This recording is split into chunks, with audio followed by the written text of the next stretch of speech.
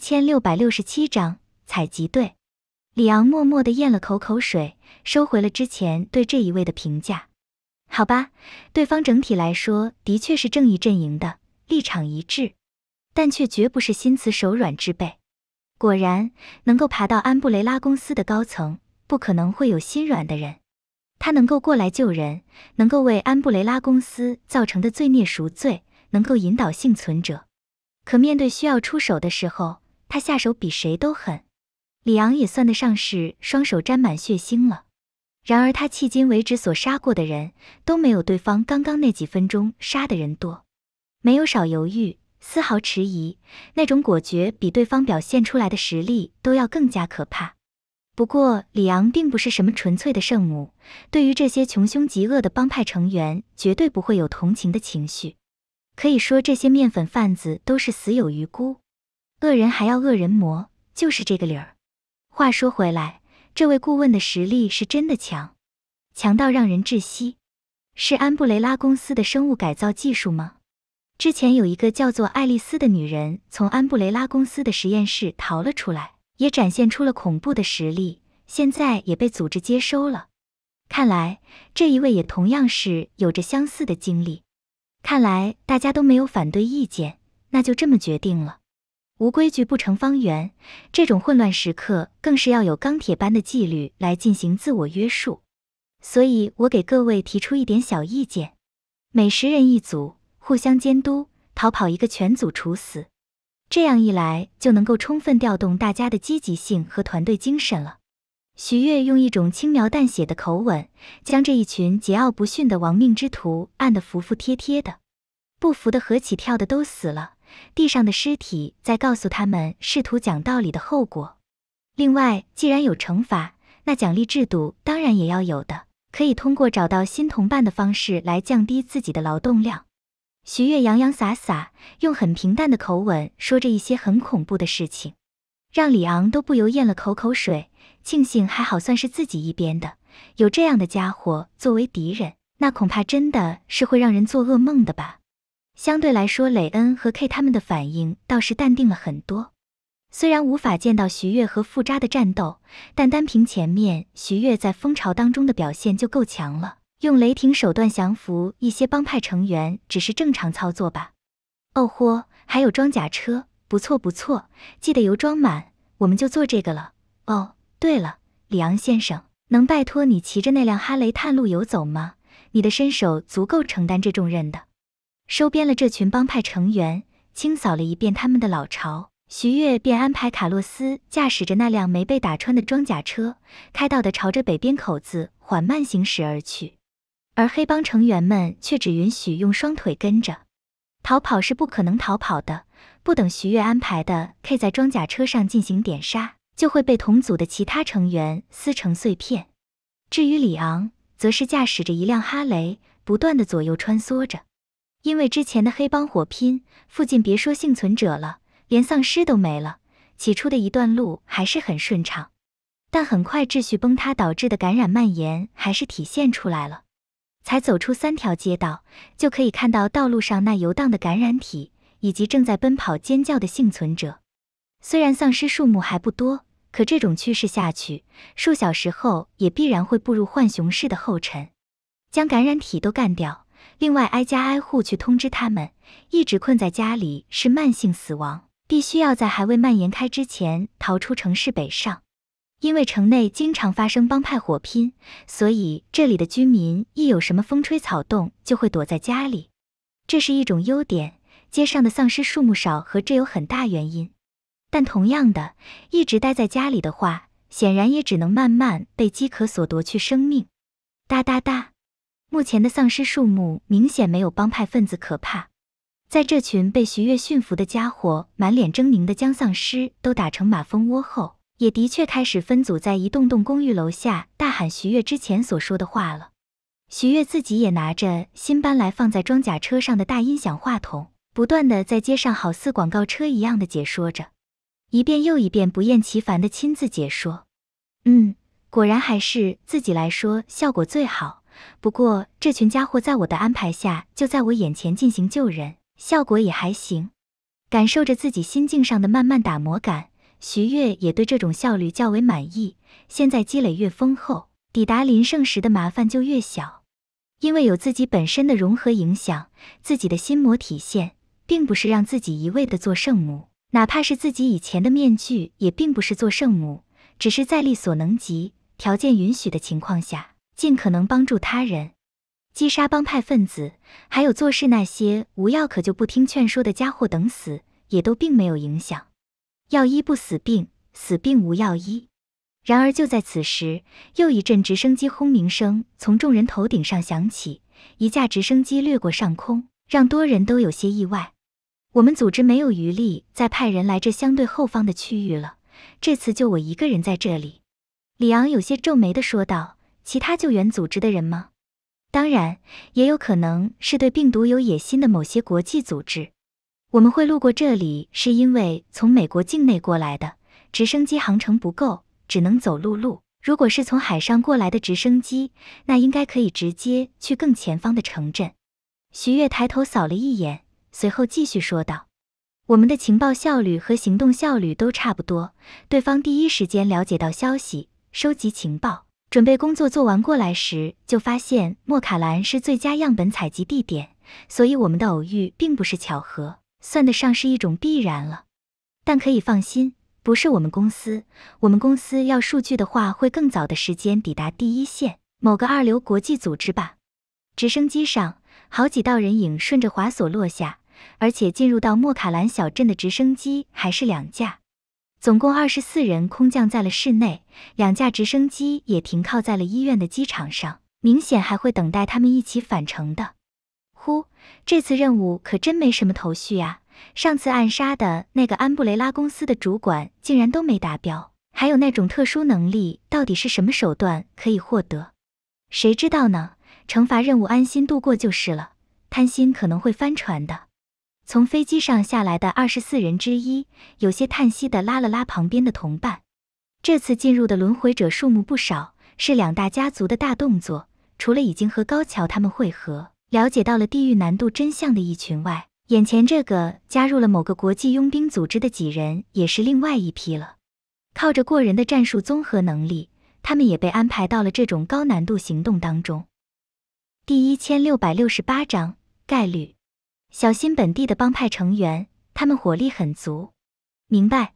进来时在天空看到过本地帮派武装分子，拥有装甲车一辆，人数大约在一百至一百二十之间。目前城镇感染进度处于初级阶段，尽可能采集更多的样本，必要时可以捕捉还能活动的感染体以及刚刚被咬的幸存者。二十四位装备精良。单兵素质出色的武装分子从直升机上下来后，便兵分两队，迅速朝着城内移动了过去，同时还在利用对讲机不断的进行着交流以及初步情报的分析。他们过来只是采集病毒样本，不愿意节外生枝。会制造麻烦的帮派分子，能不惹就不惹。从新鲜样本、一小时样本。两小时样本逐一分类，取样部分也从表皮到器官需要来全套。这种事他们已经做过一次了，是美国的一个偏僻小镇。只是当时小镇的感染情况超出了他们的预计，丢下了十几具尸体后才逃离了那魔窟。最终那小镇也被军方轰平，感染得到控制。相比起来，眼前这个才刚刚爆发感染、丧尸数目与密度还没有达到危险极限的地方。才是最为适合采样的地点。想到黑市当中的样品价格，这一行人也都是动力十足。就算是几位轮回者，也并没有多少留守的意思，将那种凌厉的战术与战斗技巧全都发挥了出来，在一支小队中取得了绝对的领导地位。很显然，进来的这些天里，这几位成功汇聚到一起的轮回者，也降服到了几位实力不错的手下。佣兵本身就是崇尚强者。这是他们最擅长的领域。七点方向，看腐烂程度，应该被感染很早了。击杀后全套采集一次，注意脑浆不要混杂地上的泥土了。一枪点爆一只丧尸的头部。武藤石兵卫冷漠地对旁边的一位佣兵下令道。那位佣兵也立刻上前，取出专用的采集道具，一丝不苟地完成着采集工作。夹开表皮的镊子。穿透体内器官取样的刺针，收集凝固血液和脑浆样本的滴管，道具很全面，手法也很熟练。其他人则是在旁边戒备，击杀着一些没有采集价值的丧尸个体。此时街上已经没有行人，只有几处窗口后的窗帘下，有警惕的眼神看着诸人。一份份的装入了特制的负压真空管内后，几分钟内一次的采集工作也宣告完成。然而就在此时，几人的对讲机当中便是突然传来了一阵密集的枪声音和惨叫声。特殊感染体，小心！好快！啊！噗！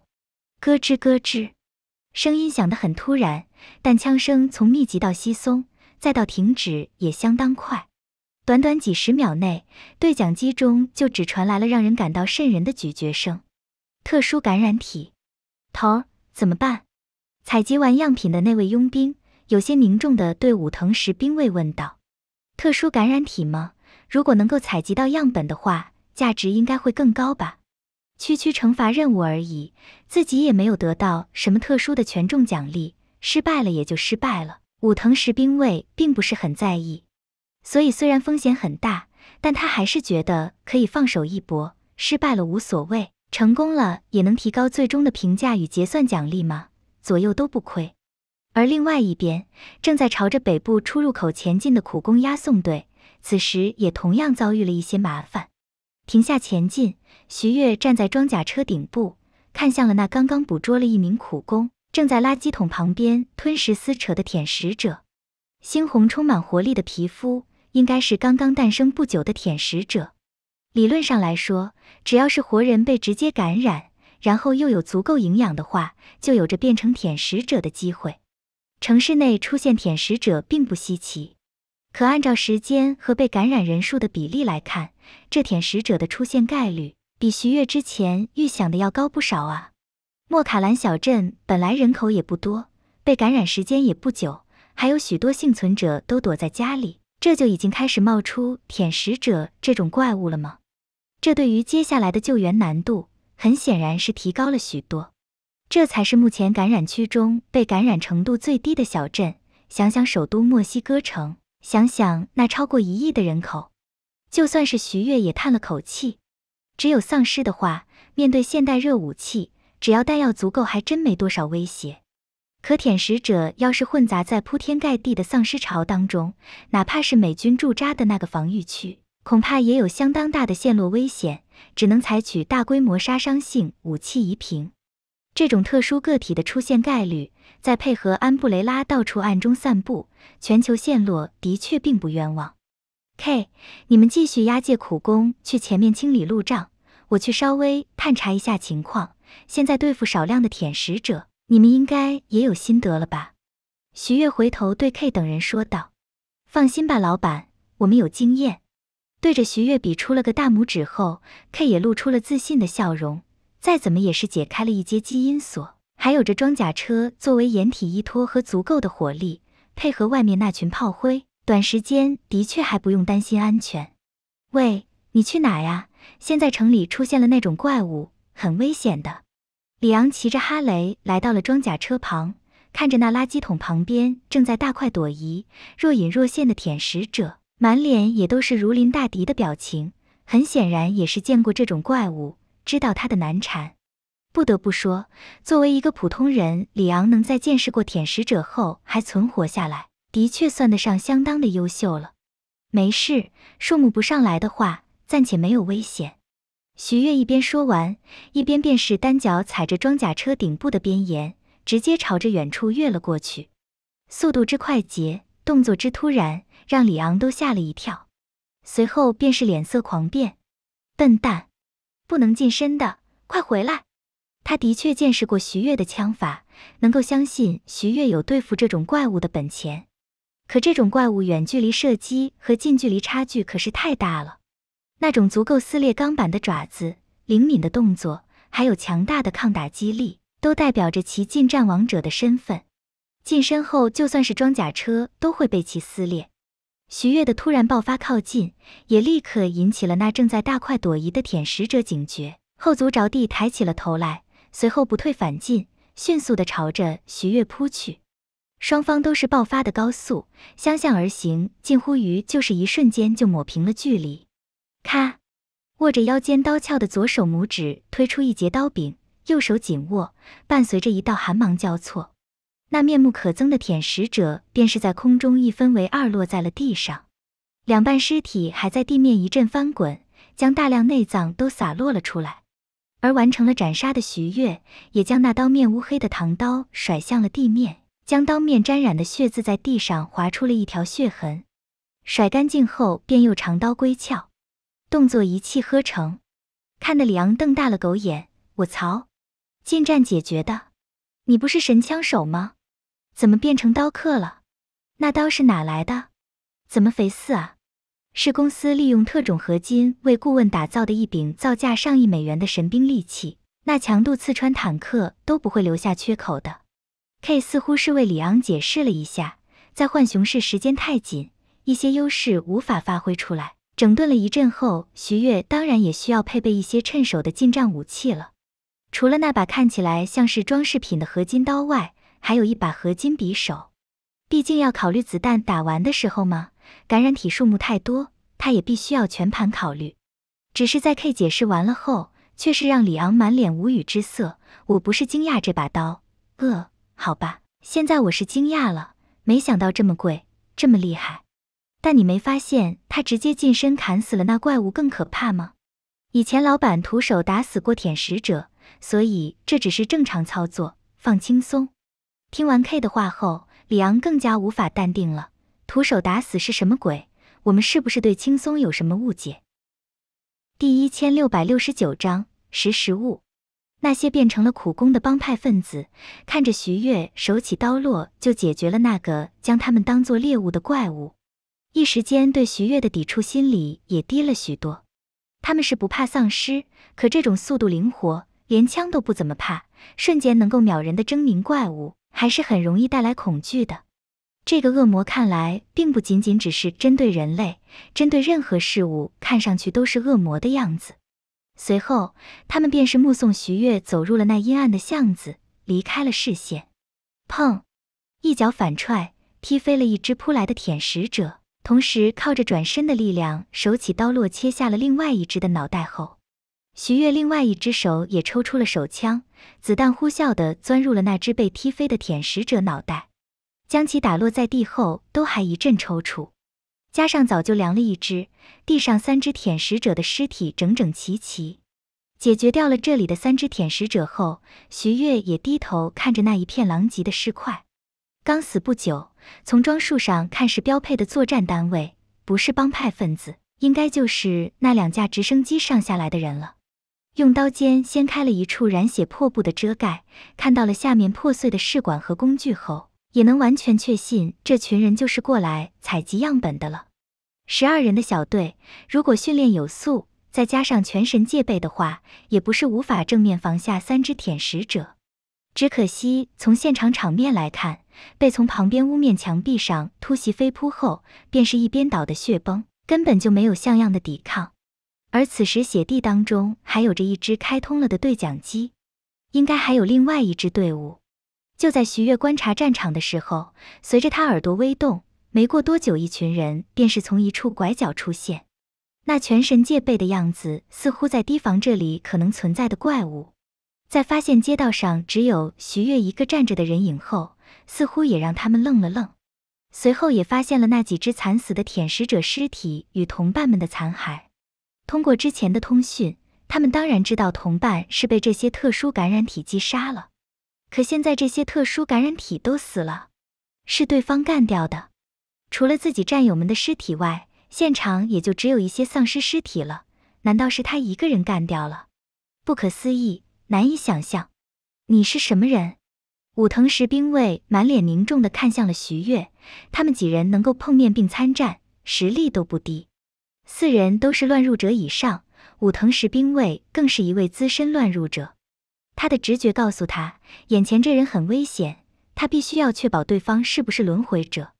只是此时附近有自己的土著队友，直接喊话的话无法判断，只能先全神戒备的看向对方。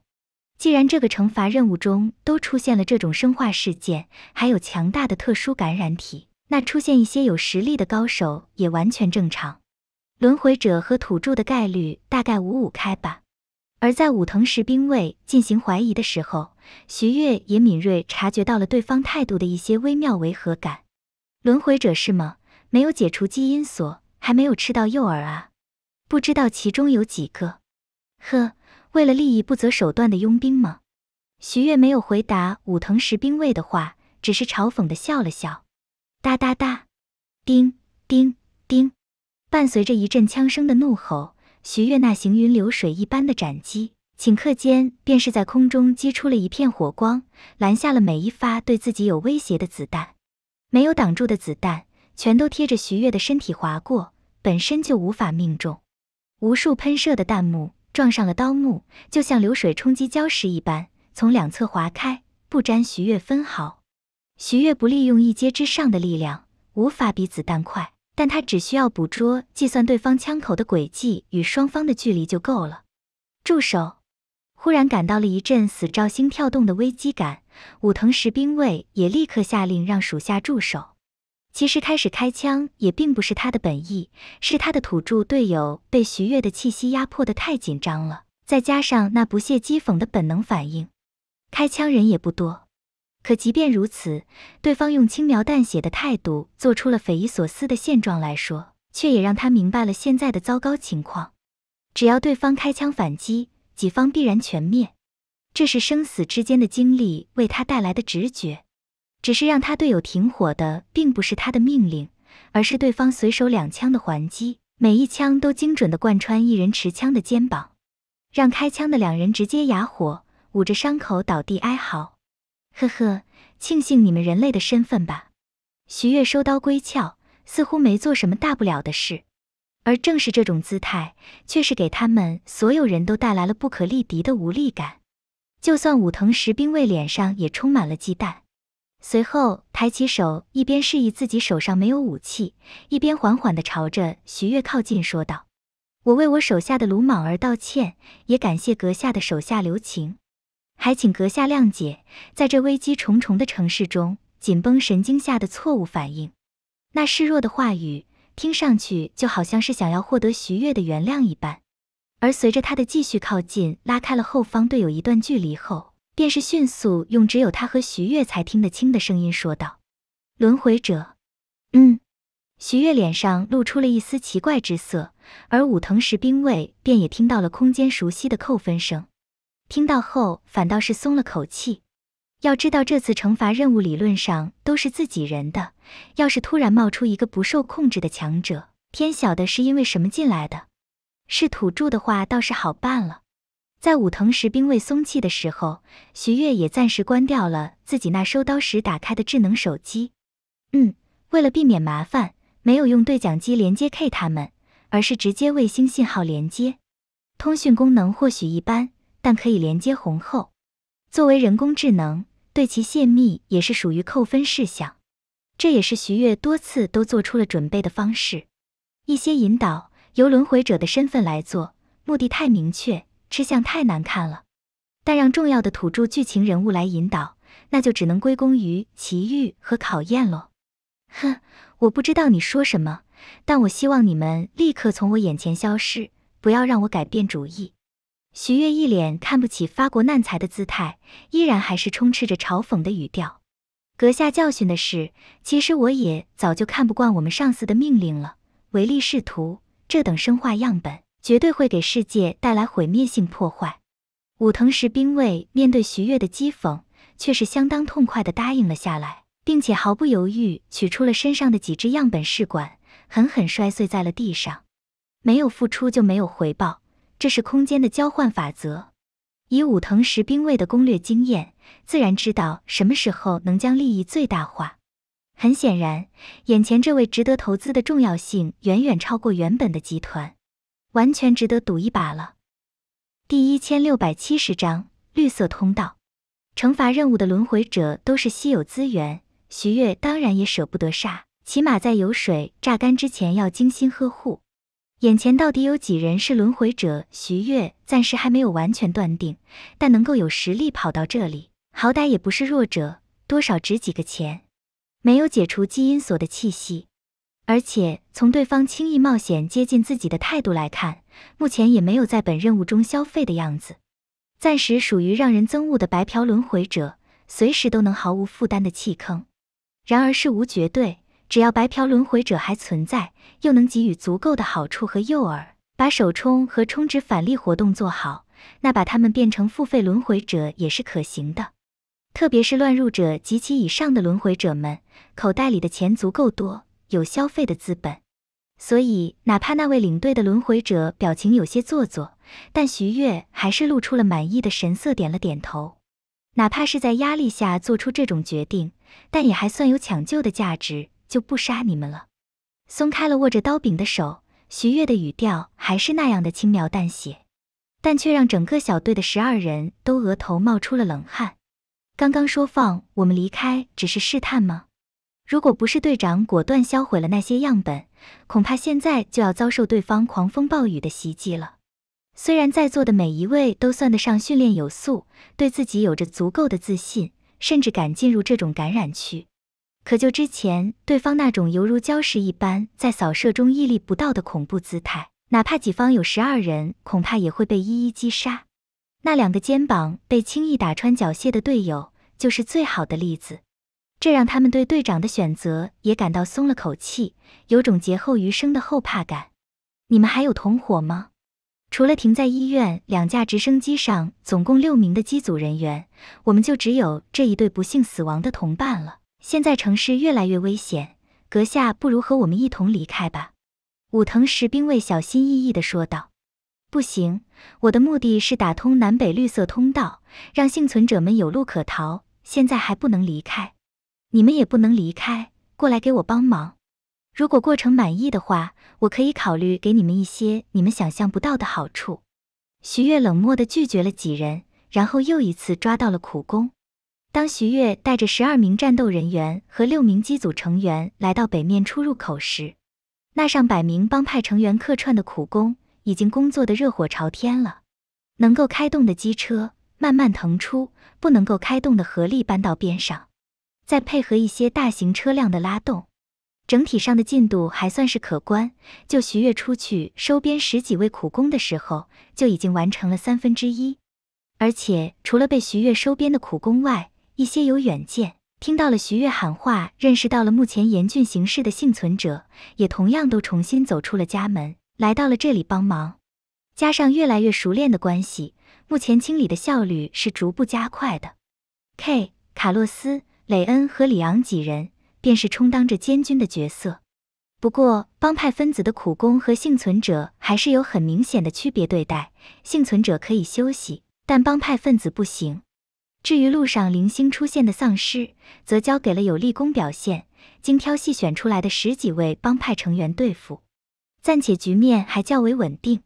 只是在徐月带人回来后，李昂还是走上了前来，低声对徐月说道：“附近还有那种怪物，目前发现了最少三只，他们似乎在寻找机会。的确是有些麻烦，不过 K 他们三个都有应对这种怪物的能力，只是避免不了减员。”徐月点了点头，随后也环顾了一下四周，发现了那些时隐时现、鬼鬼祟祟的身影，而后好似下定了什么决心的说道：“好吧，随着感染时间的加长，接下来我们会面对越来越多的麻烦。既然如此，那也只有让你们变得更强一些了。你过来一下。”下定了决心的徐月，便是对着不远处竖起耳朵的武藤石兵卫招了招手。后者也立刻屁颠屁颠的跑了过来，挑出几个你认为最信得过的队员过来，我给你们一些好处，当做提前支付的报酬了。听到了徐月的话，武藤石兵卫眼中不由一亮，果然自己的选择没有错，果断的选择了正确答案。我就说嘛，对方的实力放在这种凡人世界的确是太超模了，肯定还有这样那样的原因。现在他无比庆幸自己的选择。要选信得过的人来，那恐怕是名额不够，自然就只有选同为轮回者的搭档们了。有了武藤石兵卫的挑选，加上徐月的观察，大体上也完全将轮回者们的身份确认出来了。而后便是进入装甲车，从之前放在上面的背包中取出了一枚枚试剂，还有注射枪，将试剂装上，挤出了针头内的空气，带出了一丢丢水渍后，徐悦便是对着李昂还有几位轮回者都露出了和善的表情。打完这一针，你们就是我的人了。哦，成功了，太棒了！随着最后一辆堵路的车被皮卡拖开，看着畅通的道路。所有人脸上也都露出了喜极而泣的表情，而后站在装甲车上拿着话筒的徐悦便是喂了两句：“喂喂，现在北上的道路已经打通，各位幸存者可以利用还能开动的车辆上路。虽然你们大多都带了武器，但要记住，对付这些不死的怪物，最重要的是要保持冷静。马萨特兰的港口有维和队新建立的检查区，那里也有船可以带离感染区。”在大批幸存者的感激中，看着路边陆陆续续发动的车辆和离开的尾灯，徐悦心中也升华出了一股迄今为止最浓郁的打磨感。对心魔的打磨效果和积累超过前面时间的总和，没白让自己亲力亲为做这么多事。享受着那种愉悦，徐悦也长长的呼了口气，而后低头看向了那一群忐忐忑忑的帮派分子。嗯，幸存者可以走。但这群帮派分子还不行，他们还必须要利用自己的行动来赎罪，来洗刷身上的罪孽。如果现在就将他们放走，路上的幸存者们反倒是可能遭到他们的袭击。我可以答应你们，等我们将整个莫卡兰主干道都清理完成，连通南北后，就可以放你们离开。等到全城清理完，他们还能活下多少也并不清楚，而且到时候这里的工作大体完成。也没必要再带着这群拖油瓶了，用命清理出了一条绿色生命通道，这种宝贵的经验应该也能让他们领悟到生命可贵吧。第一千六百七十一章特殊体质。嗯，捂着头疼的脑袋醒过来了后，里昂和那四位轮回者也茫然地看着装甲车的顶部，感受着车辆的震动与轰鸣。不一样了，整个世界都不一样了。虽然不知道发生了什么。但他们能感觉到，如果自己愿意的话，可以随时进入一种毁灭世界的状态。当然，生物的本能也在告诉他们，进入那种状态后，自身会受到威胁。这是武藤石兵卫看着自己的双手，听到耳边的空间提示，满脸都是骇然之色。基因锁一接，这就是基因锁。原来如此，原来如此。自己等人辛苦努力到现在，布局击杀过一位安布雷拉公司的部长，同时还加入了一个一流的佣兵组织，出没在最危险的环境中。这次还来到了这该死的感染区提取样本。一路上付出的努力，终于，终于还是让我们找到了门路。而且这一份能力强大的简直超乎想象。仅仅只是一阶，开启后就能得到巨大增幅，足够让同阶普通的咸鱼。一跃成为同阶精英，这二阶、三阶岂不是能让自己等人越级而战？那些精锐轮回者层次就能匹敌乱入者的天骄，并不是代表着他们实力是精锐轮回者，他们仅仅只是度过的任务少，导致境界低而已。在大势力、大背景的支持下，他们有着高级任务点进行核心能力强化，实力本身就能越级。可这个基因所不同，是真正能让本身实力出现质变的力量，难以置信，匪夷所思。对比起来，自己等人之前的付出算个屁呀！等等，先不要高兴的太早。就在另外三位轮回者也满脸振奋和惊喜的时候，武藤石兵卫还是敏锐捕捉到了不妥。轮回空间永远不要相信什么奇遇，有付出才有回报，没有难度得到的东西通常都是陷阱。他的话也像一盆冷水浇灭了几人的振奋，随后不断思索了起来。所以说，我们之后有遭遇大危机的可能，而且想要得到二阶甚至三阶的提升，付出恐怕成倍提高。武藤石兵卫冷静地说道：“那我们不要二阶和三阶，现在就开始寻找刺杀安布雷拉高层的契机吗？”武藤的话还是引起了其他几人的一些警觉。毕竟的确是发生过有傻必欠了一屁股债的传闻，寻找契机当然也是要寻找的。不过二阶和三阶也不是不能谋划，毕竟如此难得的奇遇摆在面前，不努力一把的话，恐怕会终身遗憾。武藤石兵卫开始开口，只是为了警醒，并不是说想要放弃。所以，必要的时候，我们可以人为制造难度，制造付出，来平衡收获，赚取好处。接下来，我们就不能之前那样随便玩玩的划水了，得要真的认真起来。这突然转变的画风。也让其他三人频频点头，认可了武藤石兵卫的方案。能够直接完成阶位实力的提升，这实在是太难得了。这是阶级的跃迁。前面他们几人都是一种随便玩玩的消遣闲鱼心态，能有好处过了就过了喽，失败了也无所谓。但现在的话，的确是如同武藤阁下所说的一样，需要认真起来了。鱼儿不上钩，从来都是诱饵不够香。什么？已经很香了，那为啥没上钩？明明还能更香。也就在几人正在努力适应现在常态下的状态提升，并且几位轮回者开始商讨应对方案的时候，忽然间，装甲车顶部便是传来了机枪的怒吼。除了机枪外，外面各种凌乱的射击声和惊恐声也传了过来。随后，装甲车便是猛然一阵剧烈震动。后方运兵车厢的坚固的装甲壁面被一道巨爪直接撕裂。如果不是里面的几人刚刚得到了基因锁的提升，反应灵敏的避开了，那最靠近的两位轮回者必然要殒命在这巨爪之下。哪怕现在他们逃得够快，也依然被抓伤了手臂。果然，我就知道没有这么简单能够得到这种能力。现在难度已经出现了，被突然袭击，装甲车都翻车了。装甲都被撕裂了，武藤石兵卫等人却是不经反喜，迅速的在翻滚的车厢内掌握了平衡后，随手抄起边上的枪械就对着裂口处一阵扫射。几个人合力的火力，还是暂时将这怪物驱离，让其暂时离开了装甲车。喂，你们几个没事吧？K 的声音从前面驾驶室的方向传了过来。装甲车一直都是卡洛斯驾驶，K 掌控机枪。很显然，之前面对袭击的时候，K 暂时回到了驾驶室内，避开了锋芒，这才导致了后面几人的遇袭。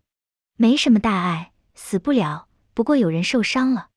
武藤石兵卫冷静地说道：“这可不是没什么大碍，这种特殊感染体病毒的烈性要远远超过普通丧尸。”一边打开了车厢后门，将几人从狭窄空间解放出来。李昂一边满脸凝重地看向了挂彩的两人，此时他们被爪子划伤的地方都出现了一种不正常的黑紫色，以肉眼可见的速度正在扩散，伤口处还出现了诡异而邪恶的肉芽，一看就甚是狰狞。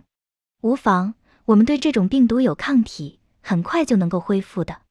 一位伤员满脸平静地说道，而近乎是他的话音落下，那种黑紫色便迅速的褪去。恢复了常态，不是吧？变异舔食者的病毒你们也能免疫？我也有抗体呀，但这种东西是绝对不能被他们伤到的，不然再补一针都可能就不回来。前面的 K 和卡洛斯也已经从驾驶室当中出来了，其中 K 满脸怪异的表情看着受伤的两人，这让两位信口胡说的轮回者都愣了愣。嗯，之前打的那针还真是抗体呀。原来我们的强化利用的就是这病毒哦，他们是得到了提示，受到了变异特殊感染体病毒感染，是否支付费 B 级剧情点豁免的提示才自信发言的。嗨，可能是我们体质特殊吧。另外一位也企图转移话题，现在不是说话的时候，我们先解决那些。可他话还没说完，就看到了踩在一头三四米的变异舔食者身上，一刀捅入了其体内。结果了其生命的徐悦。此时的战场已经接近了尾声，那只大型变异舔食者应该是最后一只难缠的对手了。剩下的丧尸什么的，正被雷恩组织苦工们进行最后的清扫。呼，这种变异的玩意儿太强了，轻易就突破了我的防线，甚至差点完全将装甲车摧毁。徐悦站在那尸体上，胸口不断起伏，擦了擦额头上的汗水。现在用目前不会影响自己心魔打磨的实力对付变异舔食者，的确是相当吃力。不过最吃力的还是要以最自然的方式引导其攻击刚刚醒过来的轮回者，还只能伤而不死，很操心的。你们很幸运，竟然是和我一样的这种特殊体质，有着开启基因锁更高阶的潜力。但同样的，能力越大，责任也越大。你们这种体质，注定了你们要在一线与这些怪物战斗。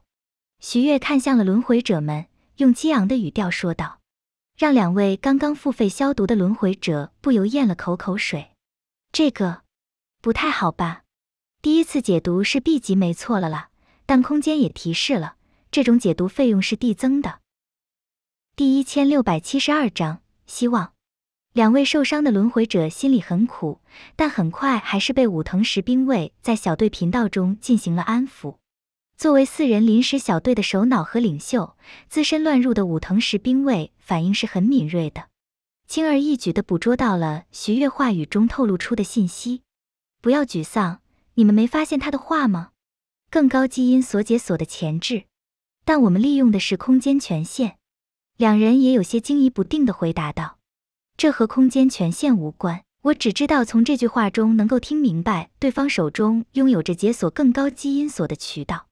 等到时机合适，我们两人也同样要表现出这种特殊体质。武藤石兵卫的话，顿时就让几位轮回者怦然心动。一阶效果就这么强大，更高阶的话，我们明白了，只要注意的话，这些损失我们也扛得住的。而且付出越多，得到的也才可能越多。想要一点投入都没有就得到这么强力稀有的能力，那自然是天方夜谭。也就在几人交流的时候，战斗进入了尾声。这一次袭击是由一只变异舔食者带领三只普通舔食者，趁着苦工队遭遇丧尸群的时候的突然行动，直接导致了十几位苦工的死亡和装甲车的破坏，连装甲车顶部的车载机枪。也在车辆被打翻的时候损毁了。不过好在装甲车本身除了侧面那狰狞的开口外，整体上还没有多少损坏，还能继续前进。在利用路边车辆和人力将装甲车重新翻转回来后，队伍稍作休整，还是继续上路。一路上依然还是不断劝说两边的居民，告诉他们通向北边的出路已经打通，同时路上的丧尸已经清理过一波，正是逃跑离开的黄金时期。如果能找到合适车辆，零星的丧尸根本无法成为阻碍。否则，等到第二次感染的爆发期出现，整座城市的危险性还会大幅度提升。感染初期被咬伤、抓伤的人可是不少的。哒哒哒，密集的枪声响起，靠着人数和火力上的优势，百人组成的火力网根本让丧尸连靠近的能力都没有。但里昂在换了一次弹夹后，看着街头拐角处那又涌现出的一大波丧尸，脸上还是露出了凝重的表情。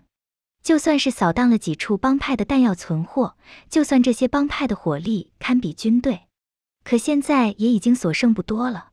不是每一个人都能拥有自己等人这样的准头，大多数帮派分子的弹药利用率低的吓人。加上路上三次遭遇到特殊感染体的袭击，此时队伍已经减员到五六十人的程度了，几乎过半。如果不是中间一次集体叛逃被铁血镇压，恐怕那群帮派分子都已经早就四散。就算现在被强大武力威慑与自保本能让他们开火，士气的低迷程度也都达到了极致。这还是原本一群十恶不赦的亡命之徒，换做普通人早就崩溃了。大家在最后努把力，已经只剩下城南出口处的少部分障碍需要清理了，大多都是朝着北边逃。城南的阻碍不多，一旦清理完，你们就自由了。徐月站在装甲车上，依然还是靠着音响话筒为这群苦工打气。毫无疑问，这也是这群帮派分子最后的精神寄托和希望。靠着爆种，终于还是大体上将围堵过来的丧尸清理干净。随后又开始争先恐后的清理路上车辆与障碍，滋滋。而就在这个时候，李昂手腕上那时灵时不灵的迷你电脑，此时又开始出现了信号。虽然同样是靠着卫星通讯，可显然他的这一份通讯器并没有徐悦手机那样享受的高信道，大概因为使用负荷的问题或者技术干扰问题，显得很不稳定而断续。太好了，终于连接上了，滋滋。完全雪花屏的屏幕中传来了有些失真的女声，但李昂大体上还是能够听清是自己的接线员。这种时候联络我是什么事？首先，滋，确认一下你的安全，滋滋，了解你的工作进度。听到这么说，李昂顿时就是无语望天，心中隐约有了不妙的感觉。好吧，我现在安全。另外，因为有其他朋友帮忙，所以工作进度进展顺利。说吧，又出现了什么麻烦？真的？滋滋，这真是今天听到的最好消息。另外，那边有气无力的联络员似乎是发出了惊喜的声音，好像开始都没抱什么希望一样，随后便开始在那劣质网速下断断续续的说明着现在的现状。大体上就是阿瓜斯卡连斯特斯城以南的所有营救与疏通任务全部失败，哪怕靠着直升机去接回残留组织成员，还有疏通小队，也只活下了不到三分之一。随着病毒的蔓延，那边已经化作了一片死域，特别是一些特殊感染体的出现，瞬息间就能造成巨大伤亡。本来有一支由莱昂出发，靠着本土武装力量、警察。打散的军人以及幸存者组成的数百人队伍都被那些特殊感染体轻易冲散，幸存者十不存一。现在阿瓜斯卡连特斯城以北的情况也不太乐观，最短绿色通道中间总共会经过四个交通枢纽小镇，可目前哪怕加上你们打通的这一处，也暂时只成功疏通两处。其中，C 字小队完成了自身任务后，已经启程前往支援距离阿瓜斯卡兰特斯城最近的。枢纽小镇了，而离你们最近的斯特莫西城，因为人手不够的关系，疏通队员连自保都堪忧。枢纽四小镇任何一处失败，都代表着本次行动的彻底失败。届时，不单单是阿瓜斯卡连斯特斯以南，整个马萨特兰以南都将宣告陷落。这么多努力与牺牲，也都将付之东流。BSAA 组织从北到南，按照难易程度投入的力量也不同。整体分为两步计划，一步是阿瓜斯卡连斯特斯以南到莱昂的疏通，显然那边已经失败了；还有一步就是马萨特兰到阿瓜斯卡连斯特斯的疏通，这一步计划目前进展也堪忧。中间四个枢纽小镇只成功清理两处，最北边的莫卡兰小镇就只有里昂孤身一人。最开始他们的目的是距离最南边的小镇投入的力量最大，然后一路向北清理过来。里昂的主要任务是收集情报，时刻了解城市动态。等到一路朝北打通到他这里的友军汇合，可现在投入力量最大的南部小镇，很显然是出了问题，导致了投入力量仅次于那里的 C 小队完成了任务后无法北上，反倒是向南支援。这就导致了投入力量倒数第二差的斯特莫西小镇那边崩盘了。里昂这边是他一人。而斯特莫西小镇是一支十二人小队，可现在已经只剩下四人，根本无力执行任务，连自保都有些无力了。而且除了这信息之外，那边还利用这糟糕的网速发了一张并不怎么清晰的照片过来。照片是斯特莫西小镇里 D 字小队的队员拍摄的，是一只拥有着花岗岩一般肌肉的高大身影。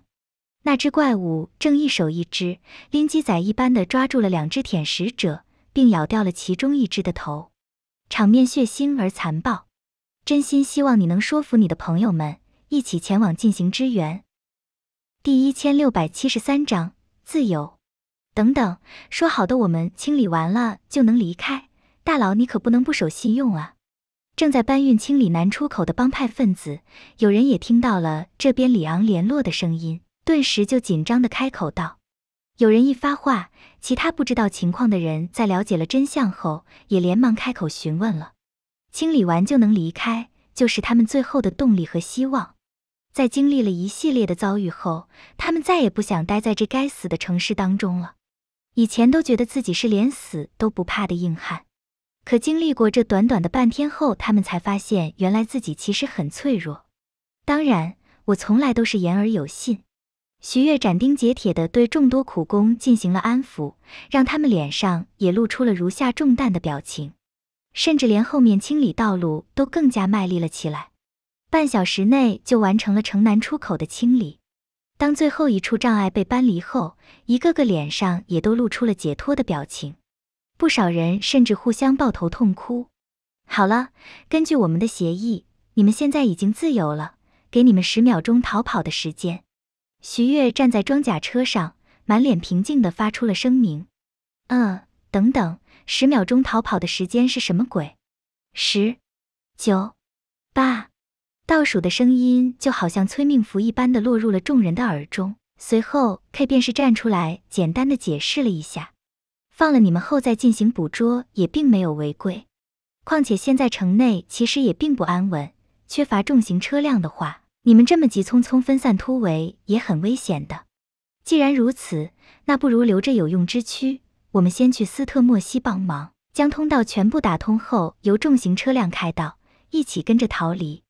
刚刚其实你们也听到了的，我们只差那一个交通枢纽没有打通了，不会再有下次这样的情况了。K 的话充满了煽动性，让这群苦工们一个个都感动得嚎啕大哭，一边带着泪水，一边点头答应了需求。那个沙星已经又开始拉枪栓了，在场所有人加起来都不够人家两梭子的，要么生，要么死。很简单的送分题。也就在此时，低沉的鸣笛声也从莫卡兰小镇当中传来。在那辆充满钢铁力量感的重型卡车开道下，后面卡普兰驾驶的悍马车也一起跟了过来。看到车上的少量弹痕，很显然他们守护车辆的时候也多少碰到了点小麻烦。只是两位解开了一阶基因锁的存在，在普通人眼里也是完全开挂的，轻易解决了战斗。有热武器的情况下，以少胜多无疑也变得简单了起来。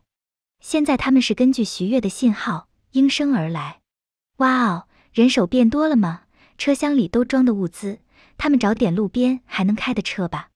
从悍马上一瘸一拐的下来，卡普兰看着那群苦工，也吹了口口哨。还是老板牛逼，人越打越多的帮派分子，呵呵，和传闻中不符啊。詹姆士也从卡车上下来，然后完成了简单交班与修补，将弹夹和车辆油箱都装满，同时也给那群帮派分子一些寻找并启动代步车辆的时间。为了让这群帮派分子都老老实实，不敢中途逃跑，徐月已经为他们表演了一次 RPG 的命中率。开车并不能拯救什么。最终，卡洛斯驾驶那被开了一道口子的装甲车，徐月继续在装甲车上抱着他的音响和话筒。装甲车后破损的运兵带着十位临时提拔的苦工小头目，里昂驾驶着另外一辆新的摩托车在队伍中穿梭。除了他之外，那四位轮回者也都是选择使用摩托成为斥候，游荡在附近。雷恩和卡普兰在悍马上，K 和詹姆士驾驶重卡。以及其他八辆由皮卡和越野车组成的车队，浩浩荡荡朝着下一个小镇枢纽而去。弹药问题还是要着重考虑一下，哪怕有着你们在前面马萨特兰的搜刮填补，现在我们的人均弹药总量也不到之前的一半了。斯特莫西小镇的情况显然要比莫卡兰严峻，弹药严重不足。里昂骑着摩托车作为斥候，一边警惕地观察着四周的情况。一边在对讲机当中和徐月他们讨论着现在的难处。目前而言，食物方面倒是还好，无论是临时就近补给，还是车厢内带着的，都足够支撑下去了。可子弹的消耗速度的确是太恐怖了，这还是之前莫卡兰前期感染的丧尸数目不多的关系。目标的斯特莫西能让满编十二人小队减员到四人，情况定然不容乐观。子弹不够也要去呀。只能尽可能节省了，下发给帮派成员的弹夹数减半，不到必要时刻不准许他们开火浪费。我们多辛苦点吧。驾驶着重卡的 K 也简单的说明了一下，人手一枪以防万一还是有必要的，子弹也必须要发，但给他们子弹是为了应对特殊感染体袭击等特殊情况，形成弹幕阻击。丧尸数还没构成威胁的情况下，还是交由枪法达标的人来干活好了。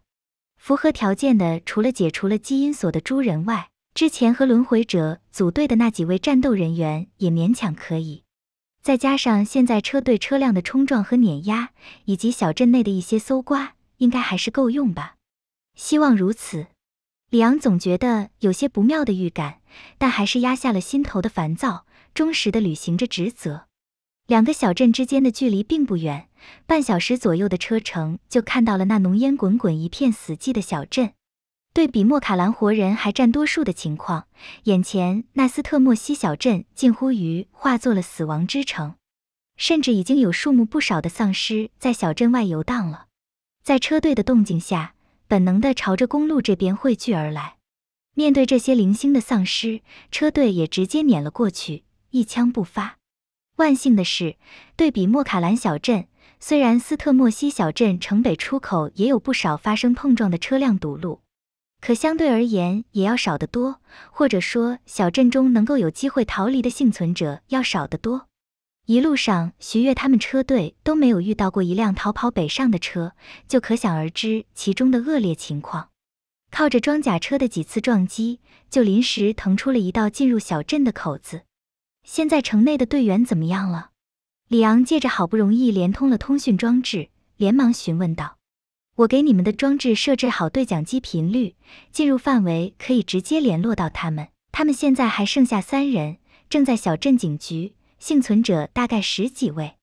在干扰情况下，卫星信号显然是不够用了，连接李昂都是断断续续，他们也无力转接双方。”只能调节对讲机频道来进行短距离通讯。里昂手上这装置的功能还算是比较全面，不过显然小镇内部的复杂地形大幅的缩短了对讲机的实际范围。就拿莫卡兰小镇为例，大概只有一点五公里左右的有效范围。这边应该也差不多。第一千六百七十四章幸存者。斯特莫西小镇警局之内一处繁琐的房间中。我知道被咬伤的后果是什么，给我个体面吧。一位身穿作战服的男子靠在墙角，满脸苦涩地看着眼前的两位队友。此时，除了克里斯和吉尔这两位队友外，其他幸存者都是躲得远远的。哪怕那位被他亲手救下来，导致了自己被咬的美丽女士，都远远地躲在了办公室另外一头。经过了这么久的生存与挣扎，他们当然也清楚被咬了后的代价是什么。十一位平民，两名握着左轮的警察，以及 BSAA 的苏作战部队三人，就是此时这间警局大办公室内所有幸存者的人数，甚至有可能是整个小镇中人数最多的一处幸存者聚集地。此时，被柜子和办公桌堵住的办公室门正不断的传来拍打声，似乎是外面有什么人想要进来一般。可那充满了节奏感的拍打声，却反过来成为了在座诸人心理上最大的阴影。绝望，哪怕那些可怕的活死人一时间无法进来，但只要他们能够一直堵在这里，也能活生生饿死在场的所有人。除了饮水机上半桶矿泉水和几块巧克力外，这里根本就没有让人生存下去的东西。况且。让原本八九十人的队伍锐减到现在的十几人的那些怪物一样的特殊感染体，也绝不是这小小的阻拦可以挡住的。一旦出现，就能造成房间里的所有人全军覆没。而此时，克里斯也轻轻叹了口气，随后直接伸出双手搭上了地上战友的脖子。在他满脸的解脱表情中，咔嚓一声扭断的了他的脖子。克队，我永远都没有后悔。耳边回荡的声音让克里斯和吉尔两人都是满脸的沉默。BSAA 的组建，他们算得上发起者和元老了，四处奔走，将那些原本就反抗安布雷拉公司的组织团体都联系了起来。而且每次危险行动，他们也都会身先士卒。这种行事风格也让整个 BSAA 的人都对他们很是敬佩和信服。但这种信任并没有拯救地上那位死去的年轻人。滋滋！然而就在此时，地上一直被随意放着的对讲机里，却是突然传出了电流音。随后，很快便传来了一阵克里斯熟悉的声音：“喂喂，克里斯吗？你们那边情况怎么样了？我带援军过来了。”这犹如天籁的声音出现后，瞬间点燃了现场所有绝望之人的求生欲。原本躲得远远的一位年轻男子，连忙连滚带爬地扑向了对讲机。而后对里面疯狂地嘶吼着：“我们还活着，我们在警局里，快来救我们！”随后，沉着脸的克里斯便是一把将对讲机从他手里夺了回来，按下了原本那个急躁家伙没有按下的对讲开关。里昂，你还有哪里的援军？你不是一个人在莫卡兰吗？是啊，原本我是一个人的，不过碰到了几位志同道合的朋友，又说服了城里的帮派成员，现在大概五六十人，十来辆车，不过弹药不多了。你们先在警局等我们会合，我们突过来的能力还是有的。里昂和克里斯他们的关系都相当不错，同样也都是高觉悟的人士，交流起来的速度也很快，三两下就确定了双方的情况。只是就在克里斯这边放下了对讲机的时候，忽然间警局外便传来了一阵杂物倒地的声音，让他抬起了手示意正在激动的七嘴八舌说着什么的幸存者们安静。只可惜发现了希望，正处于亢奋当中的幸存者并没有在意这位救援队张的示意，他们这些救援队对幸存者的态度一直都太好了，反倒是没啥威信，依然还在说着自己的诉求。你要和他们说清楚，我们这里的人数多，准备一些空车啊，还有带点食物过来。我早上就没吃东西了，好饿。哐当！突然之间，外面加大的破碎声，自觉地让这群亢奋的幸存者们安静了下来，眼中逐渐泛起了惊恐之色，似乎明白了他们的声音好像引来了什么不好的东西。如果只是普通的杂物倒地，还可能是那些丧尸撞的，可行动迟缓的丧尸却绝对无法造成刚刚那种动静。而如果不是丧尸，伴随着突然的寂静，外面的声音也愈发的明显了。除了依然还有着丧尸在不断拍打的敲门声外，的确是有什么东西进入了室内。扑哧、嘎吱，利爪撕裂肉体的声音以及碎骨咀嚼声，让房间内的所有人都感到了汗毛竖立。是那种特殊感染体。之前如果不是有个更加可怕的怪物吃掉了两只这种特殊感染体，恐怕他们根本就没办法躲进警局，在路上就会被一一追杀。扑哧。突然间，门外一直持续的拍打声没了，可这个催命符一般的拍打声消失后，却反倒是引起了所有幸存者的惊恐。那东西可能已经到门口了。现场一片寂静，只能听到粗重的呼吸声与自身的心跳声。克里斯和吉尔互相对视了一眼，也各自都占据好了最方便的射击位置。吉尔是一把 M 十六自动步枪，站在了角落的桌子上。瞄准了被柜子和桌子堵住的大门，而克里斯则是抱着一把雷明顿散弹枪，站在了大门的侧面。两位警察也慌慌张张地掏出了自己的警用手枪，颤抖地瞄准了大门。同时，克里斯还打手势示意几位幸存者顶着柜子，尽可能的施加力量。可惜，只有两位年轻力壮的小伙响应了号召，其他人依然还是躲在角落瑟瑟发抖。在一位老年神父的带头下，不少人还在那边划着十字，祈求上帝保佑。不过这种时候，克里斯也不可能发出声音多说什么，只能全神戒备。轰！毫无征兆的撞击，仅仅只是一击就撞将木门撞碎，一道碎片犹如飞刀一般，直接划破了克里斯的脸颊。但他却丝毫不为所动，直接瞄准了那因为撞击力道太大，卡在了桌子当中的身影。扣动了扳机，近距离中，雷明顿散弹枪是当之无愧的王者。大片的血花从那舔食者身上飙射而出，哪怕对子弹抗性很高的舔食者也被打得嗷嗷叫。吉尔的点射以及两位警察也毫不犹豫地倾泻出了自己的火力。当最大优势的灵巧被卡在桌柜中废除之后，一瞬间，那舔食者就遭受了巨额的伤害。哪怕靠着蛮力将短暂禁锢自己的桌子撕成了粉碎，就准备朝着最近的克里斯扑杀过去。但伴随着克里斯轰在他头部的一枪后，这只舔食者还是无力的倒在了地上，让所有人都松了口气。这难缠的怪物终于是死了。现在我们的大门已经毁了，继续待在这里就是等死。既然有援军进来，那我们就去接应他们。”克里斯冷静地说道。这话也让幸存者们不断的点着脑袋。作为现场单兵能力最强的克里斯，便是率先走出了办公室大门，持枪警戒。然而，果断出门的克里斯便以更加果断的速度缩了回来。他的动作也让所有人都呼吸一滞，只有吉尔对他比划了一个手势，询问发生了什么。而克里斯此时则是面带苦笑之色，伸出了两根手指，还有两只。第一千六百七十五章友好交流。这消息的出现，顿时就让原本出现了希望的幸存者们再次感到了更加深沉的绝望。被困在这里后，他们的希望就在一点点的消失，勉强接受了那悲惨的现实。正是那对讲机的话，给他们带来了新的希望。之后乐极生悲，因为发出的声音导致引来了这种怪物。费尽心思，牺牲了大门和桌柜，将其干掉后，又得到了眼前的新消息。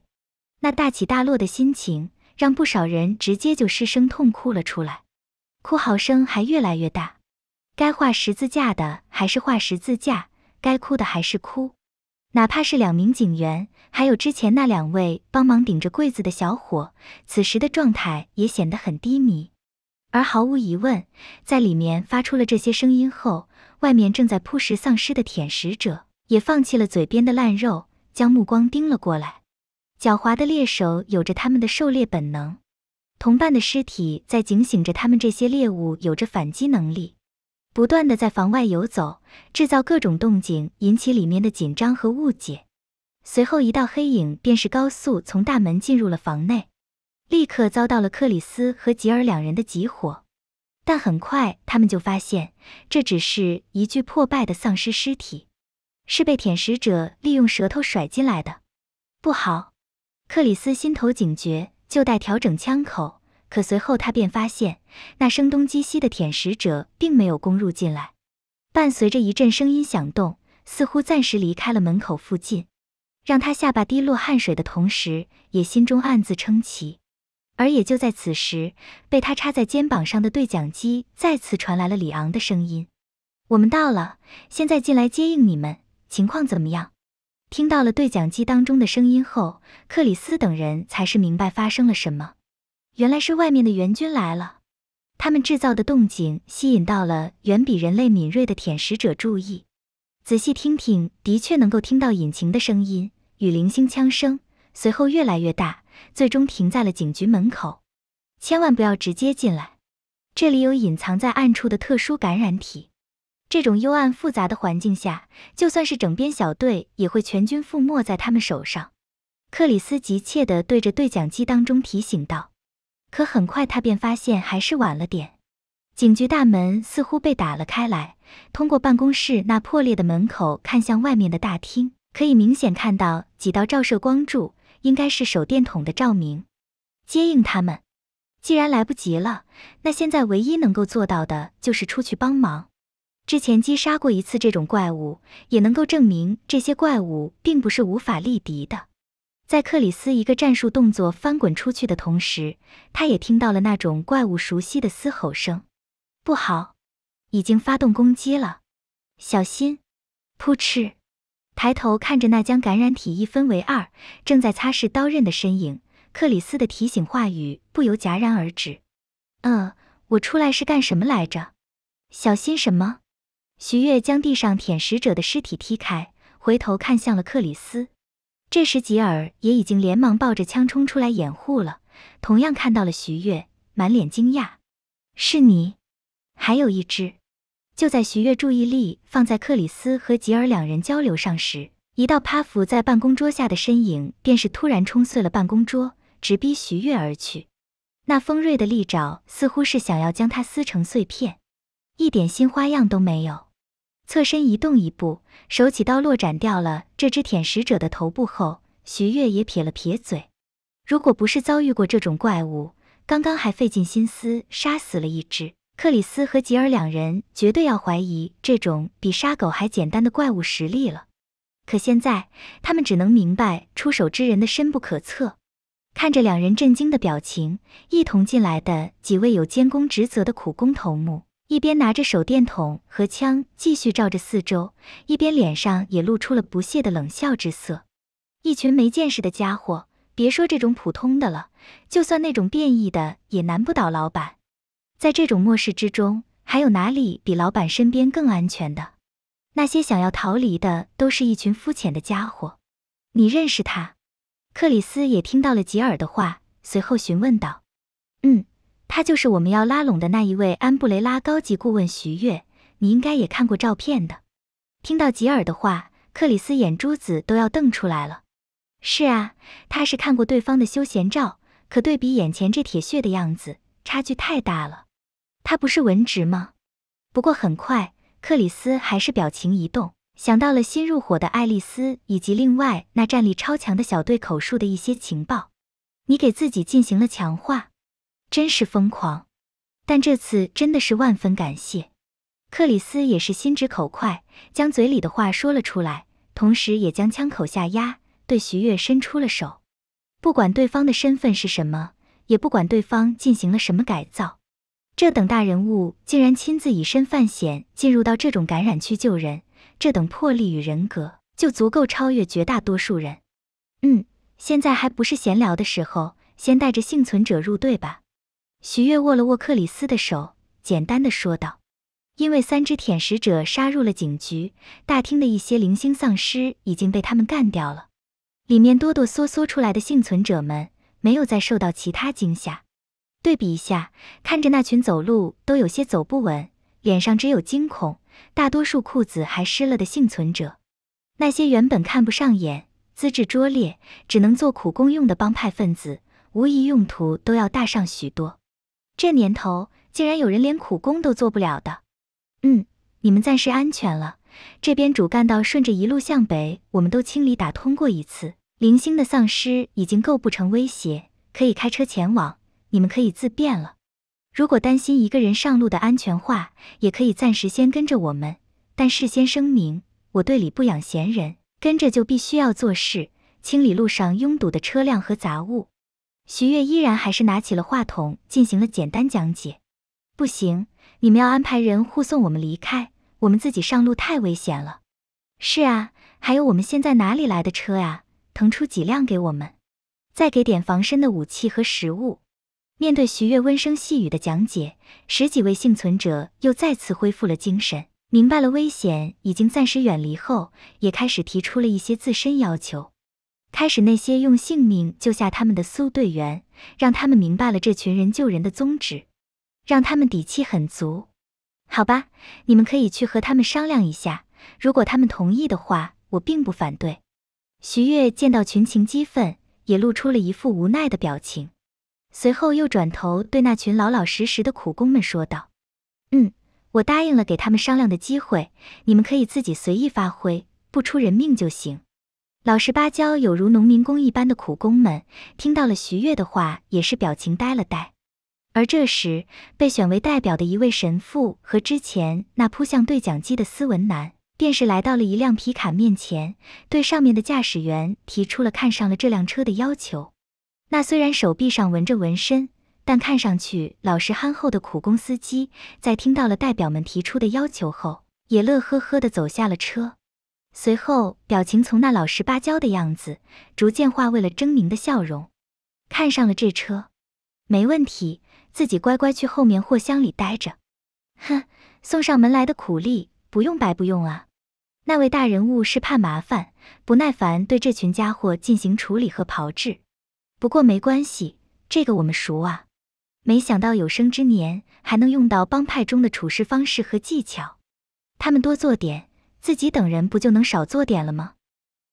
第一千六百七十六章基金。在一番亲切友好的交流下，十几位幸存者也哭着喊着离开了车队，朝着北边逃去。早点回过神来找几辆车的话，趁着现在这有利时机，他们逃生的概率还是蛮大的。而两位本地警察则是选择留了下来加入队伍，并不是说他们觉悟有多高，而是明显他们要更加清醒而冷静一些。此时跟着这战斗力强大的队伍，安全系数明显还要更高。相比于莫卡兰小镇，眼前的斯特莫西小镇街道上的拥堵情况相对要好得多，但这也充分说明了小镇的生化事件爆发的更加突然，感染情况更加严重。而且这座小镇的帮派势力没有莫卡兰那样一手遮天，初期根本就未能对丧尸进行有效打击。仅仅是从入口到警局这段距离，就已经消耗了三分之一的弹药。而眼前前方街道上，还有着密密麻麻的丧尸正朝着这边涌来。这种密集程度，加上偶尔抛锚在路上的车辆，就算是装甲车也很难一路推过去了。我们的目标是清理，不是逃难，能够选择的手段有限啊。克里斯看着那密集的尸群，脸上满是严峻。丧尸的数目一旦上来了，那将是比那些特殊感染体还要更加可怕的存在。或许可以利用速度逃离，但想要刚正面却几乎不可能。哪怕旁边这位能够斩杀舔食者的存在也毫不例外。还好吧，这里虽然是主干道，但汇聚的丧尸也仅仅只是全城的一部分，大多数还被困在房子里。随着时间推移，密度还会更大的。趁现在清理掉更好点。徐月简单观察了一下后，说出了自己的看法。可弹药远远不够。嗯，想点其他方式。你们先在这边顶住，我带人去找点东西。徐月看了一眼手机上的地图后，便是对几人开口道：“论行动能力，毫无疑问，徐月是现场当之无愧的最强，所以由他带队搜寻东西也是理所当然。至于挑选的人，那当然就是四位轮回者了，这是对他们实力上的肯定，同时人数也不宜太多，否则不好行动。好吧，虽然不知道你想要干嘛，但最好快点。”不过，在弹药消耗完之前，暂且不用担心我们的安全问题。正换上了一只弹夹的里昂也爬上了装甲车，看向了远处，朝着这帮挤过来的狮群。一旦弹药即将消耗完，你们就开始选择逐步撤退，不用管我们。具体情况对讲机联系。徐月也没有再和他们多说什么，直接就带着武藤石兵卫等四位轮回者，骑着摩托直接朝着旁边小巷穿梭而去。巷子里的一些零星丧尸根本对他们构不成丝毫威胁。目标大概一公里处的加油站。面对这种密集的血肉生物，利用火来对付显然是最为节省物资的。当然了，既然是将轮回者们带出来了，那顺道帮他们充个基金什么的也是很正常吧。第二次感染的费用什么的反正也不贵。对了，还有两个要完成第一次的首充的。好几辆车侧翻在了加油站当中，最可怕的是其中一辆还燃起了火光。虽然燃烧不严重，可出现在眼前这种要命的位置，还是让人心头紧绷。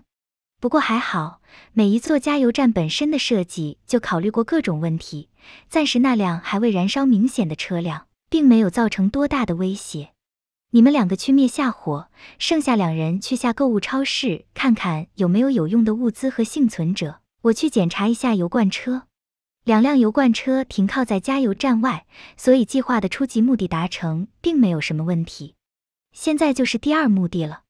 以徐月的警觉，还是看到了那超市当中一闪而逝的高速身影，就是暂未确定是一只还是两只。不过没关系，以这两个家伙目前的身体素质来说，一阶基因锁对付舔食者赢下是肯定没问题的。但那种对方的主场环境中不解除限定的话，想要不受伤也是妄想。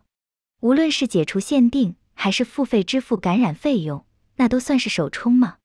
就在徐月完成了两辆油罐车的检查，确认了这本来就是满载的运输车时，超市内也传来了连续的枪声和凌乱的打斗声。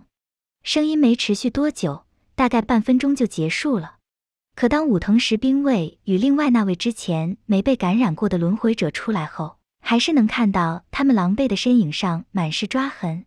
防弹衣面对舔食者的利爪和纸糊没有区别。怎么回事？你们被感染了？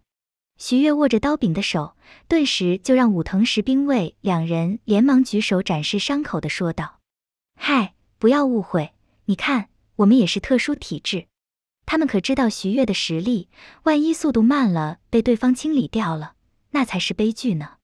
看到两人那鲜红的伤口，徐月原本凝重的表情也舒缓了开来，露出了欣慰的笑容。没想到啊，这百里挑一的体质竟然连续出现了四个，你们的运气还真不错。是啊，我们也是这么认为的呢。开始受伤后，我们都吓了一跳，我们也没想到里面竟然藏着这种怪物。武藤石兵卫一边带着庆幸表情的说着，一边也爬上了旁边的油罐车驾驶室。放心，我们都是有足够觉悟的。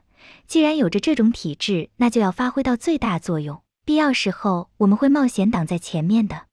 不要小看我们啊，我们的近战能力可丝毫不弱于我们的射击水平。已经爬上了另外一辆油罐车的武藤石兵卫也伸手到了窗外，对着徐月比出了一个 OK 的手势，发表了振奋人心的话语。轰隆！然而就在此时，那一间加油站旁边的超市墙壁却是突然被一股蛮横的力量撞碎。只见一道三四米的高大人影从中走了出来，手上还拖着舔食者的尸体。那花岗岩一般的强健体魄，向诸人展现着自身的力量，正抬头看向了油罐车的方向。嗯，情况不太妙啊！开车，甩开它！伴随着发动机的轰鸣，两辆大型油罐车也先后驶离了加油站，而那撞开了墙壁的恐怖身影，也在车辆启动的瞬间开始加速，朝着两辆车跑了过来。明明身体巨大。看上去很笨重，但那启动后的跑路速度当真完全超乎了所有人意料之外。油罐车已经提高到四十公里的时速了，双方距离竟然还在拉近。砰砰，剧烈的撞击声出现在了后面那辆油罐车上，那之前被他拎在手里的舔食者尸体，犹如炮弹一样的将油罐车后方油罐砸得凹陷了下去，直接镶嵌在了其中。巨大的冲击甚至让油罐车出现了一阵摇摆。如果不是开车的武藤石兵卫是一位老司机，恐怕就直接失控撞上旁边店铺了。嗖，一发 RPG 从第一辆油罐车驾驶舱当中射出，精准的命中了那奔跑当中的身影。巨大的火光将其完全吞噬。可还未等到四位轮回者叫好，对方便是完好无损的冲出了火光，除了一点熏黑外。压根没有丝毫伤势，这种恐怖的力量顿时就让四位轮回者脸色大变。蛮横的硬接 RPG 无损，寻常精锐轮回者防御力都做不到这一点。空对地导弹都只能摧毁暴君的上半身，这种防御力和力量的确是可以看作人形高达。第一千六百七十七章断后。喂喂，这真的是惩罚空间中应该出现的怪物吗？驾驶着油罐车在街道上横冲直撞，武藤石兵卫看着后视镜当中紧追不放的暴君，额头上也出现了密集的汗水。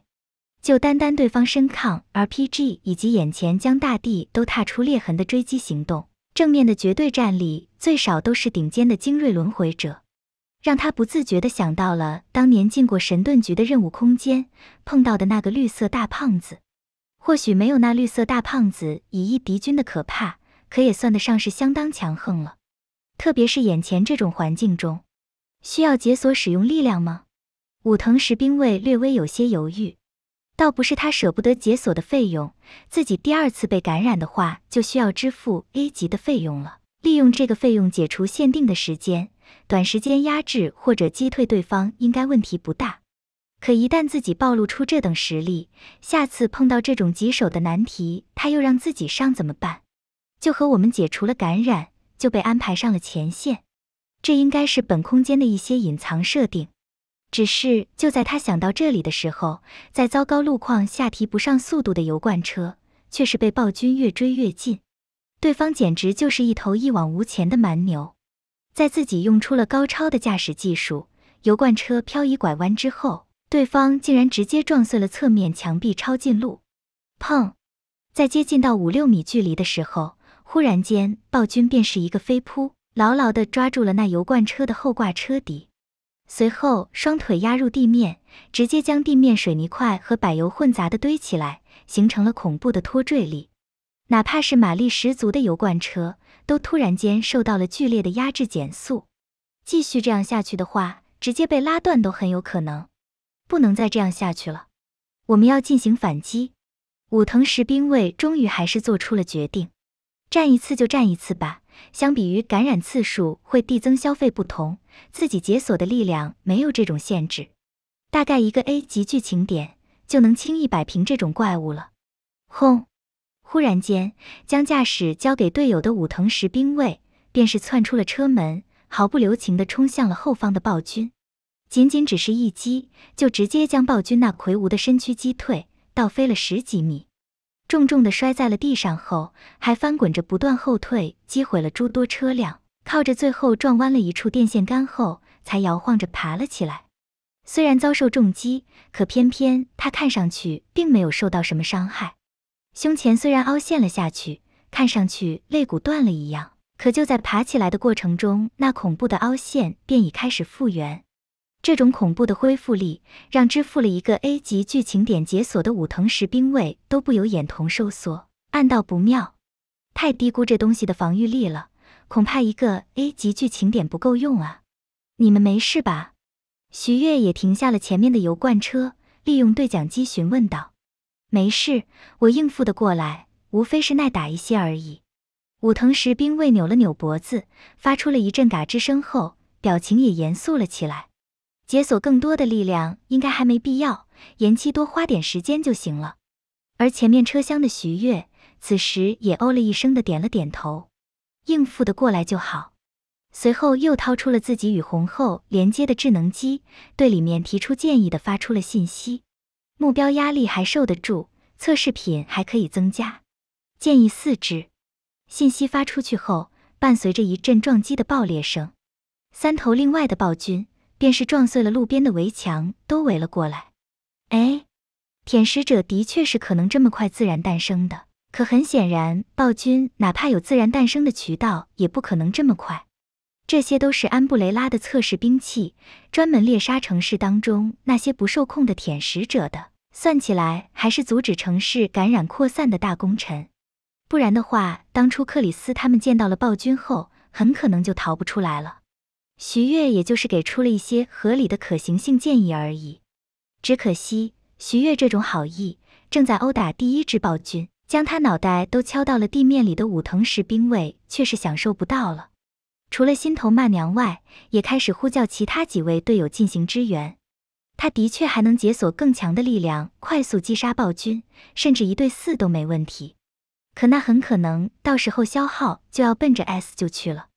对比起来，所有同伴都使用 A 级别的消耗解锁解决问题，才是最省钱的手段。虽然他们还没找到合适的完成任务渠道，但就眼前得到的基因所好处，已经值得搏一把了。四只暴君，四位轮回者，分配起来自然也是数目合适。不过，除了武藤石兵卫这边占据优势外，另外三个方向都最多只能互相牵制。普通乱入者的 A 级费用解锁。显然是比不过武藤石兵卫这位资深乱入者的实力的。不行啊，现在公司开发出来的生物兵器暴君已经属于天花板级别了，还在用 A 级来凑数吗？一点诚意都没有。徐月数着分来的钱，也感到有些无奈。和当初高桥与铃木他们不同，他们当时完成任务的目标就在身边，唾手可得。打起来是相当果断，哪怕和中州队还有恶魔队交锋都在所不惜。可眼前这四个家伙就有些瞻前顾后了。等下回去借用吉尔和克里斯他们，把自己身份透露出去的好点。至于现在，首充和基金都氪完了，双倍充值的奖励你们也不要错过啊！都已经费了这么多时间，连个 S 就都不给，有点看不下去了。随后，徐月就开始从背后的背包中扣扣锁锁地掏出了一套外表看上去破破烂烂的战斗服。从表面上看，充满了风霜感，破破烂烂的，但里面却是贴身的紧身衣设计，宽大的帽檐将脸部也完全遮掩了进去。算起来，我也是注射了病毒和疫苗的特殊个体呀，参一手不过分吧？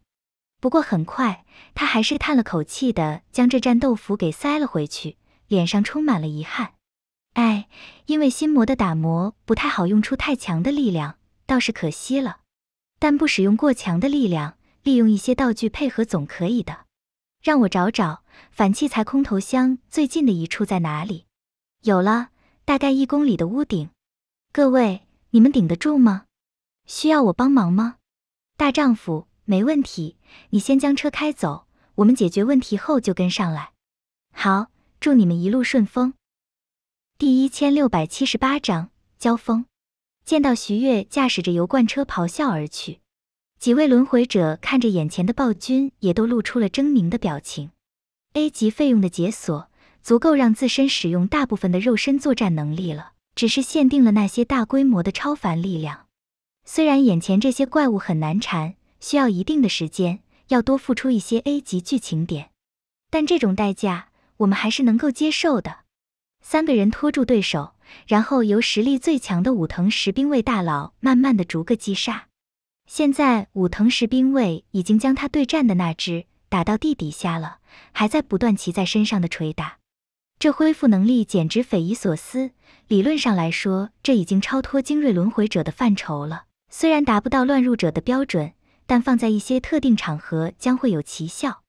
不断朝着身下暴君输出的武藤石兵卫，也看出了这种生物兵器的优秀价值。虽然灵巧等各方面的劣势，让这种怪物对上寻常的精锐轮回者都无法进行追杀，可一旦要发生正面刚的战斗，那作用价值就一下上来了。只是就在他再次抬起了拳头，准备轰下去的时候，忽然间脸颊便是遭受了一击重击。整个脸部都变得扭曲而鬼畜了起来，不断抖动着，还带出了好几颗槽牙。强大的冲击让体重不够的他整个人都螺旋了十几圈，直接被打飞了出去，随后重重的落在了地面。直到此时，那远处狙击枪的轰鸣声才传入了几人的耳中。该死！朝着地上吐出了一口血水，武藤石兵卫也面露凶光的看向了远处的大厦顶部。此时，那开火的火光也才刚刚消散。摸了摸脸颊上凹陷的印记以及打断的槽牙，武藤石兵卫十分确信这是大口径的反器材狙击步枪。传统枪械没有受过强化，但……可他话都还没说完，便是忽然表情一凝，低头看向了自己被抓住的脚踝，因为被打飞分神，注意力放在了那奇袭自己的狙击手身上。一时间，让他对那被自己打得毫无还手之力的暴君减少了关注。没想到被自己撵着打了这么一顿，对方竟然这么快就恢复过来了。还未等到他做出反应，他那低体重的劣势也再一次的展现了出来。被暴君捏着脚踝不断的左右摔打，虽然 A 级剧情点解锁了他的肉身能力，连反器材狙击步枪都能够应接，可也架不住这种狂风暴雨的冲击。大地都被敲裂，终于让他忍不住喷出了一口淤血。小心！在被敲打的时候，他还强行发出了变形的鬼畜警示。随后，一名放弃对手，一跃而来，高高跳起，直击那摔打暴君的轮回者小腿，便是再次被一发反器材狙击步枪命中。那金属交击的火花与声音下，那起跳的人影便犹如大风车一般的在空中旋转了起来，随后重重落地。落地了还不够，那只被他中途甩开抛弃的暴君，直接一跃跳到了他的身上，一屁股坐了下去。砂锅大的拳头欧拉欧拉的朝着地上的轮回者倾泻而去，打得他根本就翻不起身来。在他们付出了 A 级剧情点解锁后，哪怕是反器材狙击步枪都很难对他们进行致命的杀伤，单一的暴君也同样如此。可当两者互相结合，利用狙击打乱他们的节奏和重心，而后交给暴君补刀，却是起到了一加一大于二的结果。另外剩下的两位也先后步入了后尘，他们实力毕竟是不如武藤十兵卫，哪怕做出了防备，要一边应付暴君，一边防备那神出鬼没的射击，也太过为难他们了。你这是在自寻死路。伴随着一阵怒火滔天的暴喝，那第二只旗在一位轮回者身上不断欧拉欧拉的暴君上半身，便是整个的炸裂成了无数碎片，失去了身躯的尸体直接摇摆着倒在了地上。而后一位浑身被熔岩所覆盖的人影从地上的坑洞中爬出，满脸机遇疯狂的表情，抬手便是一击火焰斩击，朝着远处那狙击点甩去。随后也不看结果，直接杀向了正在左右摔打武藤石兵卫的那只暴君。然而还未等到他动手击杀这只暴君，又一发子弹毫不留情地打在了他的脸上。被那炙热的熔岩融化之后，化作铁水的弹头犹如一口老痰一般粘在他脸上，缓慢地滑落了下去。我要宰了你！伸手抹掉那口老痰，这位被逼无奈用出了 S 级剧情点的乱入者。咆哮着，直接化作了一条火龙，扑向了那射击点的方向，让已经被砸得五脏移位、口喷鲜血的武藤石兵卫有一种骂娘的感觉。你倒是先把我们救下来啊，混蛋！不过人就是这样，当看到别人开始花费，开始不在乎后，自己消费的底线顿时就降了很多。既然没人救，那就自救吧。无数无形兵刃席卷，抓住他敲打的那只暴君，便被斩成了十几段。看着地上被斩成了十几段还有生命力的残骸，武藤石兵卫脸上也露出了冷笑之色，抬头看向了那火龙追杀而去的方向。一道狼狈的身影正靠着屋顶上的不断跳跃，躲避着下方横冲直撞的追杀。你对力量根本就一无所知。一柄柄短小灵刃形成了两道华丽的羽翼，出现在了武藤石兵卫的背后。下一刻，他便冲天而起。同样朝着那个方向追杀而去。与此同时，最后两位正被暴君血虐的乱入者也已经忍无可忍地解开了全部限定，先后完成击杀。同去，同去，互相认同的点了下头后，也没有犹豫的进行了追击。惩罚任务当中的土著们，颤抖吧，感受一下什么是真正的力量吧。哇哦，厉害！一个闪身，从一处被撞塌的屋顶上一跃而起，翻滚欲力的落在了隔壁建筑上。一道浑身被熔岩覆盖的火人便已经跳到了面前。近乎于与此同时，那背上有着冰刃羽翼的武藤石兵卫也来到了两人的上空，冷冷的注视着他。就让我来看看你到底是什么人。看着戴着眼镜、激活了高权重黑影人，完全认不出身份的徐月。武藤石兵卫脸上也泛起了狰狞的笑容。S 级的大手笔下去，以自己目前的破坏和发力程度，足够还使用一分钟，足够自己杀死这凡人十次了。那熔岩人影也双手抱胸，满脸残酷之色，甩手便是一滴熔岩弹出。哪怕徐月尽可能的进行躲避，也被击穿了肩膀。炙热的熔岩带着高温。发出了滋滋声，空气中蔓延着一股硫磺和烤肉味，很痛的哎。徐月呲了呲牙，但那种随意的口吻放在正在被炙热灼烧的人身上，还是让率先到场的两人都是表情一凝。这种强大的意志力，你们主动发起的攻击，我要反击了。徐月腾出的另外一只手，利用掌仙术捂住了自己受伤的部位，虽然能无限反击。但为了保证心魔的打磨效率，自己也需要尽可能的只使用一些简单技巧。不过无所谓，几条杂鱼而已。一瞬间，徐月眼中便是出现了三道旋转的勾玉。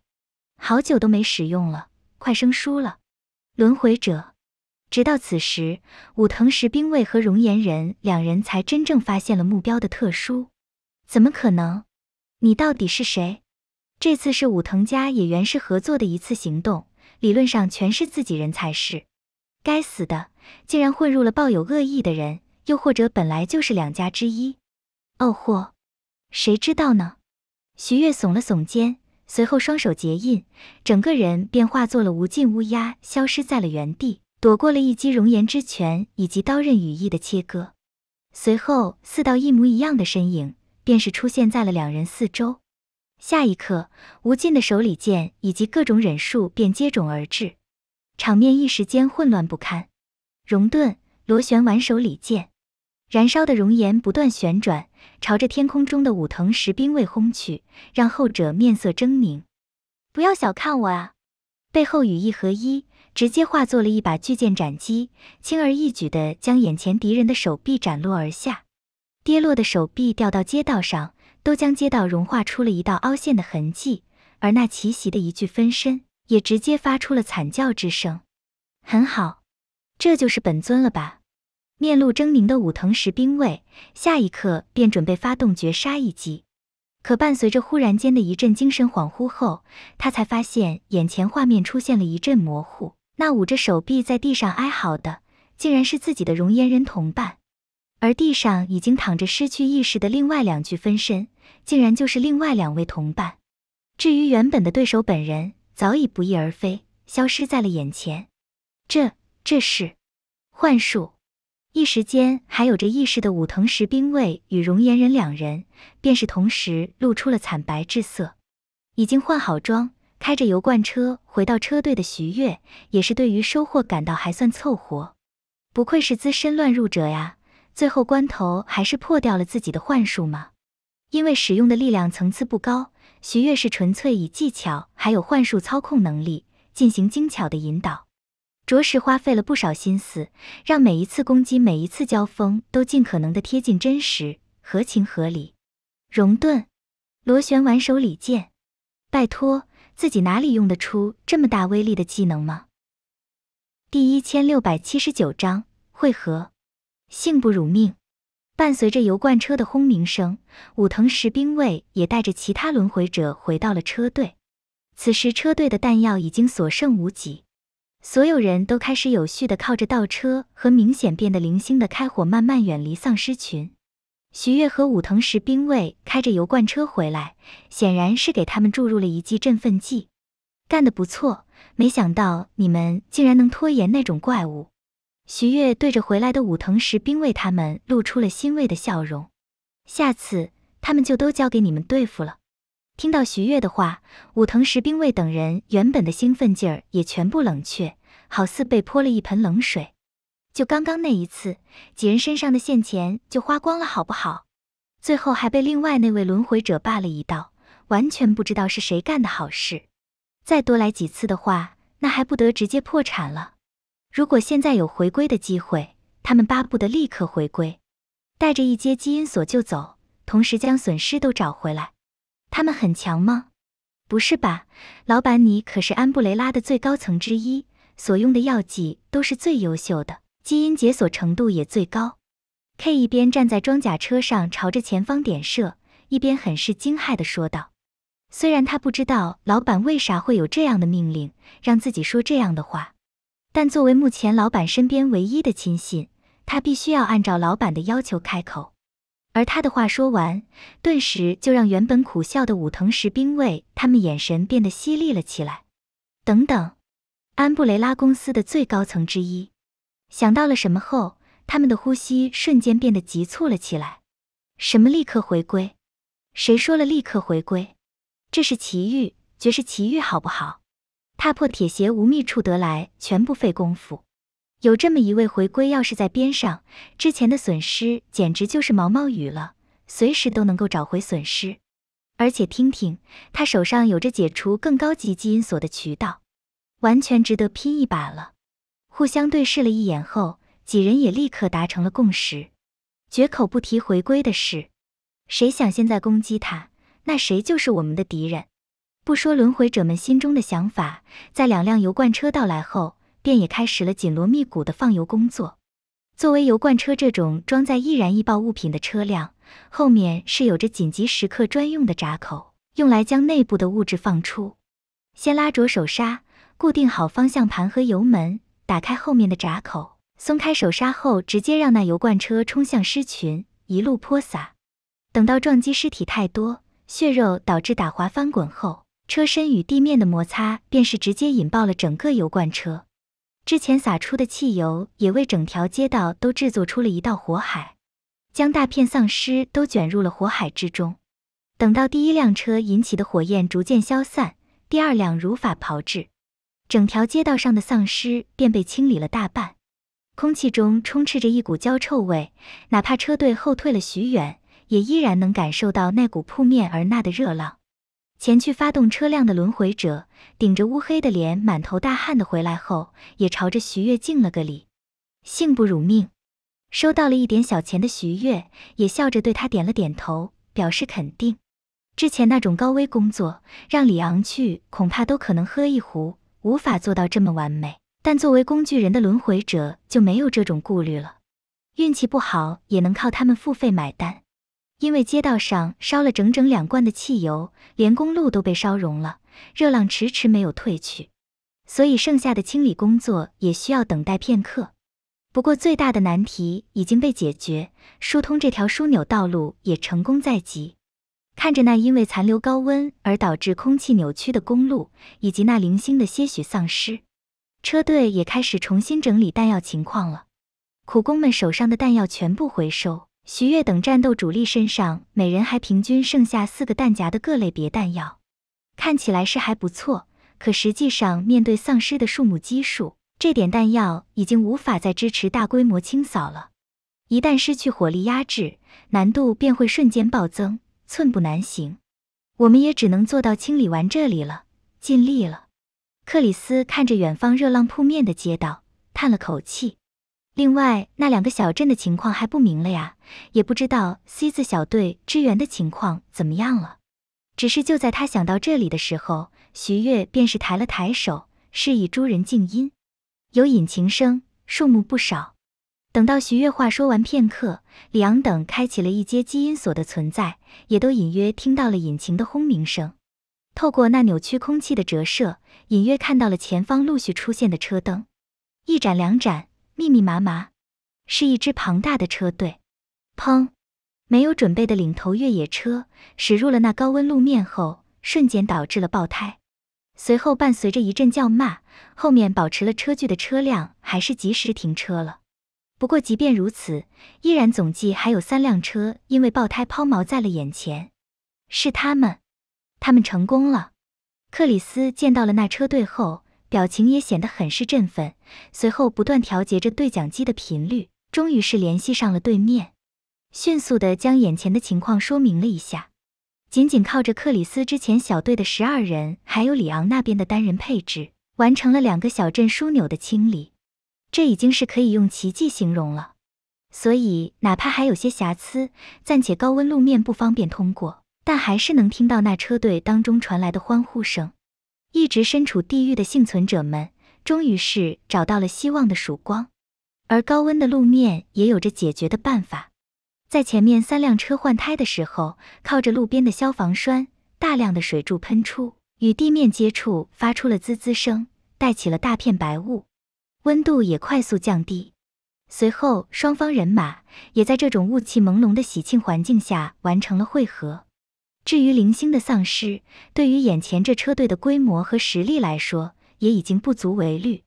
克队高桥小四郎见到了克里斯后，也上前握住了他的双手。没错，轮回者小队就是最快清理完自己目标的 C 字小队。靠着当初活下一半的一阶基因所解除幸存者，还有其他战术素养超强的队友，还有轮回者那强大的执行力，完成这种疏通任务也是易如反掌。而且还有余力进行支援，将第四小镇枢纽打通，救出里面队友。四枢纽小镇疏通完毕，便意味着将阿瓜斯卡连斯特斯这座重城打通。阿瓜斯卡连特斯的总人数可是超越前面四镇之和。现在这庞大的车队中，大部分幸存者也是那座城市当中汇聚出来的，只是之前一直被堵在第四小镇外，损失了不少，不然还能更多。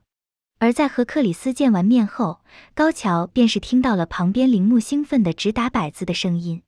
徐月顾问，太好了，你还活着。嗯，之前他们和恶魔队和正渣都打得很凶，但最后徐月爆发的力量却还没看到。也不知道徐月活了下来，现在见到失而复得的关键钥匙，自然是兴奋不已。而他的呼唤也马上让武藤石兵卫等四人眼神立刻变得犀利了起来。嗯，轮回者不会和奇袭我们的那家伙有什么关系吧？第一千六百八十章，敌在明我在暗，很可能是轮回者，而且还是知道他身份的轮回者，所以才会舍得付出代价。之前那一位很可能就是他们的同伴，这万一是自己人呢？毕竟这一次任务我们是合作的，不可能，世上没有这么多巧合。在我们刚刚受到攻击后不久，他们就出现，定然是对我们有所企图。武藤石兵卫见到了高桥等人，也不断在小队频道当中讨论着什么。可看他们的样子，似乎并没有对我们有丝毫特别对待，似乎不知道我们轮回者的身份。又有人提出了疑问：“呵呵，很可能调查我们身份之人，就是之前利用幻术欺骗我们的那个狡诈家伙。他的一身实力都在幻术上，虽然罢了我们一道，但恐怕也已经油尽灯枯。所以，他很可能没有成功将我们的情报传回去，就出局了。”武藤石兵卫冷静地做出了合理的分析，而这也让其他三人眼中一亮。这么说，没错，他们现在还不知道我们的身份，而他们也不知道，因为他们对这钥匙的态度暴露了他们自己。敌在明，我在暗，一时间，几人脸上便都露出了会心的笑容。轮回空间，情报为先，在占据了情报优势，率先将敌人找出来后，已经可谓是占尽先机。混在土著当中，找到合适的机会，很可能就能将他们团灭。另外一边的高桥和铃木他们，刚刚互相联络了一下感情后，很快就在小队频道当中听到了袁赖雪的冰冷提醒：不要高兴过头了。七点钟方向那四个家伙的眼神交流有问题，应该是利用小队频道的轮回者，别回头，太明显了，用余光扫一下就是了。都是轮回空间的老司机的，得到了袁赖雪的提醒后，诸多轮回者顿时也认同了这位前圣女的观点。随后不少人都在队伍频道中跪舔了起来，不愧是雪大人，反应真的太敏锐了。他们其实也很注意了。不仔细观察，根本就没有丝毫察觉，竟然都没能逃脱雪大人的洞察，了不起！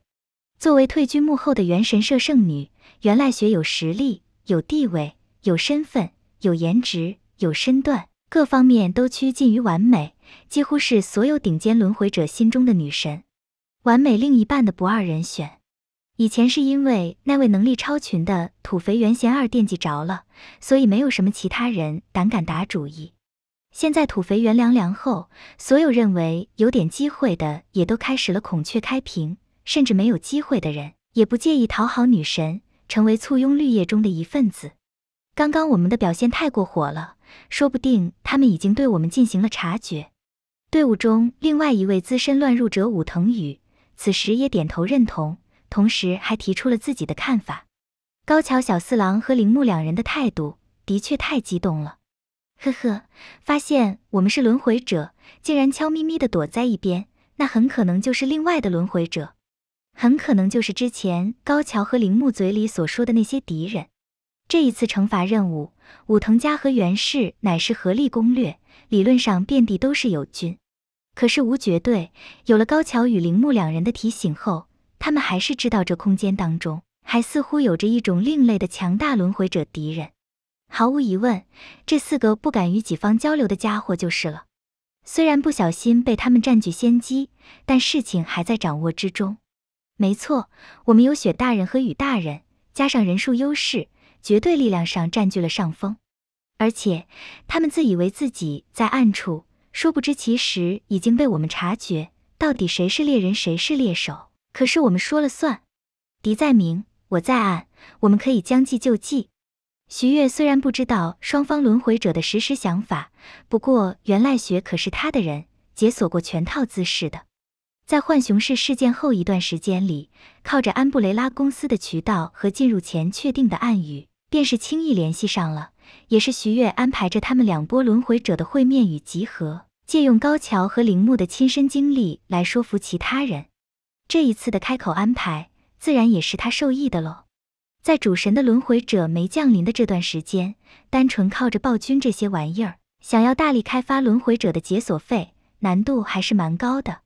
上一次如果不是自己亲自插手，也最多就是多弄来点 A 级而已。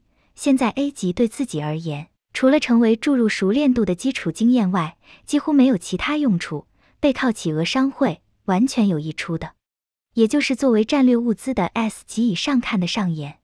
既然没有主神的轮回者帮忙，本土任务空间上限又不够，自己又不方便调动太强的力量，那也就只有互相借用一下喽。自己和雪两人互相安排一下，形成眼下这种局面，却也是理所当然。有认知混淆的存在，当轮回者们之间开始出现互相忌惮、不轻易表露真实身份的情况后，就很方便浑水摸鱼了。许月顾问，介绍一下。这是我们团队的领袖人物雪大人，这位是副领袖雨大人。高桥小四郎借助和徐月认识的关口，也将袁赖雪和武藤宇两人介绍给了他。之前他和铃木两人是能靠着老资历作为领队，但当更强的大佬出现后，自然也得识趣的退位让贤，将人际关系也都交了出来。敷衍的和武藤宇握了下手后，徐月和袁赖雪握手的时间明显偏长。不过对于这一点，却没有任何人感到意外。穿着深 V 紧身皮衣的袁赖雪，就是有着不可描述的魅力。随便一个眼神，似乎都是暗示着什么。和男性打交道的时候可谓是占尽优势。很好，又一位臣服在了雪大人魅力下的土著。哈哈哈，有雪大人出马，这土著自然是手到擒来。以雪大人的能力，除了这次握手后，恐怕连手都不用给他碰，便能将他玩弄于股掌之中。见到眼前这种现状，诸多轮回者们依然是给予了众多好评。武藤与这样稍微有些其他想法的轮回者，虽然多少心中出现了一些不愉快的心绪，可也同样明白任务为重，脸上挂起了同样的笑容。有了这个插曲，徐悦邀请袁赖雪一同乘坐悍马，自然也是水到渠成。在友好的会面氛围下，车队自然是浩浩荡荡的掉头朝着北方行去，准备借用马萨特兰港口的隔离区，将这一车队的幸存者们都带过去。通过检查海运到更北边的安全区。第一千六百八十一章冲突。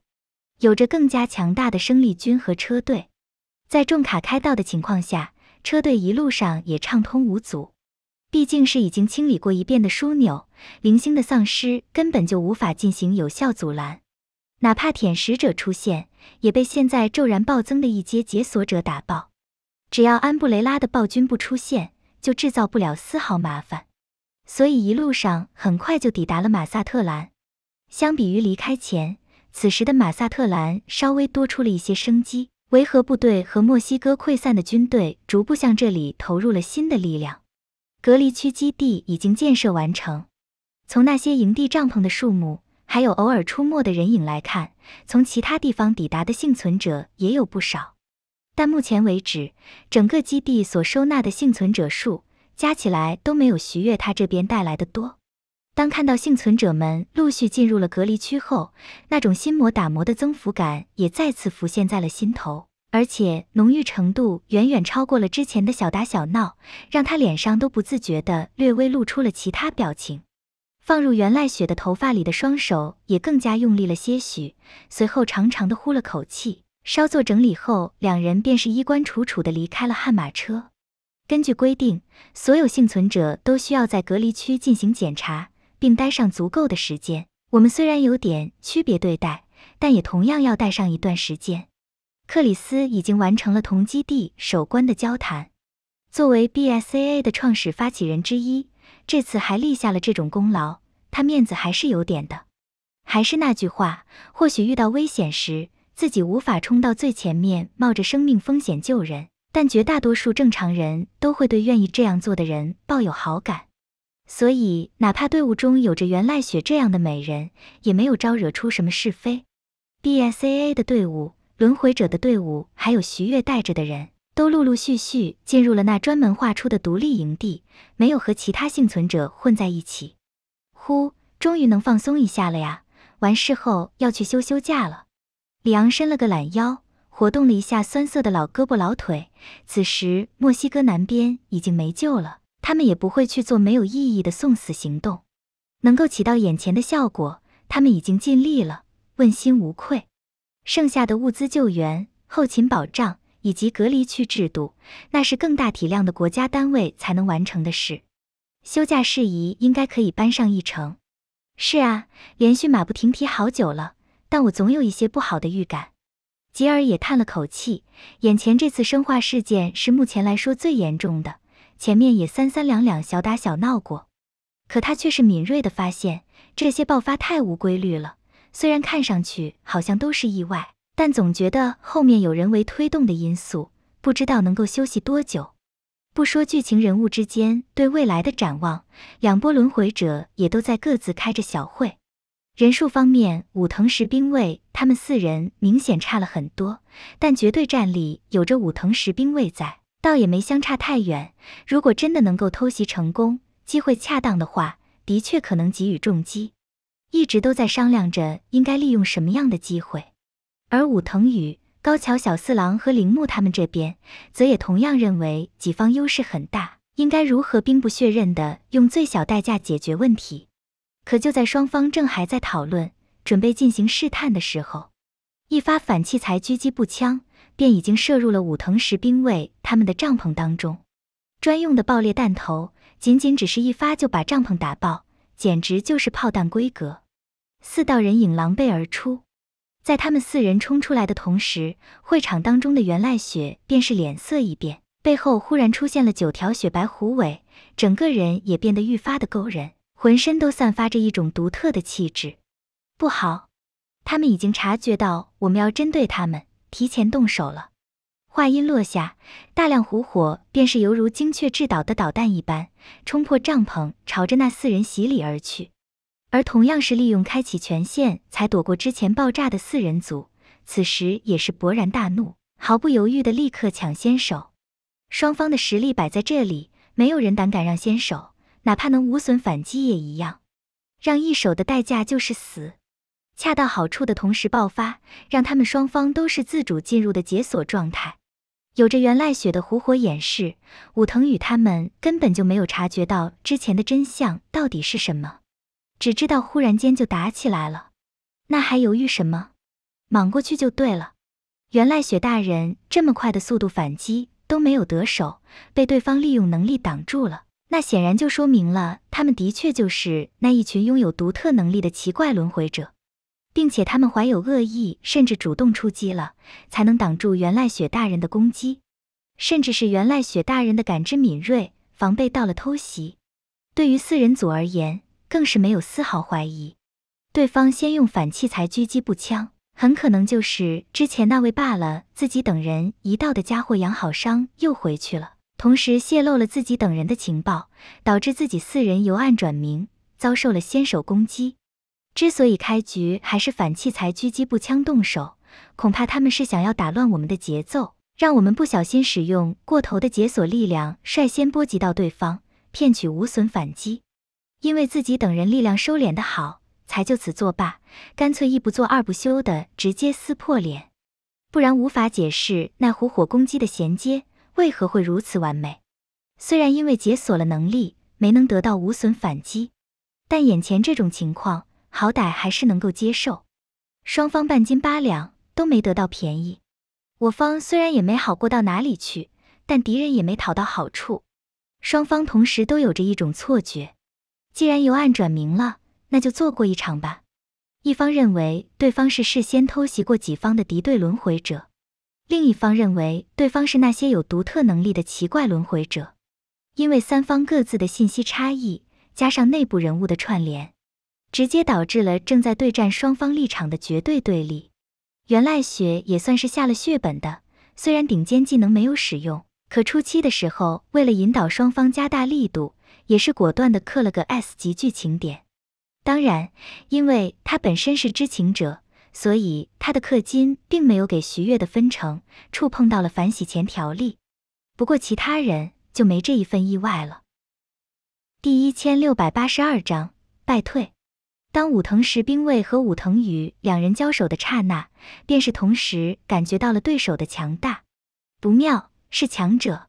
在发现了对手的实力后，两人便是顿时投入了十二分心思，各种作战技巧和战术骚操作接踵而至。不过，对比于解锁了一阶基因锁的武藤石兵卫，在开始比拼细节后，武藤宇明显的就开始落入了下风。也就好在他们这边的人数占据优势，当铃木与另外一位老资历的乱入者也入场后，才是堪堪将场面拉回来。至于袁赖雪，在打出了第一击后，便开始划水了。讲真，完成任务会回本的话，袁赖雪其实还可以更加努力点，但奈何对方人数的确太少，总共也就四人。哪怕拥有着解锁了一阶基因锁的资深乱入者武藤石兵卫，也无法弥补这种劣势。之前高桥他们小队解锁基因锁的六位乱入者都成功逃出升天，死伤的都是精锐轮回者级别的，其中铃木还解锁到了二阶，已经拥有了插手资深战场打辅助的资本。战斗爆发一开始，武藤与小队就压着武藤石兵卫小队打，如果原赖雪再卖力点的话。那战场很快就会结束，完全无法将价值最大化，所以划水也是原赖雪的无奈。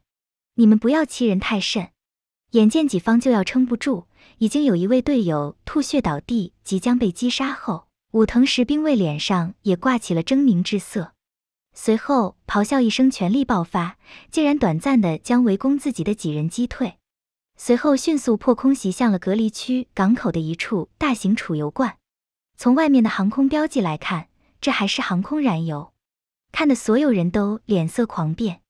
解锁费用根据你实力的不同，消耗几乎是恒定的。可一旦你解锁后对四周进行了过大的破坏，或者你的余波过大的话，那还会额外付钱。如果是反击模式，不需要付费，还没什么。可这次双方都没有触发反击，所以打的都很默契，都很克制，都是各种小范围攻击技巧与动作。然而武藤石兵卫被逼急了袭向油罐后，那如果造成了破坏，当真足够让在场所有人都喝一壶。每个人都是加害者。这边突然爆发的超自然大战，也算是将隔离区基地的幸存者与维和部队吓得够呛，不用说，都远远的避开了。此时看着这群人竟然还发疯的袭击储油罐，当真是吓得脸色发白。一旦储油罐爆炸，后果将不堪设想，必然死伤惨重。在码头、港口这些地方的巨型储油罐或者其他易燃化学物质，一旦发生爆炸，因为储量的问题产生的后果绝对是灾难性的。一时间，因为武藤石兵卫的威胁，双方都不自觉地停了下来。住手！不要伤及无辜，我放你们走。武藤宇脸色阴沉地看向了那准备破罐子破摔的一群人，心头也在滴血。就刚刚短时间的交锋，就已经是损失惨重了。如果再被这样来一下，恐怕就必须要向空间贷款了。贷款数还不少，可恶啊！本来想要借助这次机会解锁基因锁，同时在擒下对方，寻找这个世界的真相与真正主线的，结果却是落得了这样的结果。无论如何，都已经算是失败了。见到对方都停手了，武藤石兵卫也略微松了口气。刚刚的战斗，他们也同样损失惨重，需要付钱解锁能力的好不好？连 S 级都开始用了。就算他是资深乱入也扛不住啊！能够停下来不打，他也不想鱼死网破。这笔账咱们慢慢算。这时，武藤石兵卫的其他队友也都拖着受伤之躯来到了他的身边汇合，戒备着倒退，就准备从水路离开。然而就在此时，呼啸而至的穿甲弹头便是直接贯穿了那巨型储油箱的侧面，大量航空燃油喷涌而出。这种特制的储油罐算得上是保护能力极强、抗压抗爆，哪怕被反器材狙击步枪的破甲弹击穿，也只是向外喷油，没有爆炸。可武藤石兵卫的一位队友可是全身都覆盖了熔岩，那飙射而出的油柱，轰！剧烈的连续爆炸连绵不断，让所有轮回者以及营地当中的幸存者们脸上都露出了惊恐之色。不，为了自救。为了减少损失，所有轮回者都不得不众志成城，解锁全部力量，强行将那股爆炸压下去。从来都是破坏比建设简单，这种足够将港口夷为平地、冲击波及十公里外的可怕破坏，三位资深乱入者如果肯下血本的话，还是都制造得出来。可现在要强行抑制住这种破坏，难度瞬间便提升上去了。单靠实力都不够，还得砸入不少道具。每一位轮回者此时都毫不吝啬，各种眼花缭乱的技能和结界层层阻碍，让那恐怖的连环爆炸直接遏制在了源头处，没能扩散伤到一人。见到了战果后，轮回者们才都是长长的叹了口气。哼，给我记住，我们还会回来的。解决完眼前的难题，武藤石兵卫也不再犹豫，羽翼瞬间包裹着队友，化作流光进入了大海。空中只留下他们的几句狠话，远处徐月也早早的将枪收好，溜回了营地。那么激烈的战场，有袁赖雪的掩护，谁会关心他这么一介凡人？徐悦的开火是完全没有解锁任何能力，全靠自身的，自然不存在什么扣钱不扣钱的现象。加上一直留有余力的袁赖雪配合，自然是效果完美。刚刚最后那一波，整整多了五个 S 级的收入。这一枪开的还是蛮划算，轮回者们是付费进行战斗了。对于空间来说，只要你肯付钱，那你就能解决所有问题。在他们又支付了一笔淡化费后，他们这次战斗产生的影响也迅速在幸存者眼中变得正常，逐步遗忘。武藤宇的小队成功击退了武藤石兵卫小队，夺取了对钥匙的控制权，完成了进可攻退可守的战略目的。在被徐月打了一针，得到了一阶基因锁的能力后，那些原本没有基因锁的轮回者们也发现之前的付出完全是值得的。反正钥匙就在身边，随时都能离开，将之前的损失找回。如此算一算，简直就是白嫖的技能，血赚。而对于逃离的武藤石兵卫他们来说，失去了把控的钥匙，又付出了诸多代价，也是完全压不下这口气。为了找回损失。他们也不可能放弃，吃了人数上的亏后，又只能花费大量精力放在寻找盟友上。相对的，在袁赖雪的暗示下，武藤与他们小队的轮回者们，则是没有多少心思再去找其他伙伴了。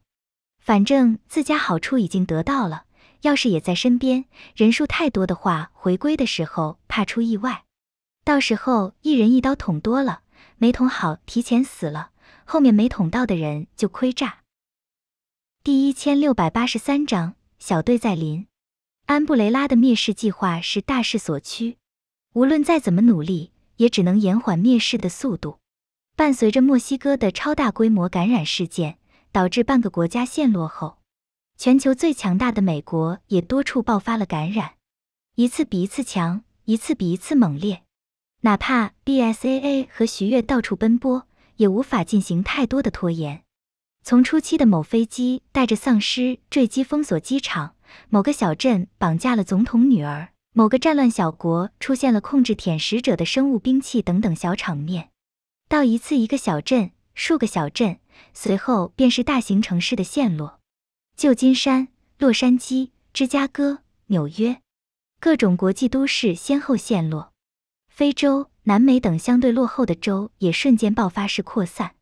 印度、日本。东南亚也毫无幸免，欧洲区域也进入了感染扩散期，唯独只有天朝成为了最后的庇护所、最后的港湾。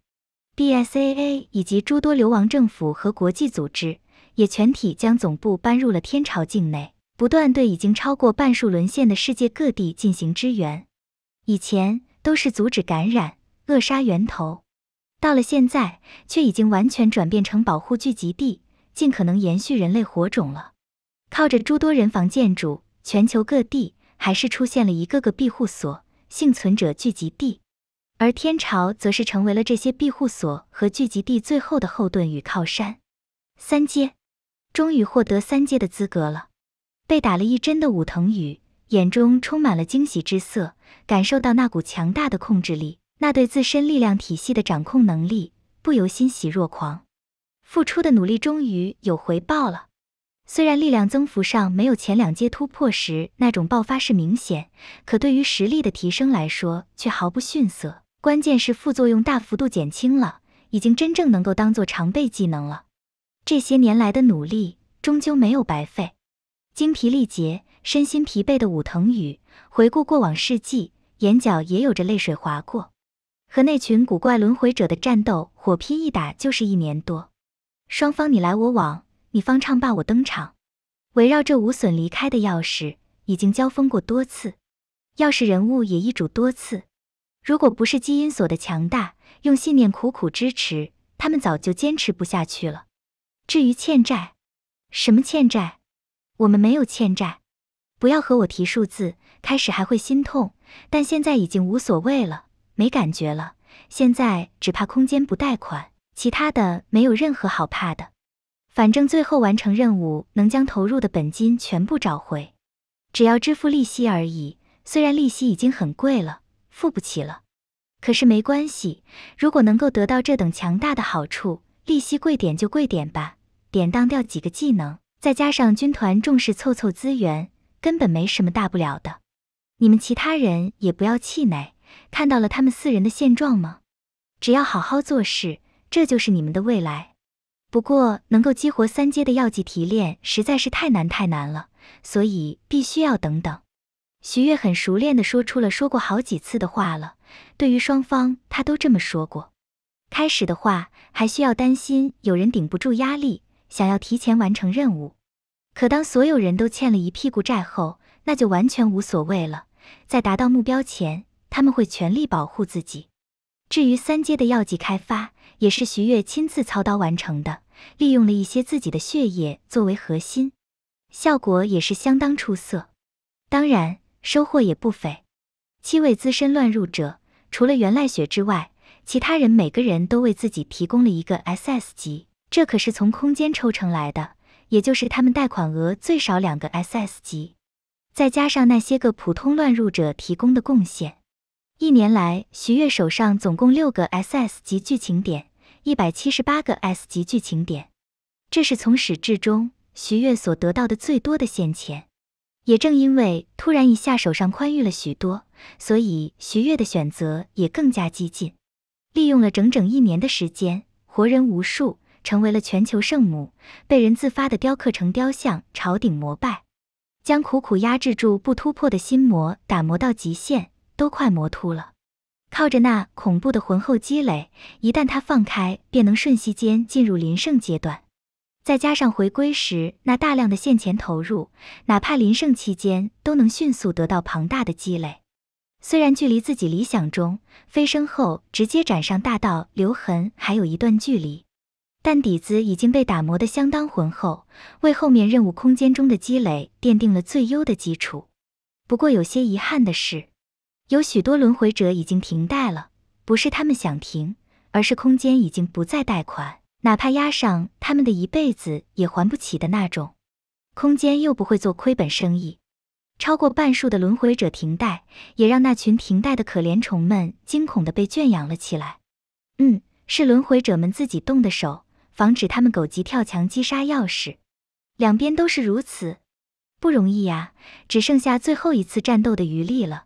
想要全员三阶是不行了，现在差不多可以准备收尾的事了。得到了三阶的力量后，武藤宇也满脸迷醉的表情，自己已经得到了这一份能力了。作为需要尊重的搭档，袁赖雪和新找到的另外两位资深乱入者伙伴也得到了，其他普通乱入者带着那二阶能力回去也就够了。的确不好再做拖延，以免夜长梦多。这种压榨到极限的好处。极限完成任务的爽快感和刺激感，才是真正让他又体会到了轮回空间的乐趣，实在是太棒了。而他这边做出了决定，并在小队频道中说明后，整个队伍的轮回者们也都露出了欣喜之色，终于可以解脱了。背负着这想都不敢想的债务，让他们每一天都在煎熬之中。虽然知道这次很稳，但那不可承受之重，的确不是每个人都能承担得起的。而也就在他们做出了决定的时候，这座研发大厦便是遭受到了猛烈的攻击。武藤石兵卫小队又一次发起了钥匙争夺战，已经伙同了剩下其他两位资深乱入者，阵容强大，丝毫不在武藤宇这一方之下。毕竟原来雪滑水严重，虽然每次开头都打得超凶，但也都是做做样子，都是尽可能起到平衡作用，不让一方做大。是时候。要结束这一场可笑的闹剧了，洗干净脖子等着吧。双方早就杀得双目通红的轮回者，一见面就进入到了白热化阶段，都隐约明白了，这就是最后分胜负的时机了。其实打了这么久，中途经常有人怀疑过会不会有什么误会，对方会不会是自己人，但在那高负债和有限名额的情况下，却也都选择性的忽略了这一点。这里是惩罚任务。不想遵守外面的条条框框，就可以不遵守。只要自己能得到好处，只要自己能平安离开，我管他洪水滔天。已经到了这种地步，早就没有谈的可能了，唯独只能一战。嗯，我们是不是来错地方了？怎么就打起来了？然而就在双方剑拔弩张，马上就要在袁赖雪引导下站起来的时候，忽然几道声音便是乱入到了战场之内。凭空出现的十几人看着眼前的画面，脸色似乎是有些怪异。第一千六百八十四章胜利目标，在已经要被压榨到极限，只剩下最后一点渣子咀嚼的轮回者们再度对上之时，徐月也感受到了冥冥中那股不在自己之下的强横力量降临。随意对世界的删减和修改，随意篡改因果，重塑现实。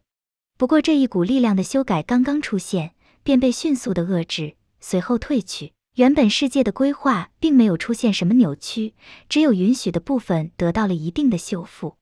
来了吗？感受着自身力量的活跃，细胞的欢呼，周身窍穴大开，徐月脸上也露出了一丝笑意。只有当主神降临后，才是最佳的突破时机。差不多，最后的剩余价值也要撸完了。随着自己能力层次的越来越高，再多的任务点都感觉不够用了呀。毕竟相对起来，与其他轮回者层次的差距越来越大了。唯独只有某些世界当中的少数特有能力或者特有资源能够提供有效帮助，除此之外，也就只能苦苦搜刮一些来填补家用，不容易啊。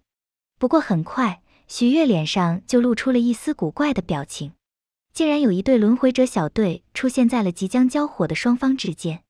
这里现在是天朝境内自家地盘的一栋实验室大楼。原本剧情当中中战发生的地点是完全陷落的米国的，所有轮回小队都降临在了那边。不知道是因为修改兽族导致的随机和意外，还是特地丢了一队过来试探些什么。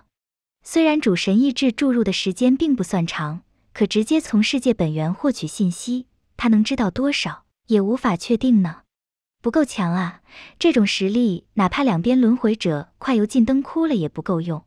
徐月心头闪过了诸多念头，随后正在武藤与队伍当中的袁赖雪便是微微一愣，看着下方开口说道：“从他们突然出现的情况来看，是那些特殊轮回者。不过奇怪了，看样子好像是刚刚进入。双方那毫不掩饰、肆无忌惮的恐怖气息，让下方的南岩州队的十几位轮回者。”都不由感到了一阵莫大的压力。什么情况啊？这才刚刚来到任务空间，消息都才刚刚看完，这才开局啊！不应该这样的。南岩州队的队长尼奥斯此时表情也显得很是凝重。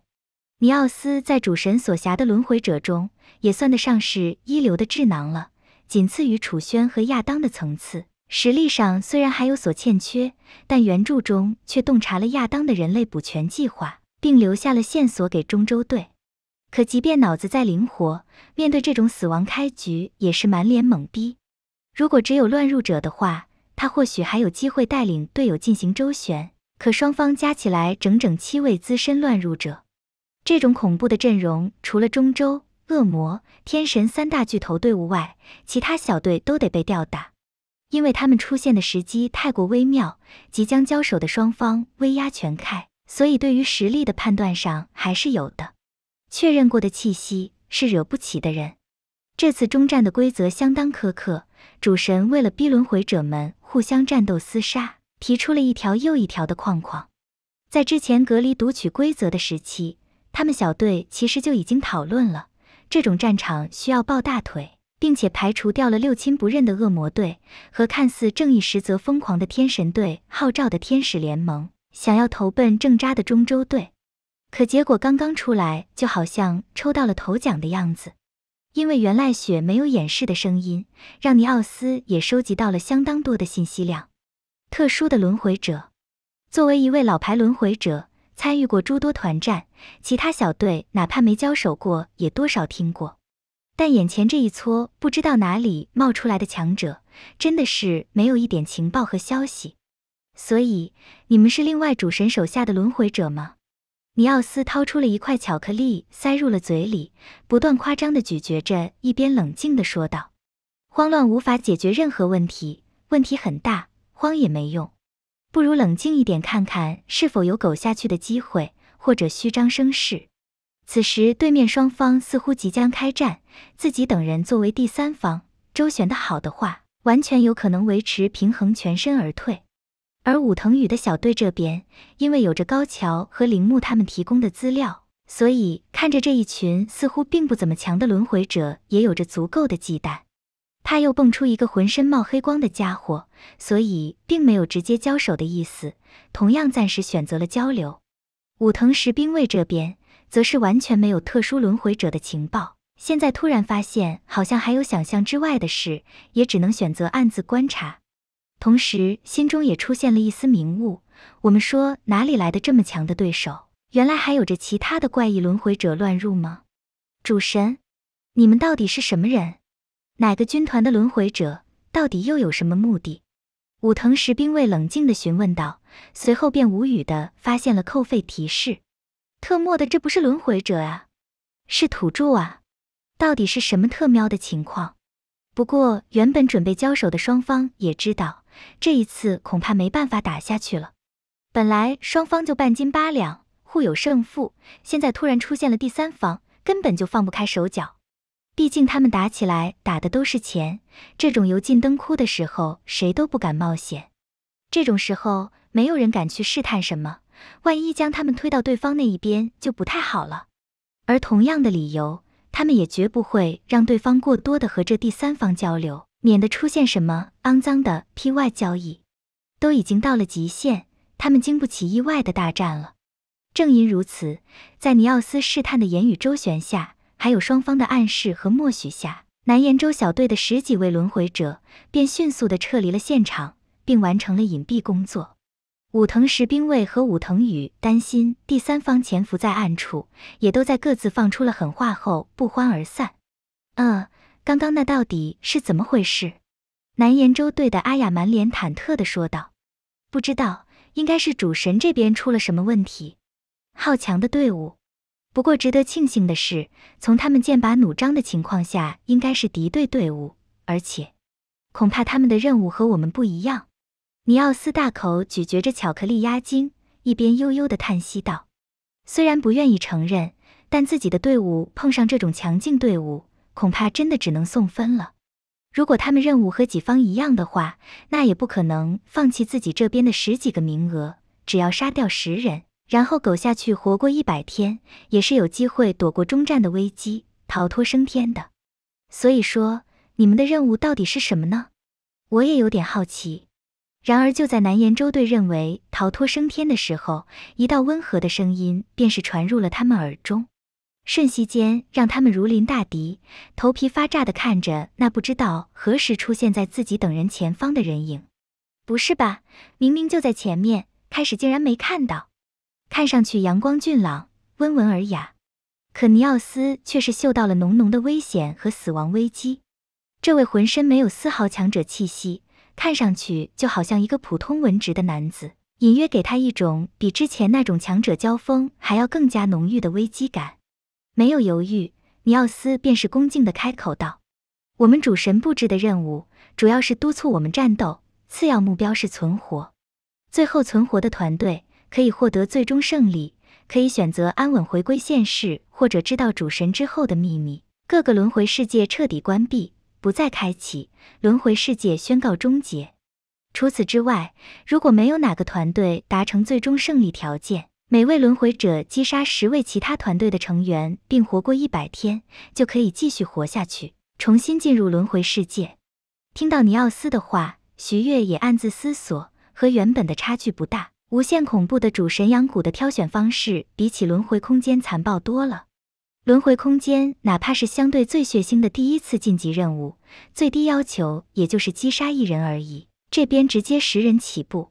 原本的话，还有第三个条件，就是主神对世界改造多出的第七实验室，达成在里面存活三小时的目标，同时加上存活一百天的条件，可以免去击杀十人的名额，获得保命资格。这次主神改造的中断，所以这一条应该是没了。可就在徐月电光火石间考虑了这些的时候，尼奥斯便是毫不停留的继续说出了第三个存活条件，还有最后一个，击杀安布雷拉公司高级顾问徐月，可以获得最终胜利。完成击杀的瞬间，其他所有的团队成员将会被抹杀。有趣。第一千六百八十五章各小队。根据我们主神的一贯特点，最后那一条应该有不确定的巨坑在等着所有人。不是那位高级顾问很难找到，就是找到后也无法击杀，难度不会低于条件一。尼奥斯将自己知道的信息以及自己的推测都说了出来，并没有进行隐瞒。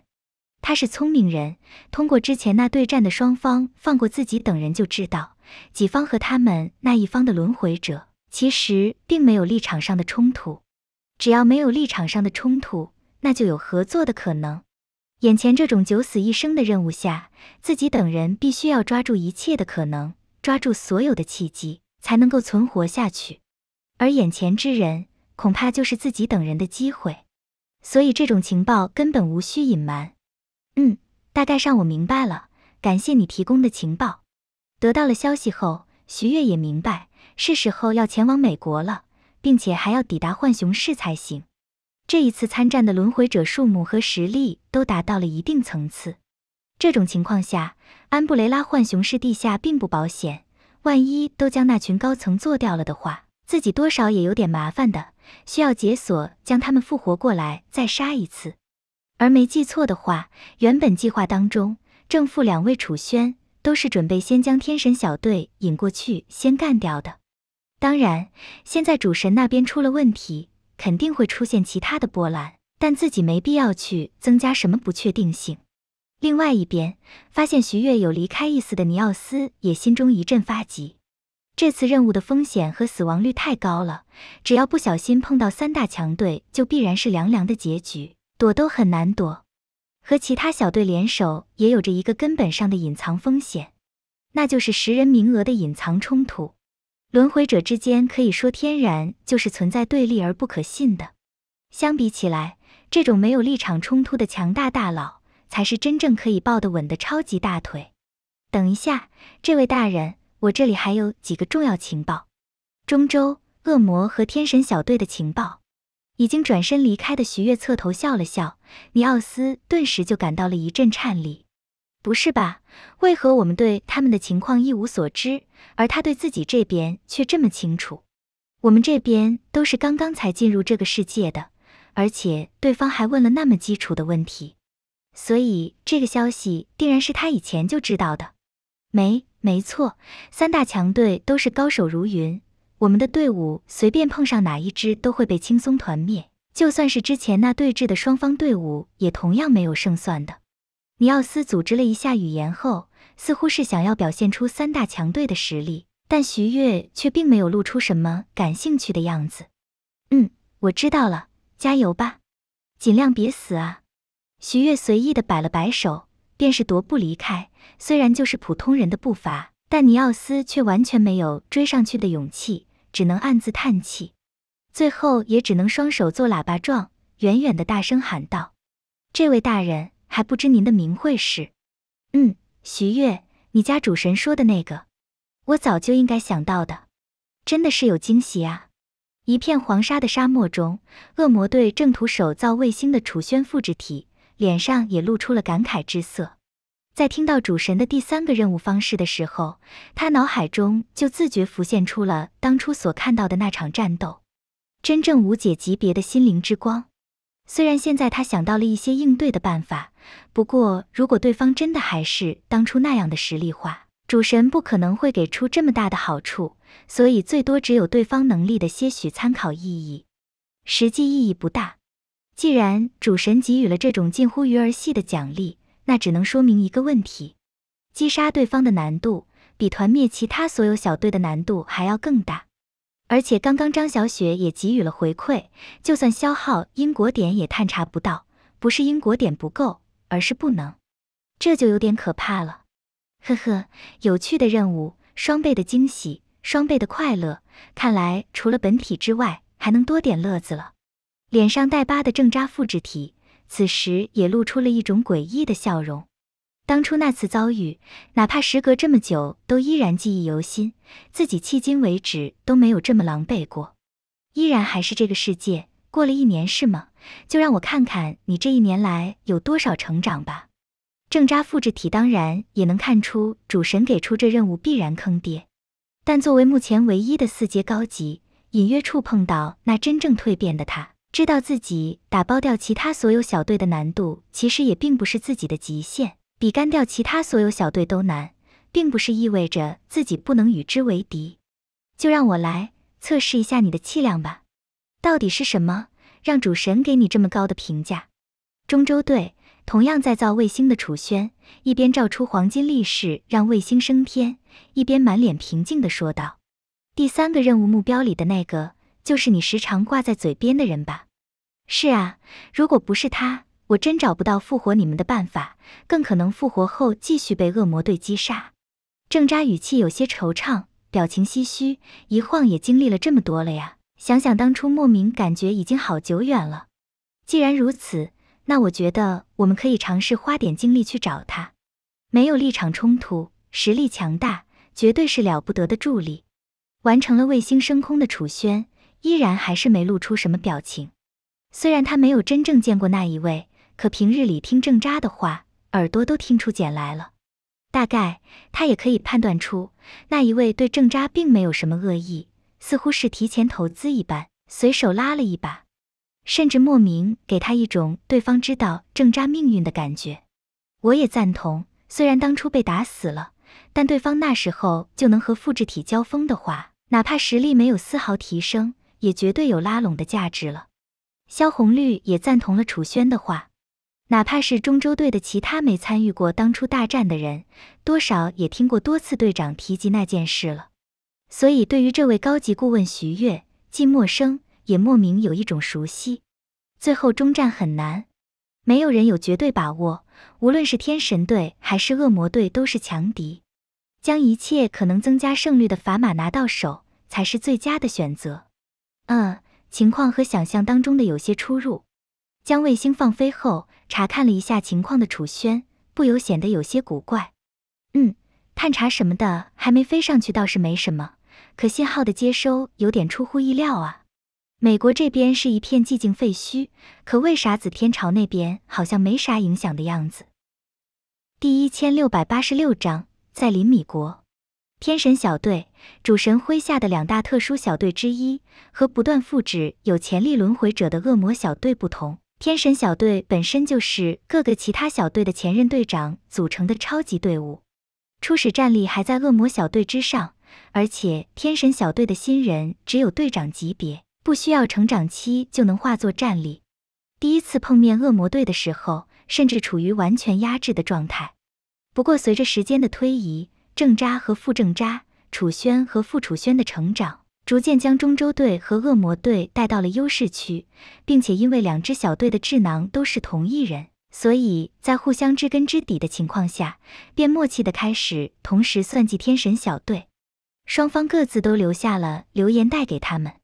中州队是通过一支支加入了天使联盟，成为天神队盟友的小队给他们带话。恶魔队则是派出了自己作为使徒，同时还拥有初号机座驾的罗甘道。只是当罗甘道抵达天神小队之处时，却是看到了天神小队正在内斗，方圆十里寸草不生，连丧尸都死得干干净净。如果不是十二面旗帜飞舞，空中布下了阵法压制，恐怕余波的波及能够轻易摧毁附近数座城市。哎，这就自己打起来了吗？这可不行哎！作为信使。我也得来完成任务的，似乎是自言自语的话，却是轻易的传入了那凌乱战斗的场内，让交战的双方停了下来。一位是天神队的罗英龙，最正统的修真者；另外一位便是天神队的二号人物宋天，一心扑在武道上。队长亚当不知道在想什么的发呆，罗英龙的女友在一边直哭，其他天神队的几位新人队长级则是在旁边瑟瑟发抖。一种古怪的狗血剧场景，哼，亚当，你不得好死！停手的罗英龙狠狠地看着亚当，随后又充满复杂之色的看向了哭泣的女友。下次见面就是敌人了。亚当的计划简直是丧心病狂，只可惜因为规则的约束，哪怕他知道也什么都不能说。道不同不相为谋，你走吧，这是你的聚灵瓶。亚当见到罗甘道出现后，也甩出了一个瓶子，交还给了罗英龙，随后也不再理会。规则束缚下，他无法透露什么。虽然楚轩见到他后可能能猜出来，但那需要时间。亚当本人是利用楚轩被盗的基因制作出来的，各方面都极为接近楚轩，但因为有轻微的感觉，导致他可能会被外界影响，所以略逊一筹。但即便如此。要说对楚轩的了解，亚当可以说是仅次于正副楚轩之下了。将瓶子交还后，他便又转头看向了罗甘道，说吧，楚轩到底让你带什么话？这次任务有大问题，因为第三个胜利条件让亚当也明白，这个世界当中应该有着一个 X 因素，不知道会不会对自己的计划造成影响。而且中州队和恶魔队都给自己带话，那两个家伙是想先送自己出局吗？哼，如果做得到的话，那就来吧。真是会给我添乱啊！飞机上看着卫星图扫描到的一些信息，徐月也摇了摇头，大概是中州队和恶魔队特地泄露的信息吧。所有轮回者小队都在朝着浣熊市进发。则，目前来说，除了南岩州队外，暂且没有在美国之外发现其他轮回者。这如果是主神刻意丢过来的，那就有些意思了。月顾问，我们这种时候去美国是为了什么呢？怎么看？如今的美国都太过危险了，剩下的幸存者都躲在人防设施当中接受我们的救助。武藤宇试探性的对徐月问道，好几次压下了心头的杀意。根据高桥和铃木的情报，这位顾问的实力也是不能小看的，所以自己也必须要留下一些解锁的费用，废掉他的抵抗力。本来的话，在自己解锁了三阶后，他都有想要直接开始启动回归计划的方案了，但因为对方一句四阶的线索，才是直接将他的计划全部打断。三阶的加成已经很强了，但他能够冥冥中感觉到四阶的变化绝对是真正的质变。远远超越前面总和，都已经到了这等地步了，不去了解一下线索，真的不甘心。万一能够成功呢？哪怕只有自己一人也好啊。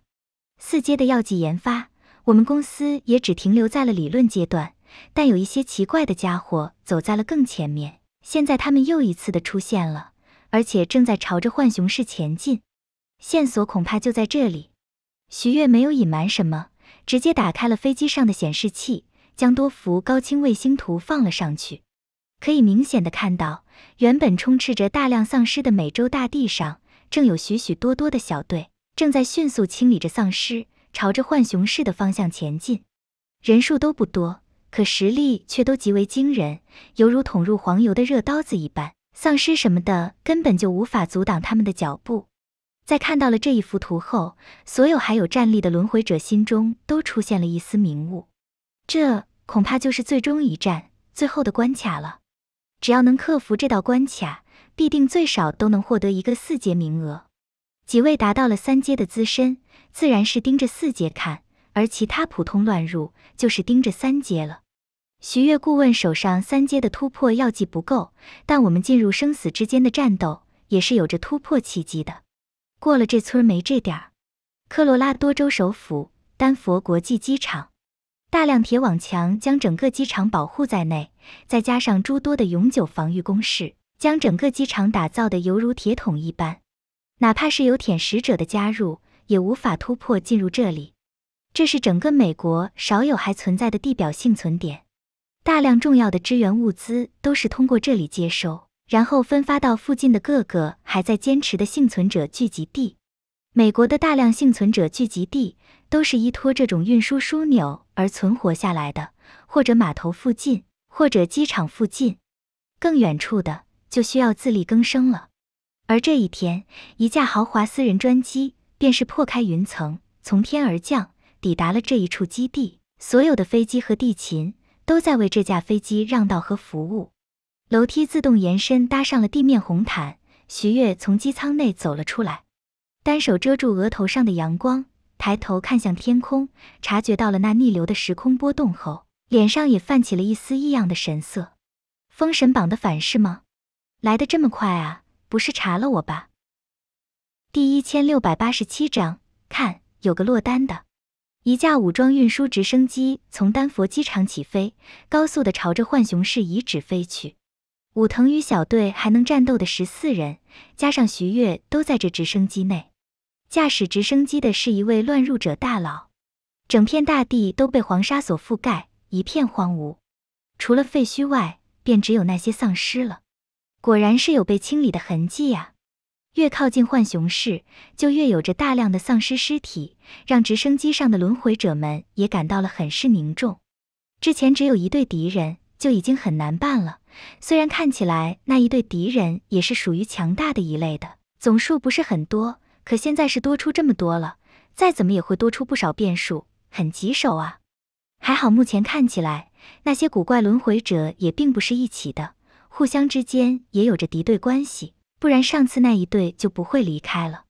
这种情况下，了解一下他们的内幕，然后浑水摸鱼、挑拨离间，可执行度还是很高的。先找一对软柿子试试水。咦，有人，一个。而就在轮回者们小队频道当中讨论出了方案之时，便是看到了天边一道流光飞来，是一道踩着飞剑的人影。踩着飞剑，应该是走的修仙路线，不过速度不快，而且还需要靠着飞剑移动，所以实力还在我们的掌控之内。武藤宇看着那道流光，一脸一切尽在掌握的表情说道：“对于普通轮回者来说，随便一个修仙世界的小喽啰就能变成大 boss。”仙剑那等高难本，随便就能团灭一些大型军团。可对于拥有四位资深乱入者的队伍而言，落单的修仙弟子还是属于可以擒拿的目标。而且这个目标还是如此的完美，只有一人，实力足够，知道的事情够多，却又没什么威胁，真是天助我也！诸君，猎物就在前方，我们出手将他擒来。武藤宇拉开直升机大门。对着诸多轮回者开口说道：“将战斗控制在一分钟内，这些损失对比前面的债务，简直就是毛毛雨，随便用了了。”随后，一个个便是直接冲出了直升机，毫不犹豫地朝着天空疾驰而过的罗英龙袭击而去。嗯，强者罗英龙见到那突然爆发出的杀意，还是从一架直升机上出现的，眼中也出现了讶然之色。这架直升机。他早就发现了，但却并没有什么在意。不管是剧情人物的直升机也好，还是轮回者们拿出来的道具，会使用这玩意儿的绝大部分情况下，都对他没啥威胁。可突然间爆发出的强大气息，以及那快速靠近的身影，还是让罗应龙一阵侧目。很强，有四阶层次的顶尖强者，对方是真的对自己抱有杀意的。本来就从天神小队离开。憋了一肚子火的罗英龙，发现自己竟然被当做软柿子捏了后，也不由怒极反笑。在天神小队的时候，几个新进来的队长级也把他当做软柿子，现在这里路过打个酱油都被伏击。不管是哪个小队，不管是什么人，他都没有想要放过的意思。十二面旗帜被甩出，顷刻间便将附近完全覆盖而入，让落入阵法当中的轮回者们脸上表情一阵懵逼。等等，这是啥玩意儿？四阶的差距比你们想象中要大得多！给我死来！直升机继续前进，浑身狼狈的武藤宇一行还算是靠着实力全身而退了。不能再打下去了，再打下去可能又得要有人无法贷款了。没想到随便选一个，竟然就选了个这么个家伙。这就是四阶基因锁吗？果然名不虚传。一时间，武藤宇对于这种诡异的能力也感到了愈发的火热了。对方绝对实力其实并不算强，但靠着四阶的加持，却是反过来压着自己这边打，在那个阵法当中如鱼得水。如果不是自己这边表现出的实力也引起了他的忌惮，默契的放手了，这次还真的是麻烦大了。可恶啊！没想到随便找一个都是这等强者。可没过多久，另外一道怒气冲冲的人影便是从天空疾驰而过。开始他们还吓了一跳，以为是那家伙去而复返，准备硬着头皮去接怪的。可随后发现，并不是那个用飞剑的，而是一个脸上带着些许疯狂的男子。没有使用什么技能，直接凌空漂浮着朝着一个方向飞去。看情况和那个用飞剑的是一个方向。嗯。宇大人，这个目标我们要上吗？一位乱入者在频道当中询问道。看上去也是并没有强到哪里去呀，应该可以打一打的吧？不是每个突然冒出来的都是那等强者吧？嗯，我们先去试试他的斤两，实在不行，武藤宇用隐晦的眼神瞥了徐月一眼，心中依然还是下定了决心。现在的情报方面太被动了，必须要知道更多的消息。才能方便布局坐山观虎斗。如果不行的话，那也只能遗憾放弃，然后靠着钥匙全身而退了。可这边他们都还没有出手，忽然间几道流光便是从另外一边的角落直袭天空中的这道人影而去。看着那些熟悉的技能，一瞬间武藤宇就明白过来了，是自己等人的老对手。没想到他们也盯上了这个家伙。我们伺机而动，黄雀在后。然而他话都还没说完，那边天空就出现了一片片的 AT 立场，随后初号机的身影也从扭曲中出现，和另外一边乱战了起来。宇大人还要做黄雀吗？一位乱入者有些忐忑地说道：“真的钱不多了呀，这里就全用掉的话，后面还打毛线啊？先战略离开，我相信总会有软柿子的。”武藤宇默默地将拉开的舱门关上，然后要驾驶员加速离开。也还好，另外一边的战斗并不是什么大开大合，很多都在 AT 立场的束缚下，不然这直升机能不能离开还是一个未知数。看得徐月也暗自摇头。其实这群家伙的实力还算可以的，只是不知道为啥他们的选择都是这么的优秀。一个是三阶的时候靠着修真者的身份击败过初入四阶正渣，现在自己也已经跨入四阶的罗英龙，还有个正在入魔过程中实力大增的罗干道。算了，反正他们也没啥利用价值了，随他们去了。第一千六百八十八章占尽先机。基因锁体系已经到手，经过自己的修改与融合，完全可以契合自身的现状，达到徐月自己想要的目的。轮回者们也都被压榨到了极限，大概也就两口渣子可以咀嚼一下了，拢起来凑不齐一个 SS。这种情况下，徐月还亲自来到这边，除了护住安布雷拉的高层，减少一些麻烦外，也就只有两个稍微有些兴趣的东西。一个是看看亚当的生命树阵图的差别。作为把各种盖亚和阿赖耶当做料理烹饪出了几种食谱的徐月来说，新的食谱还是有点吸引力的。至于另外一个，自然就是封神榜碎片了。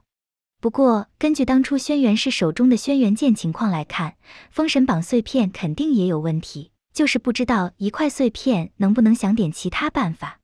伴随着直升机抵达浣熊市上空。徐月也直接从飞机上一跃而下，落在了那将大地与高楼都融化的核弹弹坑之中。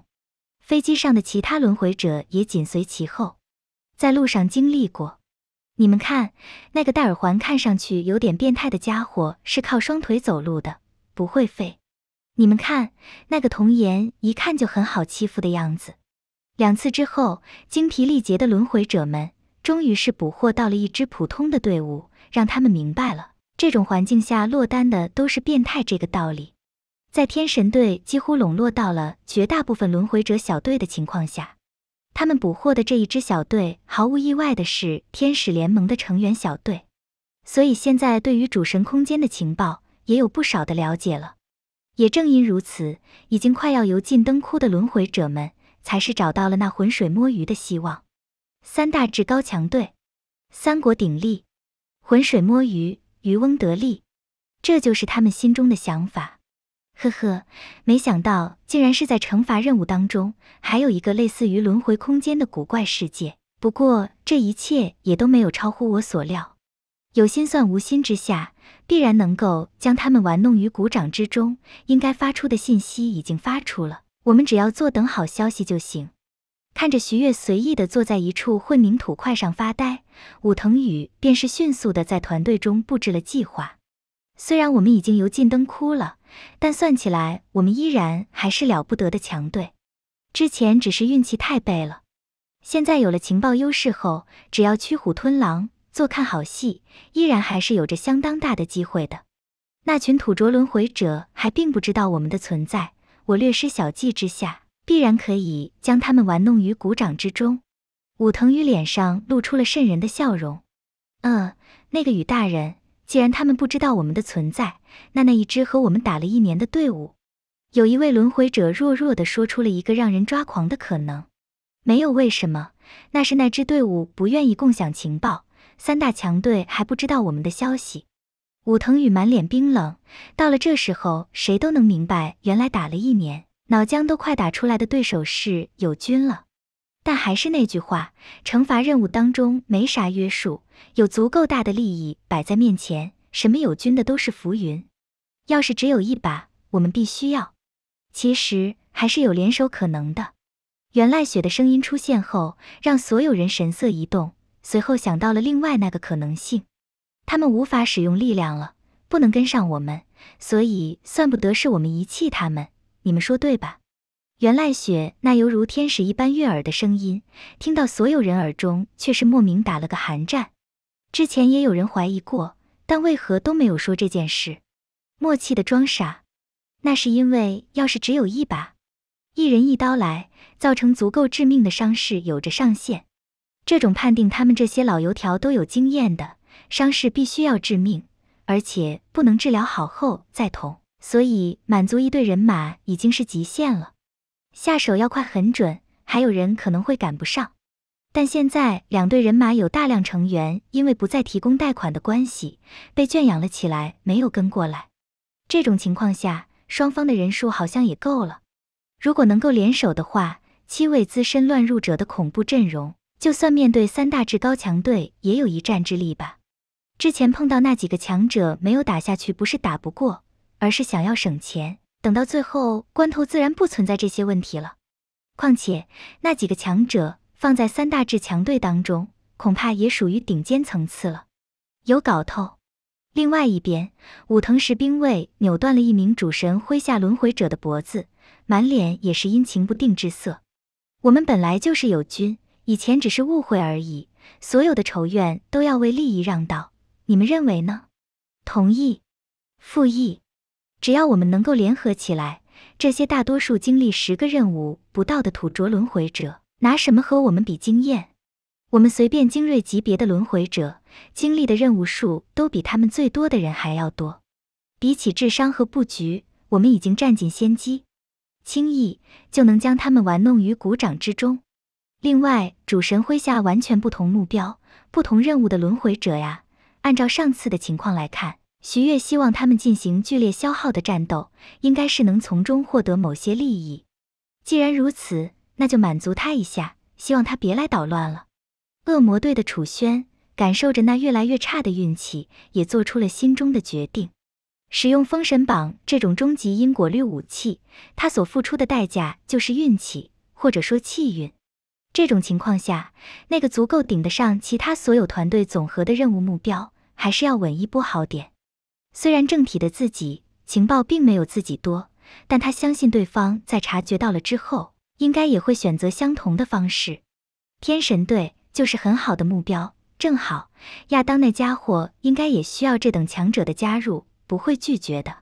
中州队看着一只纸鹤上的信息，楚轩也少有的露出了一丝笑容，看得旁边的郑扎等人心中发毛。之前这家伙笑的时候，还是安排萧红绿他们那支队伍去控制核弹发射，能无差别杀死四阶以下特质病毒的时候。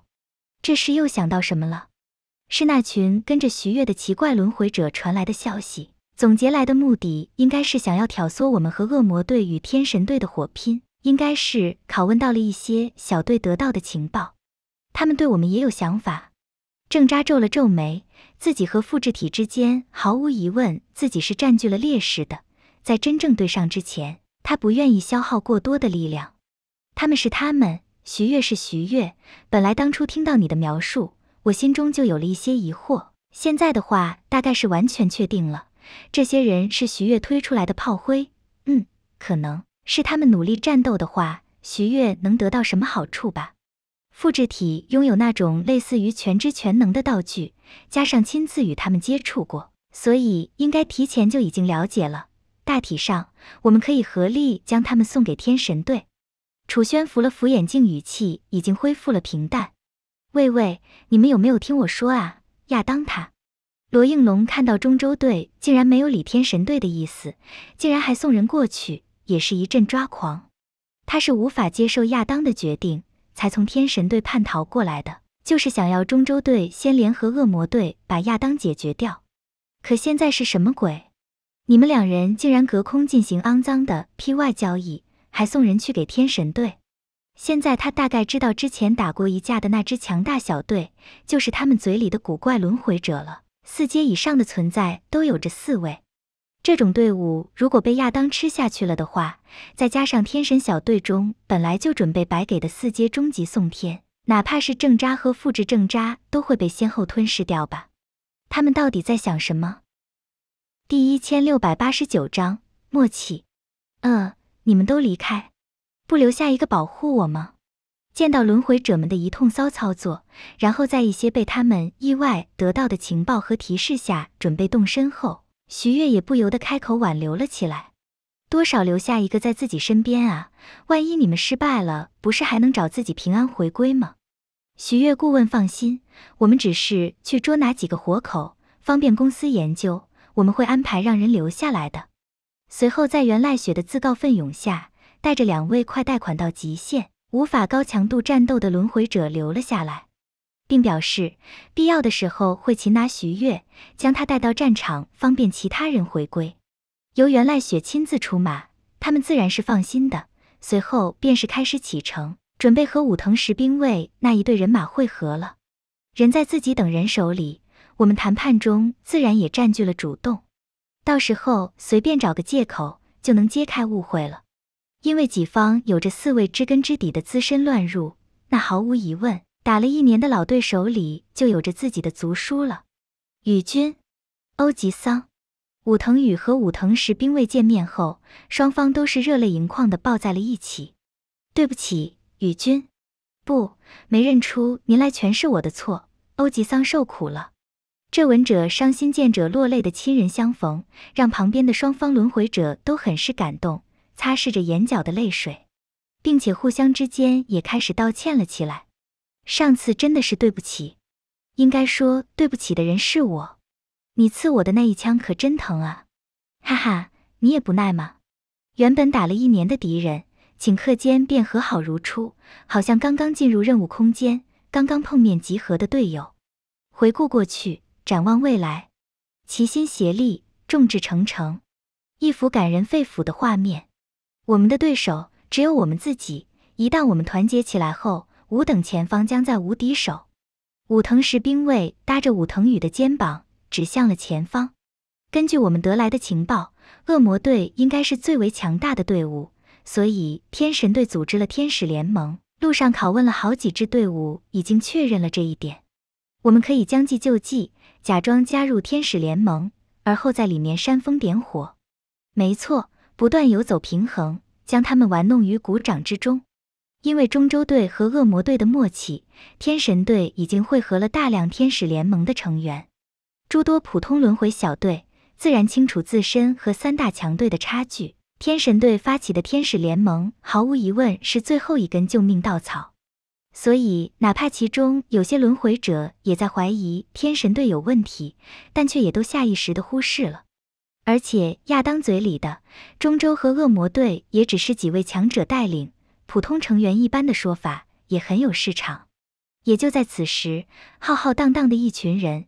便是突然出现在了天使联盟的诸多轮回者眼前，关键是这群人还举着一个画着鸟人的涂鸦旗帜，似乎是在表明身份一样。在靠近之后，连忙举手道：“亚当大人是自己人，自己人，我们是南极洲小队的轮回者，特来投奔大人的。”天使联盟诸多轮回者。哪怕是亚当，在听到了这些话后，表情都愣了愣，但随后还是很快露出了笑容的说道：“原来如此，我说怎么是生面孔？原来是南极洲小队的轮回者。”旁边天使联盟，甚至天神队本身的队员，一时间看向亚当的表情都变得有些诡异了起来。不是吧？你真信了？对于亚当来说，白给的饲料，我凭啥不信？我管你们其他人什么想法，实力达到他这层次，他当然也看得出来者不简单。两个楚轩一直的算计，让亚当也很是忌惮的。罗英龙已经离开，哪怕他无法直接透露消息，以楚轩的能力，也必然能够猜出来。这种时候，亚当不会管其他任何理由，只要有机会可以开启，他就必然会开启。每一份力量，他都会珍惜。而且现在突然多出了这么多人后，亚当也觉得自己可以不要再等了，直接开始吧，不然对不起他们。为了对付中州队和恶魔队，我也是有准备的。现在请所有的精神控制者过来，我要借助你们的力量激活一个道具，可以在中州队和恶魔队强者靠近的时候瞬间击杀他们。虽然对于亚当的话还有些疑惑。可这种时候，巨大的生存压力迫使其他轮回者不得不相信他，而南极洲队的武藤与他们自然更是没有什么问题。很好，先给两个最强的队伍来一下狠的，然后再伺机而动。如果天神队的底牌强大到可以逆天改命，那他们就反过来对付天神队，把握其中平衡。在我们混入天神队的瞬间，胜利的天平就已经向我们倾斜了。随着亚当一步一步地开始了他的计划，地上已经泛起了整整光辉。站在浣熊市一处被核弹融化了一半的钢筋混凝土建筑顶部，眺望着远方，徐月看到那生命树阵图，也感到了颇为有些意外。的确是一种另类的食谱，角度很刁钻，整体上都带着一种突破和抗争的意味。汇聚所有人的心灵之光，进行自我补全，完成物种的升华。有和自己类似的地方，也有区别的地方，各有优点吧。的确有值得借鉴之处。不过靠着这种升华带来的力量，哪怕是完全补全了，顶了天，也就是接近自己本体的力量。就算让他吞掉所有轮回者，再回去吞掉地球上的全部生灵，格位也有着上限。能超脱主神的束缚是没问题。可更多的却也是不可能了，这就是白夫系的最终底牌。本来还有些期待的，现在看到后也一阵索然无味。都等了这么久了，多少也有些用处，聊胜于无吧。吃掉后，多少也算是临胜阶段的积累了。加油哦，不要又被打断了。徐月打了个哈欠，随后随手一拳，直接撕裂了空间。正在快速靠近天神队，准备力挽狂澜的罗英龙。忽然间，便是浑身汗毛竖立，一种生死危机感骤然出现在了心头。还未反应过来是什么，一道沛然大力便是直接降临在了他身上。生死关头，他所驾驭的飞剑便是突然自主的挡在了那股实质化的权益之前，护住了罗英龙的性命。可即便如此，他也依然连人带剑被整个的击飞了出去，贯穿整个美国，落入到了南美洲。第一千六百九十章补一补。看着拳面上的一缕正在缓慢愈合的血痕，徐月对于青锁剑也已经有所了解了。很不错的兵器，一缕先天之气还能抑制自己的一丝恢复。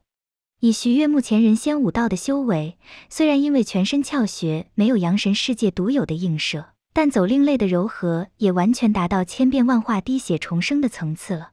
境界摆在这里，高屋建瓴。不管是基因锁还是人仙武道，对于徐月而言都并没有所谓的瓶颈。特别是在基因锁开启到四阶以后，灵肉之间的柔和与人仙武道本身的锤炼也达到了相辅相成的作用。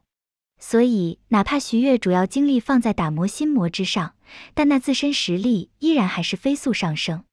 虽说这等实力的人仙武道，对于解锁后的本体而言，大概也就那样。纯粹增加一些积累和素材的广面，可放在当前世界当中，也没什么好让他顾虑的了。嗯，复制体楚轩感应到那一枚棋子的突然变故后，心中也闪过了诸多念头。果然，他的出手也属于不可测的未来。以其他个体能够被探测的情况下，这一位只是特例，独立于时间与因果之外吗？从他当初的心灵之光，就应该能够做出判断了。运气。的确不在我这一边。从双方主神的切入，以及利用全知全能对对方其他个体的查询，对方的主神绝对是盒子之外的产物，一切信息全都在其他个体进入到本世界前打止。不是需要因果点太多，是根本就没有因果点投入的门。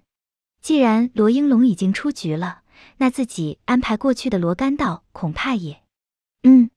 并不是这样，以目前已知的对方行动动力，罗英龙的出现理应是能帮他消耗那些人的，但他却让罗应龙出局了，这里面一定有他的利益诉求和目的，是那群家伙已经没有利用价值而盯上了其他什么？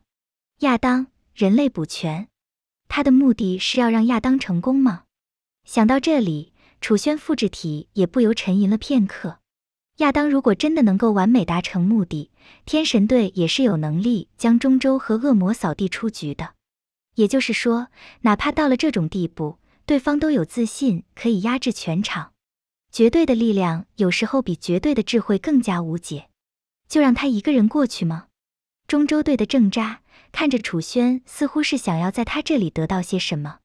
算算时间，萧红绿他们应该已经占领一个基地，很可能就要开始发送那些病毒了。可就在刚刚，楚轩却是费尽心思的联络到了他们，终止了病毒发射计划。以郑扎对于楚轩的了解，这种四阶以下无解的病毒，很可能也是他安排对付亚当的一次后手。现在是完全看不懂了。理论上，中州队和恶魔队都不会坐看亚当成功，自己也要保全状态应对复制体。可就这么安排罗应龙一个人过去，真的不会白给吗？虽然他能够复活的巨灵瓶在自己手上，可郑扎总是隐约间有些不妙的感觉，似乎对方插下了什么了不得的棋。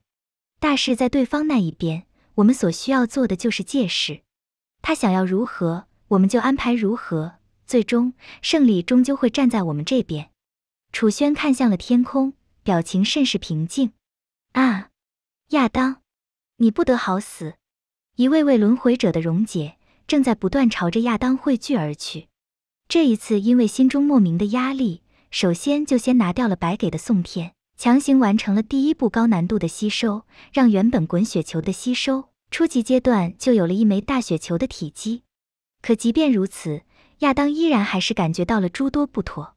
罗英龙那家伙已经离队了，楚轩复制体也有着一种全知的能力，他们不可能不知道自己的计划，竟然没有安排丝毫的骚扰，任由自己为所欲为。不过亚当也不是优柔寡断的人，不管那两个家伙有什么想法，这么好的机会摆在面前，他自然也不可能放弃。汇聚起来的整个天使联盟就是自己的养料。而这也是自己即将跨出的第一步。说来，他对于那几位南极洲队的轮回者还真感到了些许意外，实力强的有些超乎自己的意料，坚持的程度远远超过了自己的想象。明明已经融化成橙汁了，竟然还有几位个体保留着独立的意识，融入在体内的某个角落。不过没关系，自己本来也不是独立个体，自己本来也是即将完成蜕变升华。来吧，让我来接受更多的力量。本以为吞噬掉天使联盟之后，自己才能拥有吞噬中州队郑扎的契机。可现在因为南极洲小队的出现，他甚至觉得自己立刻去找复制体郑扎的麻烦也似乎可以了。一旦能够将这两个主神世界最顶尖轮回者吃下去，再吞掉全球人类，吞掉现世的一切神灵，自己必然能够挣脱那一股冥冥中的束缚。哪怕只是现在，我都感觉到自己已经无所不能。无暇的圣人之躯让亚当感受到了一股从未感受过的绝对力量感，似乎只要自己想，就能做到一切。浑身都充斥着所有人内心心底的心灵之光，没有独立意志驾驭的心灵之光，成为了自己身体的一部分，而自己的意志则是成为了主导，成为了真正的神意。混蛋，你竟然骗我们！然而就在此时，亚当的手掌突然发生了一阵变化，变出了一张嘴。那张嘴还在歇斯底里的咆哮着，发出了武藤语的声音。实力达到了资深乱入者后，只要肯豁出去，各种保命的东西还是有不少的。起码武藤宇和他的欧吉桑两人，就暂时还留下了自身的意志。皱眉的冷哼了一声后，亚当的手便是再次恢复了原状。作为见证者。来见证新的历史、新的篇章吧！我赐予你们这一份荣耀。轻易镇压了那捣乱的零碎意志后，亚当便是抬头看向了那从空中漂浮而来的罗甘道，感受着对方身上那独特的气息，亚当脸上也露出了一种神圣的笑容。迷途的羔羊，我赐予你与神融为一体的荣耀。本来对于四阶的存在，他多少还要花点心思的。可吃掉了那些奋力挣扎的十全大补丸后，他便已经知道没有人再能拦在自己面前。眼前这位也不行。见到罗干道满头的冷汗，亚当那已化作空虚的内心多少也出现了一丝异样的满足。以他的眼力，当然看得出罗干道已经心魔入魔了。这种疯子理论上来说已经不知道害怕为何物了。但面对真正的神奇，他却依然还是露出了谦卑的一面。这是对自己无声的赞扬，只是很快他就愣了下，发现随着罗干道的靠近，他身后另外一道人影也出现在了视线当中。怎么会有两人？作为神奇的自己，为何之前只感应到他一个人的气息？哪怕现在，除了眼睛在告诉自己还有一人外，其他任何方面都在告诉自己那里空无一人。第一千六百九十一章积累。你是谁？亚当刚刚才完成蜕变，刚刚才觉得自己无所不能，现在就已经满脸凝重了。无论是谁能够完全瞒过自己的感知靠近这里，他都认可对方有威胁自己的能力。虽然现在还有几个主食没吞噬完毕。但毫无疑问，自己已经步入正轨了，进入状态完美。他无法想象这种状态下还有谁能对自己构成威胁。要知道，以前的亚当也不是弱者，他能够感受到自身的实力到底算是什么层次。这是一种真正无敌的强大，甚至如果自己愿意的话，将这颗星球碾为虚无都是轻而易举。只是境界达到自己这等层次，纯粹的破坏力展示已经没有必要。撕碎星球什么的拙劣手段，只能体现自身力量控制的短板罢了。我叫罗甘道，不是我想来的，我是被逼的。亚当的话刚刚说完，罗甘道就率先土豆子一般的逼逼了起来。好吧，其实他开始是想来的，并不是因为楚轩的安排，而是他冥冥中感觉到了自己的命运转折点。入魔也是能够超脱的。然后路上就碰到了那个家伙，不是问你。亚当的语气有些压制不住了，他也发现了自己的弊端，在这么多口融合，特别是开局就开始吃宋天根基不稳的情况下，自己的情绪方面比以前更加容易受影响了。徐月顾问，是徐月顾问，徐月顾问救我！也就在此时，亚当身上的下巴处和耳垂处也先后一阵扭曲，变出了两张嘴，开始不断叫唤了起来：“我们绝不能死在这里！”绝不能！不管徐月顾问咋样，也不管他实力如何，都要抓住最后的稻草和机会啊！徐月再次镇压了那些念头后，亚当也不由眼睛眯了眯。这个名字他当然熟悉，能够以一个人顶替掉所有团队的难度，想不关注都不行。哎，现在才发现吗？虽然是拙劣的克隆体，但到现在才发现，不知道是因为你的补全把脑子补坏掉了。还是和楚轩差太多了。许月随意的一句话，就直接点到了亚当心灵深处最为无法忘怀的痛处。现实世界当中，盗取到了楚轩基因制作出来的亚当，因为残留了轻微感觉，导致无法达到楚轩这样摒弃一切的完美，被当做了失败品，受尽折磨，直到他找到机会逃出升天，并毁掉了一切数据，尘封到了内心深处。结果现在直接被人拎出来摔在地上，还踩了上去转了几下，当真是让亚当机遇发狂。本来就有些不稳定的状态变得更加糟糕了起来。他现在就是吸收他人的心灵之光，砸碎、柔和。那几位还在他体内苦苦支撑的轮回者，则是感觉最为直观。咦，有破绽？感觉如果能够将他挤出去的话，甚至可以取而代之。徐月顾问继续呀，徐月顾问牛逼，我们找到破绽了。一时间，亚当身上的嘴巴便是再次变多，能够有能力保住意志苦苦支撑的都开始出现了。正是因为融入了亚当的身体，他们才能够明白现在的亚当有多么强大。什么精锐乱入者都是浮云，这是无敌于世间的力量。这种情况下，便是导致了他们几人拼命的开始朝着亚当发动攻击，靠着另类的意志不断的给予冲击。虽然没能撼动亚当的地位，可却让他面色狰狞的站在了原地，一动不动。本来还说这些南极洲小队的人是上天赐予自己的礼物，结果现在发现简直是吃了屎，屎里还有毒。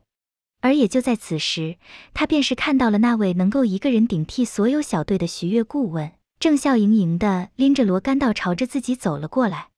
随着罗甘道的靠近，罗甘道入魔的力量更甚，似乎隐约间与亚当有一种互相之间的吸引力一般。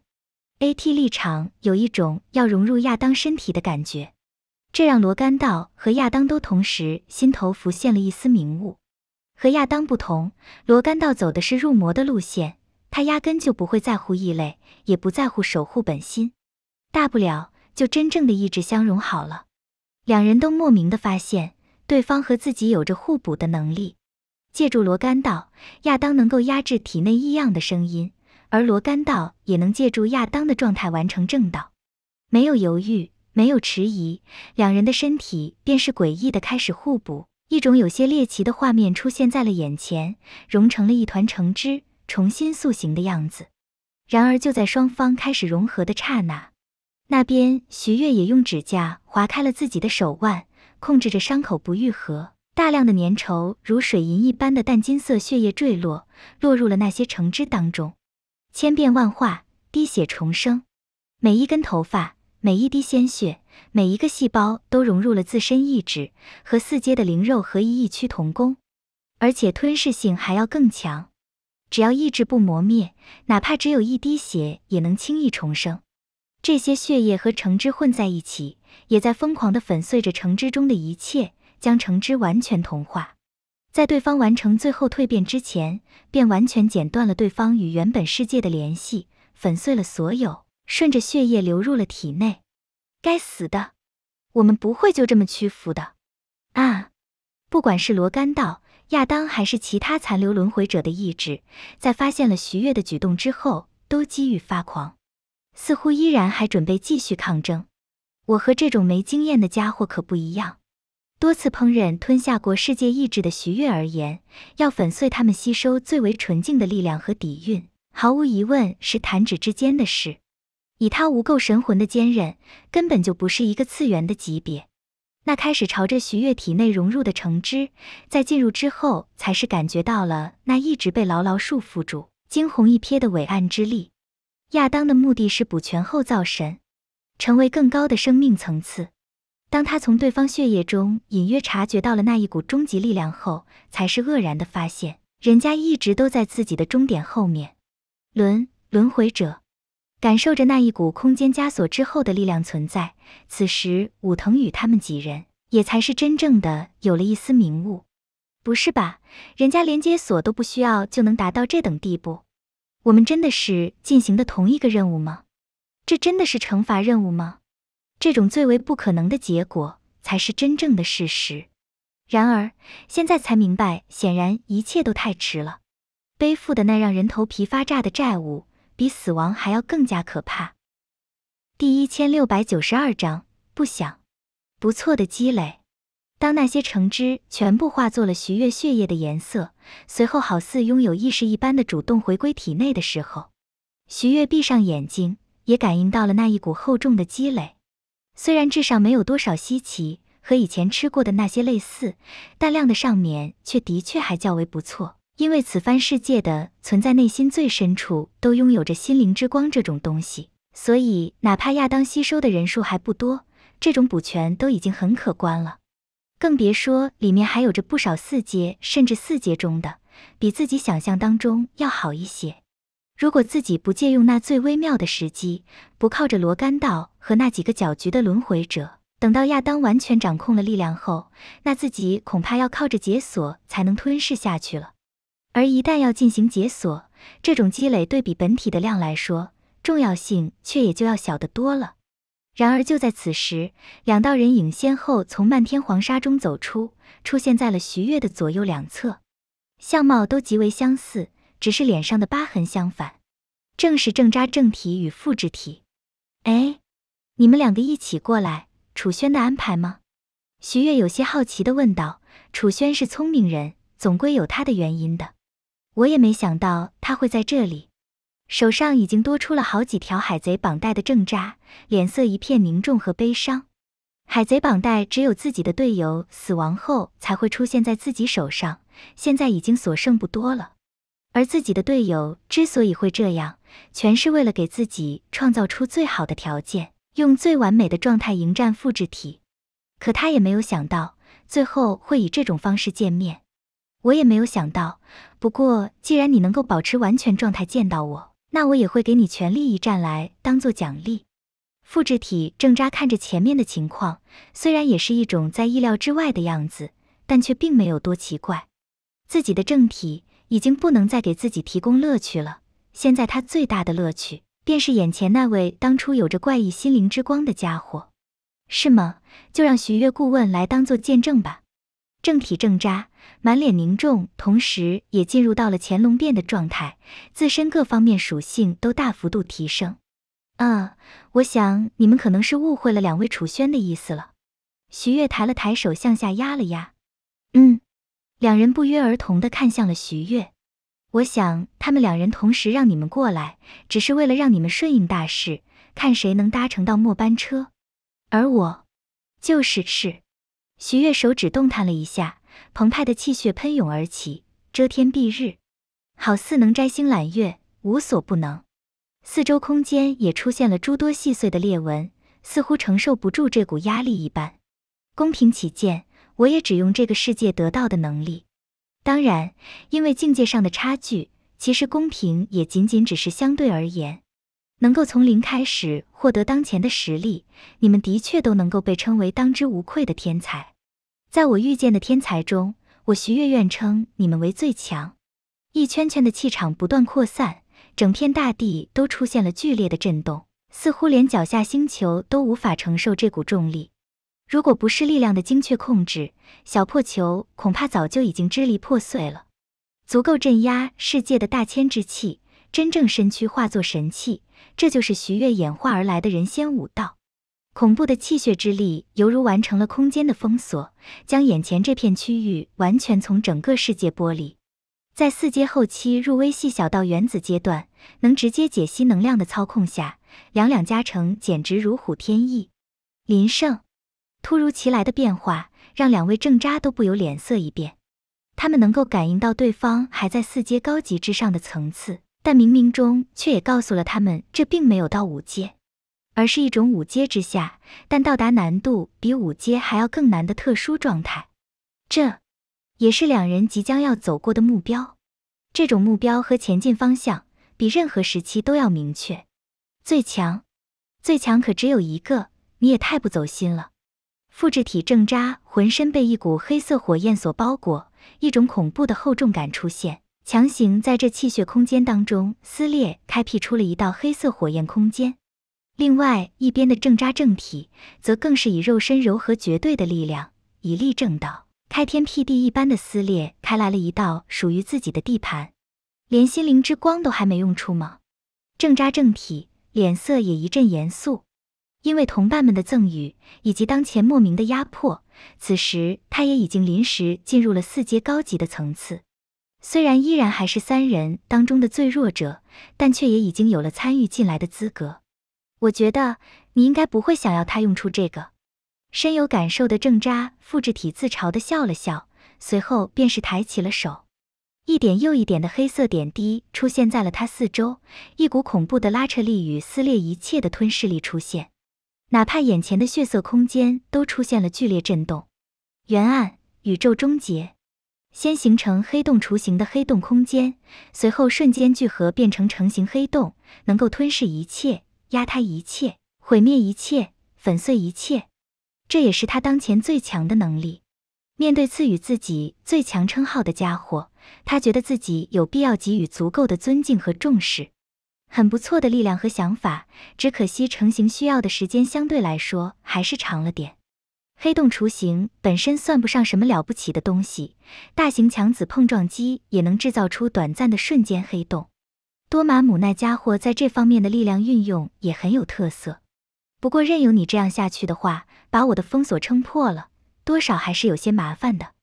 徐月一边随意的开口说着，一边也一步一步朝着正扎复制体走去，无视了一切引力，无视了一切扭曲，似乎这些力量本身就不存在。完全作用不到他身上一般，明明就在眼前，也没有进入什么空间夹层。不应该说，哪怕进入了空间夹层，在这种足够压塌空间的崩坏力量下，也不可能不受影响。对方就是纯纯粹粹的走了过来。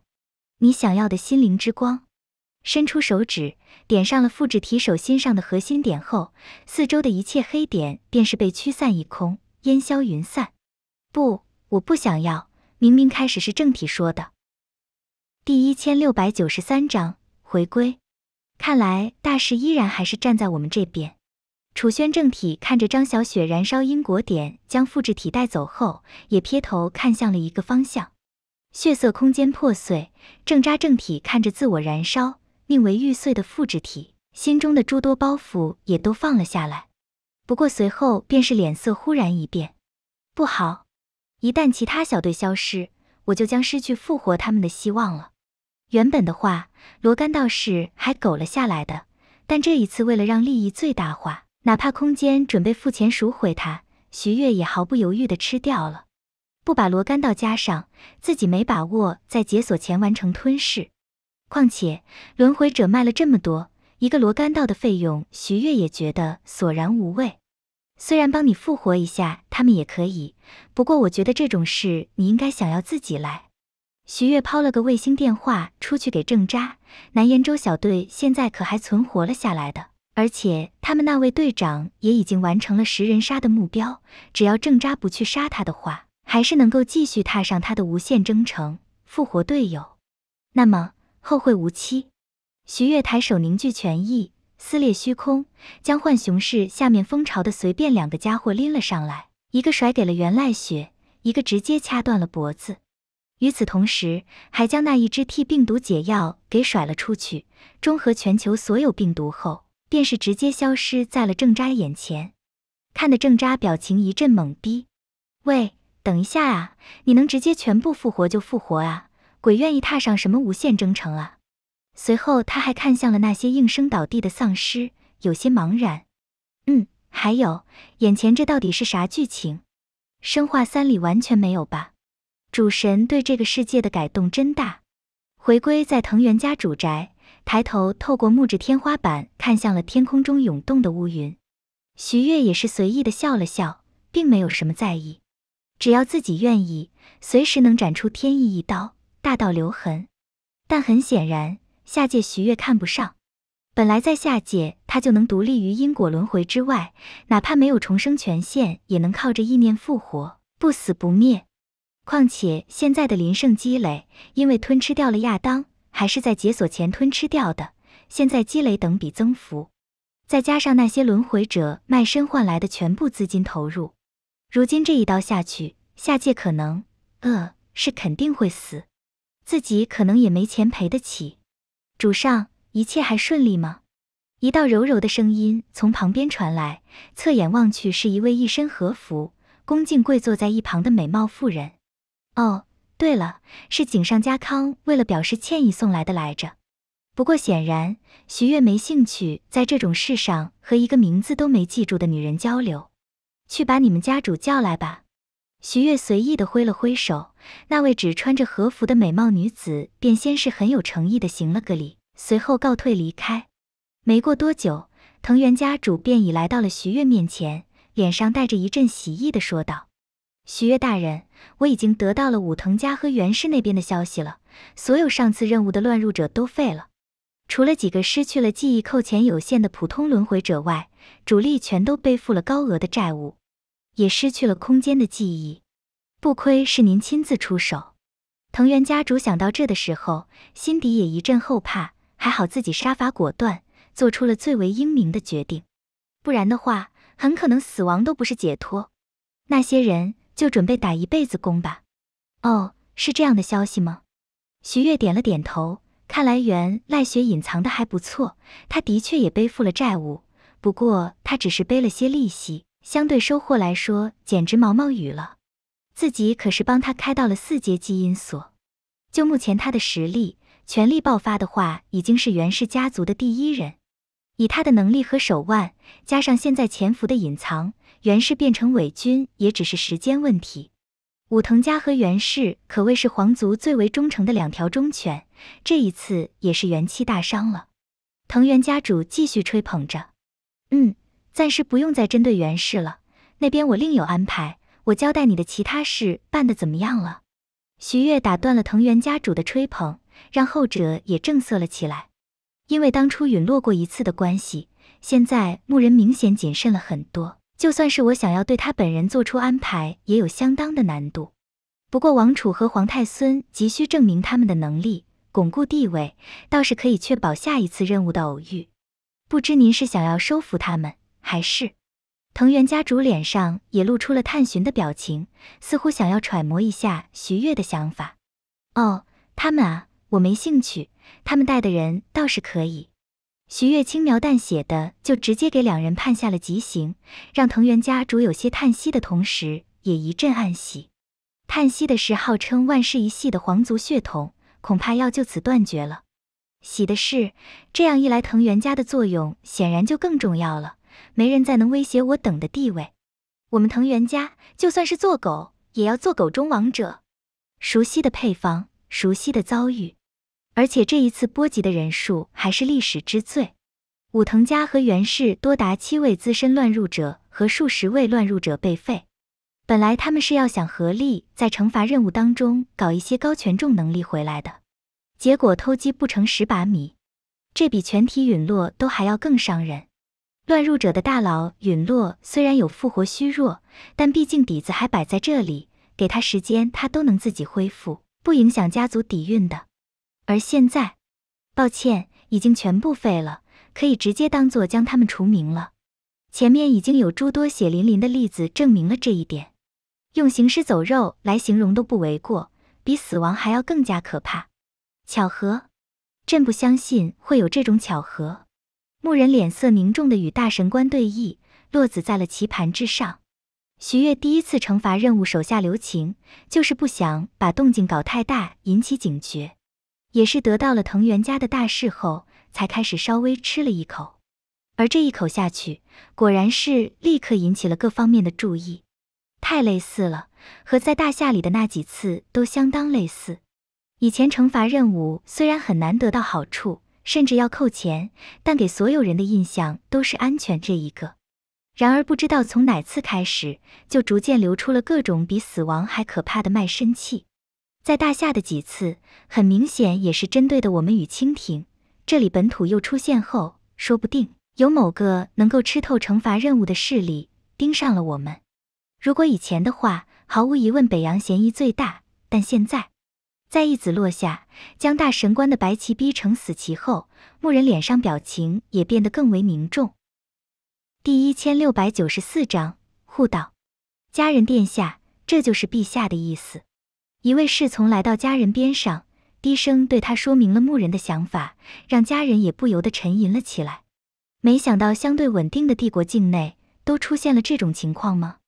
现在理应是帝国休养生息的时期，可偏偏先后受到了诸多挫折。藤原家折戟沉沙，损失惨重；武藤家和源氏更是连复活权都没有意义，大量乱入者级别以上的存在被除名。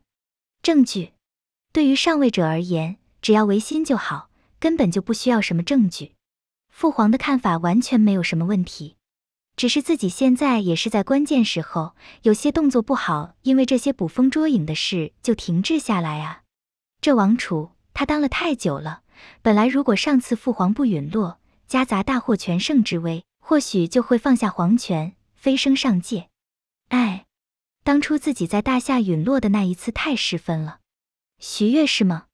我迟早会让你知道什么叫做天注定。我们不能因为这些捕风捉影的事就终止计划。已经投入了这么多了，东西也已经全部换好、买好了，此事至关重要。况且藤原家不是也答应了给予一定的支持和配合吗？我们这等战力，就算那个世界情况有些特殊，也必然可以成功。一旦我成功突破，进入精锐乱入者。加上我本来的积累，在精锐级别都绝不是弱者了。再配合国运与龙气的加持，父皇应该也能够相信我的能力，把大权交给我了。家人叹了口气，有一位英明的父皇，对于王储来说，并不是什么好事。长久的压抑下，他都快精神出问题了。这一次，自己必然要成功。论实力而言，自己已经能和普通的精锐抗衡，度过这次任务，完成了积累。就马上可以进行精锐乱入者晋级，到时候配合国库底蕴，必然能一飞冲天。这只是路线上的建议，回头你可以进入冥想室理顺一下，花点小钱没关系，能够方便你之后的成长。一间出租的院子当中，徐月对陈真进行了一些建议和指导。不过因为空间本身死要钱的特性，除了特定的场合外，想要凭空实力提升，几乎是不可能的。哪怕陈真回头去冥想时消化掉，也需要支付一笔费用。当然，相对于能力本身的价值来说，那一笔费用还是性价比最高的一类。这只算是给个建议和基础，下次让藤原家主带他去一次精锐级带队才能进入的阳神世界，以他的潜力和天赋，出来便可以独当一面了。毕竟以陈真本身在龙蛇惩罚任务当中获得的权重，走人仙武道的路子算是再合适不过。大恩不言谢，其实你可以试着谢一下。对着他们摆了摆手后，徐月笑着离开了这间出租屋，坐上了外面的一辆汽车。待到徐月离开后，出租屋内还有着其他留学生装束的男子来到了陈真面前，试探性的问道。陈真，刚刚那一位是哪个日国的大人物吗？光子介绍的吗？的确是一位大人物。陈真并没有说明徐月的身份，有黑影人加成的情况下，只要徐月愿意，随便靠着一些眼镜之类的玩意儿，就能让自己没同意的人认不出自己。所以没获得对方同意之前，他自然也不会贸然的开口。因为如今日国内的环境，他们这些留学生的处境其实并不好。眼前这个小院都是靠着山田光子的关系帮他们租下来的，不然只能去租最脏乱差的地方。相比来说，实力最强的陈真混的都已经很好了，除了经常需要低调一些、忍无可忍的情况下进行灭口劳心劳累外，好歹不会吃什么亏。可其他的同期日子却是一天不如一天，好多人都在想办法回国了。哎，也不知道啥时候是个头啊！北洋都没了，感觉没什么希望了。听到身后的叹息后，陈真的扑克脸上也少有的露出了一丝笑容。快了，希望的曙光就在眼前，要相信未来只会越来越好。企鹅商会正式在日国登陆，已经向空间注册了分会信息，并且刚刚开局就和诸多家族军团获得了合作伙伴关系，发展速度之快，让不少人都感到了一片哗然。不少武士和浪人都在叫嚣，不允许大夏奸商来日国赚取利益，应该将他们赶走，夺取他们的财富。不过这些声音很快还是被那些合作的势力给压制了下去。现在就跳出来！牧人得到了这消息后，也感到了有些惊讶。他心中已经认准了，之前武藤和袁氏两家的损失是企鹅搞的鬼，甚至很可能当初在大夏的多次失利。也是企鹅下的绊子，只能说他们前面隐藏的太好了，这次突然出现吃香难看了点，才被真正抓住马脚。可明明现在应该努力撇清的时候，他们却主动跳了出来，是有了什么其他的打算吗？算起来，企鹅商会的所作所为的确是没有证据。以目前企鹅商会在大夏的体量，还真不会马上撕破脸。但他们现在跳出来后，如果真的想要发难的话，还是完全可以以此为借口了。到底是什么阴谋？不对，这是他们在表示自身只为利益，没有恶意。在大夏的时候，暗地里搅风搅雨，挑拨多方乱战，实际上他们却是在暗地里发战争财，最后还接收了北洋的遗产。而现在来到了日国国内后，之所以先给武藤家和袁氏来一下，那是因为这两家对企鹅是最为反感、最为敌视的。将两家的气焰打下去后，又开始露出了和气生财的做生意嘴脸，算盘倒是打得好啊！待宰蜘蛛而已，呵，先由你们养肥吧。在察觉到了企鹅的真正目的后，牧人脸上也露出了一丝冷笑。这里是帝国境内，掌握了国运和龙气的皇室可以轻易捏拿，他们赚的好处越多，能够收割的利益也就越多，夺取他们的财富。可比对本国其他势力下手方便得多，他们的格局比自己原本预估的要小，威胁程度反倒是可以下调了。对了，家人最近是在准备精锐的积累事宜了吧？大神官阁下，到时候还请您去作为护道者。牧人虽然已经看穿了企鹅的把戏，大事还掌握在了手上，但小心无大错，这种时候他还是为自己的继任者添上了一道保险。呵呵，再怎么他也是老夫的弟子，这一点作为老师的我还是要办到的。大神官满脸的笑容，摸了摸胡须，虽然是大材小用了，但毕竟是官王储，谨慎点也好。他倒是希望那个企鹅这时候会来搅风搅雨，正好由自己一网打尽。第二十六卷等价交换第一千六百九十五章采购准备，倒是有些意外了，终究还是选择了这个选项吗？徐月听到藤原家主的汇报，也似乎是感到了有些惆怅。还好上次薅的羊毛还剩下了些，应该是够用了。而且有企鹅商会在手上，想要收集想要的物资也无疑效率足够高。能多收一些就多收一些吧。钢之炼金术师，家人下一次准备孤注一掷的任务。嗯，单从表现来说，钢之炼金术师的级别好似是不高。但这个空间相对却是很特殊，是高层次实力强者很容易翻车的一个任务空间。因为这个世界的基准等价交换乃是空间赋予的极高权重，想要在这个世界使用各种力量，你都必须要懂得基准的炼金术，理解、分解而后再购。轮回者们实力越强，需要付出的代价就越大。如果炼金术掌握的不够，自己用出的力量可能反过来会消耗自己的肉体、灵魂。举个例子，一位拥有查克拉的上忍级别轮回者，进入到那个世界后，可以通过高能食物甚至血肉来进行交换，让自身临时获得查克拉，而后用出忍术，才不会受到等价交换的反噬。甚至连超过某个限定的体数。也需要类似的代价交换，来临时增加细胞活力和能量，或者说直接靠着自己对土遁术的理解，以炼金术的方式来制造各种攻击。高能食物等于查克拉等于查克拉凝聚的临时土遁术，土等于土之炼金术，两者表现相同，但内在的原理却是完全不同。不过同样的。实力越强的话，在那个世界当中能够发挥出的极限力量也越强。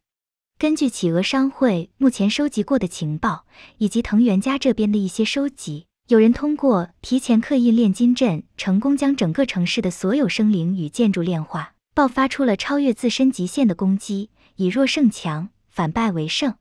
当然，除了这些外，这个世界当中还有另外一种东西可以进行大幅度增加炼金术。并在某种程度上可以代替消耗品的特殊道具——贤者之石。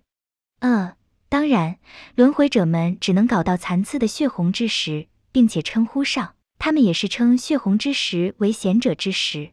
不过，血红之石的力量也已经足够了，一块血红之石足够一位乱入者级别的大佬短时期全力爆发。当然，这只是血红之石这种道具最为粗劣的用法。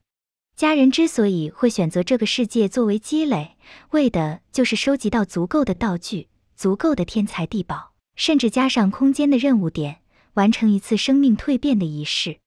借助那个世界独特的等价交换，蛮横的以诸多宝物积累，配合伪劣版的贤者之石和他们琢磨出来的炼金阵来堆砌自身。恰巧因为世界的独特性，所以这种科要升级流的弊端被最大化的压制了。这已经是轮回空间的高端情报。对于普通的轮回者们来说，只知道贤者之石很贵，值得收集，甚至还有人用残次品拿到其他世界大杀特杀收集灵魂，出现了诸多变种的石头。毕竟家人作为王储，本身的行动还是足够隐秘，只放出一些两可的选项，提前就暗中将日国境内的一切贤者之石都扫荡一空，甚至还派人出去其他国家收购。现在才确定他的下一步计划，算是有点后知后觉了。临时再收，哪怕以企鹅商会的能力，在下次进入任务之前，恐怕也很难收到同等的量。倒不是钱的问题，轮回者们的贤者之石毕竟都是劣质版的血红之石，顶了天能用 A 级剧情点交易，不可能达到 S 级。以企鹅商会 A 级剧情点的储备，将物价抬高几倍都是轻而易举。但毕竟产量终究有限，出厂速度也摆在这里，在家人已经大肆扫荡了一波后，还能得到的已经少得可怜。就算炒到十倍的价格，能够收到的也就和两倍价格没啥差别。好在大夏被企鹅商会垄断了商业，为了不走漏消息，家人还是没有去大夏收购。所以扫荡一下的话，倒也能汇聚一股基础数。大夏轮回者数目基数摆在这里，加上企鹅的能力，达到家人采购的三分之一，应该是够了。而且除了贤者之石外，其他能够带来提升的天才地宝也是多多益善。借助那特殊空间，是少有可以纯粹靠量来提升质的地方。虽然性价比算不上高，可对于不差钱的卓来说，毫无疑问是最佳的突破地点。提前收集到足够的材料也是重中之重。既然要跟着进去一趟，那徐悦显然也不想浪费自己魔改的林胜积累，正好也是能用这些玩意儿堆的，不能浪费了。企鹅商会因为一直无法提供 S 级以上的战略资源，整体上除了情报和对家乡的帮扶外，单单对徐月个人来说，能够起到的作用也有限。但这一次却也可以发挥发挥企鹅商会的底蕴了。贤者之石收集不来。但其他那些各种天才地宝，哪怕家人倾尽皇族的力量，也不够给企鹅商会的效率提携的。先让他跑三十九米，都能瞬间赶超。而在这间歇期，双方便是默契的开始了各自的物资积累。本来的话，徐月大概也会认为能够和平的过渡到下一次任务进入，毕竟自己没准备搞事嘛。但他万万没有想到的是，他不想搞事，但有人想。被跟踪了，很好用的乌尔奇奥拉站在徐月面前，将每一周收集的物资交付给了徐月，同时也说出了让徐月有些意外的事。嗯，可能是最近我们收购的太频繁了，引起了他们的一些注意。日国的商人也有很多，通过反向计算，他们大概能够预估出我们收了多少货。徐月指尖敲了敲桌面，大概明白了是咋回事。本来前段时间应该就怀疑企鹅商会是造成两大家团灭的惨案元凶了。乌尔奇奥拉本身也算是企鹅商会的知名强者了，毕竟他们情报再怎么落后，也应该能查到这些。乌尔奇奥拉他们这些出来的家伙，前行能力可没有自己强。好吧，这次回去应该没啥问题，下次等半个月再将东西带过来。徐月很是随意的做出了指示，让习惯作为工具人的乌尔奇奥拉也点头应命。好吧，一周收集的货就已经被窥视了，攒下两周的东西，还是家人也在收购的东西，应该会忍不住的吧？乌尔奇奥拉来日国算得上是公干，表面上是企鹅商会嗅到了日国的商机，天才地宝价格大幅上涨，过来一边大肆购买着日国市面上的货物，一边囤货炒作。很标准的奸商嘴脸，家人他们会突然盯上乌尔奇奥拉，和他们在本国购买越来越艰难也有很大关系。好吧，既然想要，那就来拿吧。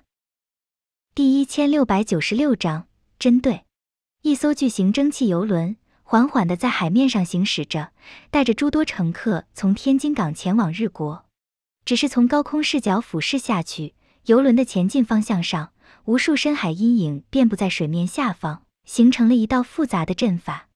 每一个阵法节点附近，都有一两个潜伏在水下的人影，牢牢盯着上方经过的游轮。再确认一遍，这几位关键人物实力不弱，都有着顶尖资深乱入的水准。代号乌尔奇奥拉，走的是破面路子，应该是得到了 N O 点四的真传，甚至青出于蓝，糅合了诸多其他的能力。代号宇智波鼬。没错，就是你们想的那个，已经开启了四勾玉血轮眼，千万不要和他对视。我们有心算无心，实力上的差距和埋伏，尽可能要打出无损结局，夺取好处。那发号施令的人影，同时还掏出了一份卷轴，明明在水中，但却丝毫不受影响，莫名向外散发着一股威严。天皇敕令，在日国境内强行改变道具所有权的圣旨。以国运和龙气为依托，在击败他们的瞬间使用，足够将他们身上押运的物资所有权强行掠夺而来。当然，这种敕令使用的条件也颇为苛刻。首先要击败对方，让对方失去反抗能力；其次，对方身上战力加成的装备类物品无法掠夺，只能掠夺消耗品和道具。通常来说，这种东西用的比较少了，因为性价比不够。可现在用在这里却是刚好合适。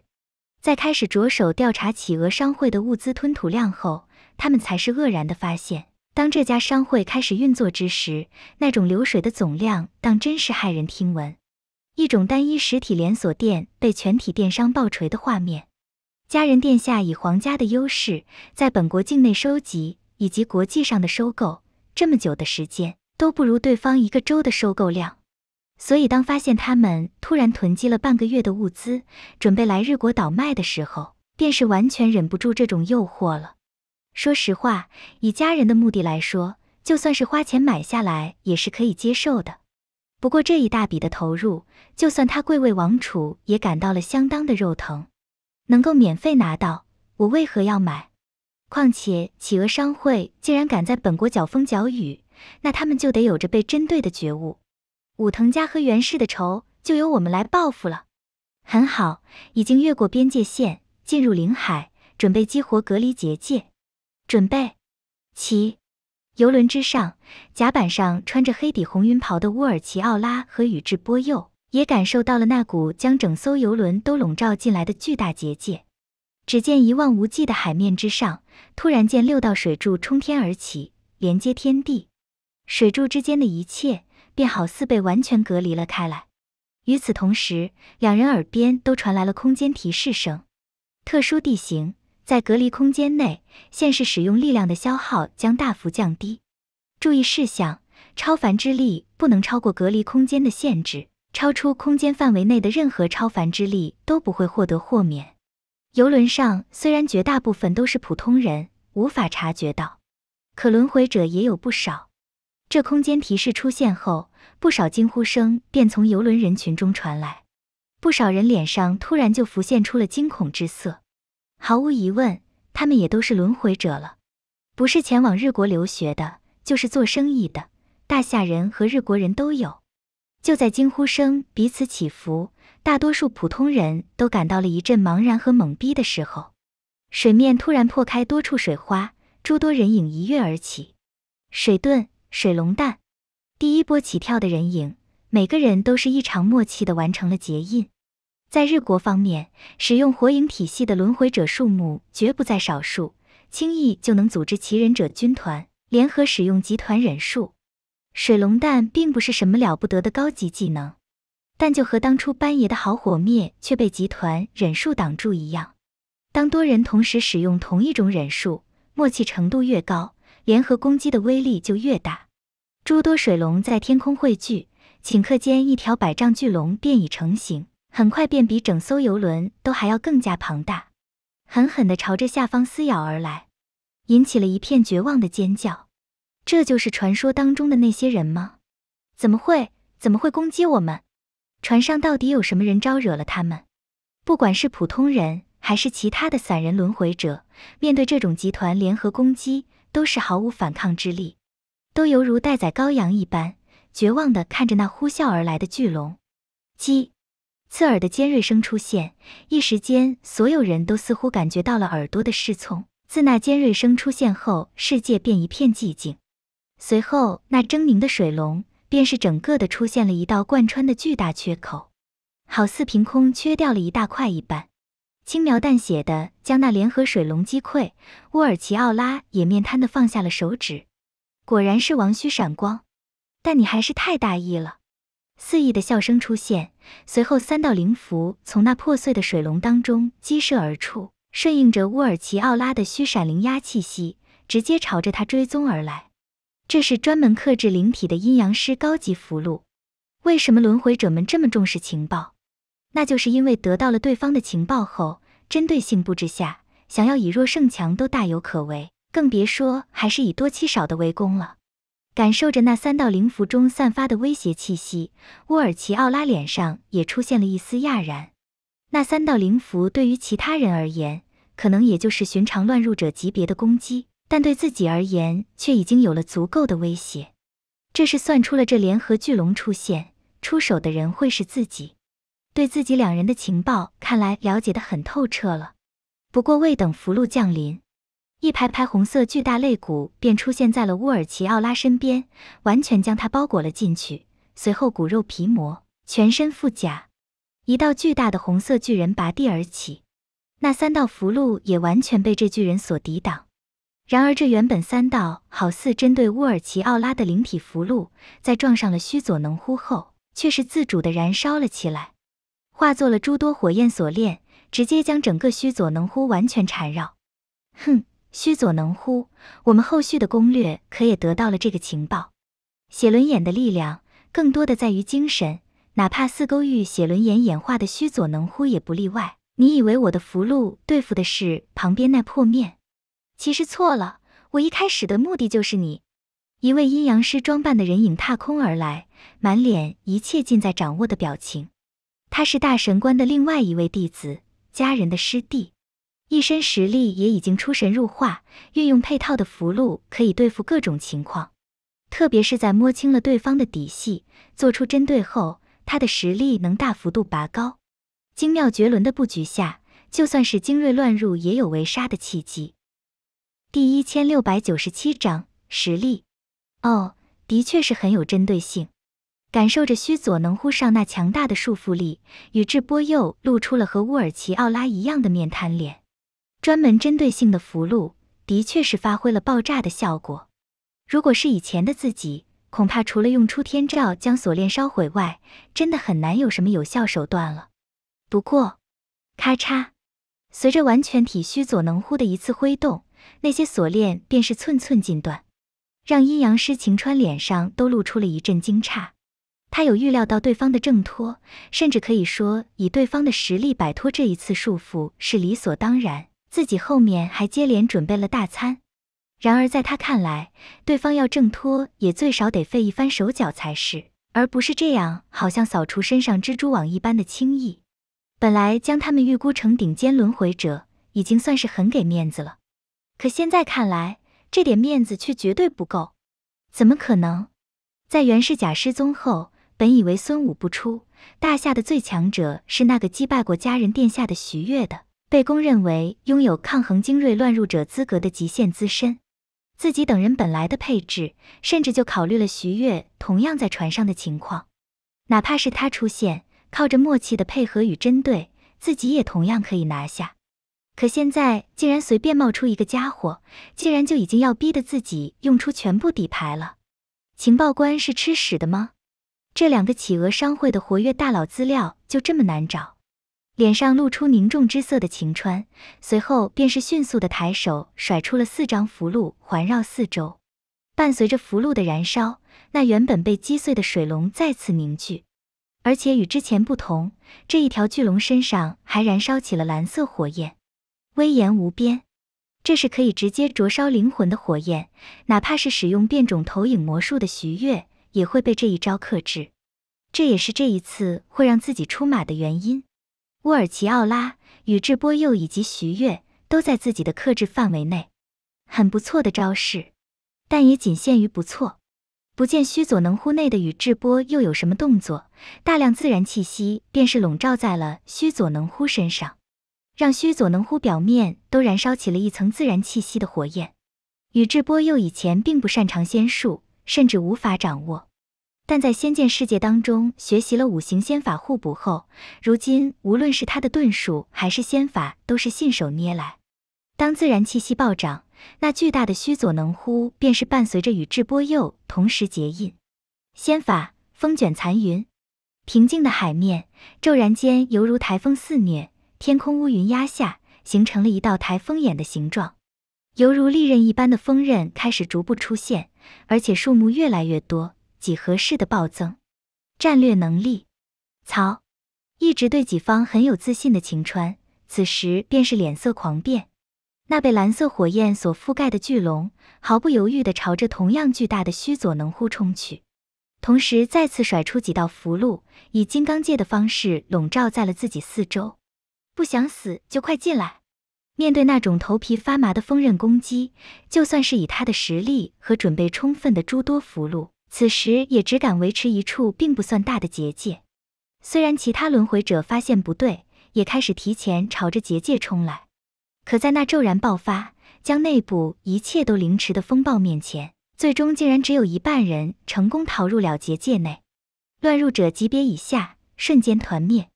如果不是阴阳师的盾套上，就算是乱入者也休想在这种范围攻击中逃生。整个封锁的空间内都是被死亡风暴所覆盖，唯独两人脚下的游轮幸免于难。船上的普通人和其他轮回者看着那咫尺之外的世界末日景象，一阵瑟瑟发抖的同时，也莫名多出了一些希望。似乎我们这边更强一些。而此时，那条巨龙也已经冲撞缠绕在了须佐能乎身上，虽然未能破开须佐能乎的防御。但却也卡死了须佐能乎的手臂，比起之前那些锁链的束缚要强大的多，打断了那伤害瞬间爆炸的风卷残云。不过，风卷残云清空杂兵的目的已经达到，现在打断除了能减少金刚界的消耗外，已经迟了。单单短暂的弄出了一条能够正面抗衡完全体须佐能乎的巨龙，这次的领队实力是的确值得称赞的。毕竟他的手段多样化也已经体现了出来，完全拥有着自傲的资本。只可惜连续的大招折戟沉沙，甚至还反过来落入了下风。此时让他的脸色也显得很难看。之前那种强大的技能，简直就是团战利器，瞬间就可以淘汰掉所有实力不够的。此时自己带来的队伍也算得上空前强大了，道具齐全。加上在特定针对下足够对付精锐巨擘的自己，以及五位一流的资深，自己等人可以说是家人殿下手下能够调用的绝大部分主力。然而现在他才发现，除了自己之外，哪怕那五位一流资深都很难插手到这种大开大合的战斗，太夸张了。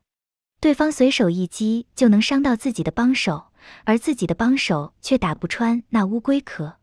须佐能乎怎么能这么强大？现在不管如何，都必须要先破开对方的乌龟壳。一旦破开乌龟壳，自己的队友就能够进行支援了，不惜代价。伴随着阴阳师的双手合十拉扯，一连串的符箓犹如扑克牌一般的从掌心浮现，去，漫天符箓好似不要钱一般涌入到了那巨龙体内，哪怕是完全体的须佐能乎表面都被勒出了道道裂痕。有趣，随着裂痕的出现，须佐能乎便是取下了腰间的葫芦，一道诡异的火焰展出，覆盖了巨龙全身。随后，那巨龙竟然被火焰席卷，带着吸向了葫芦开口，靠近的部分不断缩小，好像要被吸入其中一样。封印神器十全剑，封印术可谓是火影世界最高权重的能力，十全剑更是封印神器。配合须佐能乎完全体，那将须佐能乎勒到裂开的巨龙完全挣扎不开。哼，天真！阴阳师并没有什么太大的感触，只是冷笑了一声，随后燃烧了手上一条纸质的迷你小龙。轰！被朝着十拳剑拖坠而去的巨龙，一瞬间便是蒸腾了身上的全部力量，瞬息爆发。哪怕是强如须佐能乎，也被直接撕裂。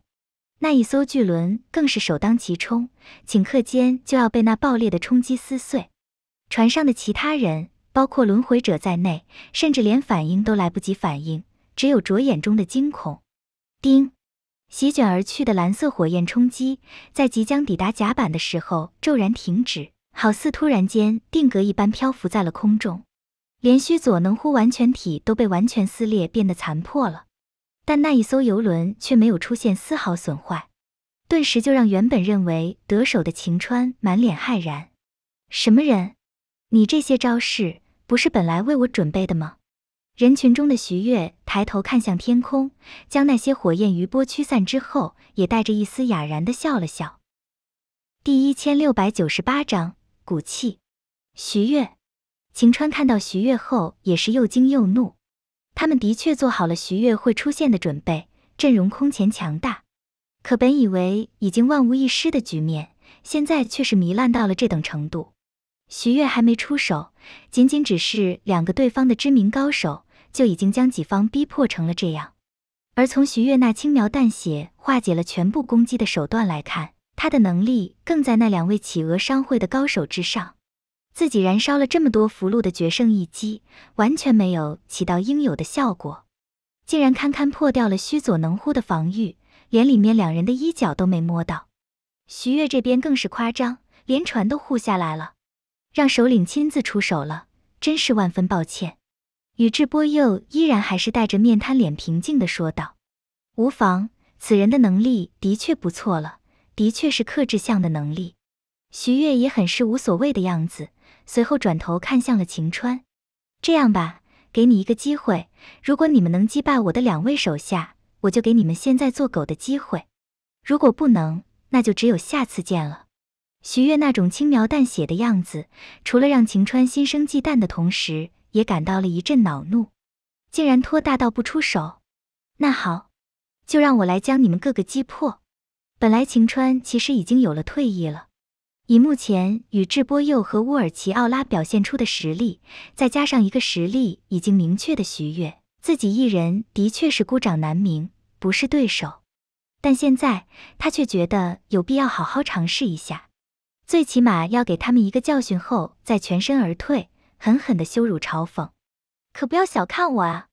哎呦，别打脸，轻点。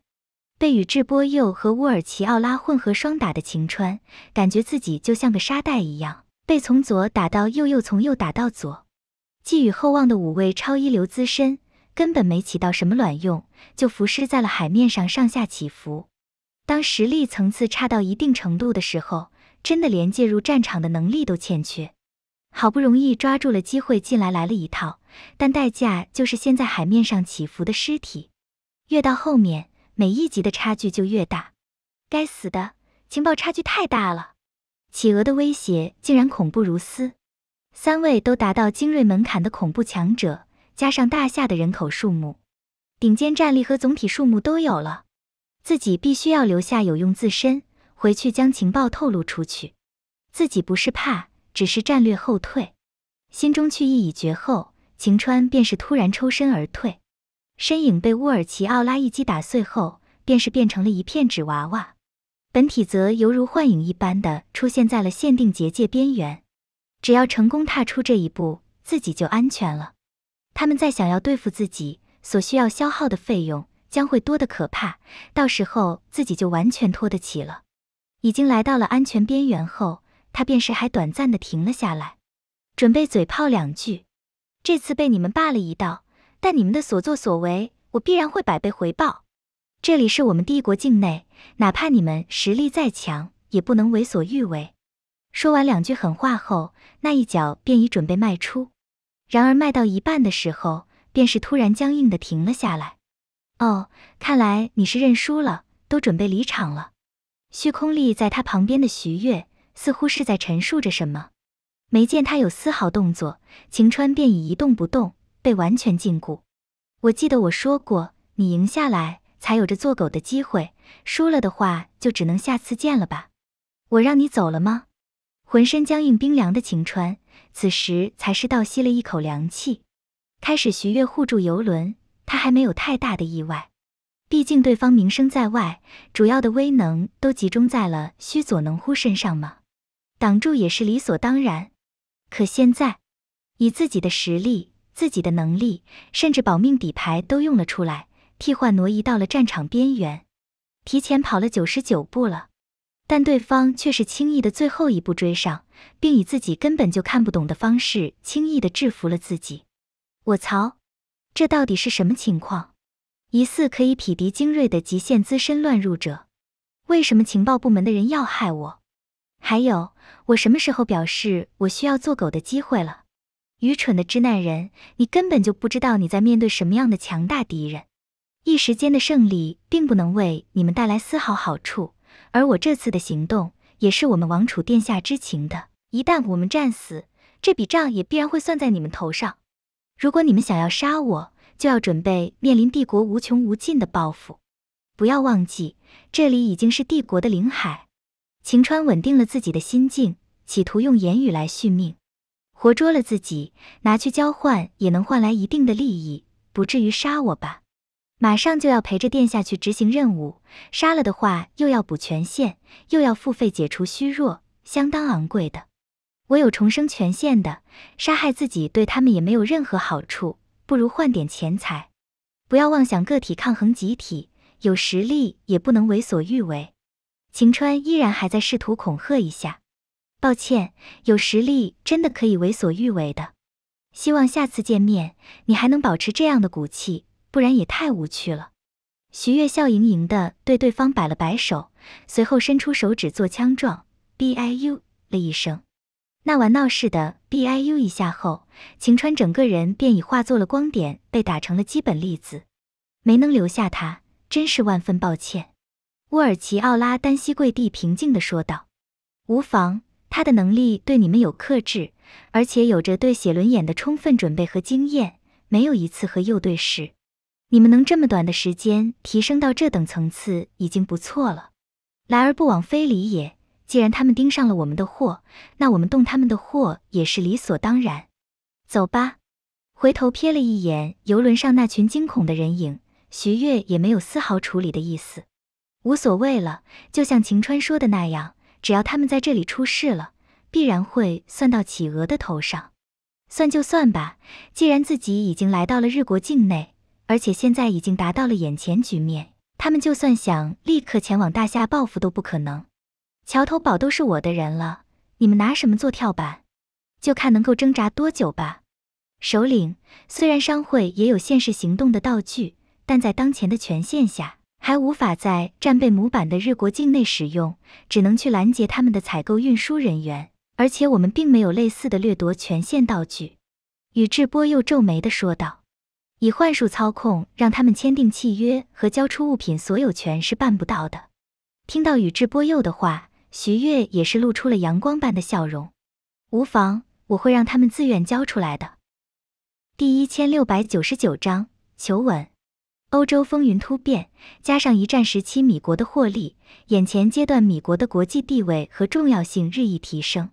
昔日的老大哥不列颠已经露出了疲态，就贸易。繁荣、资源储备等等方面来说，米国已经达到了世界最强。精锐乱入者这种战略级力量的数目也已经最多。亚当斯、罗师傅、洛克菲勒、摩根等家族因为常年来资本的积累堆砌、吸收财富，拥有着全球最多的精锐乱入者数目，远超任何单一国家。目前最缺的，仅仅就是那种精锐乱入者级别当中能够一锤定音的强者。缺乏类似于法国那位老祖英皇、德皇那种传奇级别的存在，甚至目前来说都没有人能够抗衡日国的牧人。而且因为建国时间太短，能够借助到的上界支援与指引也很尴尬，偶尔要用也只能去蹭一蹭欧洲伙伴的车。加上军阵上的积累比不过英国，所以哪怕是下界的排名，目前也还是第二。可就物资和商业气氛而言，却是要统领全球。就算如今大夏有着企鹅的氛围和回血，可因为之前被掏空的底子积累和存量方面，目前也远远比不过米利坚，只是产出效率上已经超过了。所以这里也是家人安排人手收购的重地，甚至单独安排了一条流线型、科幻感十足的特种舰船“金刚号”全程接送，悬浮在海面上大概三米处，科幻感十足，比起船只更像是宇宙飞船的“金刚号”。高速的在太平洋上疾驰着，无视任何天气地形，哪怕是台风都能直接凿穿。金刚号船头犹如雕塑一般站立，浑身都透露着一股威严气息。穿着一丝不苟帝国军装的东福建工伊人，看着前方将破碎水花全都挡在外面的舰船护盾，脸上表情莫名有些凝重。作为牧人的养子，接受了亲王宣下之礼的正牌亲王。就算家人作为王储，也很难使唤得动他。这次他是在牧人的授意下，亲自出面帮自己的义弟一把。前往米国后，见证了米国的强者基数与质量，还有他们那浓郁的商业氛围后，着实让他感到了大为震撼。单单从市场流通量和氛围，就隐约能够看得出这个国家的强大底蕴，那是一种远远凌驾于帝国之上的姿态。也正因为那边的物资丰富的有些过分，所以他的筹备和收集才是比原计划晚了这么多。不过时间上倒也来得及了，超额超量的完成了这次采购，家人只会有感谢。只是莫名的，从今天从一早上开始，他就总有一种浓郁不安的感觉。虽然在见证过米国的强盛后，他就一直隐约有一种不安缠绕，但这股不安从来没有今天这么强烈。总觉得有什么不好的事会发生。亲王殿下，特种雷达扫描，一百公里内并没有出现其他船只和轮回者的气息。一位通信员从剑桥市当中出来，汇报了之前东福建宫伊人下达的指令情况。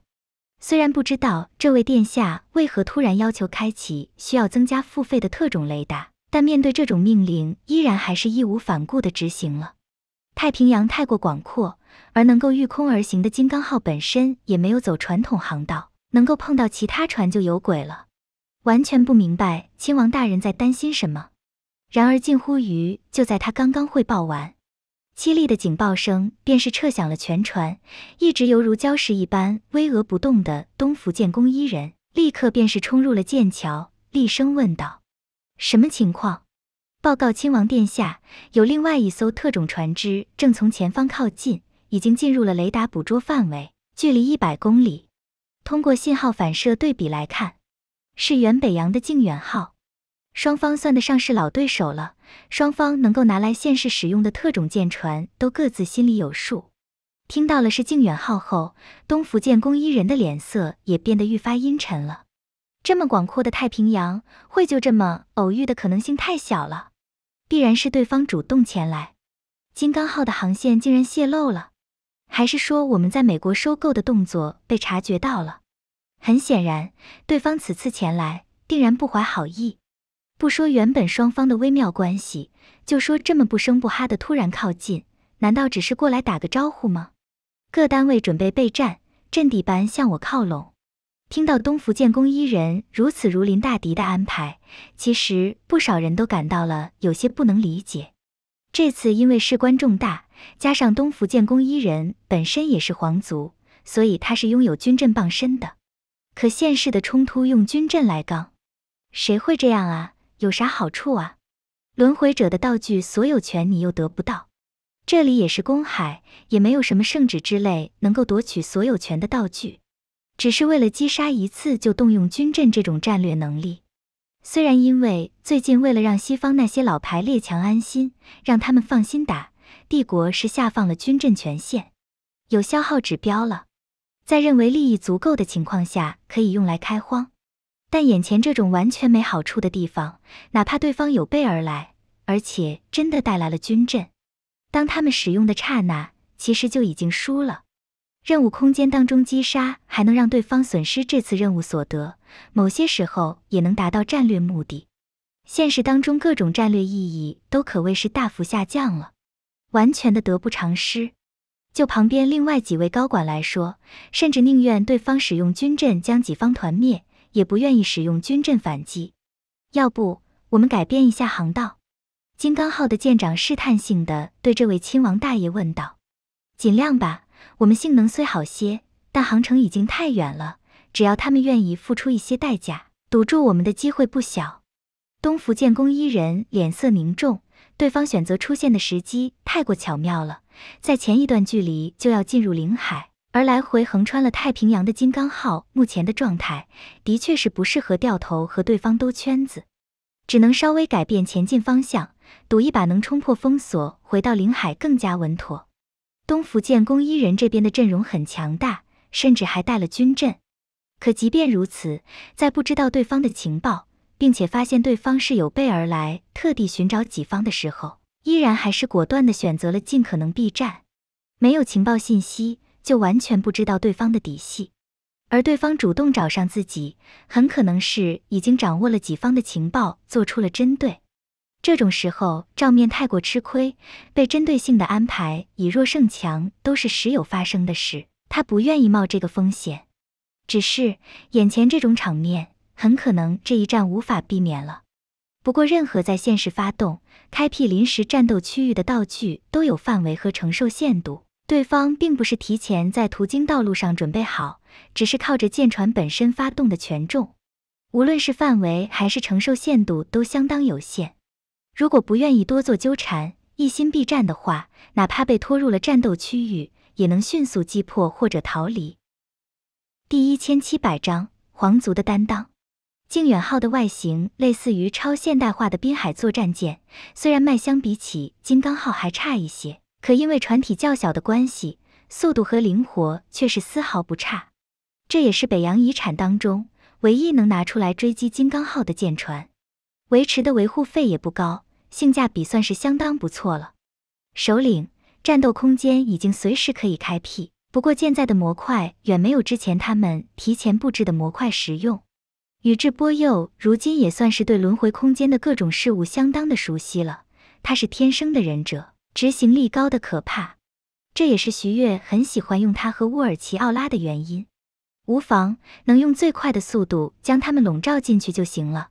改变开辟的形状，压缩宽度，尽量拉长，双方都能互相捕获对方的行踪，能够明显的看出对方的船只在谨慎的绕行。大方向不改变，但却尽可能的想要错开己方，很稳重的选择。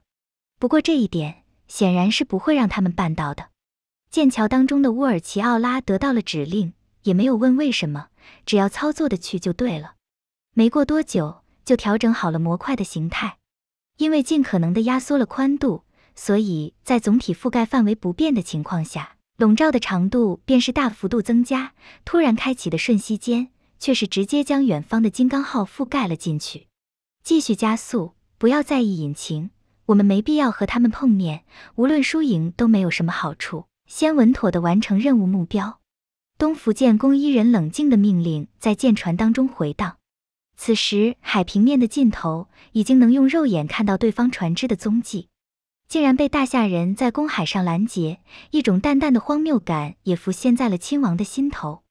虽然从属下们的表情来看，都是满脸不忿，认为这是耻辱，可作为上位者，他必须要从利益角度出发，不能意气用事。放心，我们已经将讯息发回国内，这里距离帝国本土并不远。等到我们冲回去将东西放下后，立刻就能汇集援军，杀一个回马枪。到时候他欠了我们的，我们。然而，不等东福建工一人的话说完，肉眼可见的一股波纹便是从对方船上激射而出，沿途所有的海浪都被强行抹平，犹如镜面一般，隔离开来了一条与两侧格格不入的通道。这顿时就让东福建工一人眼瞳一阵收缩。战斗空间模块，他们怎么弄出了这么个形状？注意，定然是有着一记强大攻击，用最快的速度从侧面冲出去。对方能够这么远笼罩己方，侧面区域相当的薄弱，只需半分钟不到就能冲出。现在只需要提防对方的雷霆一击。东福建工一人并不会抱什么侥幸心理，对方之所以会用出这种古怪的方式，定然会有大手笔，让他们有足够的自信一击重创或击沉己方。可这样做到底有什么意义？有必要吗？对你们又有什么好处？我一直想要避开你们，是因为理智上要让我选择最稳当、损失最小的选择。但这并不意味着本王怕了你们。开局之前，东福建工一人一直都各种强力要求避战，但等到真的被笼罩后，他却也丝毫没有退缩和惧怕。再次一个闪身，来到了船头位置，站在了所有人的最前方。连队员是假的围攻本王都参与过，什么大场面没见过？就让我来称量一下你们的斤两吧。脚底微微转动，东福建工一人伸手按在了自己腰间的佩刀之上。自己可是帝国亲王，可不要小看我啊！哪怕这次是徐悦亲自出手，甚至将孙武也请了过来，这一击之力，我还是有自信能够挡下的。咔嚓！当那平静海面覆盖而来，战斗空间将金刚号笼罩的瞬间。四周空间便是骤然一片寂静，化作了黑白二色。随后一阵龟裂破碎，似曾相识的画面和进入任务空间很类似。这这场面我还真没见过。一望无际、波澜壮阔的海面出现在了眼前，好像之前的遭遇都是幻觉一般。然而让东福建工一人惊恐的是，战斗空间的提示依然没有过去。而且这一次，他完全看不到那狭窄空间的边沿，眼前这无边无际的世界，似乎就是战斗空间。怎么会这样？不可能的，不可能有这种规模的模块。东福建工一人呢喃自语，旁边其他轮回者也没有回过神来，同样进入了目瞪口呆的状态。普通的空间开辟而已，上不得台面的小把戏。徐月的身影缓缓从天空走了下来。靖远号的战斗模块强度不够，没办法，自己也就只能在有限的空间内再开辟一处空间喽。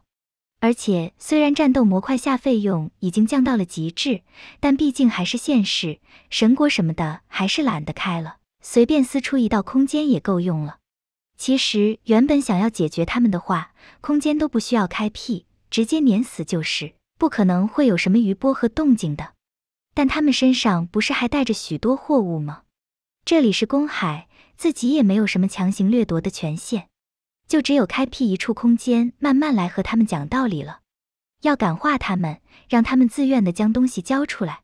徐月也没有去和他们解释什么，说什么是你们先伏击我们的货，我们才来抢劫的，而是很直白的开口道：“你们运送的东西和我有缘，不如我们来好好谈一谈。”轰隆，黑压压的厚重乌云笼罩天空，犹如世界末日一般的雷鸣出现，大量撕裂虚空的龙卷在海面上掀起。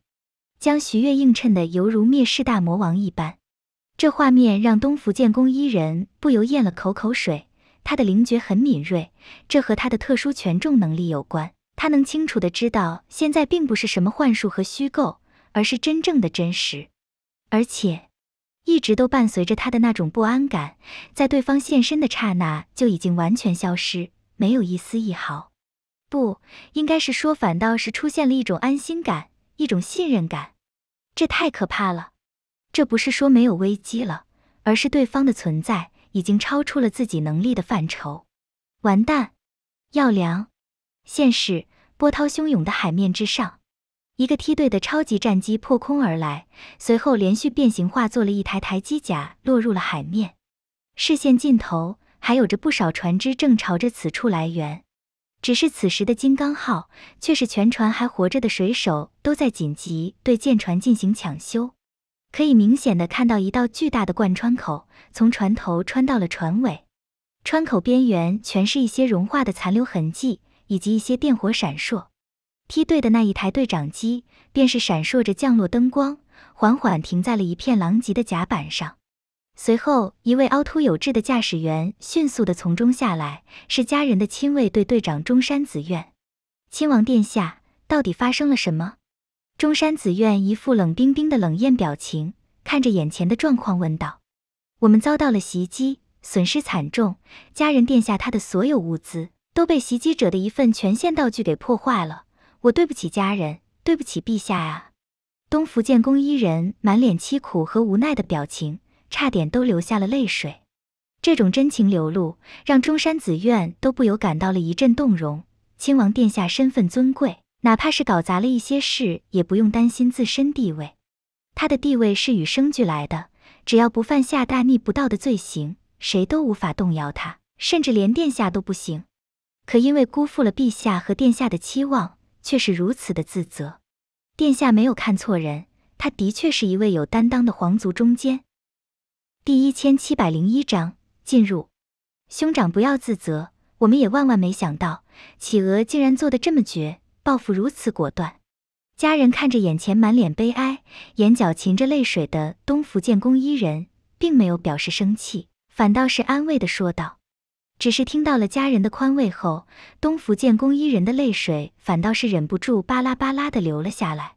其实这也怪我贪心，企鹅商会的物资伏击了他们，但没想到他们的情报远远超乎想象，很可能伙同了失踪的袁世甲或者孙武出手，将秦川他们全都击杀了。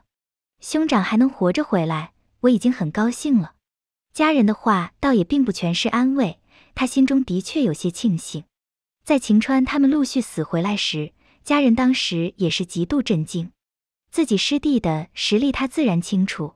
在其他给他派遣的几位帮手陆续倒下后，竟然没有坚持多久，就也同样死亡。这等实力，必然是有着袁氏甲那一级别的强者在暗中窥视。在师弟使用了保命能力后，抓住了契机，给予致命一击。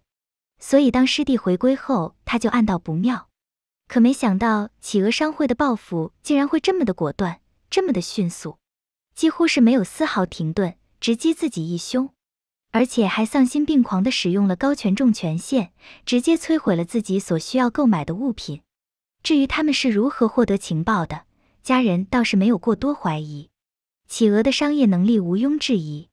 自己义兄在米国的收购也算不上秘密，被他们盯上也正常。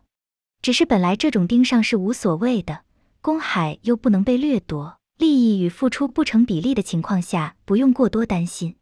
可偏偏这时候自己发动了对他们的拦截攻击，导致了他们恼羞成怒的报复。哎，早知如此，先花些钱财买下来也好。家人满脸唏嘘，一时的贪婪真的是赔了夫人又折兵。而且本来这是个很好的针对借口。可偏偏他们表现出的实力威慑，让己方也颇为忌惮，这也是他们敢肆无忌惮在公海拦截的原因。如果真的还有着袁氏贾纳级别的强者，以目前帝国修养积累的情况，还真不好马上动手。不过快了，义兄不用担心，等我突破精锐之时，必然会为你找回公道。家人随后还宽慰地拍了拍东福建工一人的肩膀。他在资深阶段就有了精锐的实力，等到突破精锐后，便能一跃成为精锐当中的顶尖好手。未来是有一丝希望在飞升前达到袁世甲那一层次的。到时候自己继承皇位，配合国运与龙气，还有袁世甲那级别的战力，绝对可以横推对手，哪怕是那些老牌列强也丝毫不惧。家人，马上你就要到关键时刻了，为兄这次失手了。不如就去任务当中帮你一把吧。东福建宫一人擦了擦眼泪，满脸歉意。哈哈，兄长的好意我心领了。不过兄长还是先好好休息一下，缓一缓。这一次有老师亲自出马帮我，没有问题的。甚至藤原家那边也愿意给予一定援手，表示他们对我的支持，对皇室的态度。家人哈哈大笑，婉拒了东福建工一人的好意，倒不是不相信他。而是这一次任务没必要进入这么多的主力，兄长也是帝国最顶尖层次的战力了，一次不宜太多使用指定权限，不然急用的时候没人上就麻烦了。大神官阁下吗？哎，这倒是也不差。东福建工一人满脸唏嘘。嗯，兄长就在这里坐等小弟的好消息吧。算一算时间也差不多了，虽然少了一些物资，但整体上影响不大。本来我就是宝盒式收购的。家人脸上虽然有些可惜，但却也并没有太过在意一次收购点的损失。哪怕米国那边的物资数目最多，但毕竟也是一处地点。最主要的收集还是利用本国权势的收敛。欧洲各国的收购也早已到账了，自己已经做好了万全准备，就等最后的时间了。一间古色生香的木屋内，捧着一本炼金术手册的徐月也略微顿了下。随后将这本手册收了起来。钢之炼金术师的世界，目前来说开荒程度也还算不错了。利用企鹅商会还有藤原家的势力，徐月在市面上收集了大量与之相关的炼金手册，有技能类的，也有笔记本类的。通过这些手册，不断的利用自身的高视野去理解炼金术，方便进入后的起步。以徐月的能力，这些东西入手的时间虽然不长，但却也迅速吃透，甚至不少地方已经开始推陈出新了。除了炼金术，那个任务空间中新国的炼丹术的一些书籍手册也有进行了解，将炼丹术的基本原理与手段也完全吃透。虽然整体来说两种能力的基础不一样，炼金术师很难学会炼丹术，反之亦然。但那仅仅只是局限于双方的眼界和能力，这种东西放在徐月手中，却能轻而易举地完成融会贯通。整体上都是遵从于等价交换的法则，只是使用手段和理论不同罢了，没啥大不了的。不过一直闭门造车也不行啊，差不多也该动身了。将书籍合拢，徐月也感应到了任务时间的到来。咔嚓，伴随着一片破碎。徐月也进入到了另外一处世界，看着眼前的大门，徐月不由陷入了沉思。毫无疑问，这玩意儿就是真理之门，亦可以看作是当前世界的根源，蕴含了万物所有知识与信息。主角爱德华能够不使用炼金阵释放炼金术，就是因为进入过真理之门，得到了部分门后的讯息。但为啥自己会在这里？正准备沉入脑海寻找一些身份继承线索的徐月，下一刻就听到了耳边一道不分男女老幼、带着些许重音的呼喊：“哟，你来啦！”抬头看去，便是看到了一个没有五官、好像火柴人一样的玩意儿。真理的化身，也是这个世界的神。哪怕最后被瓶中小人拉入了体内，也无法改变他的本质。好浓郁的保护之力，你开挂了吧？徐月感受着那火柴人身上被空间赋予的保护力量，也不由擦了擦嘴角。可惜，这个世界的基本法则，除了世界本身的赋予外，空间也给予了相当大的支持，应该是太过契合空间本身的运行规则，共鸣状态下给予的保护。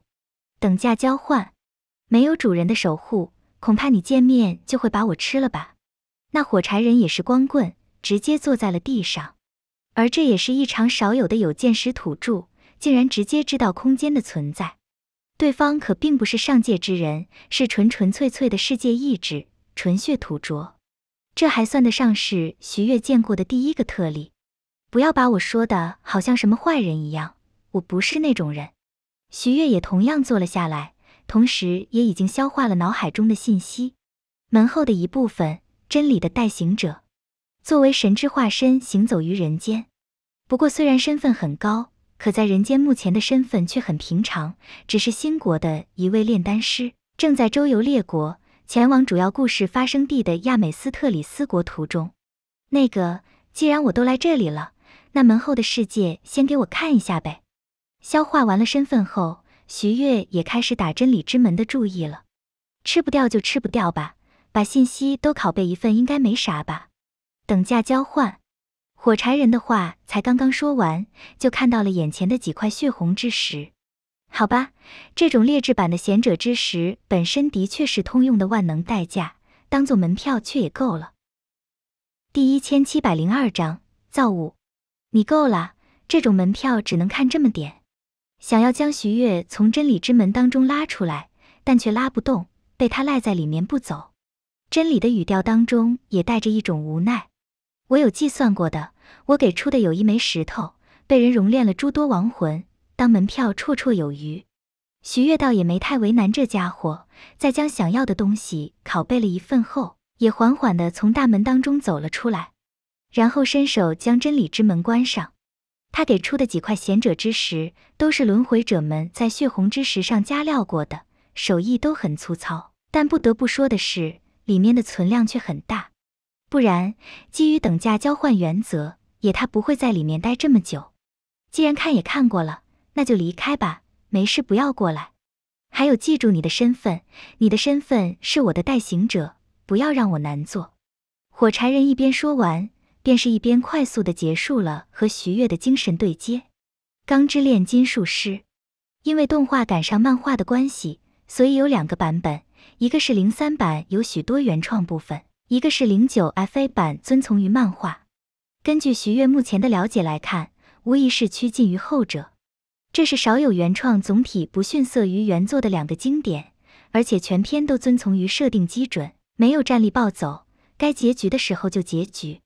嘴炮犀利，BOSS 们也认可，但却绝不会因为嘴炮而有丝毫动摇和更改。钢之炼金术师开局要从几百年前说起。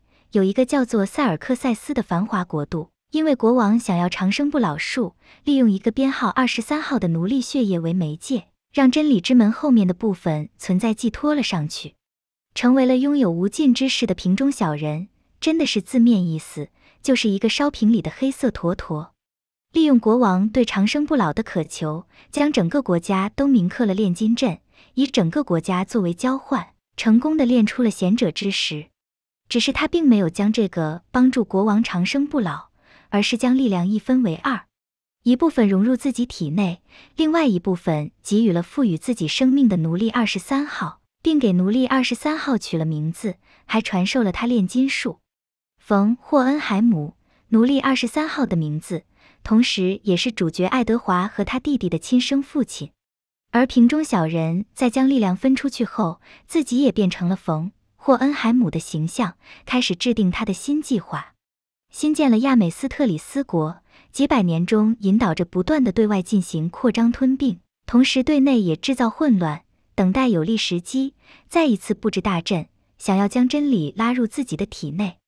而贤者之石炼成阵还需要五个人柱，对人柱的需求便是见过真理并平安回来的存在，比如爱德华兄弟俩、他们的父亲以及他们的老师。呃，还有现在的徐悦也可以成为人柱的素材。故事便是从爱德华兄弟想要复活母亲，触碰了炼金禁忌，进行人体炼成而开始。因为触碰禁忌，弟弟失去了身体，灵魂依附在一套盔甲上。哥哥失去了一只手一只脚，同时因为去过真理之门门后的世界，爱德华使用炼金术可以不需要炼金阵辅助，是当之无愧的炼金术天才。呃，只是这个世界当中，他天才归天才，但比起那些老前辈来说，明显还是嫩了不少。就实力表现来看，虽然很出色，但从始至终都不能说是最强的那一批。盔甲弟弟更是每次战斗都得掉掉脑袋再捡起来，好在开局起点很高，一出门就能算是强者了。主线便是爱德华兄弟寻找贤者之时，想要恢复两人身体一路上的冒险，并逐步接近世界真相，阻止大 boss 的经历。而徐月在离开了真理所在后，便是发现自己正披着一件防沙斗篷，正静静地站在一处沙漠之中。是了，自己的身份是新国炼丹师，现在正在准备前往亚美斯特里斯国。原本连接两国的铁路已经被沙漠给掩埋，现在必须要徒步穿越沙漠才能抵达对面。根据记忆，现在大概是已经走了一半路了。而通过对真理的询问，爱德华那家伙也已经去过门后了。现在大概是剧情开始初期，差不多，先整理一下，然后找点帮手吧。徐月轻轻跺了下脚，附近整个沙地便是一阵晃动，大量的流沙自行汇聚，最后融成了一道琉璃状的小屋，成为了徐月临时落脚的地方。理解、分解、再构造，炼金术的展现手段，其实某种程度上和投影魔术很类似，但没办法无中生有，必须要遵从等价交换。以徐月投影魔术的造诣，以及他那夸克级别的入微手段。其他炼金术士苦苦钻研一个方向，就为了理解更加深刻、使用起来更加容易简单的门槛，放在他这边却是毫无难度。在进来之前就已经看了不少炼金术和炼丹术的书了，加上真理之门后面逛了一圈，想要做什么完全是信手拈来。爱德华虽然不要炼金阵，但好歹也得手拍一拍，但对徐月来说却是连手都不用去拍。任何物质，哪怕以前都没接触过，都能瞬间完成分解再构。只要遵从于等价交换原则嘛，虽说是有些限制，但也并不是很麻烦嘛。徐悦一边走进屋子里，一边也拿出了买来的几个版本地图，亚美斯特里斯国的、新国的，甚至旁边其他国家的也有。伸手从口袋里掏出一枚血红之石，手指交错一弹，便是直接击射到了地板上。很快，伴随着地板的一阵扭曲变化，一道倩影便是从中爬了起来。是徐月的第一个造物，艾丽。召唤什么的，在这个世界有着严格的限制，甚至类似于空间道具也有诸多限定，必须要满足交换法则才能使用。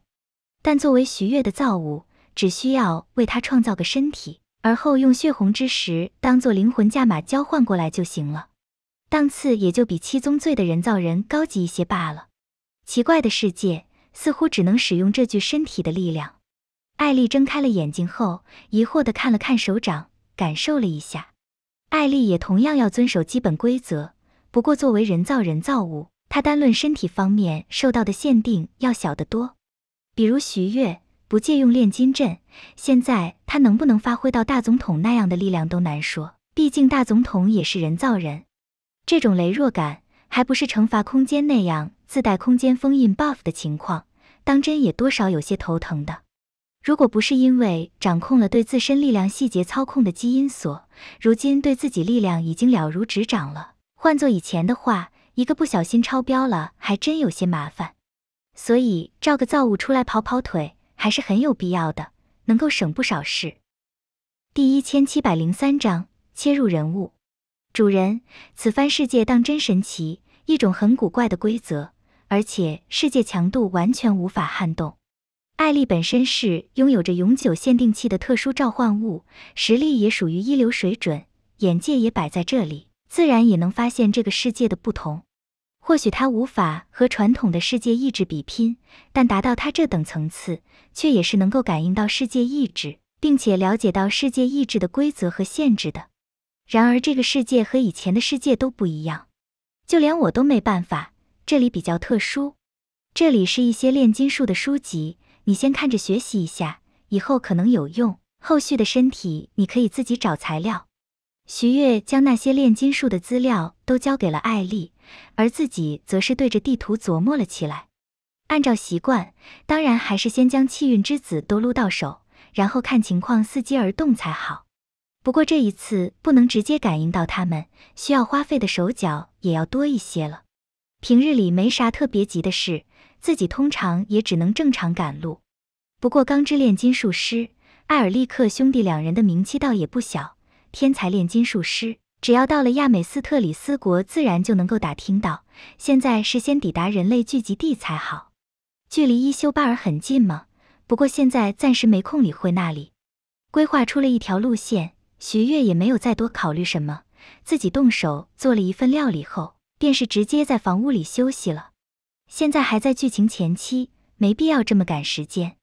井上家康那家伙也在家人旁边，家人的目的也不是一时半会儿可以达到，姑且放松一下吧。准备工作让家人他们去做就是了，到时候摘个桃子，增加点积累。还有，贤者之石炼成阵吗？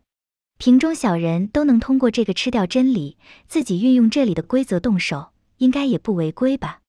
一口将盘中的料理插入嘴里，徐月拿着纸巾擦了擦嘴。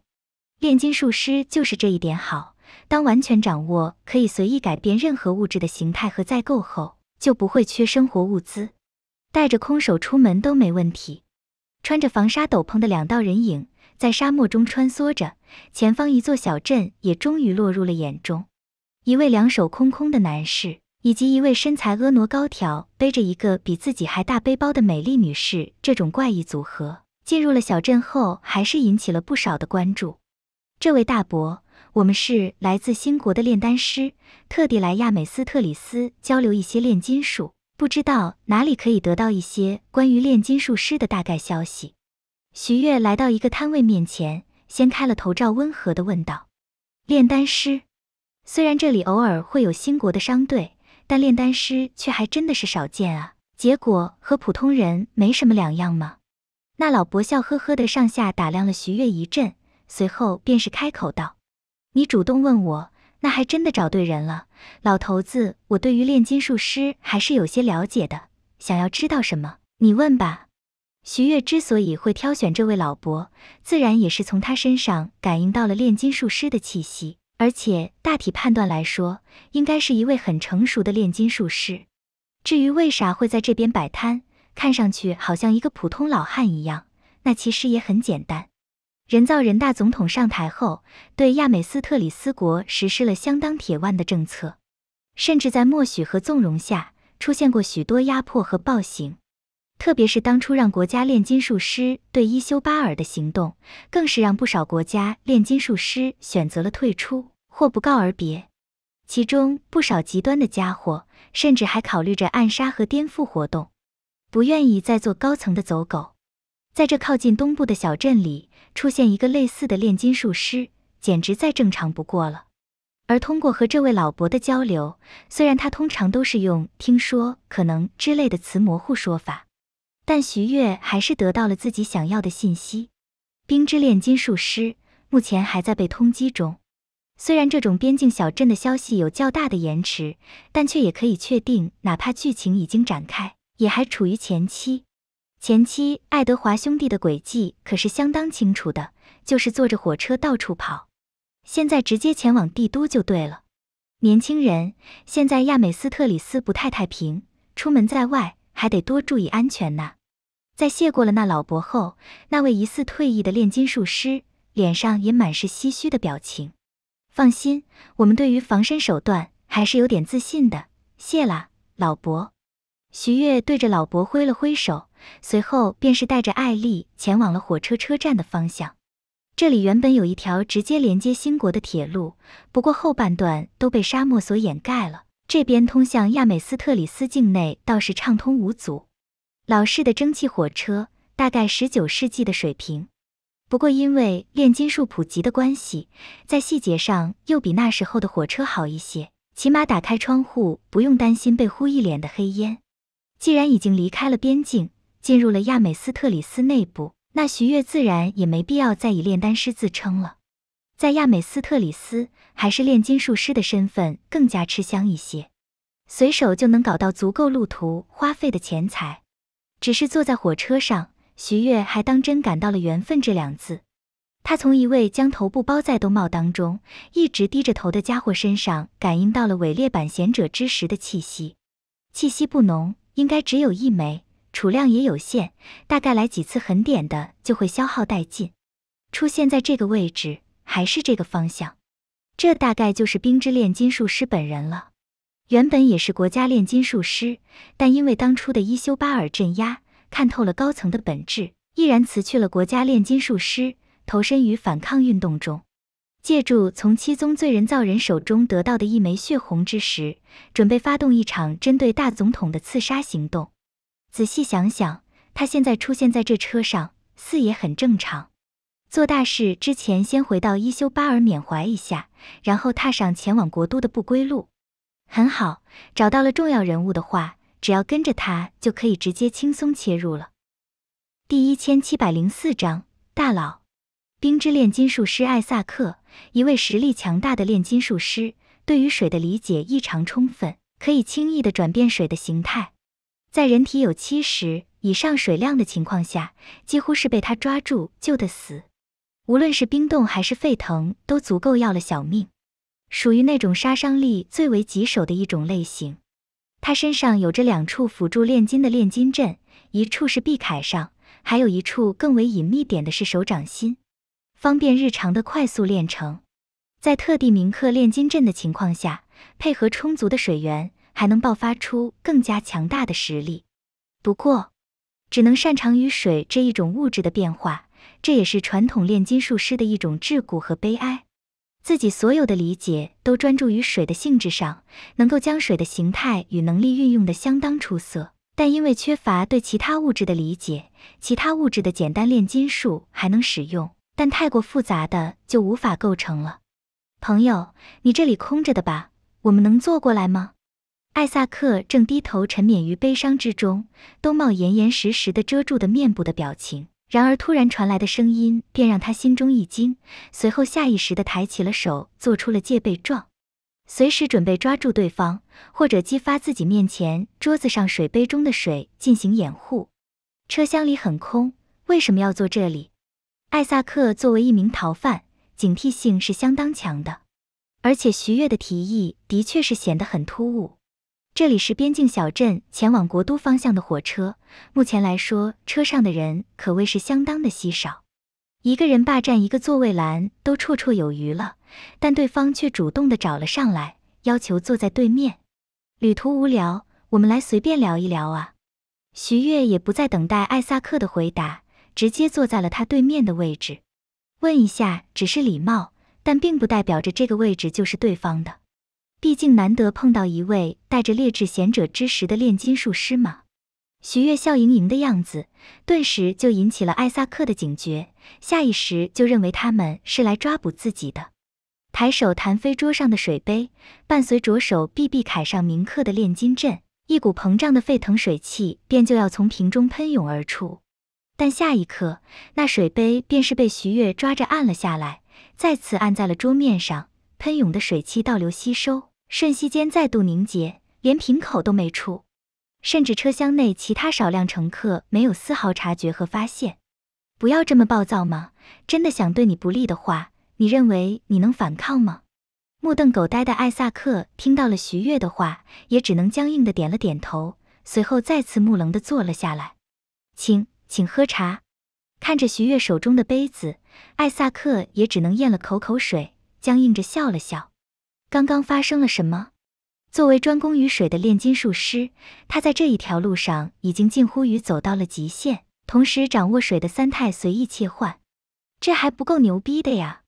但刚刚发生的事却是告诉了他，他真的还不够牛逼。咕噜，你你怎么做到的？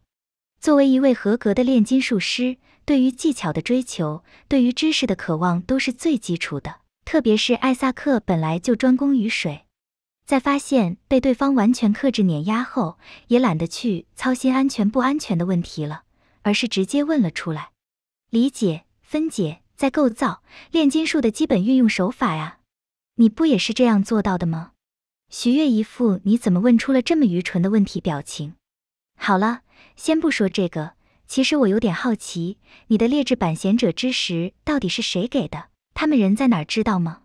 绝大多数的劣质版贤者之石，其实都是瓶中小人剥夺出七宗罪炼制的人造人给出去的，目的就是在亚美斯特里斯内制造各种混乱，方便最后伟大的计划。祭品们情绪越激动，效果就越好。而毫无疑问，效果也很拔群。炼金术配合能够供给的劣质版贤者之石，每一颗都能起到相当出色的效果。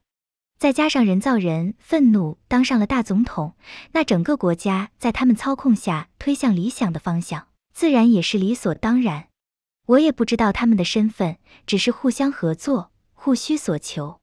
艾萨克冷静地说道：“他是从 X 玉手中得到的贤者之石。”双方并没有同属关系，和七宗罪们在各地做的事类似，他们只是将劣质版贤者之石流出去，然后引起当地的动弹和恐慌，滋生人们的负面情绪。艾萨克有实力、有目的、有能力，的确也是一个不错的合作目标，当然也不会放过。至于失败，当然会失败。艾萨克要刺杀的本来就是他们的自己人。好吧，你就这么去完成你的刺杀大业，就凭你这三脚猫的实力？徐月得知到了之前 X 玉拉斯特等人的位置后，也心中有数，随后便是毫不客气的说道：“艾萨克，这是第一次被别人说三脚猫的实力，可偏偏却完全无力反驳。是啊，对比眼前这个变态来说，自己的确也就是三脚猫。阁下也不用小看我，有着他们交易来的东西。”我对于我的行动还是有几分把握的，只要时机得当，必然就能够成事。艾萨克在做出决定之前就已经将生置之度外了，他知道自己的行动很危险，但却也必须要这么做，既来洗清自己手上的鲜血，也能达到自己的目的。至于为此而牺牲的人，做大事无法避免牺牲，这也是等价交换。而随后，他也终于有些忍不住的低声说道。阁下问了这么多，也没有抓捕我的意思，想来并不是国家炼金术师，不是高层的走狗。既然如此，那何不助我一臂之力？以阁下的能力，再加上贤者之石辅助的话，必然能够事成。原本他还去拉拢过被关押的红莲炼金术师，可很显然，现在有一条超粗的大腿摆在面前抱，必然不能放过啊！我，我就算了吧，直接游戏结束多无聊。我算是观察者吧，我可以帮你解决一些碍事的，给你一个相对公平的环境。徐月笑盈盈的收下了空间的费用后，表示自己没有插手的意思。无论是家人的炼金阵，还是瓶中小人的炼金阵，我都要。而冰之炼金术师将整个城市都刻出炼金阵，再利用贤者之石炼成河中之水的那种大动静，是必然会引起轮回者的注视的。关于冰之炼金术师的情报资料也有不少。根据徐月的判断，轮回者借用冰之炼金术师为台阶，成功得到高层的关注，这种情况选择的可能性应该最大。毕竟借用高层的力量，他们才能够更加效率、更快的寻找到合适的祭品地点，完成炼成。第一千七百零五章考验。森特拉尔，大量轮回者也已经完成了汇聚。皇族禁卫、王储亲卫、神社阴阳师以及藤原家族的诸多强者，阵容可谓是空前的强大。而他们此行的唯一目的，就是协助家人殿下完成进入精锐乱入者前的最后积累，完成这次指定权限，再完成一次惩罚任务，家人殿下便可以选择进入精锐乱入者的晋级了。一旦这次积累成功，家人殿下将会完成生命层次上的蜕变，本来就差不多迈入门槛的他，单论实力都能一跃成为精锐级别的好手。在随后完成晋级任务，得到精锐级的权重，获得战力直接百分比的提升后，顿时就能再次暴增，成为接近于陛下那样的顶尖强者。届时，只要陛下再延迟一段时间飞升，帝国将会同时拥有这两位超一流强者，拥有国运与龙气的加持。特定情况下，他们任何一人都能比肩甚至超越袁世甲，哪怕踏出国境，也能保证单对单不落下风。再配合皇族传承的军阵，再加上帝国的积累，积蓄修养一阵后，就能完成那改变国运的大计。所以这一次可谓是异常重视的行动。哪怕牧人看上去好像没什么在意，但却也郑重地拜托了大神官亲自过来护道。加上所携带的军阵和能够用来提供解锁的贤者之石，没有人能够撼动他们分毫。就算是企鹅商会想要捣乱，也会力不从心。之前他们惩罚任务蹦跶，中途还在公海上做过了两场，看上去是实力强大，风头无二。但那只是关键时刻不愿理会而已。一旦他们真的进入了这个世界，哪怕是袁世甲来了，也得陨落在这里。我们花费了这么多精力，这么多时间，收集到了如此数目的贤者之石，绝对是值得的。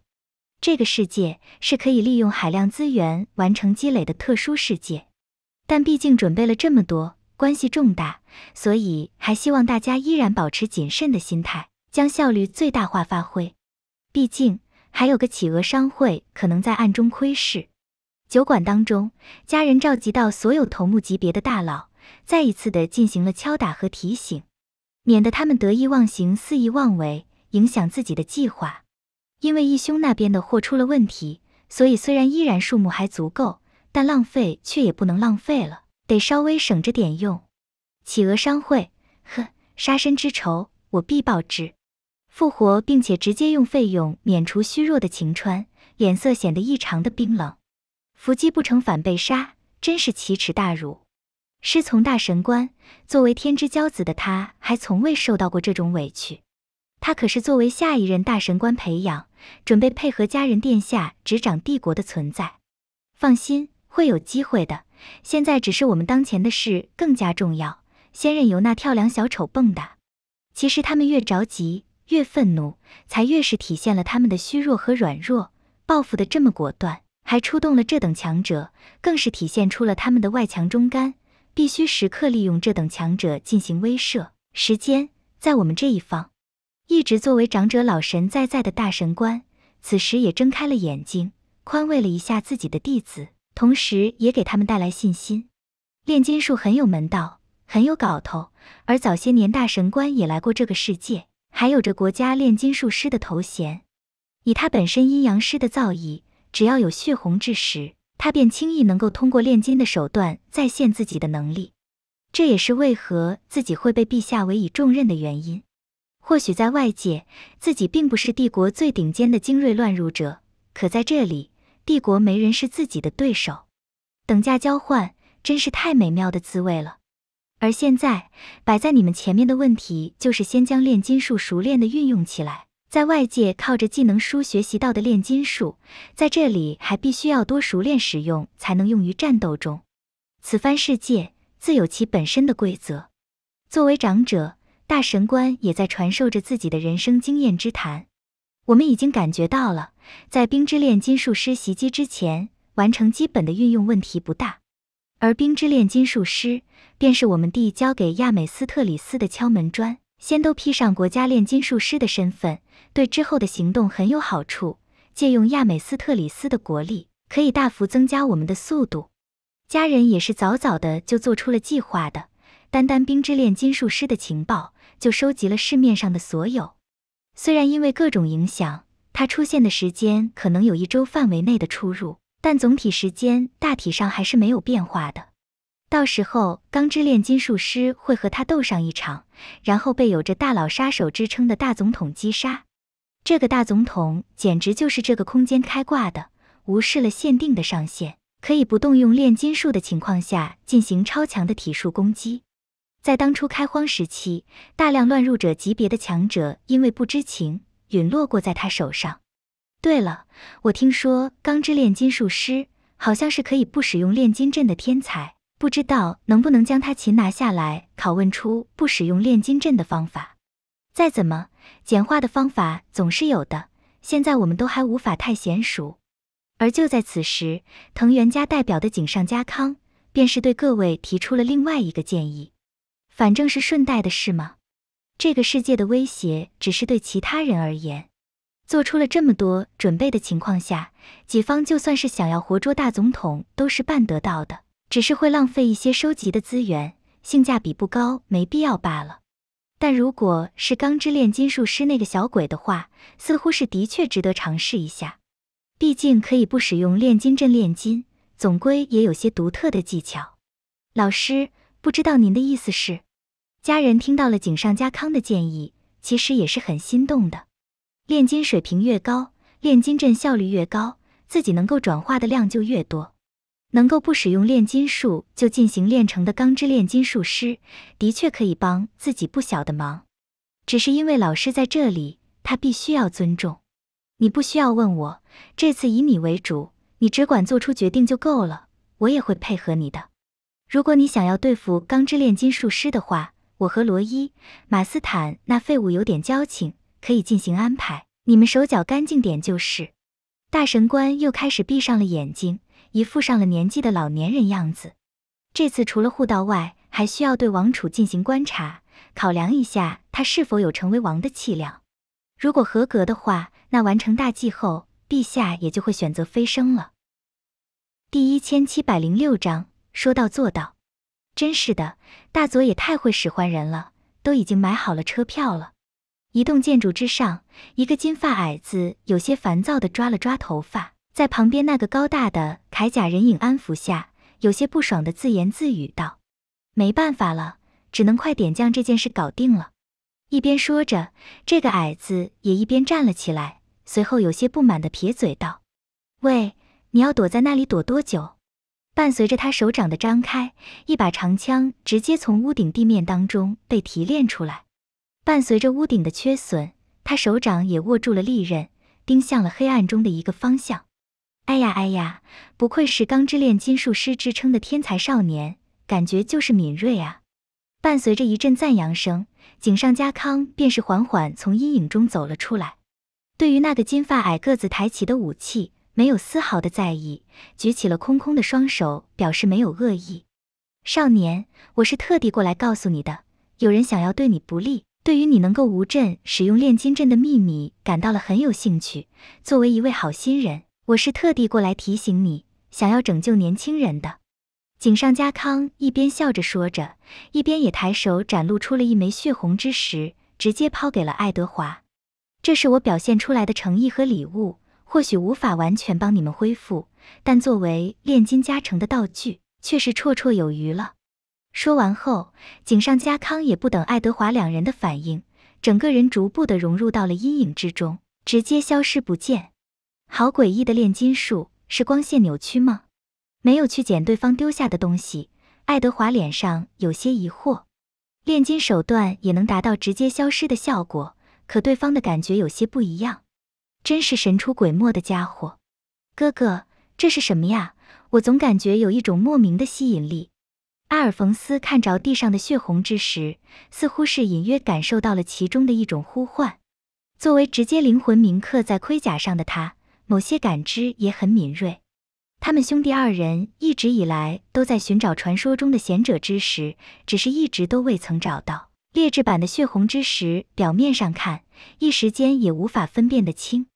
但当爱德华上前将血红之石捡起来后，那种似乎能够化一切不可能为可能的感觉，却也直接浮现在了他的心头。甚至他隐约有一种感觉，自己能够以这一枚石头去一次自己去过一次的地方。贤者之石？不，不对，但似乎可以试一试。感受着心中的激动，爱德华恨不得现在就开始进行某种尝试。还留有能量的血红之石。他也一直未曾得到过，只是就在此时，城内却已经发生了各种骚乱，大量水汽澎湃，不少地方都发生了战斗声和惨叫声，打断了爱德华的思绪。好吧，不管如何，还是先把麻烦解决，毕竟答应下来了的。而且那个通缉犯看上去的确不像什么好人的样子。因为前段时间下雨的关系，森特拉尔的各个小巷当中都还存留着积水，这对于本来就擅长战斗的艾萨克来说，简直就是如虎添翼。无论是化作冰刺伤对手，还是直接蒸腾出雾气进行引导，都是信手拈来。近身后更是可以直接作用于人体内的水分之上，一些寻常的普通人，哪怕手上有着枪械，也完全阻拦不了他分毫。毕竟，如今这个世界的枪械算不得发达，哪怕有炼金术师的协助，工艺可以达到不错的程度，但却也就是二十世纪初期的水准，在巷战当中对艾萨克根本就构不成威胁，只要提防不被包围就行了。而他之所以到处游走的最重要原因，就是在城内各地铭刻炼金阵。在依靠血红之石一鼓作气冰封中间建筑，达到除掉罪魁祸首破坏计划的目的。没错，在伊修巴尔的时候，他隐约就已经察觉到了那位最高上司的野心，甚至对于计划都有所察觉，或许并不全部清楚，但大概也有所猜想了。也正因如此，他的行动和目的才会这么的果断。再一次击杀了两名拦路的普通搜捕人员后，艾萨克也终于第一次被动的停了下来，皱眉的看着前方的三道身影。一个穿着样式古怪长袍的男子，身边跟着两只巨狼一般的炼金造物。合成兽看着那两头牛犊大小的巨狼，艾萨克的表情也有些严肃，完全不知道对方是谁，也不知道对方的能力。而合成兽能力可强可弱。完全摸不清底细啊！真是失礼，怎么能用合成兽这种肤浅的东西来形容我的式神？作为惩罚，被咬断四肢的话，那也要有着觉悟。晴川满脸笑容，一种一切尽在掌握的表情，缓缓靠近。阴阳师在这个任务空间当中，多少是有一些便利的，利用血红之石的灵魂力量作为交换代价，兑换出自己的式神。只要是神的威能在合理范围内，后续就不用再消耗贤者之石的力量了，相当于合成兽、人造人等炼金造物。这两只巨狼加起来，也就是消耗了半枚而已。不等艾萨克的反应，那巨狼便已经直接朝着他扑杀了过去。而艾萨克也是参加过战争的精锐，反应异常敏锐，不退反进。靠着地面水洼的水制造一面冰墙挡住其中一头的同时，拼着被巨狼狼爪抓伤，便是直接伸手按在了另外一头巨狼的身上。只要是生物，嗯，发现炼金失败后，艾萨克直接引爆了自己的水壶，化作冰刺捅向巨狼的同时，自己也立刻抽身后退，在付出了身上几道深可见骨的血痕代价下，脱离了两狼的围攻。呵呵，既然知道你是冰之炼金术师，那你认为我的造物会有水吗？天真，晴川想要用最小的代价获取最大好处，自然也会召唤克制类的式神。他最喜欢的就是通过了解对手的情报，然后专门制定出克制的方式，以最小的代价达到目的，甚至以弱胜强。乖乖配合，我还会饶你一命，否则的话，拿你的人头过去也并没有问题。晴川此时心中也充斥着一股畅快感。上次的失利是自己抹不去的污点，但这一次只用这么一点代价，就将这著名的冰之炼金术师逼到了这个地步，自然又再一次证明了自己的能力。上次仅仅只是失误，仅仅只是被对方打了个措手不及偷袭了。只要再能来一次，让自己制定出完美的计划，就算是击杀那个徐月，自己都信心十足。就在艾萨克捂着自己的血液，准备发狠的时候，另外一道声音却是从旁边传了过来，打断了眼前对手的话：“早点拿人头不就结束了？这么墨迹做什么？”戴着一副单边链条眼镜的徐月不疾不徐的带着艾丽从旁边阴影中走了出来。都答应了对方说会帮他解决一些麻烦，那就会解决。第一千七百零七章纸上谈兵。徐月忽然的出声，让晴川表情不由骤然一凝，随后便是满脸凝重的看向了徐月的方向，不断在脑海中和剧情人物对比，却是未能找到对得上号的。毫无疑问，极大的可能性是轮回者，而且来者不善。在当前这任务空间当中，胆敢对己方怀有恶意的，唯独只可能是之前狗急跳墙的企鹅商会。你们企鹅商会还真是深藏不露，时不时就能冒出一个高手，真不知道都是哪个角落里蹦出来的。晴川心中提高了警惕，但表面上还是漫不经心似的说道，不断的观察着徐月，企图找出破绽和线索。最起码在当前这任务空间当中，拥有着老师的传授，在贤者之石数目足够的情况下，自己绝不惧怕任何轮回者，完全有着多种操作手段可以克制。而且对方最大的不幸就是自己已经有式神被召唤出，完全可以靠着式神来试探出对方的方向，然后找到相对应的解决办法。之前的羞辱，这次就加倍还回来吧。有着黑影人的加持，徐月挂着的镜片就让对方完全没能认出自己。徐月先生，只是就在此时，艾萨克的话却是道破了徐月的身份。听到艾萨克的称呼，加上对对方企鹅商会轮回者的推测，晴川脸上也露出了一阵恍然。原来是你，好高明的伪装。好吧，又是我，又见面了呢，还真是缘分。哟。我不记得有见过你。对了，你一定是当初伏击我的成员之一。晴川的表情从激动逐渐恢复平静，握着的贤者之石也更紧，没有丝毫犹豫的将手上这一枚剩下的力量消耗干。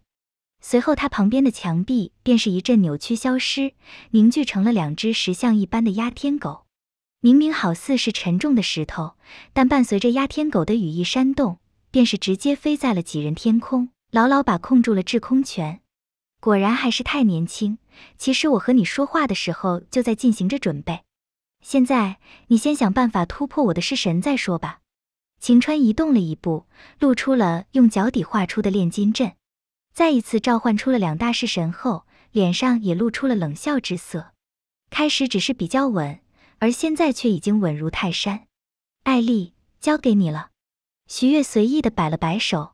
他身后背着背包的斗篷人影便直接化作了一道流光，借助这狭窄的巷子墙壁，不断的纵身跳跃。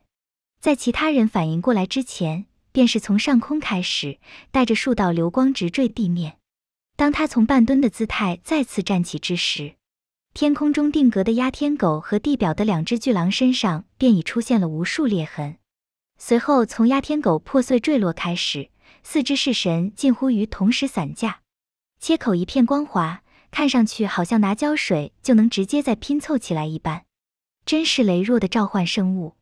艾丽低头看了看自己的手掌，冷冰冰的说道：“哪怕受限于当前这具身体，对于这种杂鱼来说，也是完全处于碾压级的。比起当初围攻自己的那一群轮回者弱鸡，都还要更弱。”好，好强！艾萨克一路上倒也知道了，艾丽是徐月的炼金造物。只是没想到，一直不显山不漏水，只是负责背东西的这个炼金造物，竟然强大到了这等地步。而且从他的言行举止来看，竟然完全拥有着人类的智慧和人格，是人造人。虽然人造人是禁止事项，但毫无疑问，对方的能力已经得到了充分的体现。当初有人将合成兽炼成出能够口吐人言，都引起了巨大轰动。眼前这完美版的人造人简直超乎想象，亏自己开始还以为只是傀儡或者某些高档玩具的，怎么可能？见到自己耗费了一枚贤者之石召唤出来的四大式神如此轻易的被秒杀，晴川脸上也露出了震惊的神色。虽然为了保持式神永久性存在，自己召唤的四个式神都只是精锐轮回者顶尖的层次，还只能使用体术和物理攻击。可当前这个世界当中，要应对各种危险也已经足够了。哪怕强过他们的，也能够拖延到足够的时间，让自己看出破绽，找到应对手段。这可是老师亲自教导的宝贵经验。可现在他却发现自己的认识开始逐渐颠覆。贤者之石一定是贤者之石，对不对？你也使用了贤者之石的力量，而且还选择了瞬间爆发。难怪，难怪。是我太大意了，太过小看你了。晴川冷静地做出分析，只是话还没说完，就被略带疑惑表情的徐月不确定地问道：“你这是又想通过言语拖延时间，对不对？被我猜对了吧？”“没错，就是这样。可惜你知道的太晚了。”晴川突然从原本的紧张状态变得再次恢复了自信，让原本只是想找点乐子的徐月都忍不住有些叹息。其实这家伙能力不算差劲了。但大概起点太高了，有点书呆子。按部就班，制定计划，按照预定的来应该不错。可应急能力也太糟糕了，有点不想要了呀。只是就在徐月有点犹豫的时候，那边晴川便已经完成了他的手笔。如果想要召唤永久的炼金造物，因为等价交换的原则，当然必须要降低档次。可如果只是来一次性的战斗，一枚贤者之石的量却也已经足够大。艾萨克都能近乎于冰封整座城市，晴川自然也不会差。只见他指尖的一枚贤者之石破碎，随后融入了一道刻印了炼金阵的灵符，被他甩向了天空。原本天空就厚重的云层，顷刻间便传出了阵阵沉闷的轰鸣。这就是他们阴阳师喜欢这个任务空间的手段，能够借用的交换物太多了。他们也要遵守规则，不能无中生有。但大自然本来就存在的事物，却也都在掌控之中。配合贤者之石作为炼成放大器，到处都是可以为我所用的事物。九天玄沙化为神雷，煌煌天威以符引之。中二度爆表的台词从晴川嘴里发出，天空云层中所有的电荷便汇聚一点，瞬息间朝着下方倾泻而来。只是那倾泻而来的天雷，却全被一枚突然窜起的避雷针引导着改变了方向。晴川放下了抬起手指的徐月，此时也带着些许古怪的看了已经表情僵硬的晴川一眼：“你不是阴阳师吗？”顿了顿，查了一下第二次到账的收入。徐月表情也一阵若有所思，本来是有些嫌弃了，但这家伙好像比想象当中还有点用。空间是拥有反洗钱机制的，如果是有主观意识上的配合，是无法刷到手的。自己从最后关头出来救下还未和钢之炼金术师完成宿命之战的冰之炼金术师，正常人都能知道自己是为了奖励点数吧？这种吃相，第二次应该很难再吃到了的。可偏偏的，这家伙身上竟然刷到了第二次。第一千七百零八章真相，我还会回来的。今日之赐，必将百倍偿还。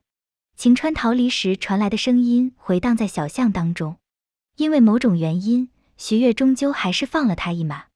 这种家伙提前撸到手的话，反倒是会减少自己的收入，还是先将作用最大化吧。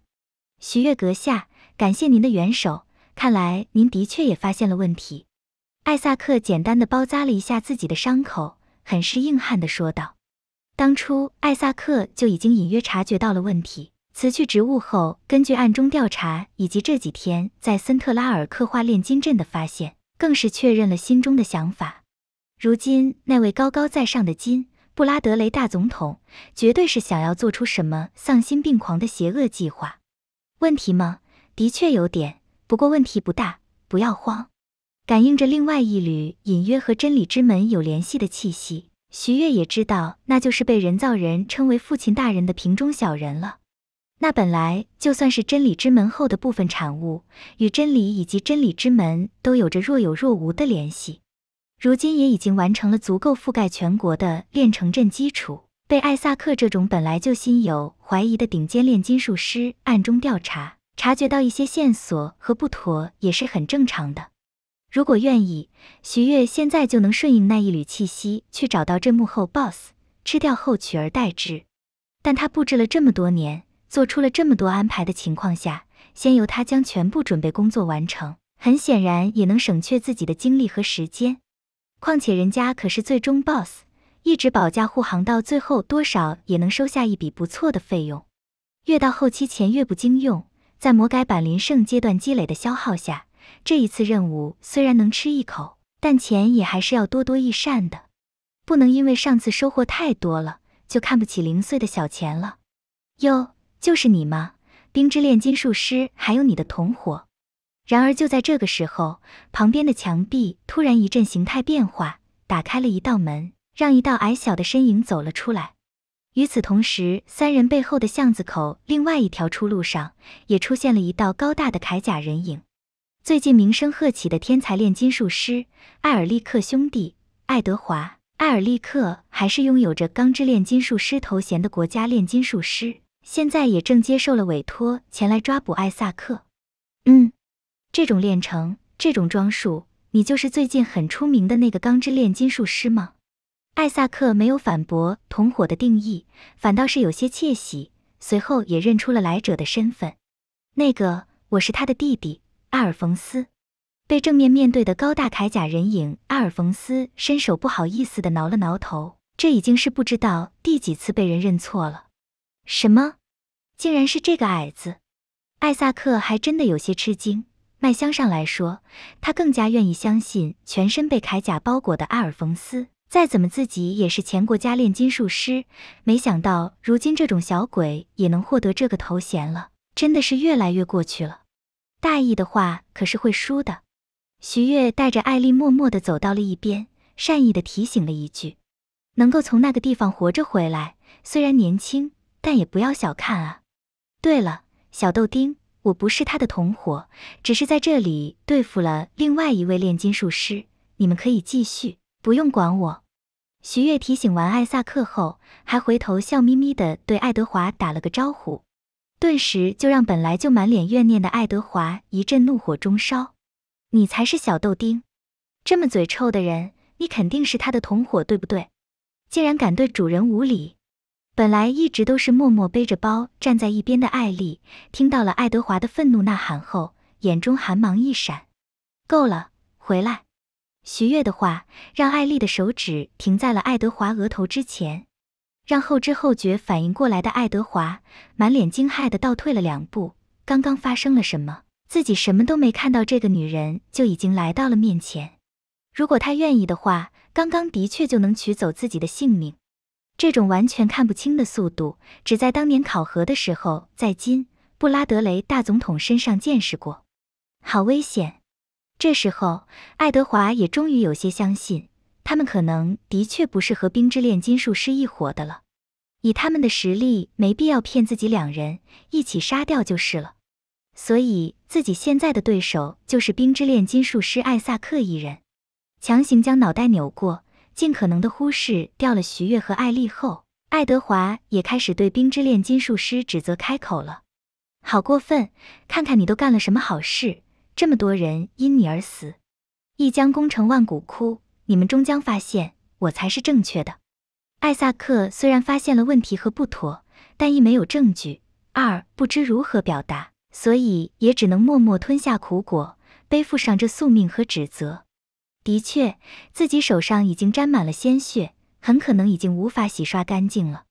但无论如何，自己都必须要达成自己的目的。那么，就战斗吧。不说艾萨克和爱德华兄弟二人的宿命之战，晴川回到了大部队，并将情报说出去后，也让众人感到了诧异和震惊。竟然是徐月亲自来了。而且他开始还伪装的很好，完全是剧情人物的意外才暴露了身份，定然是来者不善。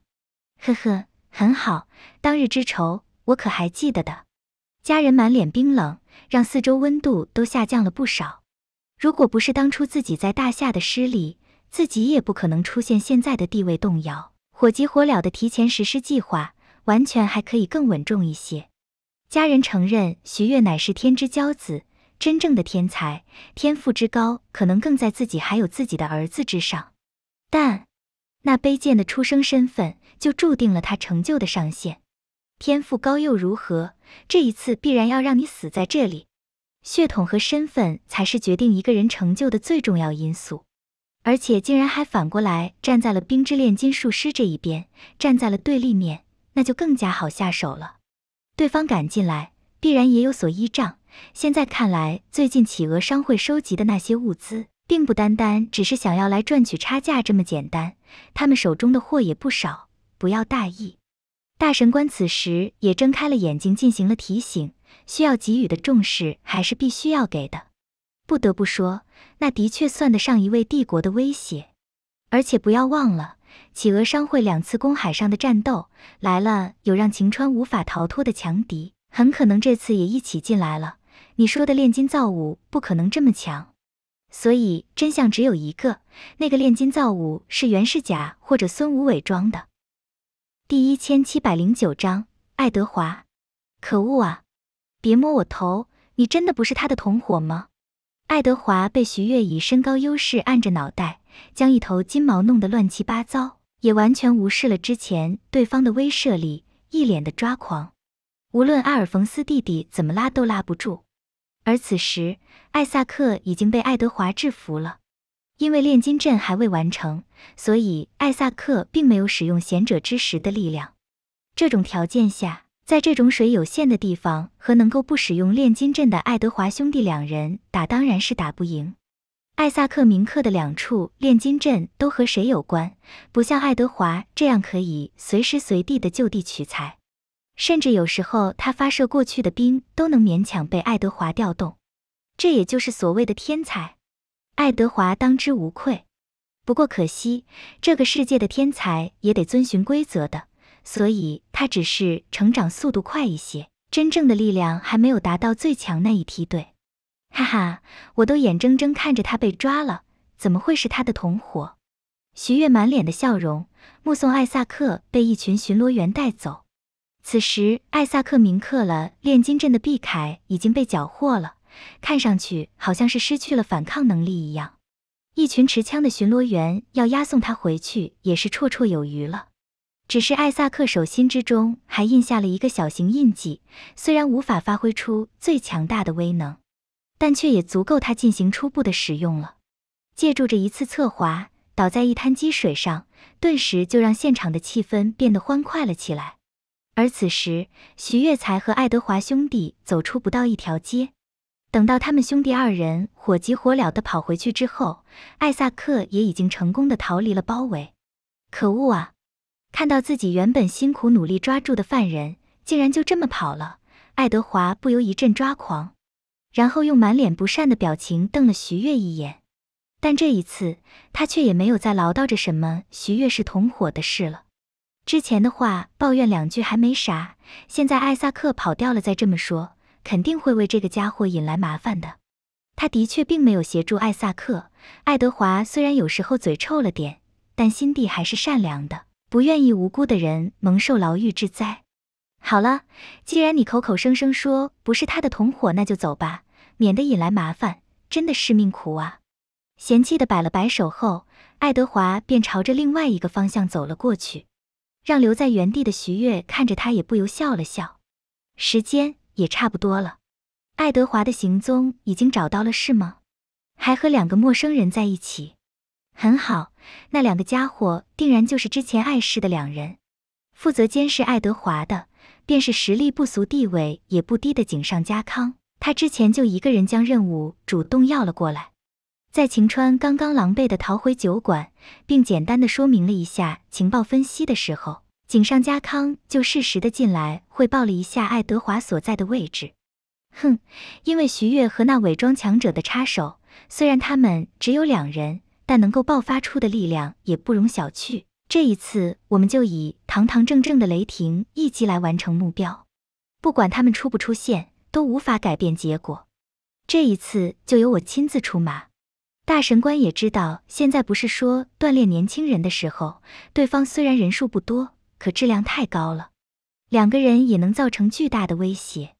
这也就是眼前这要遵循等价交换的特殊任务空间了。换在其他任务空间，不背着军阵出门，他自己都不敢和那两位照面。袁世甲当年留下的阴影面积，现在都还未消散。不过眼前这任务空间的话，倒是不用惊慌。正好抓捕了钢之炼金术师后，我们便将这黑锅甩在他们头上。他们本来就和冰之炼金术师接触过，洗脱不了嫌疑的。当轮回者们找到了正在准备回去汇报情况的爱德华两兄弟时，见到只有他们两人，也有人暗自冷笑。看来他们已经嗅到不对，提前离开了。晴川冷冷地说道。因为他的开口，不少心中带着些许疑惑的轮回者也都暗自点头，认为应该是这样的。毕竟双方投入的力量差距很大，在暴露了身份后，自己这边肯定会重视。这时暂时离开显眼的目标身边，也是一种自我保存的手段。眼前这任务空间的攻略也有着一定进展，大体上的主要人物也都心中有数，而以他们这一群人的级别，对于空间的规则了解也还算是比较清楚了。本来各种可能性都考虑的情况下，也会有怀疑特地触发任务获得好处的行为。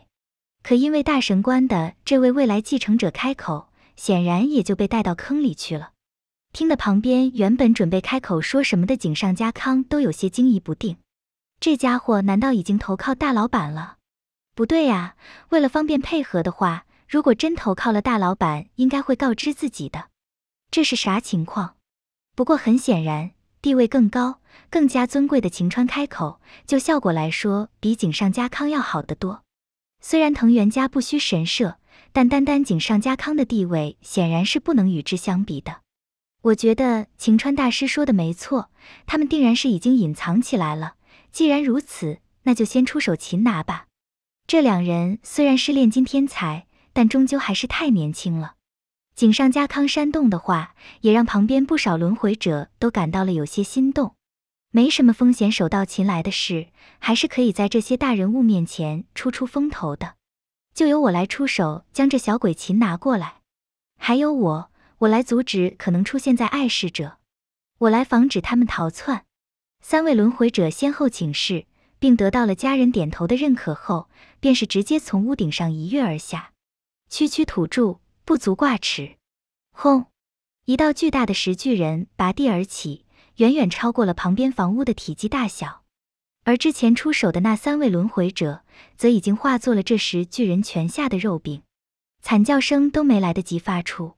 其实他们开始三人是占据了绝对优势的，虽然每人身上都是碎片级别的血红之石，但轮回者的各种战斗技巧、经验以及果断。还是为他们带来了不少加分，哪怕用不怎么娴熟的炼金术进行表现，也很快将爱德华兄弟二人逼得狼狈不堪，甚至阿尔冯斯的盔甲都被打瘪了。也正是阿尔冯斯的盔甲被打瘪，刺激到了爱德华，顿时怒火中烧的他也不再想其他，直接激活了之前井上家康丢给他的贤者之石。可以不使用炼金阵的优势，顿时展现而出，一瞬间便是将附近整条街道完成了炼成，整条街道都凹陷了数米。随后那高大巨人便已拔地而起，让原本只是警戒可能出现敌人，正在暗中观察的家人他们等人都不由吓了一跳。虽然资料上显示过爱德华拥有独自将墙壁炼成巨人的情报。可那几米高的巨人情报和现在几十米的差距，是不是稍微有点大呀？而且那巨人的凝结程度、力量、速度、防御、再生等各方面都远远超过了情报上的显示啊！情报班这是坑爹的吧？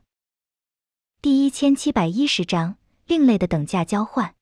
爱德华和寻常的炼金术师不同，因为造访过真理之门门后的世界，所以能够不使用炼金阵施展各种再构造。并不是每一位进行了禁忌炼成、有资格成为人柱的存在都能做到这一点。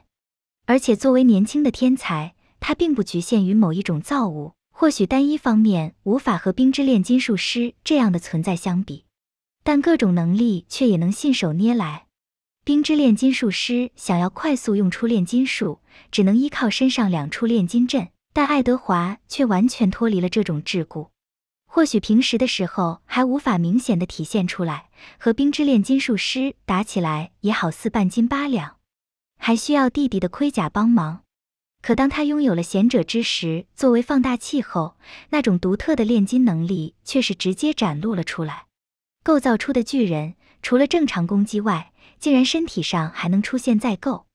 突然手臂化作几十米的大砍刀，大砍刀发现打不中，突然变成平底锅拍下去。各种手段一瞬间就在城内造成了巨大的破坏，也就是附近因为冰之炼金术师出没的关系，疏散了普通平民，不然的话，这股破坏下必然是损失惨重。对于爱德华而言，阿尔冯斯就是他的逆鳞，当年因为他的一意孤行，导致了弟弟失去了身体，现在盔甲都被打瘪了。虽然只要铭刻的炼金阵不出问题，灵魂还能依附在上面，但这却也已经足够引动爱德华的怒火。可恶啊！钢之炼金术师什么时候变得这么强了？我们必须要迅速制止他！大家一起出动，用雷霆之势阻止他，同时也要提防暗中的敌人。本来家人和大神官这种绝对的强者是并没有出手的，一直在伺机而动。可现在这场面有些控制不住了。或许井上家康他们这等强者下场能够制止对方，但这种破坏力下想要活捉却几乎不可能。既然如此，既然已经动手了，那就只能由最强者用出雷霆一击将其击溃，再予以活捉。万幸的是，大神官。家人殿下和晴川阁下三人都是极为适合眼前场景的阴阳师，只要他们出马，活捉对方完全不成问题。十几道铭刻着炼金阵的灵符从三个方向激射而出，随后自动贴在了那高大巨人的各个节点之上。伴随着每一张符箓上炼金阵的光辉，这高大的巨人也在被迅速解体。炼金术的本质就是理解、分解、再构造。三位阴阳师也同样能够做到这一点，只是相比于炼金术的娴熟程度来说，他们显然无法和爱德华相比。哪怕是三人同时合力，也才堪堪与爱德华贤者之时放大加成下的炼成速度相当。不过印有炼金阵的符箓数目越来越多，那巨人崩溃的速度终于还是超过了再生的速度。毕竟就贤者之时的用量来说，轮回者一方是远超爱德华的。当巨人逐步瓦解后，自己带着瘪瘪的阿尔冯斯躲在巨人核心的爱德华也暴露在了众多轮回者的眼中。而后那些符箓便好似长了眼睛一般的朝着爱德华蜂拥而至，一张一张的贴在了他的身上，似乎就准备以此将其活捉。这么多人欺负两个孩子，这也太过分了。只是就在此时，伴随着一道声音，一柄长剑便是从天而降。直接击破、粉碎了那包裹着爱德华的符箓，随后倒插在了地面，划破符箓而不伤爱德华分毫。这一份力道的掌握，精准的可怕。随后一道人影便是落在了那分解成半残的石巨人头顶，正是徐月。果然还是出来了。哼，一个人吗？见到了徐月后，虽然惊诧于他的实力和强大，一剑就破开了自己等人的封锁。但无论是家人还是大神官，亦或者吃过亏的晴川，都并没有丝毫慌张。我们这种局面下，拿什么输？出来了，更好。是你，爱德华逃离了福禄的束缚后，也不断的大口喘息着，满脸震惊的抬头看着那熟悉的身影。之前自己的力量有多么强大，只有他自己才清楚。那种无所不能的恐怖力量，当真是超脱了一切。可即便是拥有着这种力量的自己，也被对手慢慢的蚕食击败。没想到这个冰之炼金术师的伙伴竟然直接破开了他们的力量。当然是我，我很强的。小豆丁，你应该清楚吧？徐月随意的笑了笑，让爱德华不由变成了包子脸。随后，那已经半残的石巨人表面便是不断的浮现，塑形出了一柄柄各种各样的兵器。让爱德华和诸多轮回者都同时心头一震，也不用炼金阵，而且同时进行这么大范围的炼成，真的好强。那是投影魔术的炼金版本吗？不知道威能怎么样，我们可能有麻烦了。作为精锐乱入者的大神官站在了最前面，满脸凝重。虽然他对自己有绝对的自信，但也不会小看连续击败过自己两名弟子的对手。对方已经有了和自己一战的资格。如果他的投影魔术真的完美的进行了炼金版的强化，那对方的威胁也会直线上升。更别谈暗中可能还存在的神秘强者，有点棘手啊！一柄柄兵器伴随着徐月的抬手，石屑的飞落，竟然逐渐出现了金属光泽，这简直是颠覆了炼金术的认知。通常炼金术都是进行物质的再构造改变，通常都是同种物质的形态或形状变化。但徐月显然是完全扭曲了整个物质的属性。原子是构成所有物质的基准，但原子也是同样能够改变和变化的。伴随着徐月抬起手掌的落下，那些构造而成的各种兵器，便犹如利剑一般的朝着轮回者们蜂拥而至。之前一柄就能直接破开束缚爱德华的符箓，如今这种密密麻麻的漫天树木，每一柄都先后冲破伞状阴障，当真是让所有轮回者一阵眼皮直跳。还有王法吗？这是明目张胆的犯规啊！有没有搞错啊？这不是遵从于等价交换的世界吗？就算你能够构成其他物质，但这破开阴障气浪的恐怖攻击能量又是哪里来的？不等有再多的想法，密密麻麻的轰鸣一条线状的覆盖贯穿了整座城市，大量尘埃冲天而起。第一千七百一十一章路见不平。从刚刚开始就是什么情况啊？越来越过分了！焰之炼金术师罗伊马斯坦伴随着大地的震动，一阵站立不稳，直接摔倒在了地上。从不久前，城内就突然出现了巨大的破坏和震动。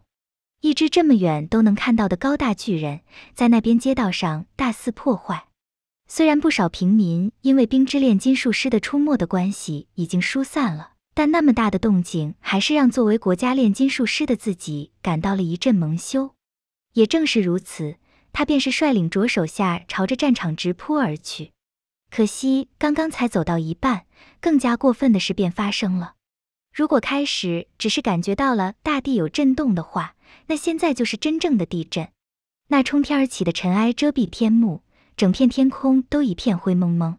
而就在罗伊马斯坦爬起来后，恐怖的冲击波顺着破碎的窗口以及其他巷子口的引导紧随而至，再次将他的队伍冲得七零八落，每个人身上都显得很是狼狈，灰头土脸的。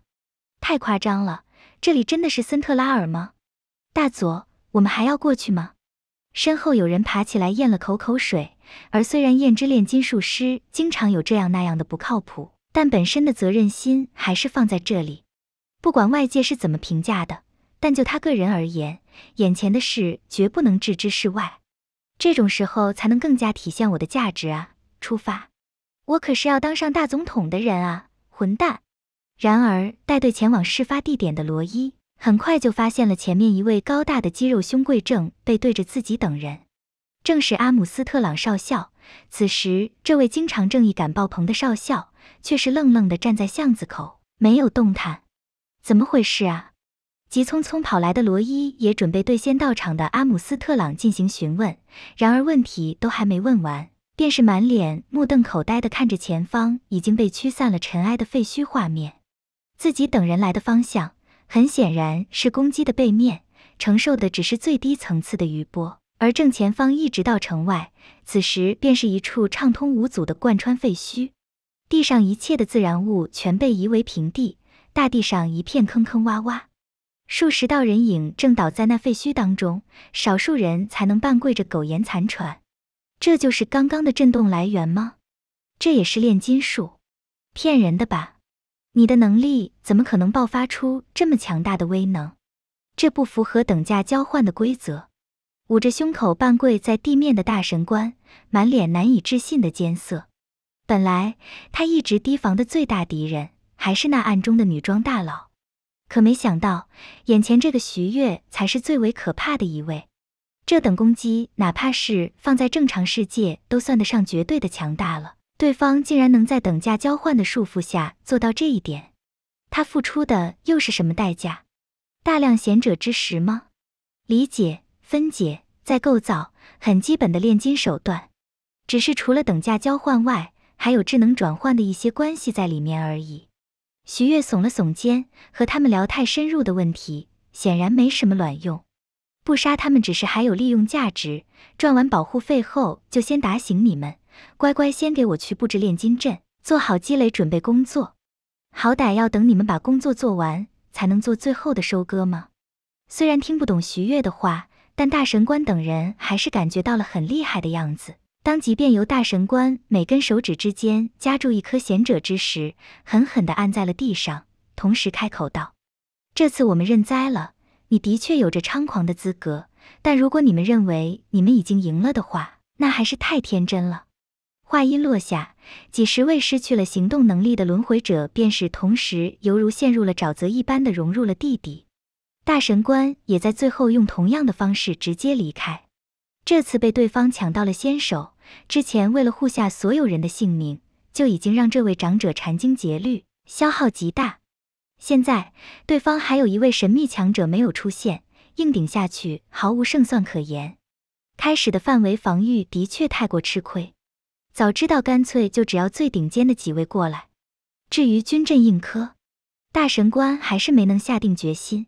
这一次的目的是协助家人完成蜕变，好钢要用在刀刃上，军阵也要用在最后紧要关头。暂且就先放他一马。刚刚你是怎么做到的？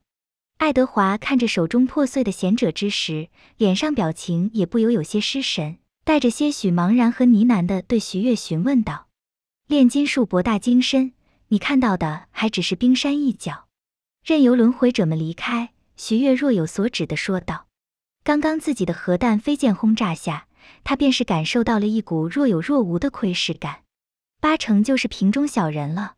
本来冰之炼金术师企图冰封全城的时候，他也有关注了一下。”而显然，冰之炼金术师哪怕最后计划成功冰封全城，单纯就破坏力来说，也不如徐月之前来的那么一下。就在此时，阿姆斯特朗以及罗伊一行人也已经抵达了现场，见到了爱德华后，便急忙的询问道：“到底发生了什么？”抱着瘪瘪的阿尔冯斯，爱德华也有些出神的说道：“突然出来了一群莫名其妙的人袭击我，然后这位大哥哥帮忙救下了我。”从爱德华手中将阿尔冯斯拿了过来，随后一阵扭曲变形，将其恢复了原状后，徐月也谦逊的笑着说道：“没什么大不了的，就是路见不平。我们说的是附近，怎么变成这个样子了？”罗伊带着些许惊恐的指着这似乎能够问到海风的贯穿口：“如你所见，是路见不平造成的。路见不平？你管这叫做路见不平？”有些茫然地看着那坑坑洼洼并不平整的道路，罗伊也感到了认识观有些错乱。或许我对路见不平一直都有什么误解。呵呵，真是大场面啊！这修复的经费真是让人头疼呢。然而就在此时，一位看上去很严肃，但却露出了和善表情，戴着一只眼罩的男子，便是从一边的小巷阴影当中走了出来。金。布拉德雷，亚美斯多利斯的最高执行长官，同时也是会衰老的人造人。愤怒，拥有能够看穿一切攻击的最强之眼以及超强的体魄。虽然在人造人当中显得年轻，可实力放眼七大人造人之中，却是属于最顶尖层次。很显然，这种足够影响到计划的破坏出现，还是让他有些坐不住了。第一千七百一十二章火焰金。布拉德雷是被当做计划的最后王牌制造出来的。作为一位会和常人一样衰老的人造人，某种程度上，他的制造工艺已经突破了人造人与人之间的桎梏。而且，相比于其他的七宗罪人造人，金布拉德雷的感情很丰富，还很爱他的妻子。比起其他人造人来说，其实更加贴近于人，实力也强得可怕，轻易就无伤的压制了同为人造人的贪婪。可以说，在开始阶段，他的 BOSS 形象比瓶中小人还要鲜明。这点经费也不算什么吧，毕竟没啥人员伤亡，我有特地控制好的。单独的物理损伤，动用国家炼金术师，轻易就能复原了。站在石巨人残骸上的徐月，低头看向了那独眼龙，让金布拉德雷有一种自己完全被看穿的感觉。左眼眼罩下铭刻的摇尾蛇标记一阵发热，让他心中一片凝重。这是真正的威胁，足够威胁到父亲大人计划的劲敌。一时间，让他的手都有些不自觉地磨蹭着腰间的剑柄。这种距离下，如果出其不意的话，以炼金术师的体魄，主人，他们已经平安抵达了，被埋了不少，不过被我暗中挖出来送出去了。就在金布拉德雷心中闪烁着一些不好念头的时候，一道突然出现在徐月身边的人影，却是完全打乱了他的全部计划。好快，速度竟然还在自己之上。人造人，毫无疑问，速度能够比金布拉德雷快的，唯独只有人造人。眼前这片世界当中，除了徐悦愿意为自己改造，否则在不使用贤者之石或者其他代价的情况下，他的速度也无法快过金布拉德雷。做得不错，现在去帮我们的大总统节约一点经费吧，这里的街道修复一下。徐悦似笑非笑地看了金布拉德雷一眼，随后对艾丽摆了摆手，后者也领命，直接一跃落在了街道中央，随后伸手在地面铭刻炼金阵。直接手指轻易的在地面上刻画了出来，速度还快的超乎想象。随后双手按下，整个街道便开始不断剧烈颤动。那些大型弹坑的坑坑洼洼，自动的被旁边的废墟残骸填补，地面以肉眼可见的速度迅速复原平整。除了旁边那些建筑倒塌的废墟石堆外，当从路面来看，根本就看不出这里经历过战斗。此时的这条街道，比起旁边的街道都要更加的平整。这不可能！如此范围的炼成，难道是传说中的贤者之石吗？面对艾丽那可怕的炼成效率，在场的诸多国家炼金术师也感到了心头的震惊，随后不由自主地想到了传说中的那种物件之上。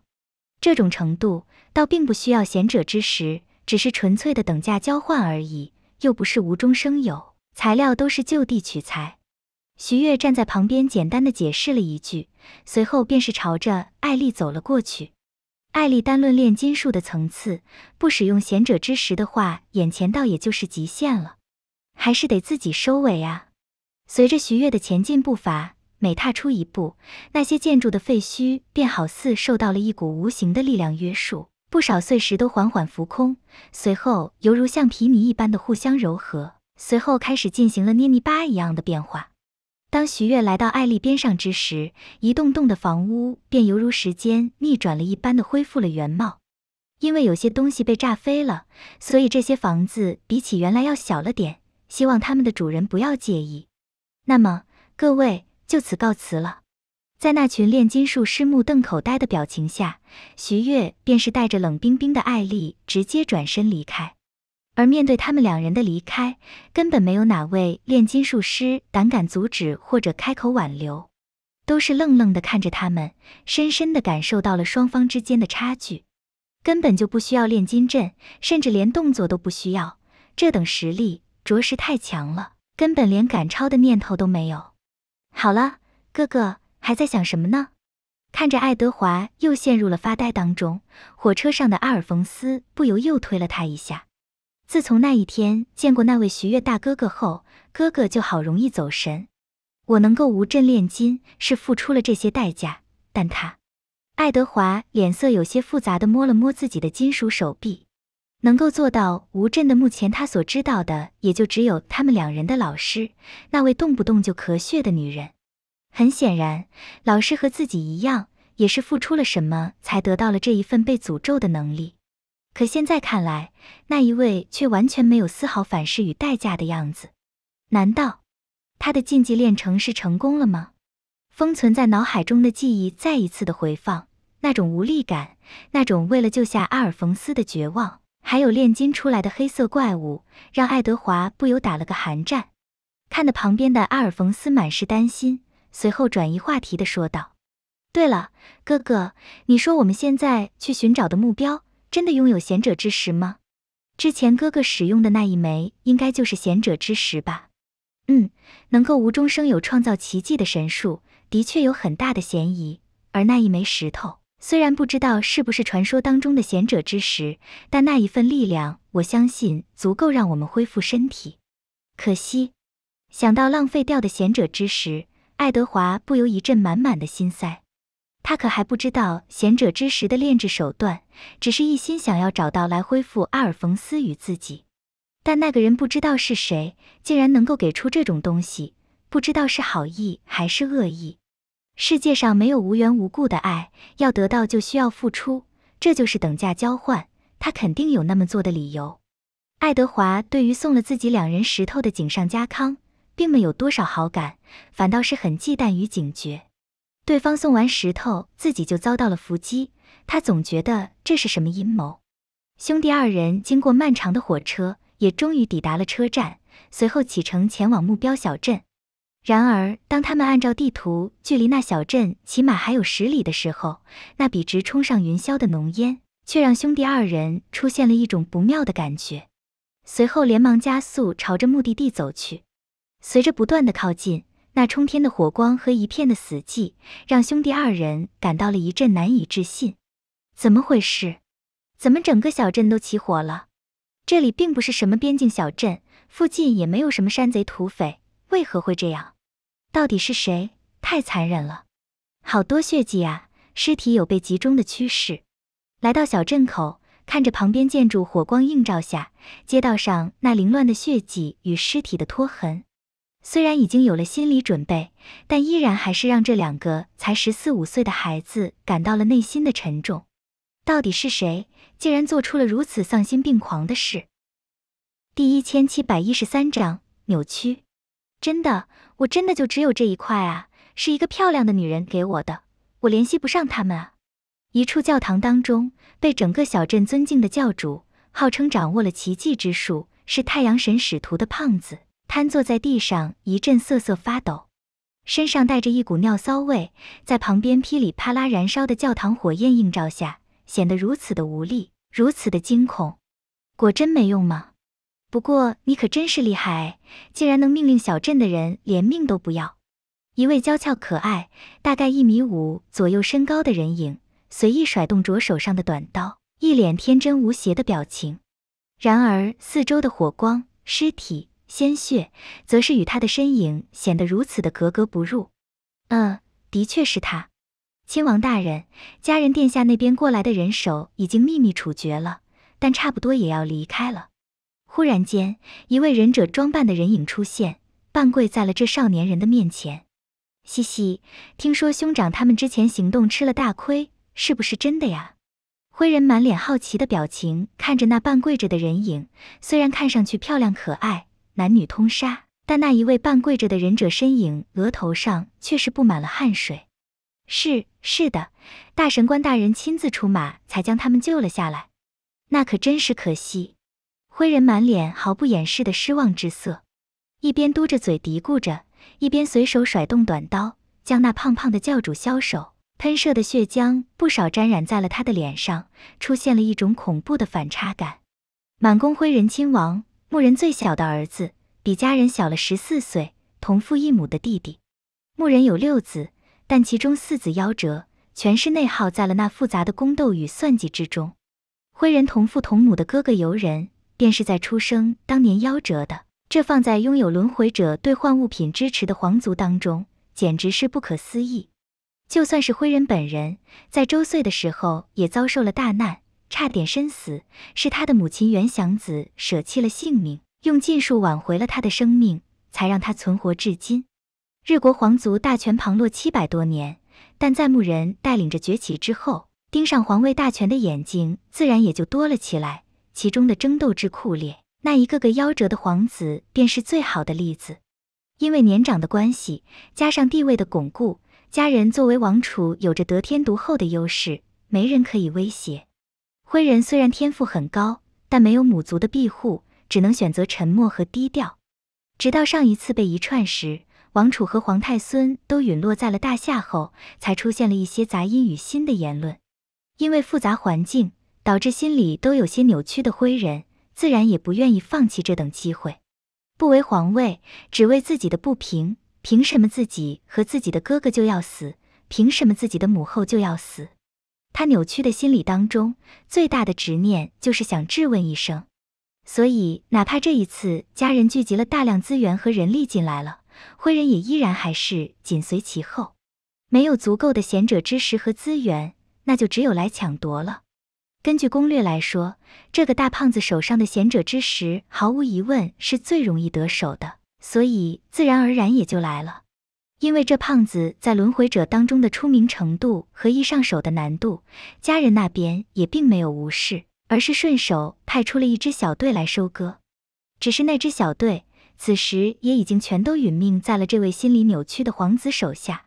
就在东西已经到手，也无法拷问出新的情报。灰人准备带人撤离的时候，在外面警戒的斥候却也传来了新的讯息：钢之炼金术师爱德华，那个疑似本空间气运之子的天才吗？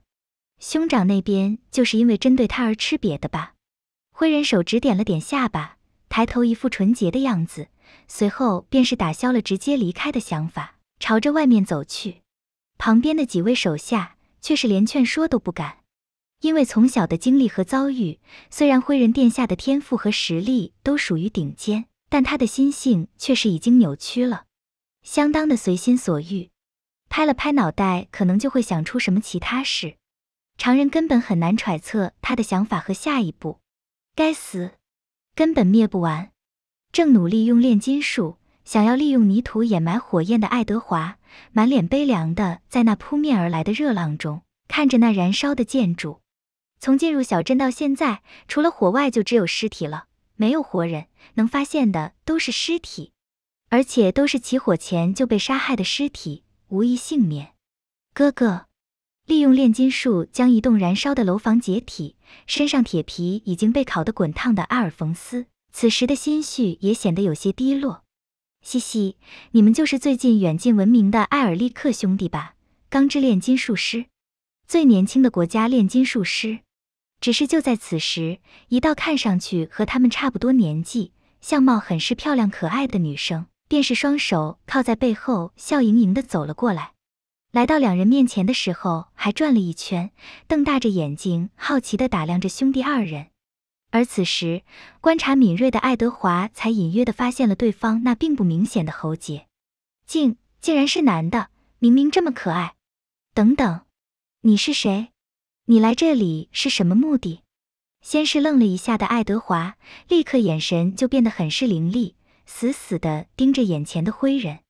这种场面当中，一脸笑盈盈的可爱少年，怎么样都画风差距太大。普通人在这种场面当中，恐怕早就惊恐的走不动路了。这个身上都还沾染着血渍的少年，太过可疑。哎，就这样问人吗？好没礼貌啊！我叫灰人，是来这里拿贤者之石的。灰人撇了撇嘴说道。那种略带不满的轻松语气，当真是让爱德华他们兄弟二人感到了一阵浑身冒凉气。贤者之石，那个教主手上真的是有贤者之石吗？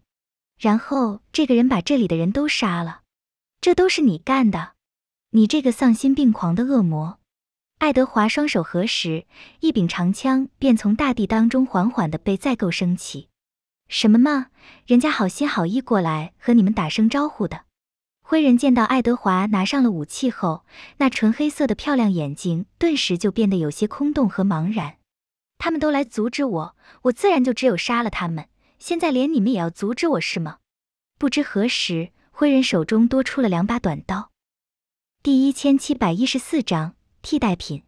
叮叮当当，高速的兵刃碰撞声不断出现，爱德华的各种兵器和灰人的两把短刀发生了多次碰撞。溅射出了大片的火花，而阿尔冯斯也仗着皮糙肉厚的金属身体，不断的在旁边游走助攻。三人战成一团，打得不亦乐乎。你这家伙，爱德华手持各种兵器攻击，配合时不时用出的炼金术辅助，却依然还是被战斗意识超群的灰人完美的一压二。如果不是他不像家人他们那样拥有着足够的贤者之石，只是纯粹利用自身的战斗素质配合蹩脚炼金术的话，那恐怕早就能够结束战斗了。哎，这个世界可真的麻烦哎！我又没有家人兄长那么有钱，连两个小孩子都解决不了吗？你们为什么要阻拦我？既然阻拦了我，那乖乖让我杀掉不好吗？真的是奇怪的两个人。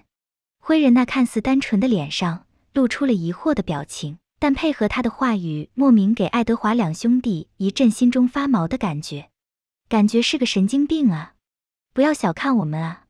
趁着阿尔冯斯上前纠缠住了对方，腾出手的爱德华也双手按在了地面上，一瞬间，灰人脚底的大地便一阵松软泥泞，让他的脚陷入了半截下去。与此同时，阿尔冯斯则是双手握拳，狠狠地朝着灰人砸了过去，扑哧。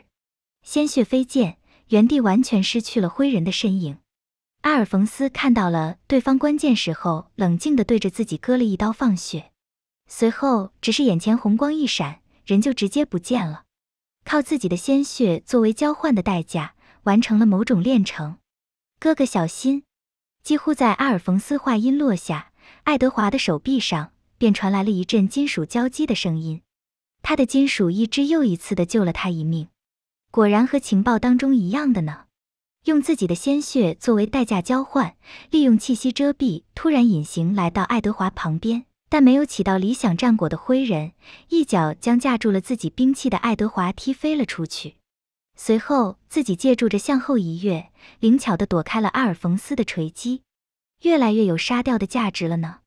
舔了舔嘴角的灰人，身体微微下浮。然而就在此时，一只手却是搭在了他的肩膀上。够了！清冷的声音让灰人浑身一震，想要反击，却发现自己被抓住后，竟然全身力量都被束缚住了，只能侧头看到是一位冰冷美艳的女性，戴着防沙斗篷，只露出了那漂亮脸蛋。妈妈，灰人露出了天真无邪的笑容，让艾丽也略微愣了下，不由陷入了沉思。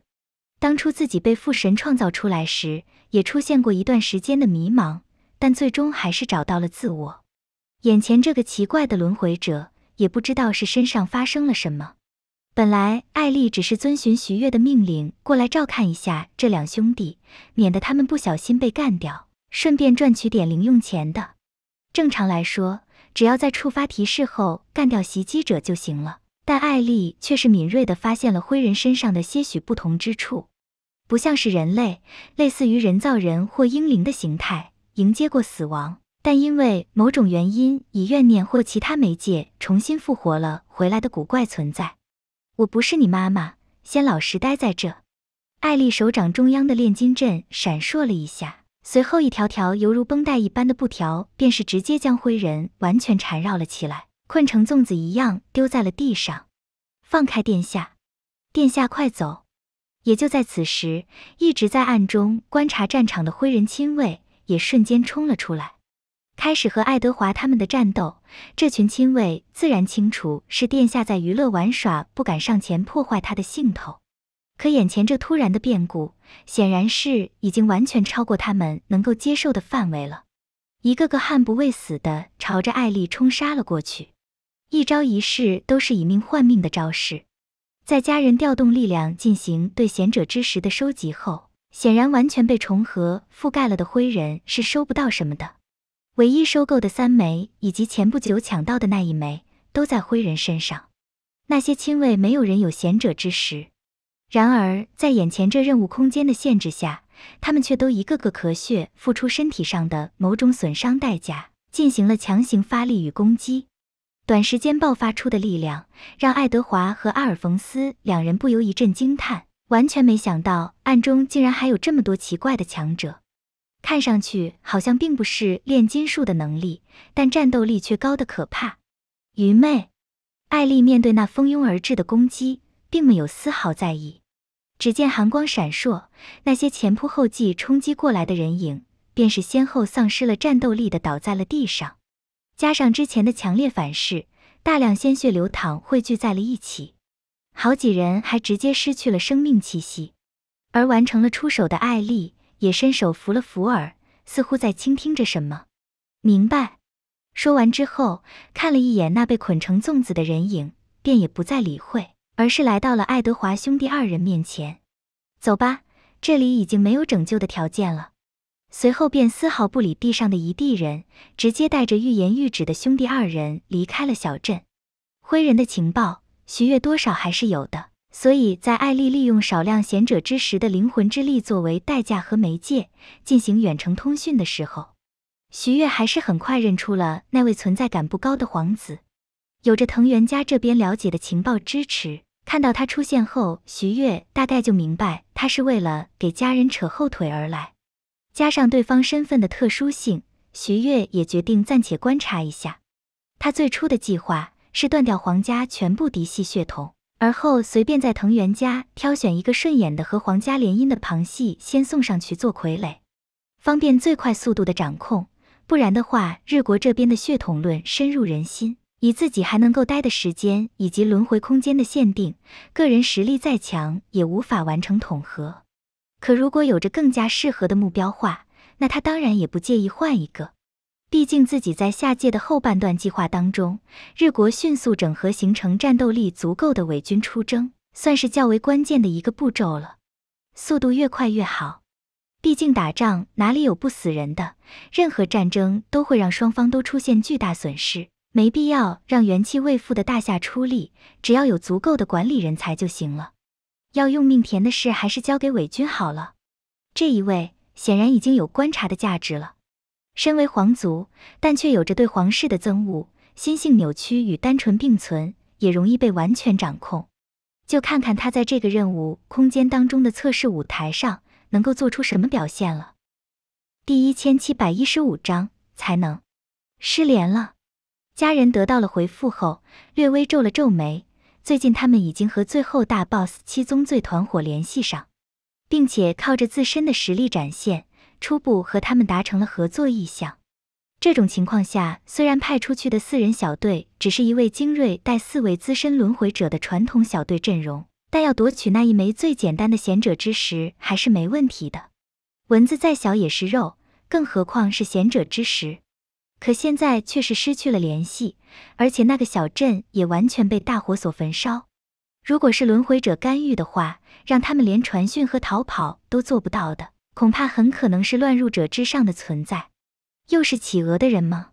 他们的人手应该没有自己这边这么宽裕的。可国内其他拥有乱入者的势力，却又不可能敢和自己作对。算了，区区一枚贤者之石和一支杂牌小队，没必要关注这么多。对了，和坠命之炼金术师的联系怎么样了？再过不久，他可能就要被钢之炼金术师揭发被抓，我们的时间并不算充裕。已经联络好了，他果然没有在意我们的身份。在我们愿意提供足够的炼金材料和一枚贤者之石后，果断地答应了与我们的合作。一位冷艳的女子恭敬地躬身说道：“她是家人的亲卫队队长，实力强横，也深得家人的信任。很好，今天晚上我就和晴川师弟上门拜访。那种能够将人体炼成的技术，对于我们阴阳师来说，有着很不错的加成效果。”家人满意的点了点头。大神官在这个进度之前就来到过这个任务，现在虽然用重置权限重置了进度，但要学的东西也早已到手，探路也探出来了。坠命之炼金术师的手段是他很推崇的一种辅助技巧，将式神完成炼金合成，甚至将人体和式神合成，偶尔会得出强大的稀有异种。只是因为空间的特殊性。大神官也只能和以前教导他们一样进行指点捷径、复制经验。学习方面还是需要他们自己过去付钱或者代价学习。一枚贤者之石的学费却是足够了。回森特拉尔的火车上，爱德华满脸死鱼眼的看着不远处在座位上看着窗外风景叽叽喳喳的灰人，无奈的低头叹了口气，而后小声的对坐在对面座位上的艾丽说道。艾丽姐姐，他们一直跟着我们，恐怕不怀好意呀。就这样放任不管吗？自从之前被艾丽姐姐救下来，从小镇离开后，爱德华就无语的发现，那个被打了一顿的漂亮小屁孩也带着人在后面屁颠屁颠的跟过来了。明明他们做出了那么过分的事，而且他们的人也被艾丽姐姐打死了好几个，但那家伙却好像啥事都没发生一样的粘了上来。时不时的还和艾丽姐姐套近乎，艾丽姐姐是很漂亮，没错了，爱德华见过的最漂亮的女人，完美的不似人类。但那个小屁孩似乎并不是纯粹因为相貌的关系，而是有一种说不出来的如沐感。我们并没有买下这车厢，他们要去哪里是他们的事。在得到了徐悦的指令后，艾丽对于灰人的行动并没有过多的干预，让爱德华也没有再说什么了。其实，爱德华和阿尔冯斯两兄弟对于艾丽的存在方式也很是好奇。以他们的炼金水平，加上艾丽也没有特地演示什么，所以他们大概也能够知道艾丽是某种炼金造物，可以称之为真正奇迹与禁忌的产物。甚至爱德华都怀疑徐月大哥哥能够进行那样完美的无阵炼成，可能就是因为利用禁忌之术制造了艾丽姐姐才这样的。只是虽然好奇、求知欲满满，但这种可能会揭开对方伤疤的话，还是让爱德华问不出口。另外一边，几位还时不时咳血的灰人亲卫，此时对于这位殿下也感到有些无奈。尤其中那位领头忍者装扮的人影叹息的说道：“殿下，对方真的不是王妃，不是您的母亲。当年您还小，都没有见过王妃的样子。但我们，不，她就是的。除了妈妈，没有人能长得这么漂亮。”灰人固执的说道：“他的亲卫，其实大多数都是当年他的母亲留下来的，对他也是忠心耿耿，只是从小缺乏了亲人的陪伴。”还有他的特殊存在方式，加上皇家那种宫内复杂的环境与压抑，确实造成了如今他的这种怪异情况。对于他的固执，这位亲卫头子也感到了很是无奈。几位战友的死亡倒是还好，这次进来的人不多，但却都是顶尖精英。作为灰人殿下为数不多的亲卫，重生权限还是有的。为了殿下，他们命都可以不要，甚至胆敢反抗王储甚至陛下的命令。这点挫折也完全算不上什么，让人最忧心的还是殿下的心理状态。根据他所了解到的消息，那一位就是之前让家人殿下吃亏的企鹅商会的人。这，他之所以留下殿下和自己等人一命，恐怕纯粹只是想要看着自己这边内斗吧。伴随着火车的减速，一行人也再次回到了森特拉尔。而一直长期在森特拉尔盯梢的几位眼线，也敏锐地发现了艾丽与爱德华一行，还有灰人一行，是那位疑似袁氏甲和孙武的女装大佬，还有灰人殿下，他们怎么在一辆车内？速速回去汇报殿下，请殿下定夺。事情涉及到了灰人殿下，他们自然也没权利做主。皇家是皇家了，只能由家人做出决定。炼金阵闪烁，四只鸦天狗开始溶解融合，化作了一团扭曲丑恶的血肉，随后又重新塑形。最终出现后，那压天狗的丑陋外形完全不见，形成了俊朗的大天狗，让家人和晴川两人都感到了一阵振奋。成功了，活体炼成已经成功掌握。老师说的没错，这是能让阴阳师完成质变的可怕能力。虽然成功率算不上高。但只要成功就是血赚，在这个任务空间的压制下，一枚贤者之石可以永久的交换出四只精锐轮回者实力的压天狗灵魂，用各种材质都能够炼制，当然血肉材质还是最优秀的选择。而四只压天狗融合，大概有五分之一的概率能够形成实力跨不到了资深乱入程度的大天狗，这绝对是稳赚不赔的买卖。如果不是带入的贤者之石数目有限，他们都想要大量量产了。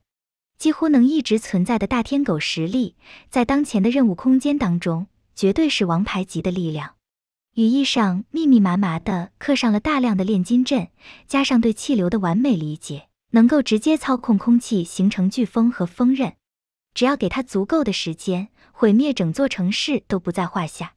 而且他的身体力量也完全超过了人类的范畴和理解，配合炼金阵轻易的破空而行，举手投足都能打出成吨的伤害。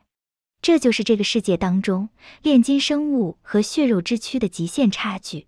这就是所谓的才能吗？在旁边负责教导两人的坠命之炼金术师修塔克。看着他们如此轻松地消化掉了自己的所有知识，甚至青出于蓝进行了这种复杂的炼金，脸上也流露出了复杂之色。随后低头满脸狂热地看向了自己手中的贤者之石。如果利用这个，自己也是能够成功的，一定，一定能够成功。第一千七百一十六章修塔克。嗯，灰人那家伙刚刚成功进行了融合。心情大好的家人突然听到手下来的汇报，也不由脸上出现了愕然之色。自己那个让自己都有些心动的弟弟，在宫廷中算是半个禁忌，因为他母亲对他使用的禁术复活，导致了他身上有着一种强大的诅咒。加上失去了强大母亲的庇护，失去了争夺资格后，所以才一直顺利存活到了现在。而因为前一段时间自己在大夏的失利，当年灰人母亲的一些旧部也开始上蹿下跳，搅动风雨了。虽说对自己还构不成威胁，但皇位之争的铁血残酷，让家人也加紧了自己的提升，想要利用这一次机会，直接一锤定音，打消掉所有的异样声音。可没想到那小子竟然如此执着，竟然跟着进入了自己的任务之中。想到这里，家人的眼睛也不由眯了眯。旁边的晴川则是眼观鼻鼻关心，虽然他是未来的大神官，而且是铁定站在家人这一边的，但皇家内部的事还是不能去干预的，只能让他们自己去做出决定，自己解决。呵，很好，的确是我那亲爱弟弟的风格。没想到我调动资源卷走了几乎全部的贤者之石后，他竟然还毅然跟了进来，也不知道他手上能有几颗。家人脸上带着一种若有若无的讥讽，没有名义，没有母族，支持者寥寥无几，拿什么和自己来比？不错的天赋，很可惜，你的天赋还不足以抹除双方资源的差距。对方如此重视之前那一颗贤者之石，显然也足够体现出了他手中紧缺的窘迫。而轮回者在这个任务空间当中没有贤者之石，纯粹只用炼金术的话。实力的发挥受到的限制就太大了，加上双方原本之间质的差距，就算让他在暗中捣蛋，也没有多少作用。不过那个调皮的小家伙竟然和企鹅的人一起下车，是想要借用企鹅的力量吗？家人陷入了沉思。企鹅这次的进入也显得有些突兀，虽然让自己这边吃了一次大亏了。可他相信，凭借大天狗的横空出世，再加上双方贤者之石的储备差距和人数差距，最终肯定还是己方占据全面上风的。这一点，企鹅的人应该也清楚。出动那一次原是假的强者和徐悦，已经是企鹅最大的牌面了，但依然还是无法撼动自己。这种情况下，不是再搭上一个灰人就有用的，哪怕双方联合，在绝对的力量面前也不足为虑。不过随后，他脑海中又不自觉闪过了上次徐月核弹剑仙的画面。的确，那一次的力量有些超乎想象，但因为等价交换的关系，他们的贤者之石储备又能用几次呢？而且，万一到了最后关头，还有着老师的军阵作为横扫一切的底牌，能够逼出军阵，也就是他们最大的能耐和荣耀了。哼，企鹅竟然狗胆包天！介入我们皇家的漩涡，是时候要给他们一个教训了。不过调皮的孩子需要被打屁股，灰人他这一次做过头了。作为兄长，我有义务教育他一下。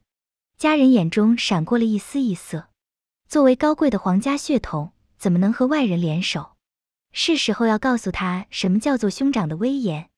既然能力已经学到手，钢之炼金术师也快要过来，那就好好看一看他们的表现吧。这一枚贤者之石，希望不要白给。正在国立中部图书馆当中翻看着什么资料的徐悦，合上了书本后，脸上也露出了一丝感兴趣的神色。混乱的皇家关系啊，希望能带来点乐子。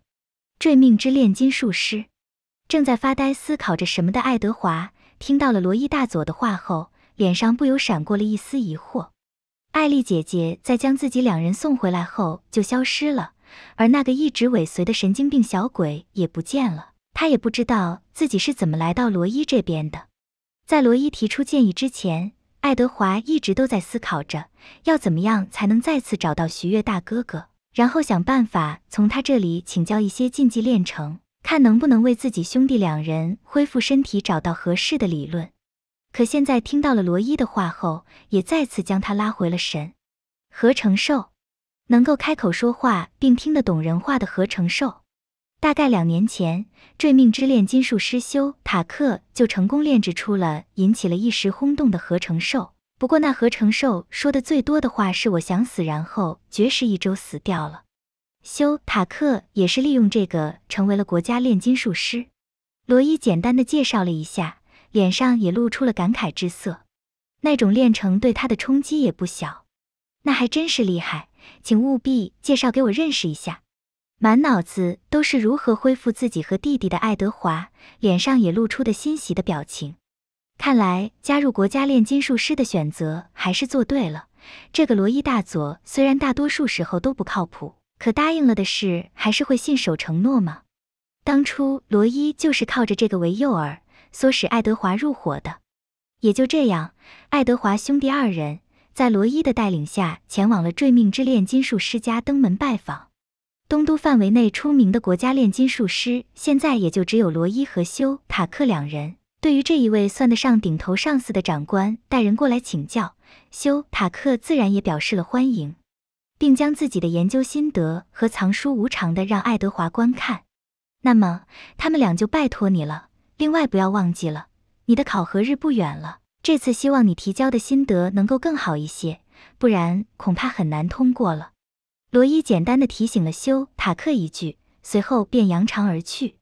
国家炼金术师享受着高福利的同时，也必须要每年接受一次考核，确保资源没有浪费。修塔克因为两年前的合成兽一举成为了国家炼金术师，但去年的课题却是不尽人意，只是看在两年前的成就上，勉强让他通过了。如果今年不拿出点像样点的东西话，那就会直接取消资格了。我明白，这一次我一定不会让你们失望的。修塔克听到了考核后，脸上忽然间也出现了自信的表情，让准备离开的罗伊都愣了愣。这家伙倒是很少会出现这种自信神采啊。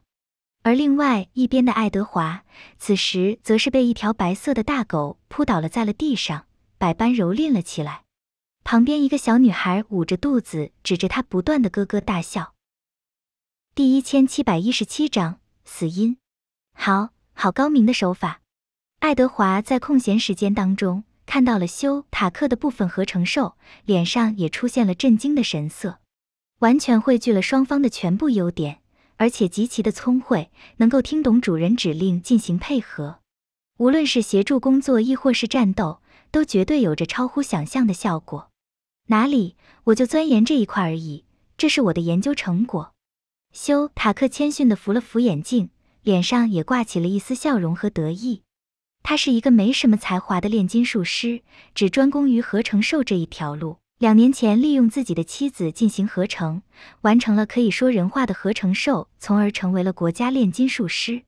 本来今年考核的最后阶段，他都已经做好了要用女儿牺牲一下的决定了，但因为那一群过来交易的不法分子提供的贤者之石，利用普通的野兽合成，都能赋予他们强大的力量。单论眼前的成就来说，已经完全不需要以前那种低劣的手段了。一位脸上带着 X 刀疤的男子抬头看着修塔克的别墅，墨镜下的脸上满是冷漠之色。背弃了神的罪人。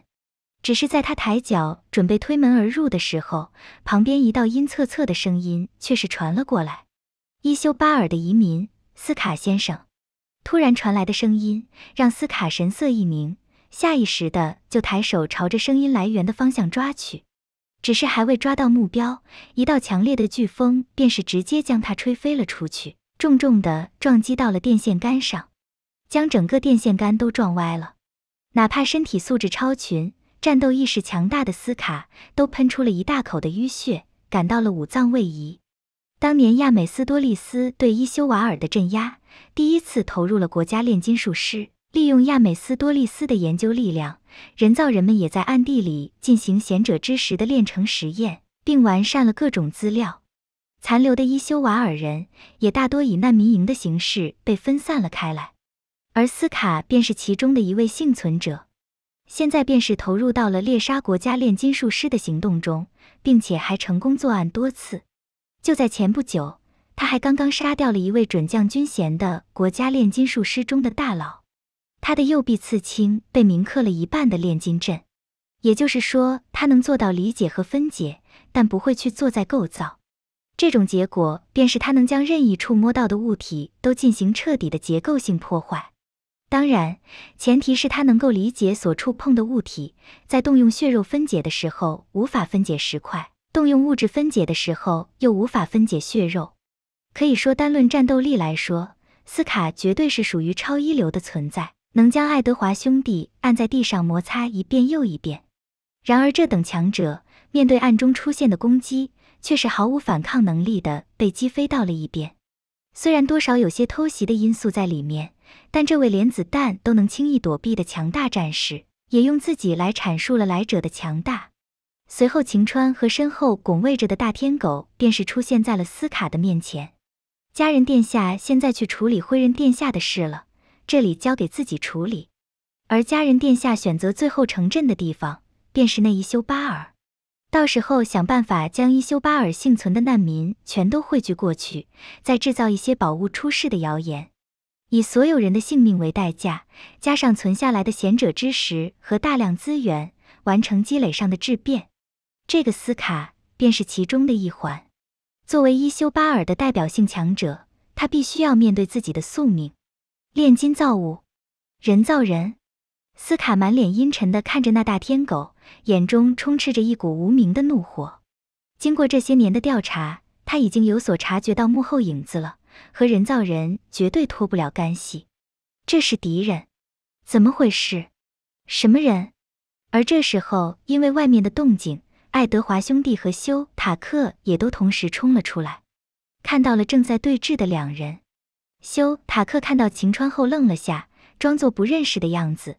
而爱德华则是惊讶地指向了晴川：“是你，上次就是你们袭击我的，你们想要干什么？”“哎呀哎呀，刚仔小弟弟，我们可是答应了别人不伤害你的，你可不要自己凑上来啊！”晴川看到了爱德华后，脸上也露出了莫名的笑容。虽然不知道幕后 BOSS 想要做什么，但他多少也有些兴趣的。不过现在自己的目标是斯卡。这个人是疤痕人，常年猎杀国家炼金术师，穷凶极恶的凶徒。你们不会妨碍我的吧？晴川把话说完后，爱德华也是愣了下，随后转头看向了修塔克。他一个萌新国家炼金术师，很多事都不清楚。的确有这么一个人，而且形象也很符合。他已经杀害了多名国家炼金术师，这次出现在这里，恐怕目标是我吧？修塔克表现得很坦然。既然都是敌人，那我们两不相帮便是。修塔克将几只合成兽呼唤了出来，拱卫在了身边，做出一副两不相帮的样子。只有他才知道暗中那些人有多么强大。那只自己亲眼目睹融合出的炼金造物，拥有着毁天灭地的实力，区区凡人根本就不是对手。然而就在此时，一阵阵的雾气却是莫名的出现在了眼前。而且以相当迅速的方式变得浓郁，让晴川不由脸色微微一变。身后的大天狗也迅速的张开羽翼，刮起了一道劲风。可那恐怖的劲风竟然无法带动这雾气分毫。灰人殿下，此时的晴川脸色已经有些难看了下来。这是灰人殿下的固有结界暗黑雾度，现在整片被雾气所覆盖的区域都单独的被从当前的时空之中剥离了出来。形成了独特的固有结界，这必然需要贤者之石代替魔力才能够施展出的强大技巧，是动真格的。他想要自己的性命。作为一位法系，晴川当然知道灰人殿下的棘手和克制。如果他不计代价的话，自己哪怕有大天狗护身都麻烦大了。可原本不是家人殿下主动去找灰人殿下了吗？他为何会出现在这里？逐渐的，明明就在不远处的斯卡已经看不清人影，而且让人完全迷失了方向感。四周的雾气也莫名有着和水银一般的沉重，让人行动不便。更有雾气想要钻入自己的体内，蚕食血肉。嘻嘻，看不惯你很久了，这次杀掉你。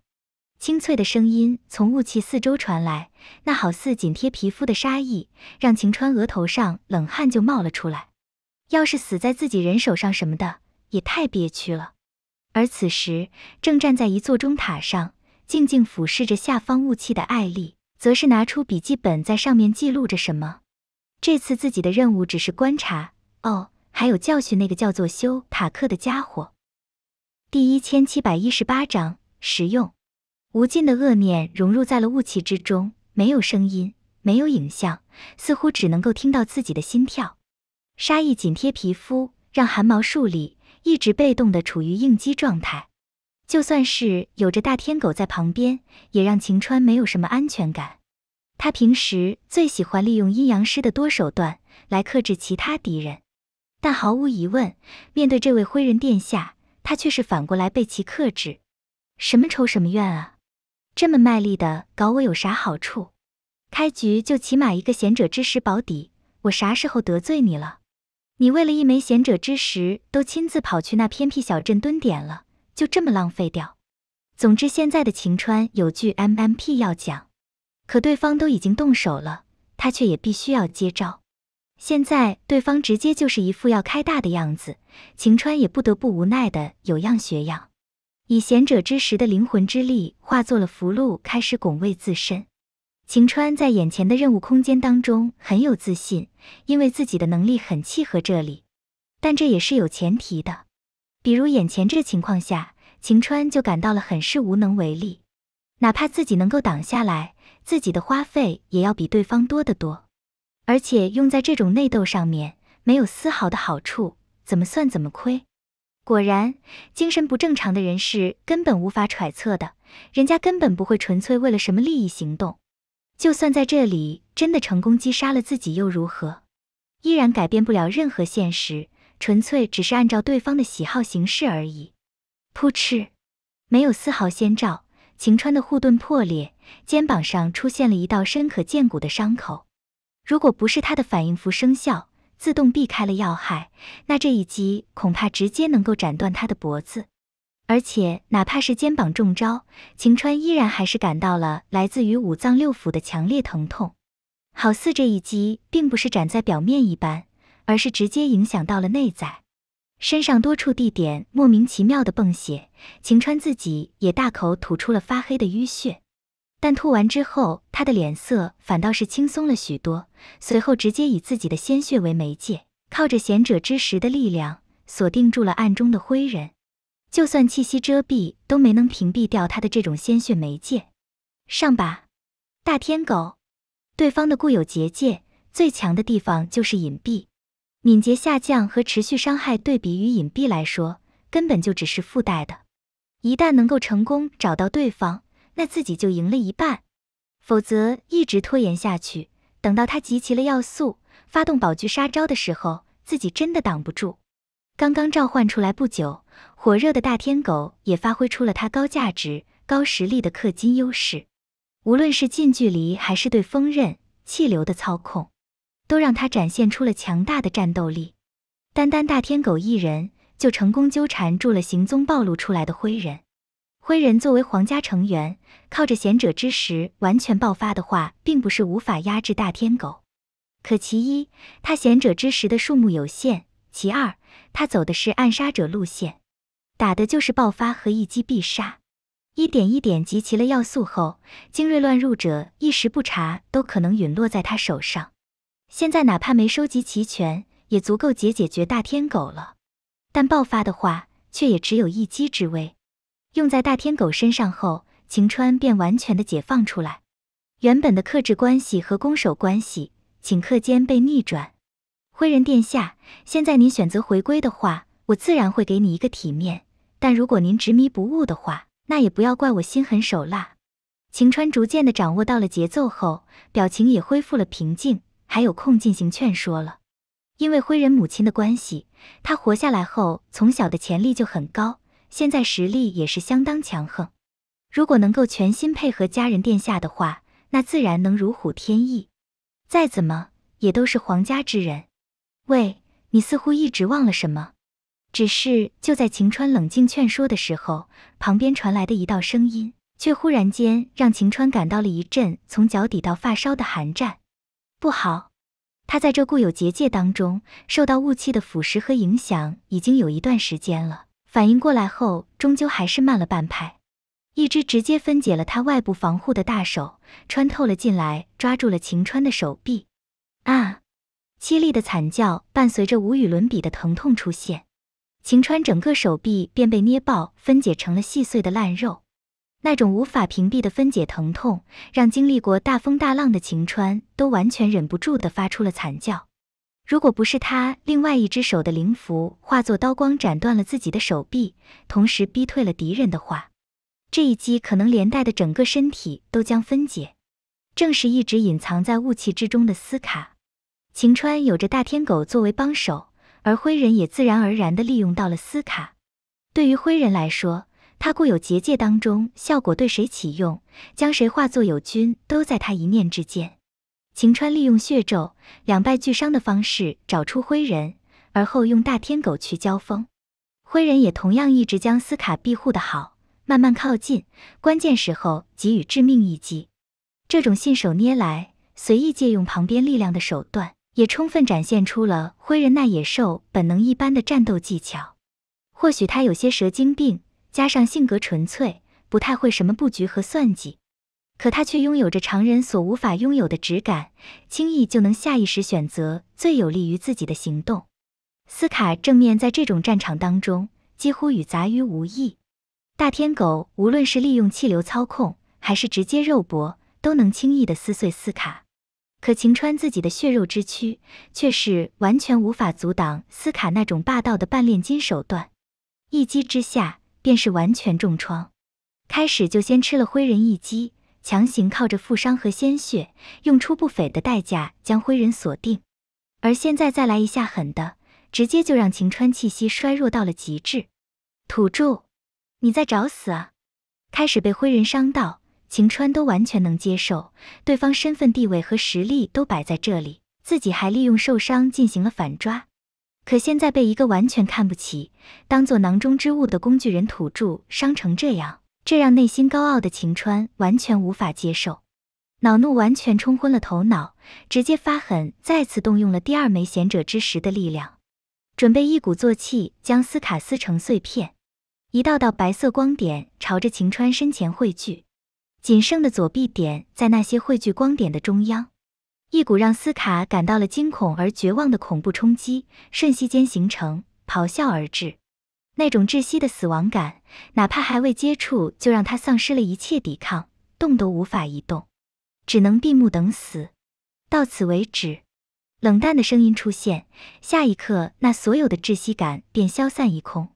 睁开眼睛的斯卡只见到前面一位绝美的身影，挥手间便直接将那冲击拍散，重新化作了点点光辉，消失在四周。糟糕，是心动的感觉。第一千七百一十九章平凡，又是你！晴川本来必杀的一击被直接击溃，看到光点消散后来者的身影，脸上也露出了一丝惊怒的表情。又是他！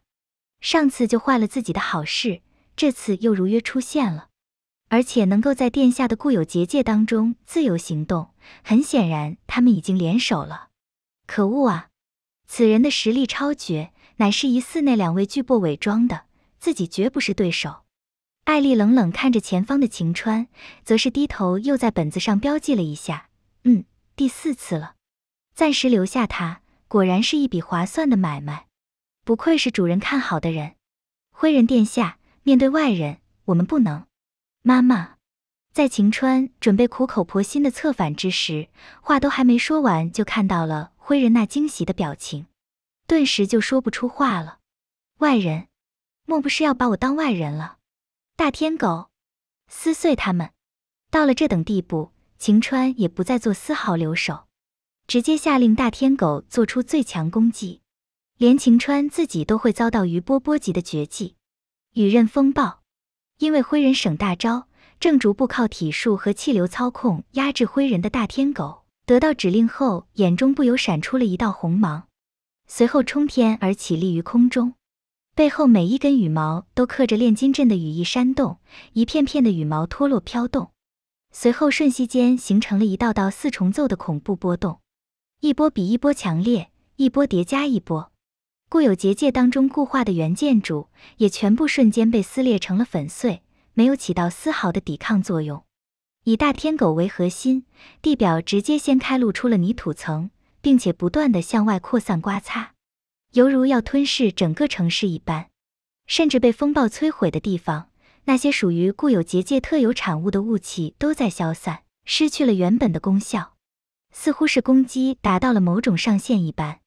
这一招放在固有结界之外的话，足够一击毁灭小半个东都了。虽然在大天狗控制下，晴川受到的波及要小得多，但依然还在那股余波下吐血不已。不过此时他的脸上却是露出了一种报仇雪恨的快意感。袁世甲和孙武是很强，在其他世界自己很可能被秒都说不定。然而这个世界不一样，我们真的不一样。这就是我们阴阳师能够在当前空间纵横的底气，这就是我们的底牌。拿什么和我们斗？做出了这一切，晴川也感到自己已经值得了。或许对方还能拿出什么更强的能力破掉自己的攻势，但相对的消耗和代价却也要大得多。以自己一人之力耗尽他们的潜力，为家人殿下铺平道路，等到自己回归之后，也会得到嘉奖的。然而下一刻，他就见到了那犹如实质一般、近乎于凝固成固体的恐怖叠加风暴，骤然间被撕裂开了一道裂口。随后，一道人影寒光一闪，逆流而上，在风暴中冲出了一道白浪，直接与大天狗完成了交错。随后，于是不减地冲出了风暴，落在了风暴外的一处建筑之上。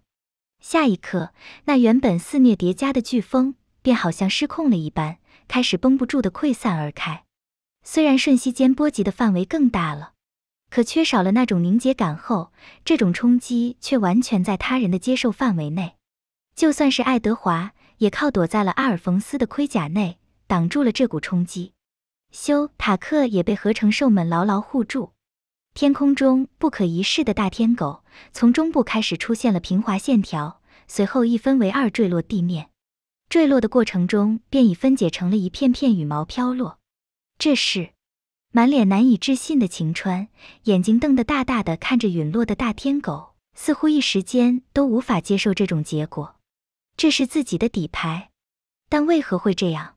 不行，我一定要将情报带给殿下，不能让他忽然间遭受这种伏击。本来都准备逼出对方的战斗潜力就算了，提前回去养老好了。但现在突然间，晴川又有了活下去的欲望。随后不管不顾，还能用的手迅速弹出了一份卷轴，咬在了嘴里。同时，一枚贤者之石出现在手中，被他直接捏碎。下一刻，那随机传送卷轴便发挥出了应有的功效，在灰人的固有结界出现裂痕的契机中，直接消失在了原地，不见了踪迹。而一直看着这里的艾丽，却也没有丝毫阻止的意思。在晴川离开之后，才在手里小本子上打了个勾，多盯着他一点，明显还有可以挖掘的潜力。随后，艾丽便招呼都不打的离开了原地。艾丽都走了，灰人自然也没有留下来的意思。晴川那家伙哪里有妈妈重要？管他去死！当雾气散去后，眼前世界似乎也回归了现实。原本在结界内被破坏的大地和建筑，全都恢复了原样。似乎刚刚只是一场梦境，而等到这些干预者都离开后，爱德华兄弟、休塔克也和斯卡开始照面了。开始因为各种缘故，双方没有互相对起来，可现在就有些不一样了。疤痕人吗？很好，就让你来测试测试我考核的课题吧。修塔克脸上突然露出了愉悦之色，压抑了这么久，终于轮到自己崛起了。相比于之前那些交战的怪物，很显然斯卡还属于正常人的范畴，属于现在的修塔克胆敢挑战的对象。噗嗤！原本拱卫在修塔克身边的几大合成兽，没有任何先兆、任何反应的，突然浑身爆血，碎裂了一地，让正抬起手指指向斯卡的修塔克不由浑身僵硬。怎么回事？发生了什么？怎么自己的宝贝们突然就这样了？看来他们没有你想象当中的这么能干。斯卡愣了下后，脸上也露出了冷酷的笑容。虽然不知道为什么，但那几个给自己危险气息的合成兽死了，对自己来说无疑是一件好事。现在就只要解决掉那两个小鬼的抵抗就行了。很显然，现在的爱德华兄弟对比斯卡这种身经百战的战士来说，差距不是一点点大。三两下，爱德华的机械手臂就被捏碎，阿尔冯斯的铠甲也被分解成半残。单纯的一面吊打，修塔克也经历了一遍之前晴川的遭遇，一整条手臂都被分解成了肉末，发出凄厉的惨叫。如果不是爱德华当机立断斩断了，他整个人都要被分解了。也好在最后关头，坐镇东都的罗伊带人赶来了，在没下雨的天气下。成功利用自己的火焰逼退了状态不好的斯卡。你们没事吧？吓了我一跳。之前那个人造人来到我办公室提醒的时候，我还以为是玩笑，还好过来了一趟。罗伊看着人人带伤的三人，也松了口气。爱德华这小鬼和他弟弟倒是还好，可以无阵炼金的爱德华，只要修理一下那机械臂就行了。可旁边废掉了手臂、精神遭受重创的修塔克，恐怕就不行了。活应该能活下来，但今后恐怕都失去了炼金能力。国家炼金术师除名已是定然。不过考虑他是因为自身国家炼金术师身份遭到攻击的，这也算是因公受伤了，所以养活他和他女儿的补贴金还是有的。修塔克，或许平凡也很适合你。对于你的遭遇，我很抱歉。平凡吗？草草处理了一下伤口，脸色因为失血和疼痛一片惨白的修塔克，眼中也出现了一丝茫然之色，随后露出了苦笑的表情。或许自己真的就应该回归平凡吧。本是平凡之人，何必勉强走上不属于自己的位置呢？这一份身份带来的补贴金，或许也就是妻子最后的馈赠了。不，他应该不会馈赠，也不会原谅自己。大概是给女儿的馈赠吧。暗中观察的某人掏出了一本小本子，然后在上面打了个勾。第一千七百二十章，马克博士。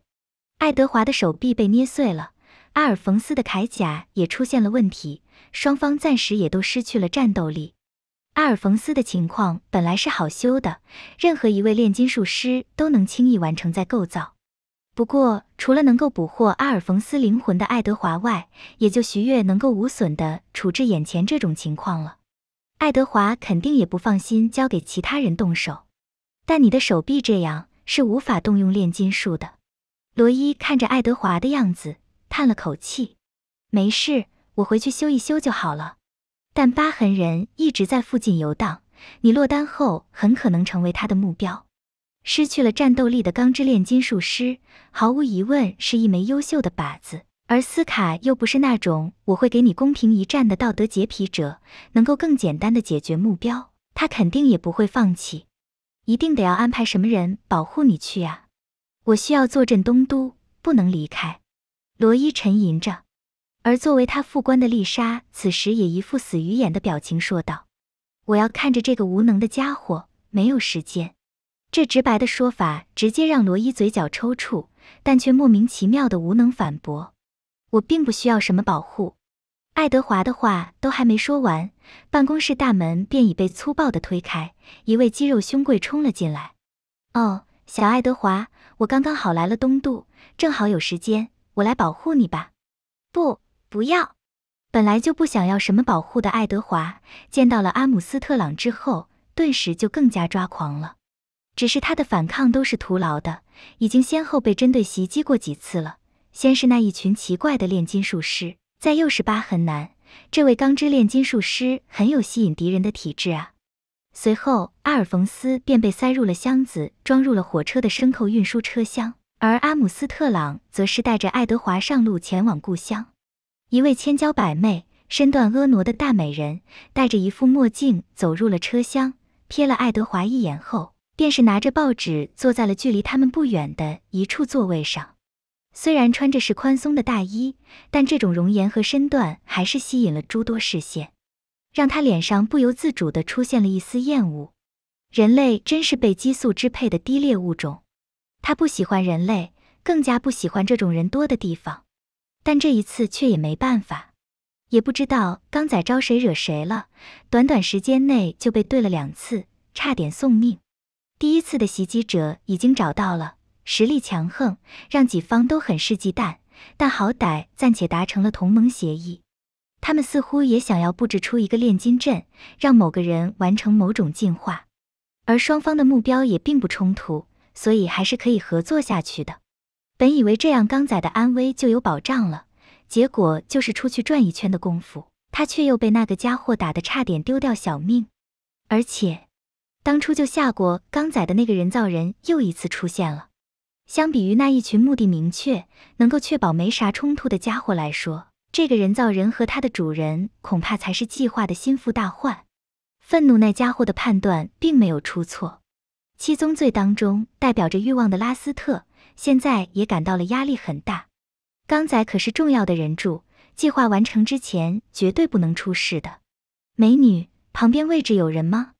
然而就在此时，一道温和的声音从耳边传来，让拉斯特露出了不耐烦的表情。又是被繁衍育支配的男人，麻烦死了。格拉托尼那家伙不在，不然能够省掉很多麻烦。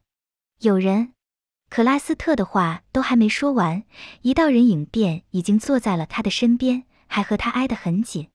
顿时就让拉斯特眼中出现了一片怒火。该死的人类！找个没人的地方杀了他。回头稍微打量了一下，便发现是一个戴着单边金丝眼镜的俊俏小哥。不过对于拉斯特而言，颜值并没有什么意义，一个将死之人而已。看了人家不少书，所以多少也要回报一下救他一次。而且想要认识小姐姐很久了，果然比想象中要漂亮。徐月上下打量了一下拉斯特，也感到了有些惊叹。创造生灵。乃是属于神的领域，某种程度上来说，瓶中小人的确做到了这一点。人造人除了需要依靠贤者之石来支撑自己的行动外，构造上与生灵并无区别。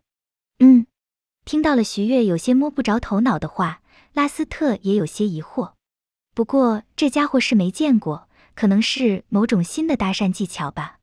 两百年来，他被搭讪的次数多了去了。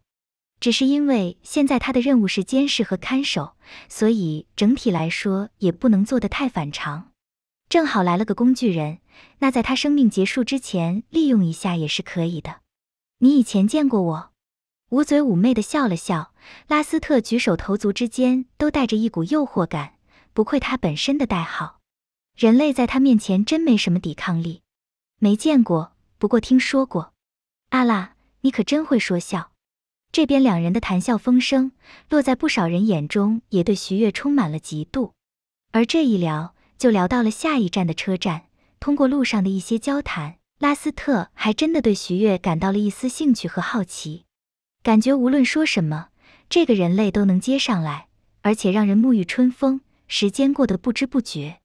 不过就在此时，阿姆斯特朗的叫喊声却是将拉斯特重新拉了回来。啊！这不是马克博士吗？只见阿姆斯特朗将头伸出了窗外，看着外面车站上的一个中年人，满脸惊喜的表情。那位被他称呼为马克博士的中年男子，在见到了阿姆斯特朗之后，反倒是一脸的惊慌之色，随后拔腿而逃。马克博士，等等，等一下！阿姆斯特朗在后面呼喊，而爱德华则是疑惑的拉了拉他，问道：“他是谁呀？”不是要护送我回家吗？那是马克博士，是一位医疗手段很强的国家炼金术师，不过已经失踪很久了。你和你弟弟的问题，说不定他能提供合理的建议。听到了阿姆斯特朗的话，爱德华也不由浑身一震。对于他来说，没有什么比这个更加重要了。那还等什么？我们快追上去呀！一边说完，一边自己也主动的离开了车厢。阿姆斯特朗也立刻紧随其后，也就在此时，拉斯特和徐月也先后站了起来，双手环胸，显得更加宏伟的拉斯特，此时脸上也收起了商用表情，冷冷的说道：“到此为止吧，虽然聊天很开心，但你如果继续跟着我的话，可是会送命的。”哪里，我们只是凑巧一条路，不过还真的是谢谢提醒呢。徐月随意的笑了笑，在中都图书馆。他可是拿着马克的书籍，完善补全了一些知识，能方便自己对瓶中小人的炼金阵进行掌控。再怎么，作为报答，也要救他一次吗？哼，真是拙劣的借口，这可是你自找的。本来的话，拉斯特是劝都懒得劝一句的，找个没人的地方杀掉就是了。就是觉得他比其他人类有趣，杀掉可惜了，才多说两句。但现在看来，他和那些肤浅的被激素支配的人类也没什么差别，真是让人感到索然无味。第一千七百二十一章中都。艾丽用兜帽遮住脸，拿出了一块正在清扫的牌子，摆在了厕所门口，随后便躲在一边，拿着报纸警惕地观察着四周的人群，怕有人误入其中。大概过了两个小时。见到了主人出来后，才是偷偷过去将牌子又收了起来，然后看到了浑身发软、扶着墙壁出来、满脸茫然的拉斯特。刚刚发生了什么来着？感觉情绪太激动，有些断片了。哦，对了，我是来监视和保护刚仔的，他人呢？糟糕，得要快点赶上去了。已经忘记了马克医生事情的拉斯特，再次登上了后一趟的火车，急匆匆地前往了爱德华的故乡。你是什么人？马克回到家中，见到坐在自己办公桌上的徐月，满脸都是大惊失色的表情，后背紧贴墙壁，如临大敌。马克博士，不要有这么大的敌意，你不是都将资料位置送给了小豆丁吗？徐月抬了抬手，示意马克医生不要紧张。可他的话更加的刺激到了这位看上去和蔼可亲的中年男人。只见他手掌朝着墙壁上一拍，墙壁便直接化作了一道土刺，朝着徐月击射而去，但却被徐月轻易一个侧身躲过了。都说了我没有恶意了，如果不是我帮你暂时挡住了拉斯特，恐怕现在你就真的麻烦了。毕竟是有着成为人柱的潜质，他们不会让你脱离掌控的。徐月耸了耸肩。一副真拿你没办法的样子，呵。然而马克博士却一个标点符号都不相信徐月的，这次改成双手，更密集的土刺便是朝着徐月覆盖而去。而面对这些，徐月也只能无奈的抬手，没办法，在这里自己可没有艾丽那样的体魄。砰！无数土刺在刚刚触碰到徐月的时候就骤然分解，化作了细小的沙粒。洒落地面，所有攻击都迎刃而解。直到现在，马克才是目瞪口呆的停下了攻击。刚刚那是无阵瞬间练成，直接瞬息间将自己的攻击进行了分解，有点夸张了。这等实力要对付自己的话，那的确是不用再多说什么了。东躲西藏这么多年，马克博士也知道自己终究有些太敏感。之前那两位炼金术师也一样，抱歉，是我太激动了。强行冷静下来的马克对徐月发出了道歉。如果您真的拦住了追捕我的人的话，那我在此也表示感谢。虽然是拦住了，而且用一些特殊的手段让他暂时忘记了你的事，不过迟早都会想起来的。所以你有空后最好搬家。徐月善意的提醒了一下，我会的。阁下来找我也是为了贤者之石的事吗？我，不，你的著作我已经在中都图书馆看过了。你想要表达的意思，无论是表层还是深层，我都知道。徐月笑了笑，过来也就是还个人情而已。这个马克博士是当年参与过贤者之石开发的组长，察觉到了那真正的真相后，才暗中逃离的。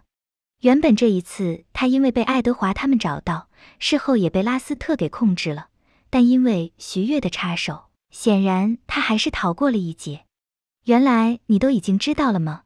的确是感谢你的援手。马克不由露出了苦笑之色。他知道自己最大的价值就是那贤者之石的开发资料。明明人家都已经得到了，精准的报出了资料的位置，这还过来一趟，的确是对自己没什么其他想法了。真的是好意。而莫名的，马克也感觉一直困扰自己的压力也轻松了很多。守着那等秘密，一直苟延残喘，东躲西藏，他的内心已经绷紧到了极限。现在有人共同分享这个秘密后，还是让他一时间感到了压力骤降。特别是分享秘密的，一看还是一位强者。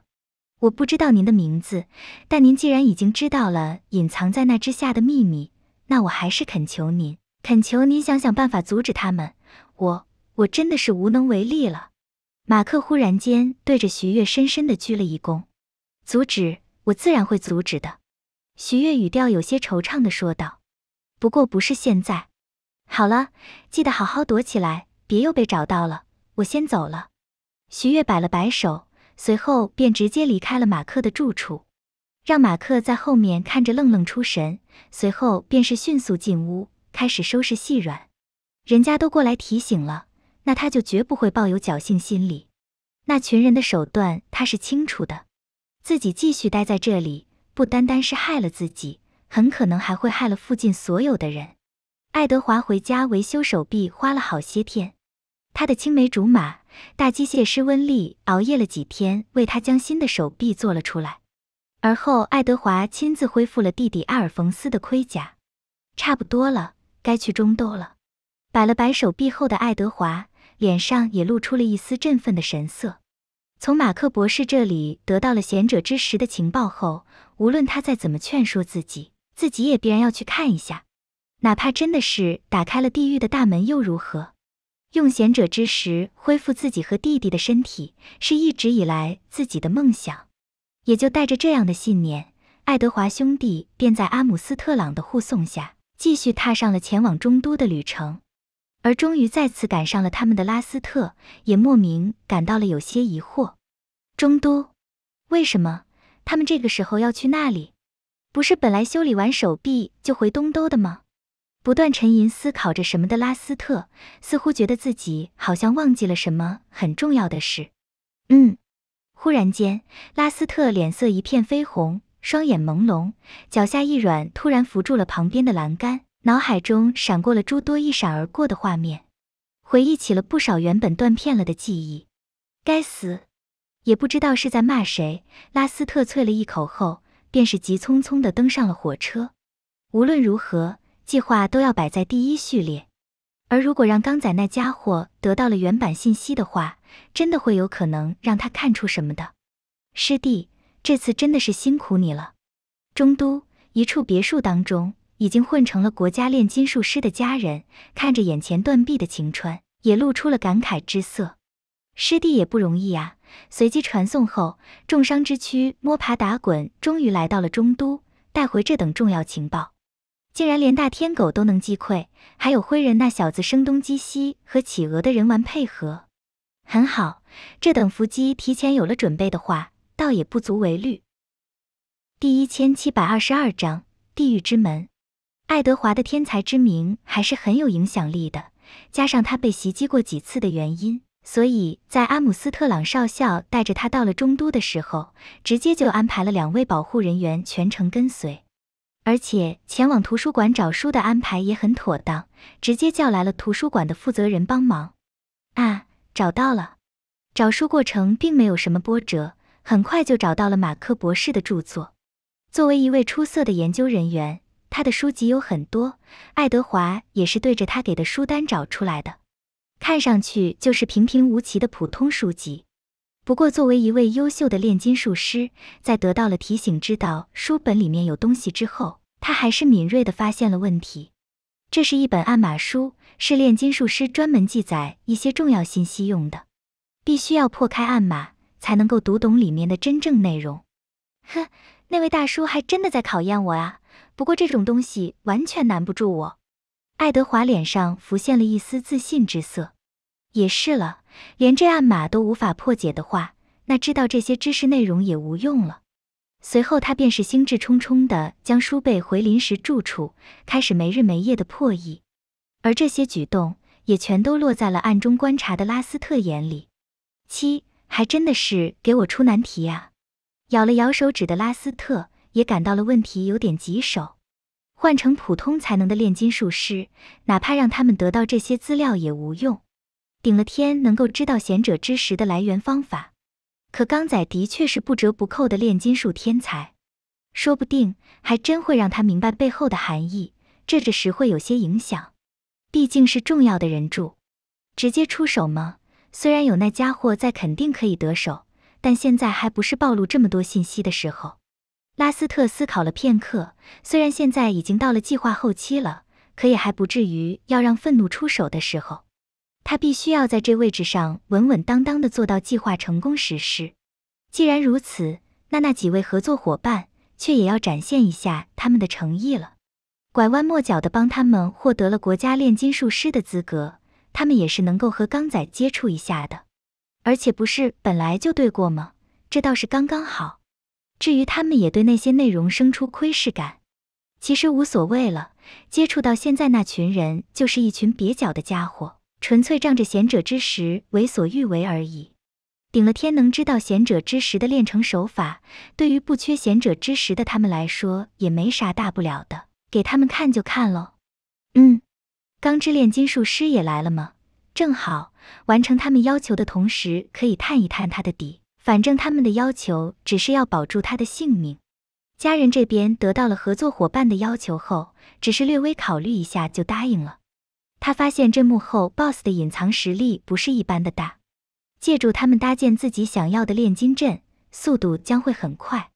此时，老师和紫苑已经去伊修巴尔为自己做好前期准备工作了。现在这种时候，自然也要满足他们一下。对付钢之炼金术师而已，还可能从他身上得到想要的东西。而且，对于那些幕后 BOSS 所重视的资料，他们也感到有些好奇。能够被他们所重视，说不定就是很重要的知识，甚至可能涉及到贤者之石。这个炼金术师的任务空间当中，贤者之石的产出大多都和那群人造人有关。因为轮回者们的知识，他们倒是能判断贤者之石和灵魂有关，所以才会有轮回者拿着半成品去其他任务空间收集灵魂的事。但贤者之石本身的制作手法，他们却是完全不清楚。家人有预感，这次的资料很可能就和贤者之石有关。啊，是你们！正在翻译文献的爱德华被突然推门而入的几人打断后，当即也认出了他们就是袭击过自己的人，自然是我们。不过现在我们已经是同僚了，可不会再针对你什么了。家人耸了耸肩，随后露出了自己代表国家炼金术师身份的怀表，让爱德华也不由有些吃惊。这些家伙袭击过自己，竟然也被收为国家炼金术师了，到底是怎么回事？当初的袭击只是个误会而已。之前我的搭档还帮你们对付过疤痕人，不是吗？家人将之前晴川的事也拿出来说了，让爱德华无言以对。那一次对方的确没有表现出恶意。当初我们袭击你，其实只是好奇你为何可以无阵使用炼金术而已，希望你能原谅我们对知识的渴望。所以这一次听说你想要翻译什么资料，我们也厚着脸皮过来讨教讨教了。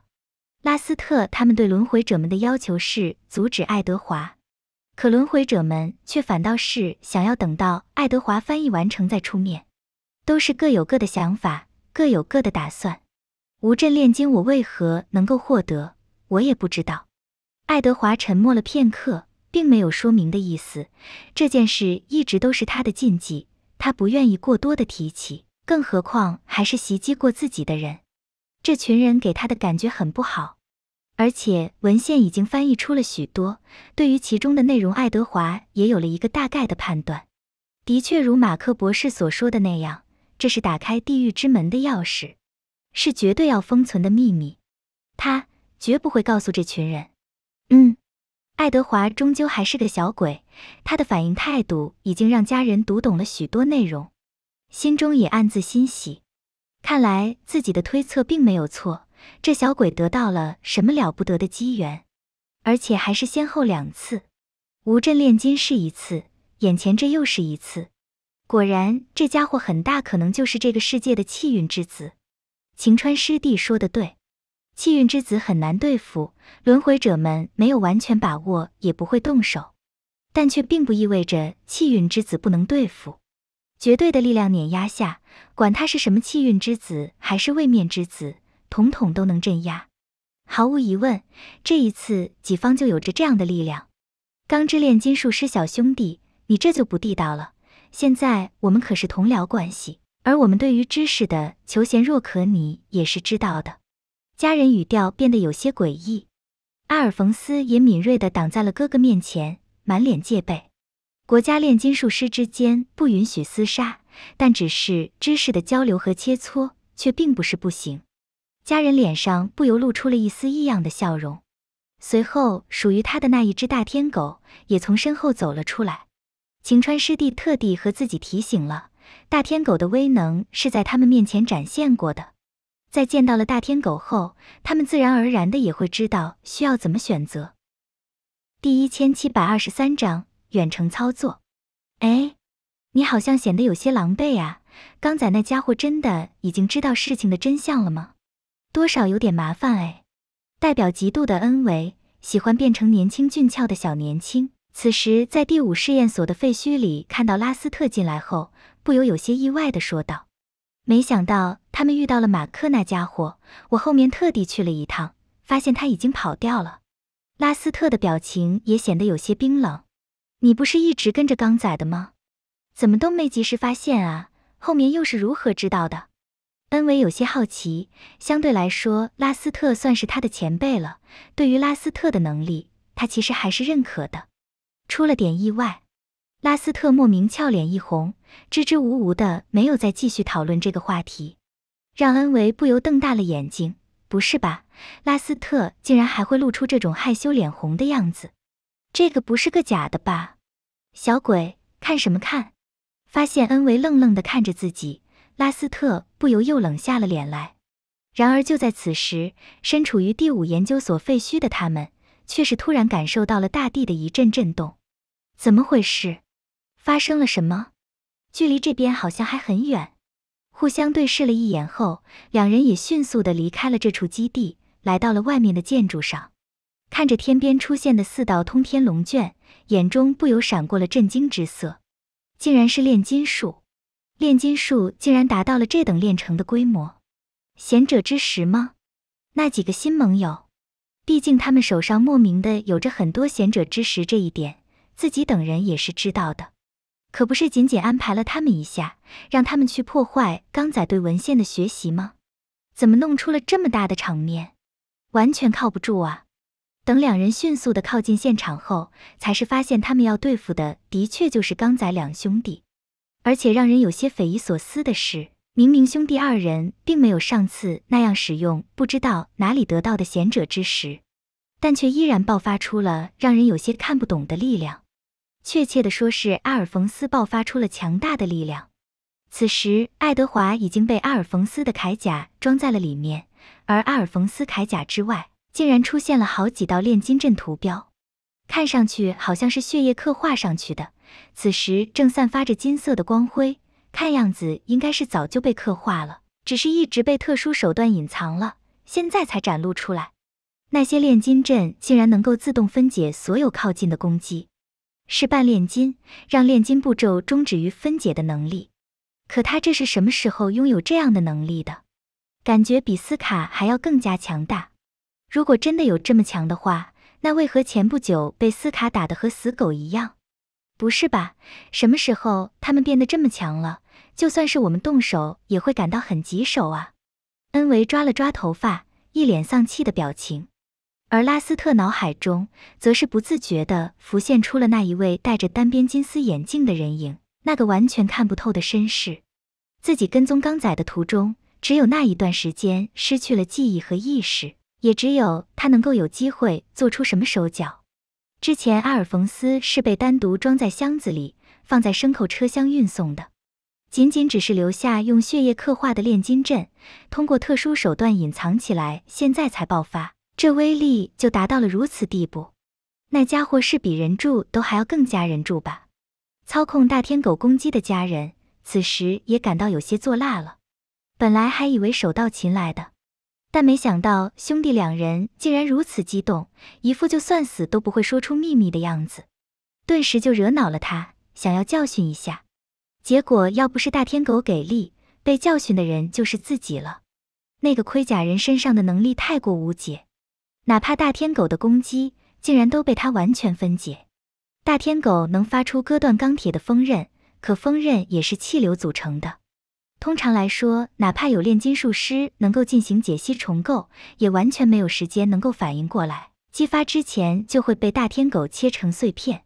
但对方身上那炼金阵却可以，这也太过分，太犯规了。一直压着对面打，没有丝毫压力和难度。面对那乌龟壳，却是完全无能为力，甚至一度让场面失控到了眼前这状态，麻烦有点大了。住手！这是怎么回事？最后，关头金布拉德雷出现在了现场，并且严厉地制止了双方的对峙。好不容易碰到台阶下的家人，也立刻顺驴下坡，满脸歉意的表情说道：“布拉德雷阁下，真是抱歉，是我们交流的方式有些不对。”我会对损失进行赔偿的。家人的那种态度让爱德华感到了很是愤慨，掀开了阿尔冯斯的盔甲，露出了脑袋，说道：“根本不是这样，你们是想……哼，大总统阁下，他们根本就不是好人。”爱德华想要把事情说出来，但到了嘴边后还是咽了下去。贤者之石的事太过敏感了，闹大引来了注意的话，反倒是大麻烦。这种技术绝对不能泄露出去。这是打开地狱之门的资料。哎，现在才到账吗？正在前往伊修巴尔的徐月得到了提示后，也较为满意。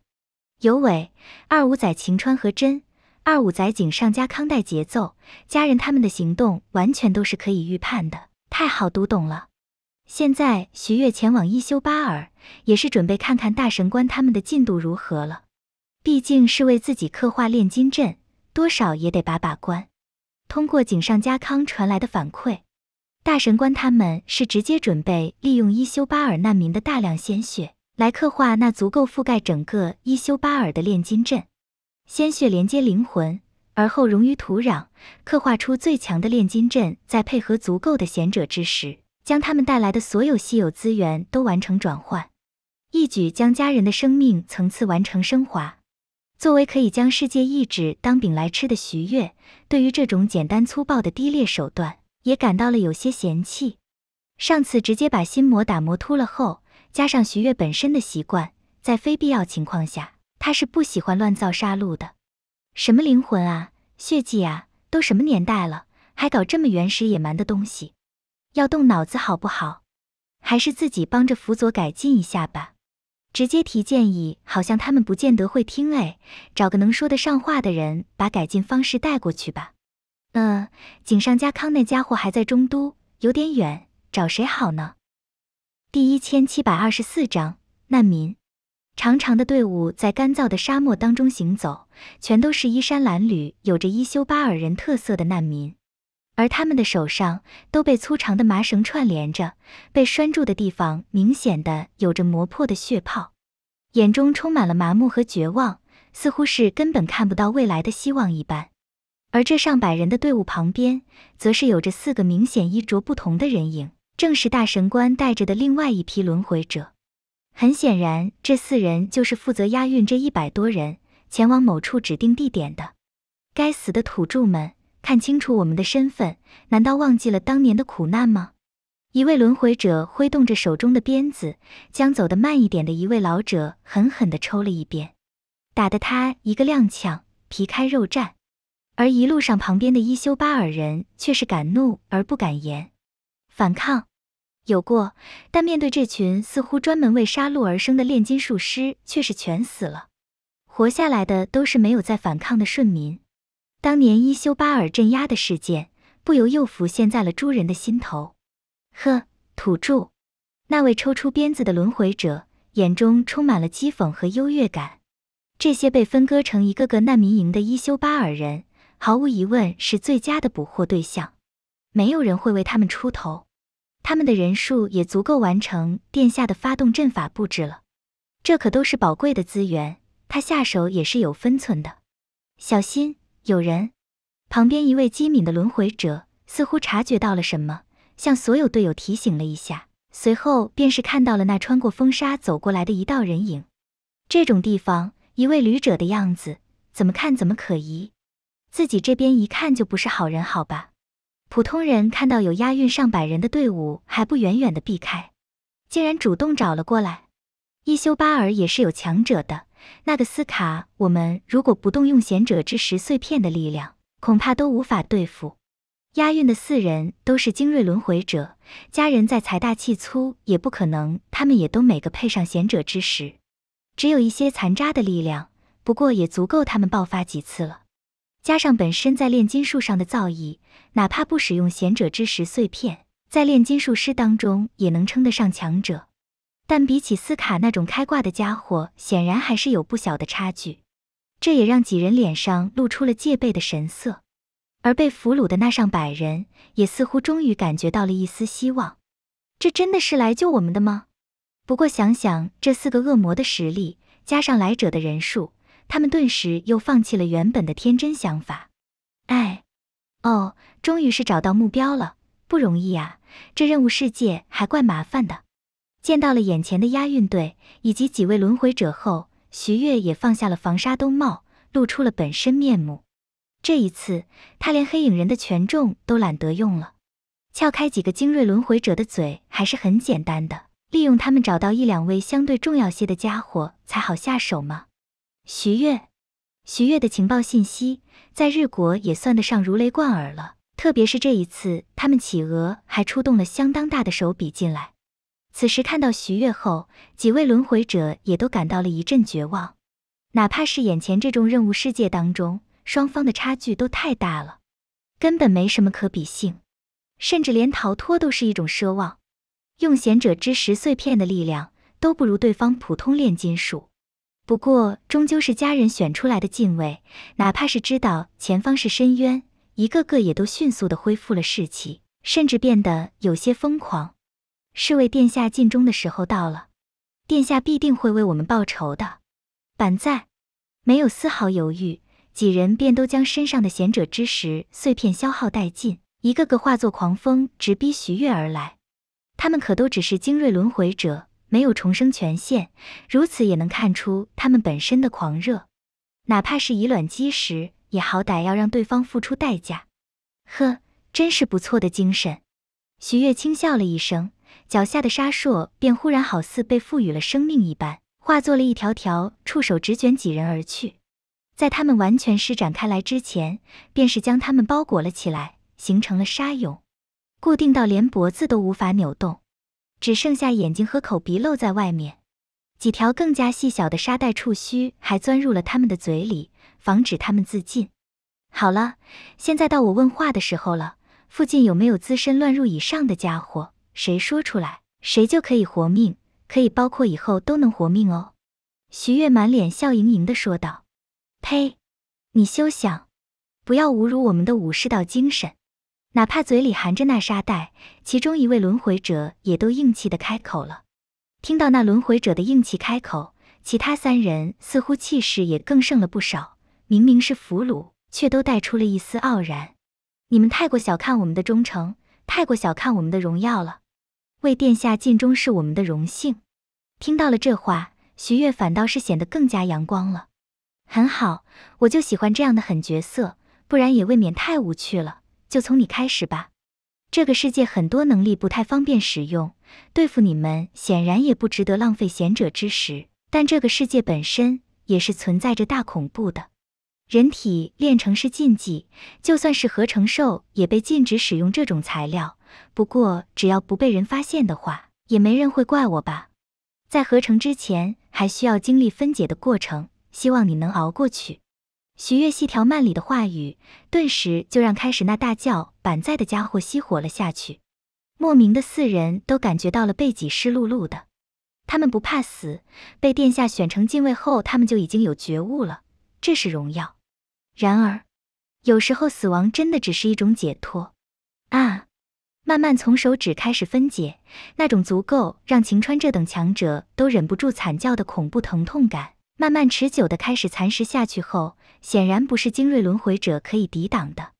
惨叫声都叫哑了，被徐月先后利用炼金手段从昏迷中唤醒了几次后，第一位轮回者便是被徐月利用沙子炼成了狮身人面相。意志整个的被抹平残破，呆呆傻傻的变成雕塑，趴在那儿，重复呢喃着一些凌乱的信息。紫苑，紫苑大人在不远处。紫苑大人太凶了，大人救命！尽忠，板在。信息不够啊，轮到你们了。徐月转头看向了之前叫嚣声第二大的家伙。啊，你们的武士道精神也就这样吗？第三位被分解了一半。终于还是顶不住那种绝望的压力和疼痛，老实的交代了出来。前面两人的遭遇已经让他散大跌了，自己感受到一半后，终于是扛不住了。然后被徐月利用沙子重新构造了半边身体，续命了一波。紫苑队长作为监军，一直在多个队伍之间巡逻活动，防止有人破坏。他应该是距离最近的高层了，但他的具体位置，我们是真的不知道。第一千七百二十五章冤枉。嗡嗡，发动机轰鸣声响起，一支十二人的机车队在这沙漠中狂野的穿梭着，掀起了大片沙尘。机车都是看上去很复古、很有机械美感的重型装置，而上面却都是清一色的婀娜女性骑着。机械与美的反差感让画面看上去很有冲击。特别是领队的中山紫苑，那种机车专用的皮质紧身外衣，配合那夸张的曲线，着实是犯规。外部的科技产品靠着贤者之石可以交换进入世界，不过性价比来说极其低下，哪怕家人这边财大气粗也不会去做，还不如多召唤点大天狗。但如果掌握了炼金术的话，身边又有着合适的材料，那只需要花费不大的代价。就可以复制出非战斗用途的机械用品，不需要知道原理，只要交换和复制就行了。这些机车便是如此产生的。紫苑姐姐大人，那个斯卡并没有出现，这么大的动静，他是还不知道吗？之所以会有这一支亲卫队进行监军巡查，最主要的目的就是提防那个叫做斯卡的家伙，因为己方这次分的比较散，以那个斯卡的实力。普通的队员可无法对付，必须要揪出来解决掉。至于企鹅商会，他们应该是不会想到自己这边会奋兵多路，由大神官和自己带队先来如此偏僻偏远的地方进行阵地布置。有殿下和晴川分别在中都和东都吸引着注意，加上他们上次使用了大量贤者之石放杀招，却反倒是不用太过担心。比贤者之石的数目。你们拿什么和早就开始准备的我们来比？殿下高瞻远瞩，早早的制定了计划，默默收购了这么多贤者之石，加上最后阶段突然的溢价收购，可以说近期的贤者之石八成以上都落在了我等的手上。这个世界的等价交换是铁律，上一次近乎于一击击溃城市的代价，绝不是几颗贤者之石可以搞定的。只是就在此时，好几道逃难的难民身影落入了他们的眼中。嗯，是伊修巴尔人，而且这种服饰和手腕上的伤痕是我们捕捉的祭品。有情况，看清了来者的状态后，十二辆机车组成的车队便开始分散包围，将那群逃难者驱赶到了一起。说吧，你们是如何逃出来的？从机车上翻身而下，取下头盔的紫苑满脸冷艳之色。强大的气场让现场的那些伊修巴尔难民纳纳不语。是是，有人救下了我们。有一位年轻难民咽了口口水，小声说道：“几个人？一个。很好，发现目标。从这边得到了结果后，中山子苑脸上也泛起了自信之色。分成三队，一队由我带队去追捕目标，一队押送这些祭品到目的地。”另外一队去收拢其他逃跑的祭品，三道目的明确的命令下达，其他队员便是同时领命。嗡嗡的机车声瞬间散开。愚愚昧的土著，大人们不会放过你的。最后一位精锐轮回者一边咳血，一边沙哑的说出了最后的话。此时他半边身体已经完全粉碎破坏，全靠一口气撑着。没有重生权限的精锐轮回者。命运的路程也就到此为止了。另外一边不断大口喘息、捂着肋下伤口的斯卡，脸上表情也显得很是凝重。对方看守只有四个人，而且为了看守一百来人，分的也比较散。自己在提前埋伏、突然偷袭的情况下，最终竟然也将自己逼到这等地步，真的没有一位弱者？到底是哪里冒出来的势力？为何要针对我们？难道又是当初的那些人吗？我没办法护送你们离开了，你们分散逃，逃得越远越好，不要又被抓住了。简单的恢复了一点力气后，斯卡便是沙哑的让被捕获的难民们逃离。伊修巴尔人本身的生活条件就很艰辛，也习惯这种沙漠环境，所以哪怕是这种人迹罕见的地方，他们也能够成功自己逃生。将绳子都断开后，那群伊修巴尔人表示完感谢后，也先后迅速离开。只是就在此时，机车的轰鸣声却是隐约从远处传来，让一位难民忽然面露惊恐之色的说道：“我记得这个声音，这是他们监军的车队，我们逃不掉了，被发现了。”斯卡听到后也不由吓了一跳，怎么回事？这才是自己袭击的第一支队伍，他们的反应怎么会这么快？不等斯卡想完，四辆机车便已进入了视野，其中三辆散开约束那些准备逃跑的难民，领头那一辆笔直的朝着斯卡冲了过来，随后在不远处翻身而下，激烈的动作引起了一片起伏。很好，抓住小老鼠了。见到眼前负伤的斯卡，中山子苑没有丝毫的在意，嘴角挂起了一丝美丽的弧度。刚刚站立就甩出了一条长鞭，随着他的甩出，空气中都发出了破空的爆鸣声。手柄处炼金阵闪烁，那高速破空而至的长鞭直接开始硬化，瞬息间化作了尖锐的长矛。因为甩鞭的速度和炼金反应，本来就受伤、行动有了一些限制的斯卡也没能完全避开，直接被贯穿了小腿。不过斯卡也是标准的硬汉，连眉头都不皱一下，就用右手握住那长鞭进行了分解，脱离了束缚，一瘸一拐的后退了几步。看着那出现了倒刺卡在肉里的残留，斯卡脸色也有些凝重。很强，哪怕还没有使用贤者之石，也比之前自己干掉的那四个家伙要强。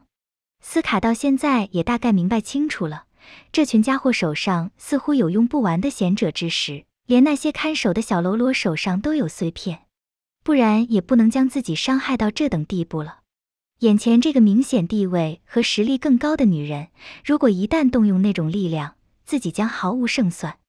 必须要让他感觉到不动用贤者之时也能干掉自己，然后寻找机会和破绽一击必杀，才有着一丝机会。蹲在一处沙丘上的徐月，看着旁边只有那个满脸产鱼的杀人和三个狮身人面像。一直没有其他人过来，也感到了有些失算。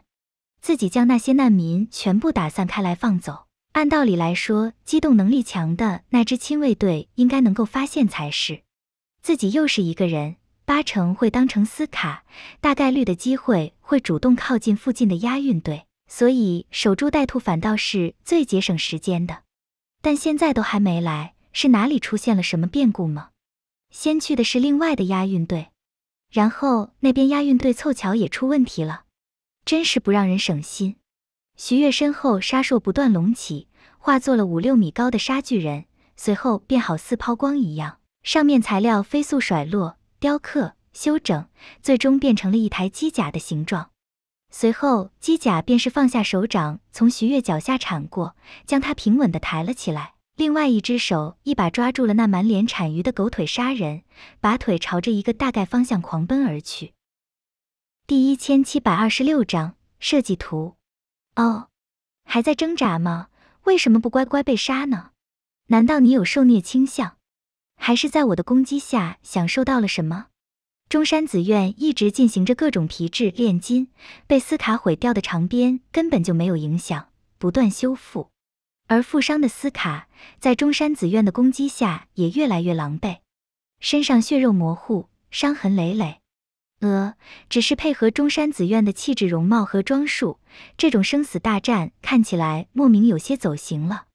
机会，一直苦苦支持的斯卡，终于是抵达了自己理想中的位置，也知道这是自己唯一的一次机会。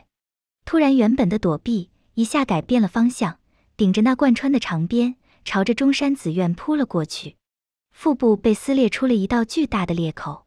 因为中山紫苑一直控制的距离和攻击，斯卡哪怕是扑过去也完全够不着，直接扑向了地面。但他本来的目的就不是直接攻击到对手，伸手按住了那沙丘一角，能力发动。忽然间，中山紫苑站立之的沙丘便是完全崩坏，爆裂出了漫天黄沙，同时地表也化作了流沙一般。趁着这个机会，在黄沙爆裂阻挡了视角的条件下，斯卡无视了身上的所有伤势，直接伸出了能够分解一切的右手，朝着目标的大概方向按了过去。大手腕上传来的距离，顿时便让斯卡的脸色一变。怎么可能？看上去这么柔弱的女子，力量上竟然超过了自己。你手想要往哪里按呢？当黄沙散去后，冷冰冰的中山紫苑嘲弄地看了斯卡一眼。单从画面上看，好像是高大魁梧、带着刀疤的斯卡想要欺负人，但斯卡心底却已低沉到了谷底。完了，已经没有机会和希望可言。自己这一击已经是付出了巨大代价的破釜沉舟了一击。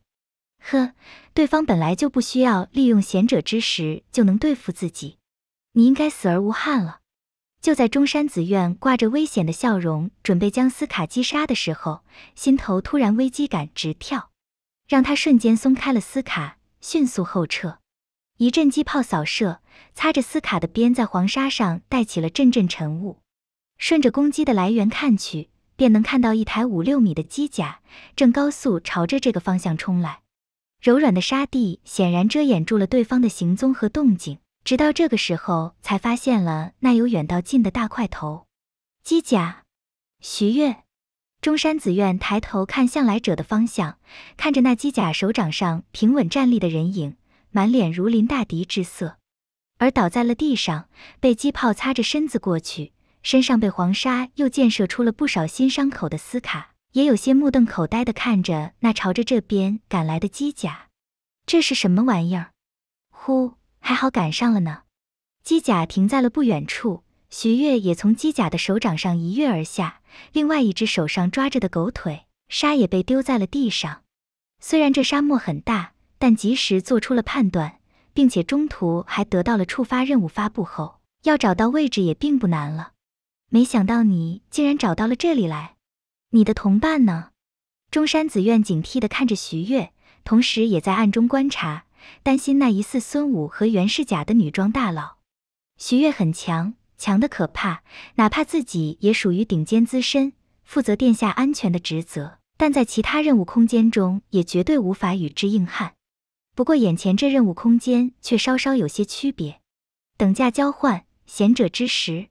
上次他们为了破坏我等行动，用出了那么大体量的攻击，想来存货也不多了。甚至他们还交换出来了一台机甲，用来长期使用。但现在局部战斗的消耗下，拥有超过十枚贤者之石在身上的自己，却是绝对不虚。进可攻，退可守。哪怕对方还有贤者之石的存货，自己也有着撤离的条件。你们选的地方倒是很隐秘了，找到也花了我不少功夫的同伴。你说艾丽啊，她在中都那边当班，没过来。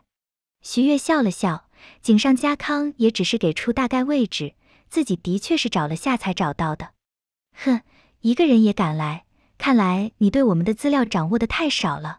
你认为就凭你一人？就能破坏我们的计划。中山紫苑的确算得上是皇室手中的隐藏强者，外界关于他的资料很少。加上坐镇阵法核心的大神官，这等阵容绝对不是对方能够撼动的。既然来了，那就不要走了。破坏计划？我为什么要坏计划？我只是过来提出一点修改意见的。但我直接同大神官说的话。他恐怕不愿意采纳，所以只能拜托紫苑小姐姐帮个忙了。徐月双手合十，一副拜托你了的样子。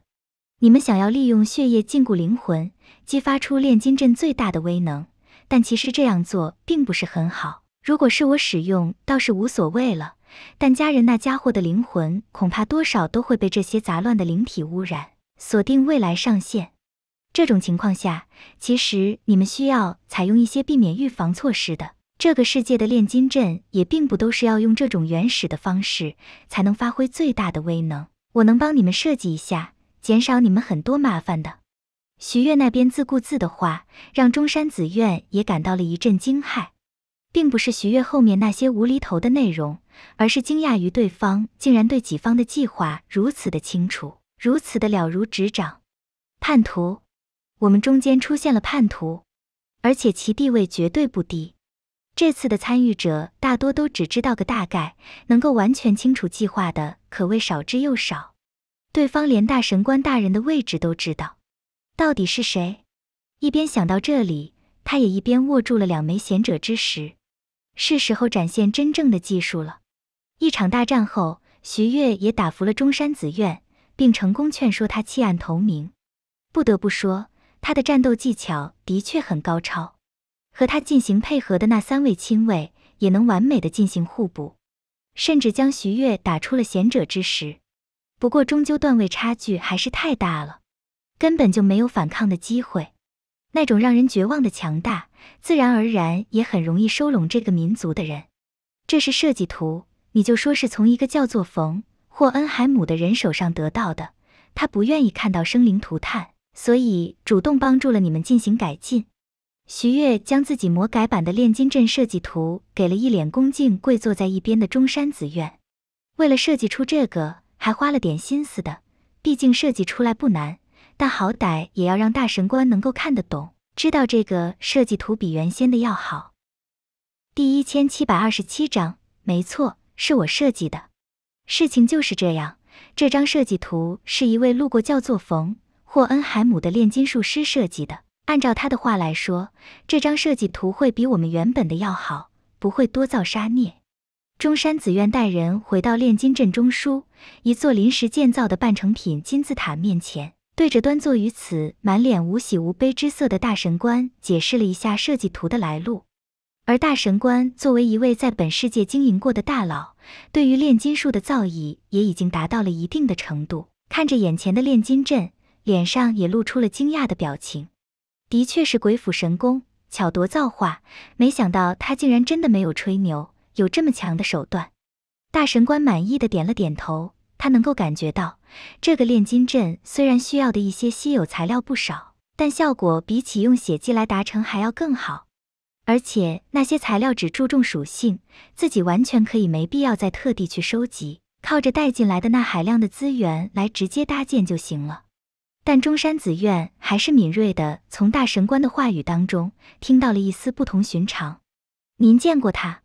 嗯，前不久，一个自称冯霍恩海姆的人来过这里，想要劝说我改变这炼金阵的结构，但是空口白话，我拿什么相信他？所以被我打跑了。没想到他这么快就拿出了设计图，早知道就留下他了。也是了，能够通过一些细枝末节的蛛丝马迹，就能将我布置的雏形看穿个七七八八，没有两把刷子怎么行？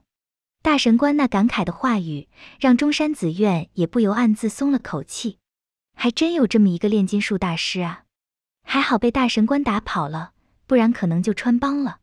计划执行不下去的话，大神官就会立刻暴毙，到时候无论是主人还是自己，都得增加许多繁琐的琐事的，会打扰主人游玩的雅致。而就在这个时候，一位轮回者便是跑了过来，禀报道。大神官大人，上次那个炼金术师又来了。他说他拿出了实际设计图来改变您的计划。大神官听到了禀报后，也表情一愣，随后点了点头。哦，请他过来一趟吧。如果能够完善炼金阵，让效果变得更好，我们又不非要那么多杀人。呵呵，难得碰到这种圣母。只是旁边的中山紫苑却一阵无语望天，不是吧？还来？哎。看来大神官是保不住了。随后，他便看到了一位颇有中年绅士风度的金发男子，在一位轮回者的带领下走了进来。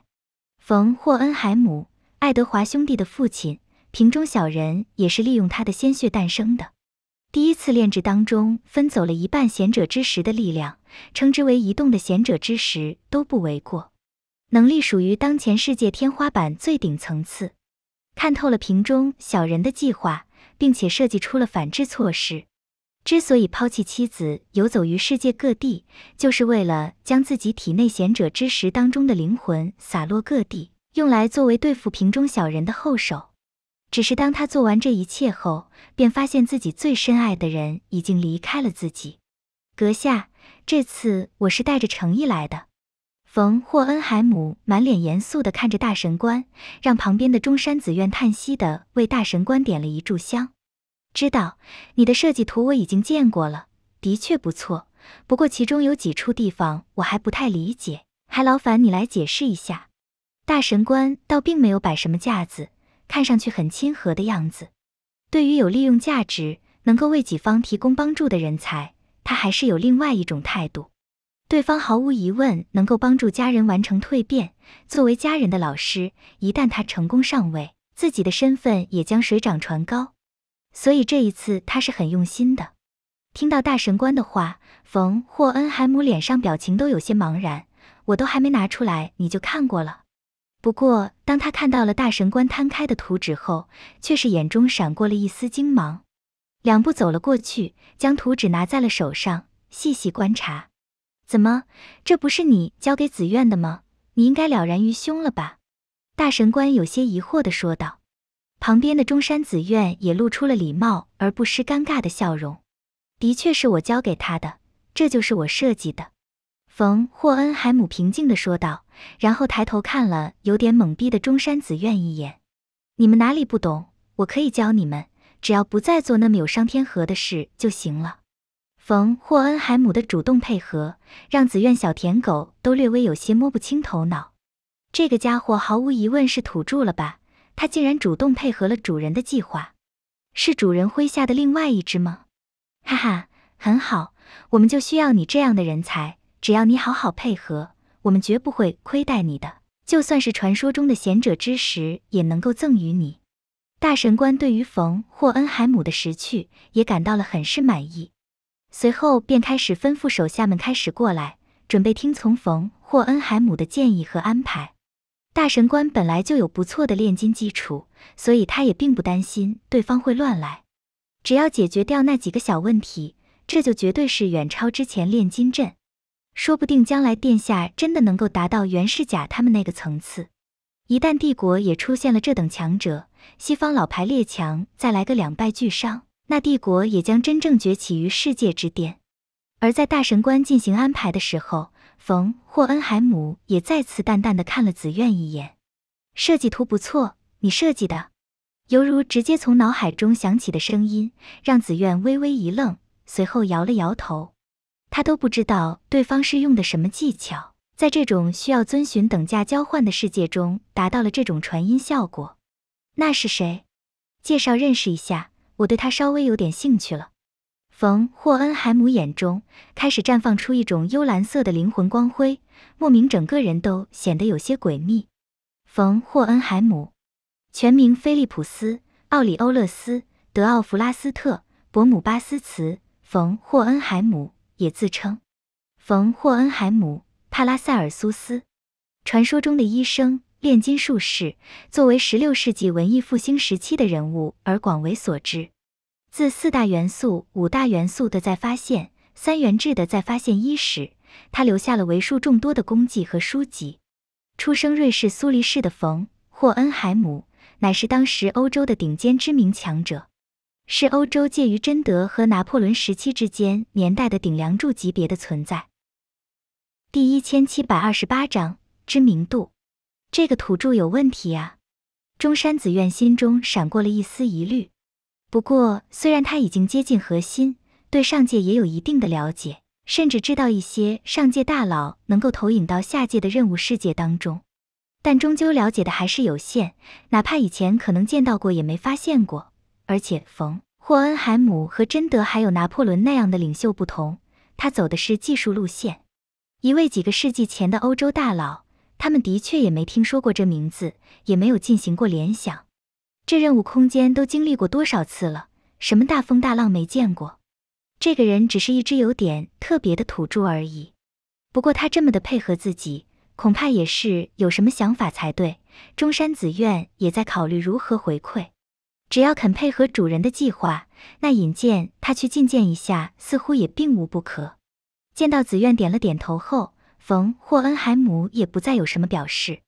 这个任务空间，他其实来过不少次了，不过因为这个世界有些伤感，加上能够学到的有用东西也都差不多学到了，所以也很久没来过了。就算是上界的人，也不能肆意妄为。这次突然接到了一次大气运大功德的天道任务后，当然是想都没想的就进来了。维护附属世界的稳定吗？天道对于这次的任务空间很看重的。进来接收了投影的记忆后，他心中也有数了。已经在中都搞过大破坏了，疑似有许多贤者之石，再加上之前投影来过这地方对四周炼金阵的观察，冯·霍恩海姆自然是立马就想到了问题出在哪里了。这是一种直接转化实力、增加积累的炼金阵，充分利用了当前世界被天道赋予的规则。其实理论上来说，性价比不高的，需要投入的资源和精力太大了，不是超级势力根本就支撑不起。第一步的贤者之石收集可能就会卡住。不要说后面那为了转化实力所需要的海量天才地宝与任务点了。肯定是某个下界超级势力要强推某一位强者出现，要么是老强者陨落急需接班，要么是老王者即将飞升。总之不外乎这些理由。投入已经算是相当超规格了，这里主持阵地的都是一位将来能够飞升的老牌精锐。这种投入的力量，再加上天道对本空间的重视，有了这种规格的奖励，倒是也说得通。个鬼啊，怎么会这么多？是不是多看了一个零哦？当时见到超额奖励，下意识的就选取了。现在怎么看，怎么有点不对劲？难道是他们这阵地最后会影响到那连通真理之地的大型炼金阵？也没有啊，到底算漏了什么？还是说本来这个任务空间奖励就有这么高，区区下界的任务而已，高的有点没道理了。不过，终究是下界，再出幺蛾子，难道还能超出自己的掌控不成？这种奖励下，必要的时候花费不菲的代价将力量降为传输，就算是大型军阵都破给你们看。自己对这个世界的等价交换可是掌握的很透彻的。想通了这一点后，冯霍恩海姆便开始细心的对大神官进行这个阵地的解释和讲解了。不错的水平，将原本血迹的原始炼金阵改成了这样，改动不大，只是进行了微调。但却化腐朽为神奇，炼金造诣很高，绝对是多次进入过本空间的老油条，重置过几次都很有可能。不过放在自己眼里，却也是一眼就能看透看懂了，可以为这个老头进行讲解，免去伊修巴尔人无妄之灾，也算是一笔修正。如果这群家伙只是搞个炼金阵，然后他们自己准备材料完成积累的话，自己在一边一直看好他们就行了。轻松就能完成任务，但如果他们要搞事，那就说不得要劝说一下，哪怕物理劝说也在所不惜。原来如此，真的是高明的手段啊！那不知道能不能请阁下协助我进行完成？以阁下的炼金造诣，如果肯亲自出手的话，效果恐怕也要提升一个档次。大神官对冯霍恩海姆果断地发出了邀请。本来他是对自己炼金术有几分自信的。但现在看到图纸，又听到了讲解之后，当然也明白了对方的深不可测。而偏偏这是一个圣母土著，所以完全可以依靠那些伊修巴尔人作为筹码，逼对方就范。如果你愿意放过那些可怜人的话，我亲自出手也不是不行。冯霍恩海姆沉吟了片刻，随后大神官便是接到了要付费的提示，让他心头一震。要付费好啊。付费越高，就说明对方改造后的价值越大。磨刀不误砍柴工，相比于前期的资金与精力投入，现在强化炼金阵的投入也是完全划算的。因此，大神官也很是爽快的将费用支付了过去。冯霍恩海姆见状，心底也有些叹息，还是太过低估这个势力的决心和资本了呀。本来应该还可以要价高一些的，算了，白捡的不嫌少。也就这样。冯霍恩海姆也精心投入到了那炼金阵的改良当中。咦，大神官那家伙的水平有这么高？远远的观察了一下炼金阵的改造，而后又去了外围的几处共鸣节点踩点。徐月有些意外的发现，这群家伙的效率和能耐真的是出奇的高。本来还以为自己要找机会修葺完善一下的，现在看来自己有些太小看他们了。不过有些疑惑的是，以大神官的实力，不至于可以做到这一点的。不是徐月小看那一位精锐乱入者，而是能够做到这一点的话，哪怕在外面世界，大神官单靠炼金术一系的能力，都能超越他如今的实力体现。应该是里面出现了什么暂时还不了解的变故。则召唤小舔狗出来一趟吧。随意用沙烁凝结成的小屋门口来了两位身披斗篷的客人。当徐月看到紫苑小舔狗带了个人过来，就知道了，这应该就是那位造成了炼金阵变故的家伙了。而且这人身上的气息，略微思索了一下，徐月便是哑然的笑了笑。冷门之事没有第一时间想到，的确是自己的过失。开始没有多关注这家伙，现在看来应该是真正的上界大佬了。冯霍恩海姆，帕拉塞尔苏斯前辈。在打开门将两人引进来后，徐月便是率先笑盈盈的打了个招呼，让冯霍恩海姆都感到了有些意外，随后露出了一丝赞许的眼神。反应很快的年轻人，比起你的这位女仆反应快多了，不愧是能够设计出这样炼金阵的人。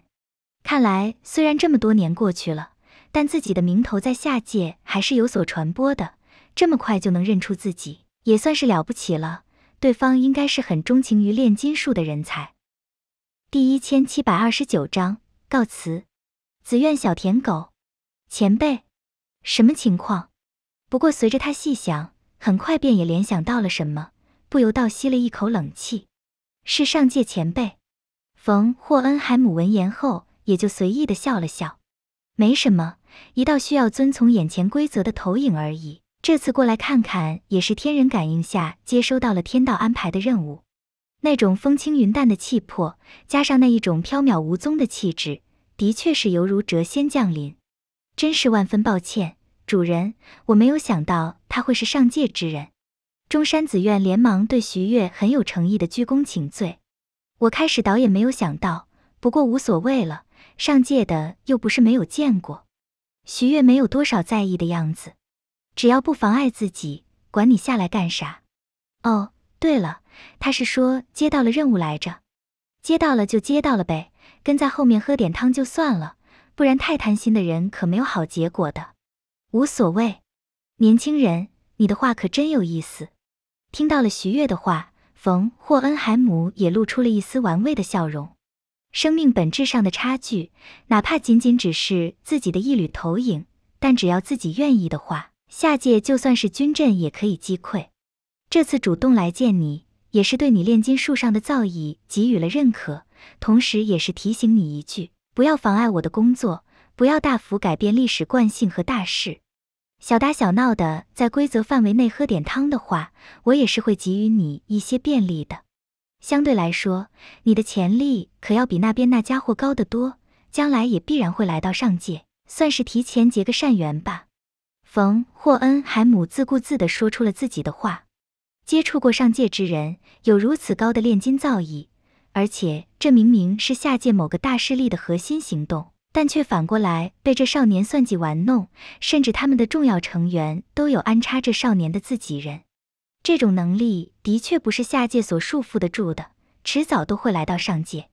上界并不缺普通的强者，但这种有天资、有手段、有魄力的家伙，却是绝对哪里都吃得开的。呃，那个我也有话想说两句，前辈不妨碍我的话，也可以顺带在他们身上抽点好处。而我也并不会太过分的破坏原本的历史惯性，将来迟早也会上来的，的确也算是提前认识一下了。徐月笑盈盈的给出了自己的选择，这让冯霍恩海姆原本挂着笑容的脸色逐渐凝重了下来。年轻人，不要贪得无厌，不知好歹。我能放你一马，配合你，我也同样能让你万劫不复，甚至都不需要动手，只要把消息告诉那个昏庸的老头。你都会有数之不尽的麻烦。在冯霍恩海姆看来，他主动过来现身，已经算是特地提携后辈了。毕竟之前自己的确顺手配合了一下，可没想到这位后辈竟然这么不给面子。自己作为上界前辈，还要不要面子了？哼，或许你一路上太过顺风顺水，看来是时候要给你一点挫折了，让你明白这个世界的残酷。冯霍恩海姆一边说着，一边身上也一圈圈的散发出了一股莫大的威严。没有超过本界束缚，仅仅只是利用的炼金手段，现场就出现了一种恐怖的压迫感。我这身体里可是有庞大储备的贤者之石，加上这个世界的特殊性，不使用任何上界力量，单凭我个人对炼金术的理解，都远远超过了你对精锐乱入者的认识。冯霍恩海姆金发飞扬，瞬间将徐悦原本的琉璃小屋一阵操控，改得面目全非。中山紫苑发现不对，想要先发制人的攻击，却是发现任何攻击在靠近冯霍恩海姆之后，都会自然而然的被分解。没有动作，似乎只是一个意念就能分解身边所有物体，围绕他的空气似乎都成为了他触碰的节点，举手投足之间都能随意携带莫大的威能。而且对于炼金术的造诣，我已经完全超出了此界范畴。哪怕这一具投影，都能某种程度上能完成智能转换。哦，抱歉，这么说你可能听不懂。不过爱因斯坦那小家伙应该已经要将理论提出来了。有空的话，你可以去找他了解下。现在他应该还在瑞士。简单的来说，这就是你们能够当做战略武器的核弹基础理论。冯·霍恩海姆摊手耸肩，似乎就要化作核弹教父一般。而听到冯·霍恩海姆的话，徐悦也若有所思。目前，爱因斯坦应该也是瑞士国籍，冯·霍恩海姆本身也是。只是因为瑞士并没有受到漩涡的波及，所以爱因斯坦之名还不显山不漏水。但冯·霍恩海姆应该已经关注上这一位后辈了。呃，这么关注他没用哦，迟早都会跑到米国去啊。许月一边嘀咕着，一边也抬起了手掌。任由气流在手掌之中汇聚凝结，一点一点的光点顺应着那一股气流出现，似乎有什么恐怖的波动在其中酝酿，看上去好似掌中都出现了星辰一般。你是说这样的智能转换？一点一点的铁屑在徐月手心随风旋转，大量的空气似乎都在朝着他手心涌入，犹如无底洞一般。那核心看上去柔和的光亮也越来越刺眼，飘舞的铁屑也越来越多，在中央光亮四周漂浮上了诸多黑色的点缀。这种情形一出现，顿时就让冯·霍恩海姆眼珠子都快瞪出来了。我操，什么情况啊？这点能量对应上界本体来说，根本就算不上什么，就算是这个投影也能做到这一点。然而，对方竟然是单凭对炼金术的理解。单凭的理解、分解，在构造而达到的眼前地步，直接随意操控原子特性改变，这就有些可怕了。就算是自己这投影，也需要利用本身的上位境界以及体内那海量的贤者之石力量。不，不错，的确有几把刷子，难怪有恃无恐。不过，冯·霍恩海姆脸上表情出现了一丝不自然。不过什么？伸手将手中那一团直接捏灭，重新又完成能质转换还原后，徐月淡淡的询问了一句：“不过我还有点事，先走了。我不希望与你为敌，希望你慎重考虑。”干咳了一下后，冯·霍恩海姆也没有再待下去的意思了。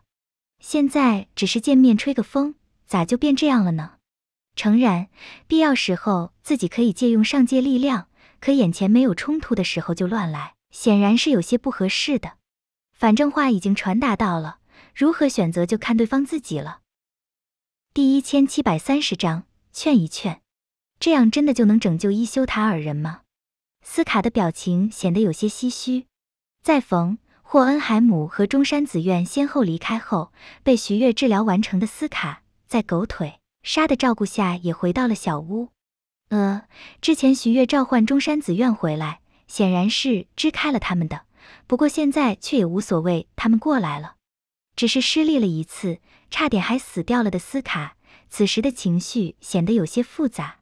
他知道眼前这一位救下自己的存在，也同样有着问题，而且对方甚至在自己面前没有是丝毫掩饰。无论是之前击败了自己的人，还是这一位更强大的存在，又或者是之前在东都遇到的那些怪物。一个个的实力都远远凌驾于自己之上，他甚至看不到自己努力的理由，太难了。不过相比于另外那些，这一位好歹还给出了一个方案，一个可能可以拯救伊修巴尔的可能性。对方不会主动帮助自己，但似乎并不介意顺带。而且现在斯卡也已经从对方那里知道了，他的一个改进炼金阵已经拯救了成千上万族人的性命。不管如何。这已经是当前最好的选择了，好歹这里还有着一丝希望，给自己一点信心嘛！你可是能够活到大决战的人啊！徐月心不在焉的随意说道。徐月冕下，下一步应该怎么做？有用得到小的的地方吗？请务必让小的为您效力。狗腿沙也充分展现了他的武士道精神，为了徐月肝脑涂地，去催催你们殿下吧，别老窝着中度。这里都快搭建好平台了，还不过来办正事？徐月有些叹息的说道：“那边瓶中小人的炼金阵，他又帮不上忙，赖在那边干啥子呢？如果不是还能提供一点触发任务的奖励，早就要处理掉了。”随后，徐月拿出了一枚贤者之石碎片，准备发动和艾丽的远程通讯。本来的话，他倒是不需要再关注这边，自己去中都就是。有自己给出的设计图，还有中山紫苑打辅助，已经是绰绰有余了。然而冯霍恩海姆的出现，还是让徐悦不得不分出一些心思来盯梢一下。对方能力很强，特别是体内有着超大储量的贤者之石，真的一心想要修正什么的话，这边的阵地轻松就会被拆掉。这可是自己的炼金阵，交给大神官守着不放心，难以置信，竟然要活人的灵魂。爱德华兄弟将文献翻译出来后，了解了一下，便都烧掉了，并且他们兄弟二人还约定，无论如何都不会用贤者之石的力量恢复自己，一定不会。但这么重大的事情，单靠他们两人的话，显然还是有些兜不住，所以还是向虽然很不靠谱，但却完全值得信任的阿姆斯特朗选择性的透露了一些消息，因此才会有着阿姆斯特朗的惊叹声。贤者之石的炼金阵和制作方法已经被爱德华兄弟毁了，现在也只是向阿姆斯特朗提了一下事情的严重性。如果是当初镇压伊修巴尔时就开始研究的话，那哪怕马克医生已经离开，也很可能继续接着研究。现在中都有着四个上层扶持的研究所，以前马克医生似乎就是第四研究所的组长。阿姆斯特朗发动自己少校的权力，尽可能的调集出了大量的资料，随后得出了一些信息。那我们就去联络第四研究所的负责人。很可惜，第四研究所的负责人被斯卡杀掉了。而且通过我翻阅的资料，他们的研究都很正常。这里是哪里？爱德华伸手指向了地图上一个区域。哦，这里啊，这里是被废弃掉的第五研究所，上面亲自下令的。阿姆斯特朗简单的回忆了一下后说道：“那就没错了，就是这里。”爱德华斩钉截铁地指着这个位置，随后在地图上画出了一条横线到不远处。贤者之石需要活人的灵魂，而这里就是死刑犯的刑场，只有这里能够做到神不知鬼不觉。听到了爱德华的话，阿姆斯特朗总体上还是认同的。不过，虽然这里已经废弃很久了。但终究还是以前的研究所所在地，所以要搜查的话还是要调令的。这个我去申请，你们可不要在我回来前自己去了。阿姆斯特朗也是选择果断，直接大步离开了房间，让爱德华和阿尔冯斯兄弟两不由对视了一眼。咦，自己去？我们咋没想到啊？有着阿尔冯斯现在身上那被刻画上去的恐怖炼金阵，他们还真没啥好害怕的。上次那么恐怖的飓风攻击，还有锋刃什么的，都全部化为虚无了，一时间让两人也感到了有些膨胀。成事不足败事有余的废物啊！拉斯特在屋顶上盯梢，见到兄弟二人偷偷摸摸的出来，然后朝着第五研究所摸去的时候，也一阵咬牙切齿，因为提前知道了他们两人完成了文献翻译，可能会知道了一些不该知道的消息。所以这一次，拉斯特盯梢他们还是比较紧的，不像原本剧情那样，他们摸进去了才临时发现。他们知道了也没办法吧，又不能干掉他们，而且现在应该也无所谓了。这个基地废弃的掉也行，计划已经到了中期，只要人住不死就够了。恩维双手靠在脑后，蹲在屋檐边上，看着下面跑过去的两人。不过嬉皮笑脸完了后。他脸上便又逐渐露出了凝重的表情。不过，那个盔甲小鬼身上的炼金阵到底是什么？效果也太可怕了！就算是那个斯卡，也远远没到这等地步。还有我们那些盟友表现出来的实力也不可小觑。那个带翅膀的，也是一个人造人吧？身上有贤者之石的气息。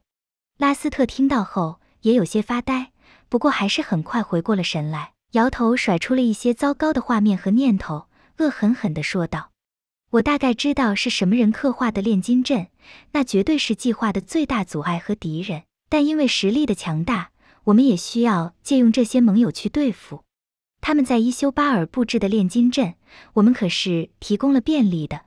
之前安排他们做的事也失败了，但后面可要轮到他们出力了。不然，我们既然能成全他们的计划。”也能毁了他们的计划。第一千七百三十一章耐心。那群该死的人造人，家人狠狠地将眼前的桌面拍碎，满脸都是阴冷之色。到了现在，不断的接触和了解，好歹他们已经知道了合作伙伴是什么样的存在了。而上一次在钢之炼金术师手上又一次失利，反倒是让他对于那贤者之石的炼成方法更加的感兴趣了。越是使用，才能越发的觉得这东西好用。外界虽然不会有其他方面的限制，炼金术可能不会用来战斗，但贤者之石依然可以当做不错的补充道具。等价交换可以成为优秀的后勤资源。最关键的是，贤者之石本身似乎是通过灵魂炼成的。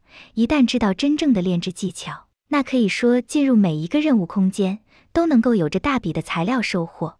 没有力量的普通人终究是多数。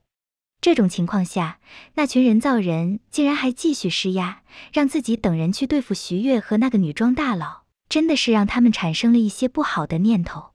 如果不是忌惮那些人造人背后隐藏着若有若无的真正大 boss，早就想要将他们一网打尽了。答应他们，不过向他们提出要求，我们需要完整的贤者之石炼金阵。家人平复了心绪后，冷静地说道：“几乎所有贤者之石的产出，都得自这些人造人，加上他们想要自己等人毁掉钢之炼金术师的资料，那显然他们手上是有着完整版的。”如果能够得到这个，提前终结掉企鹅的人也并不是不可以。看他们和灰人那小子联手合作的样子，这一次绝对是无法善罢的。既然迟早都要动手，那先动手和晚动手也没有区别了。不过他们一直都躲得很好，我们要怎么对付？怎么交换？在家人的帮助下，利用贤者之石恢复了自己手臂的晴川也说出了现在的困境。如果真的解决掉那群人造人的后顾之忧，他们给予贤者之石的炼成方法可能性绝对很大。哼，这自然是需要那群人造人将他们引诱出来了。我们还可以将计就计，让他们双方先火拼，刺探一下人造人背后那隐藏 BOSS 的能力。如果合适的话，顺带将他们一网打尽也并无不可。家人一脸自信的笑容。换成谁在这里坐拥这么多资源？这么多强力队友，都绝对只需要挑选胜利的方法就好。轰！刚刚平静下来没多久的中都，又一次发生了爆炸，而且连带的整个第五研究所废墟都陷入了火光当中。刚刚抵达废墟面前的爱德华看着眼前的火光，满脸都是不甘心的神色。明明就差一点，我们一定是找对地方了。可恶啊！刚刚找到的线索，真的是可惜了呀，哥哥。阿尔冯斯也叹息了一声。自从自己被莫名其妙的强化后，他也觉得天下之大，哪里都能去得。只是眼前的现状，还是好好的给他们上了一课。感觉一路上都有一双无形的大手在阻止着自己两人接近真相。没什么好可惜的，你们想要知道的真相，我可以告诉你们。熟悉的清冷声音出现，让兄弟两人回头看着那披着披风、刚刚掀开兜帽的绝美人影。艾丽姐姐见到了艾丽后，兄弟二人也显得很开心。这位大姐姐救下了自己两人多次，而且她出现在这里，还有说出的话，更是让两人异动。根据之前的几次接触，很显然，艾丽姐姐和徐月哥哥两人都知道一些他人所不知道的隐秘。只是几次试探性的询问都没有得到过正面回答，这一次却是准备告诉自己两人了吗？你们能够找到这里来？显然是也查到了一些资料，不过大体上应该只是关于贤者之石炼成的。而在贤者之石炼成下，还拥有着一个极为重要的计划。艾丽点了点头，也不再进行隐瞒的开口了。以艾丽的高视角，在吃透了炼金术后，哪怕不需要徐月进行提醒，也依然能够察觉到那大手笔的炼金阵，所以要讲解出来，自然也是相当简单。只是他话都还没说完，一道破空而至的黑芒便是打断了他。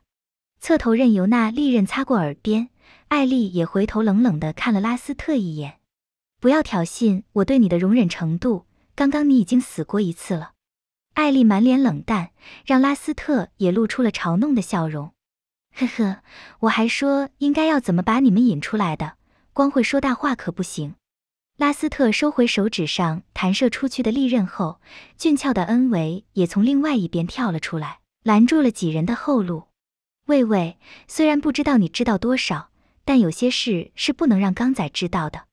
结果恩维话都还没说完，艾丽便是随手朝着他一甩，大地与空气同时炼成，裂开的大地深渊与足够割裂一切的利刃一闪而逝，瞬息间将恩维斩成了两半，尸体朝着裂开的深渊当中坠落了下去。我对你可没有耐心，淡淡的话语直接让拉斯特站在一边目瞪口呆。不是吧？刚刚对方真的是手下留情了？虽然恩维只要还有贤者之石的维持，那等伤势也能够恢复的，但这么来一下也太惨了点吧？哪怕是父亲大人身体不出状况的情况下，也就这样的表现吧。嗯，还有，为啥他对自己会有点耐心？旁边的爱德华兄弟见到艾丽那随手完成的炼成，也是一脸懵逼。天啦噜，明明之前艾丽大姐姐都还需要练金阵的。怎么感觉每一次见面他都在变强？嗖嗖嗖！而这时姗姗来迟的轮回者们也先后抵达了四周，将现场包围了起来。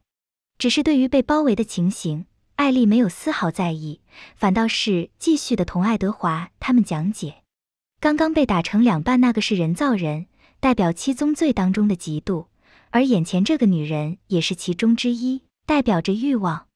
而制作他们的人。算是你们父亲的半个兄弟、老师，甚至义父吧。体内流淌着和你父亲一样的血。本来准备发动攻势的家人，在听到了艾丽的话后，也不由心中一动，随后抬手制止了手下们的攻击，还有起飞的大天狗。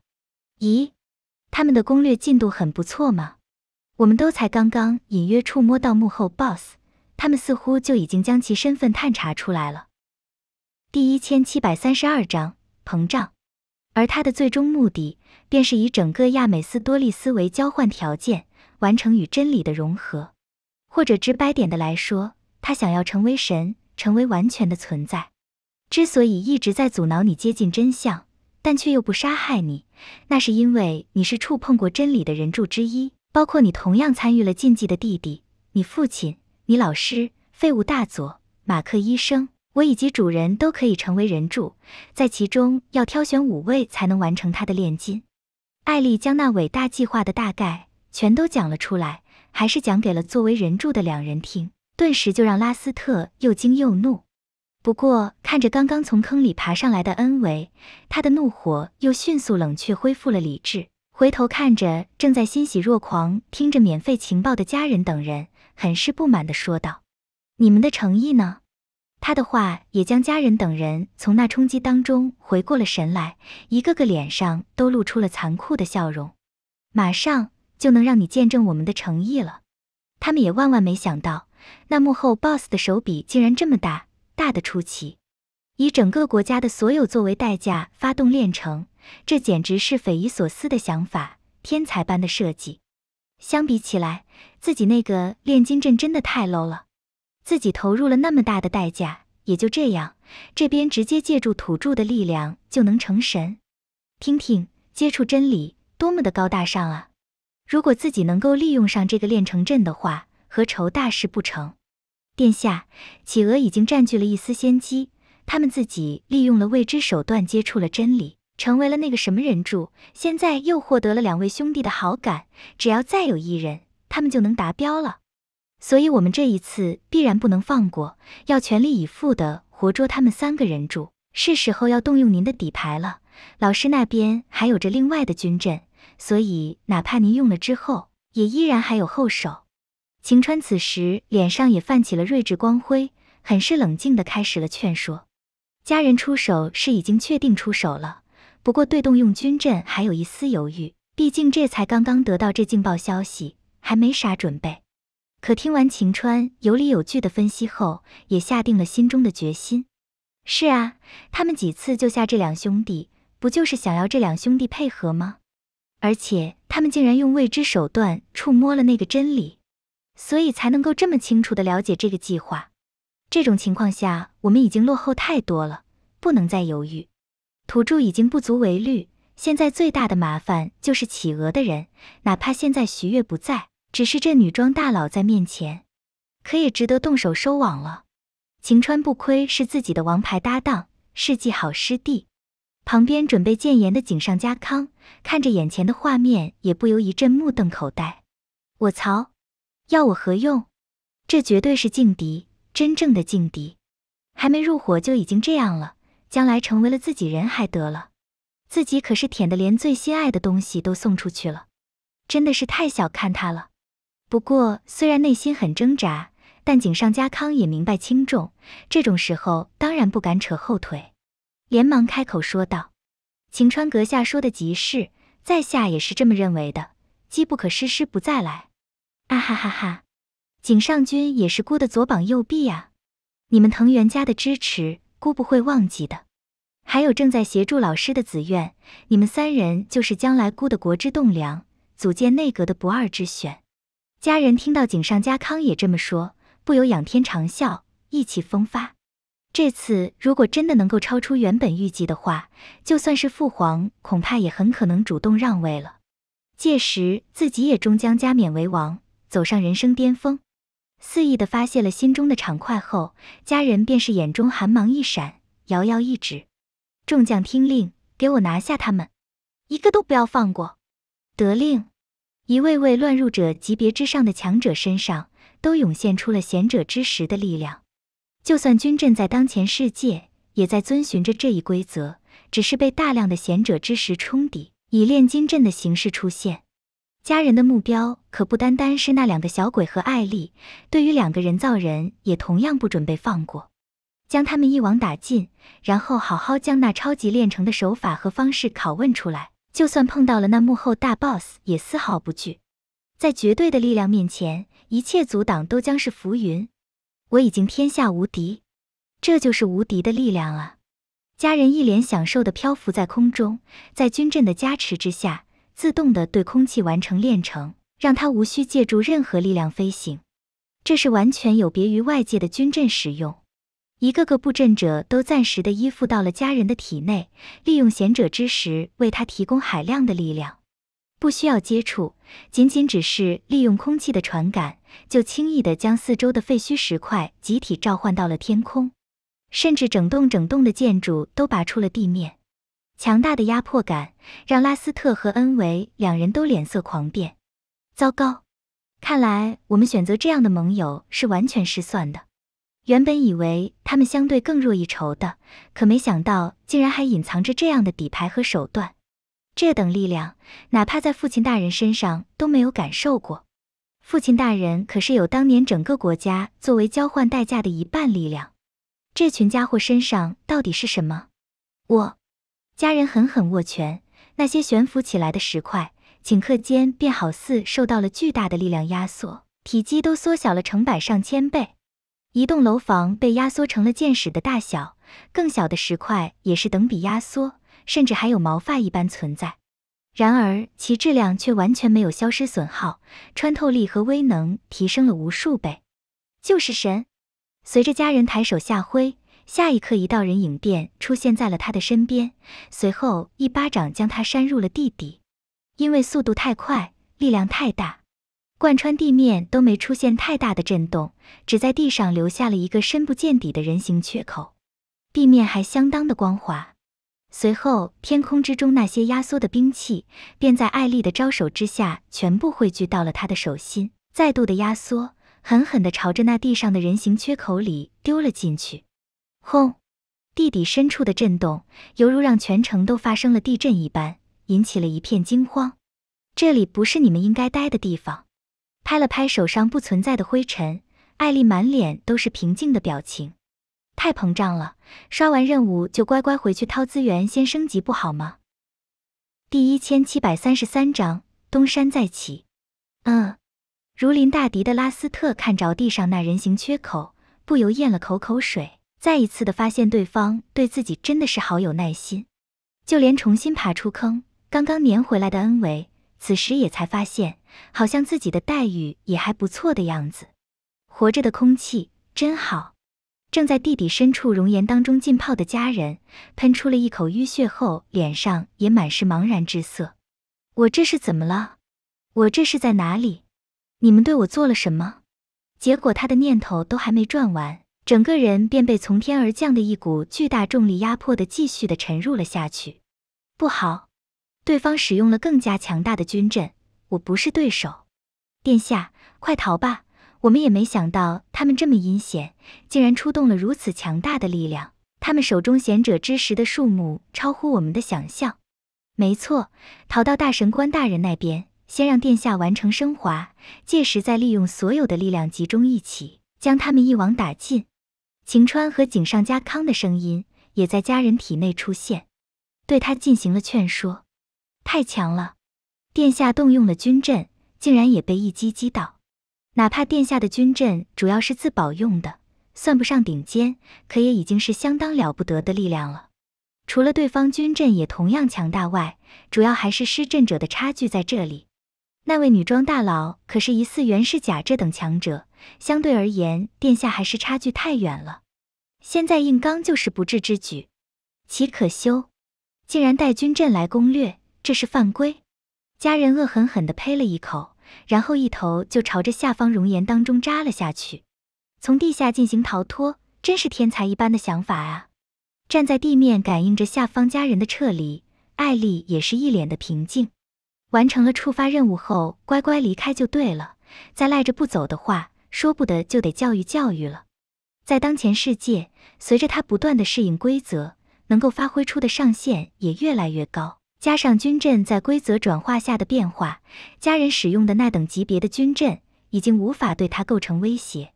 他可是徐月的第一位造物，而且艾丽可是有着无限量限定器的，在规则压迫下反倒是更加容易提升。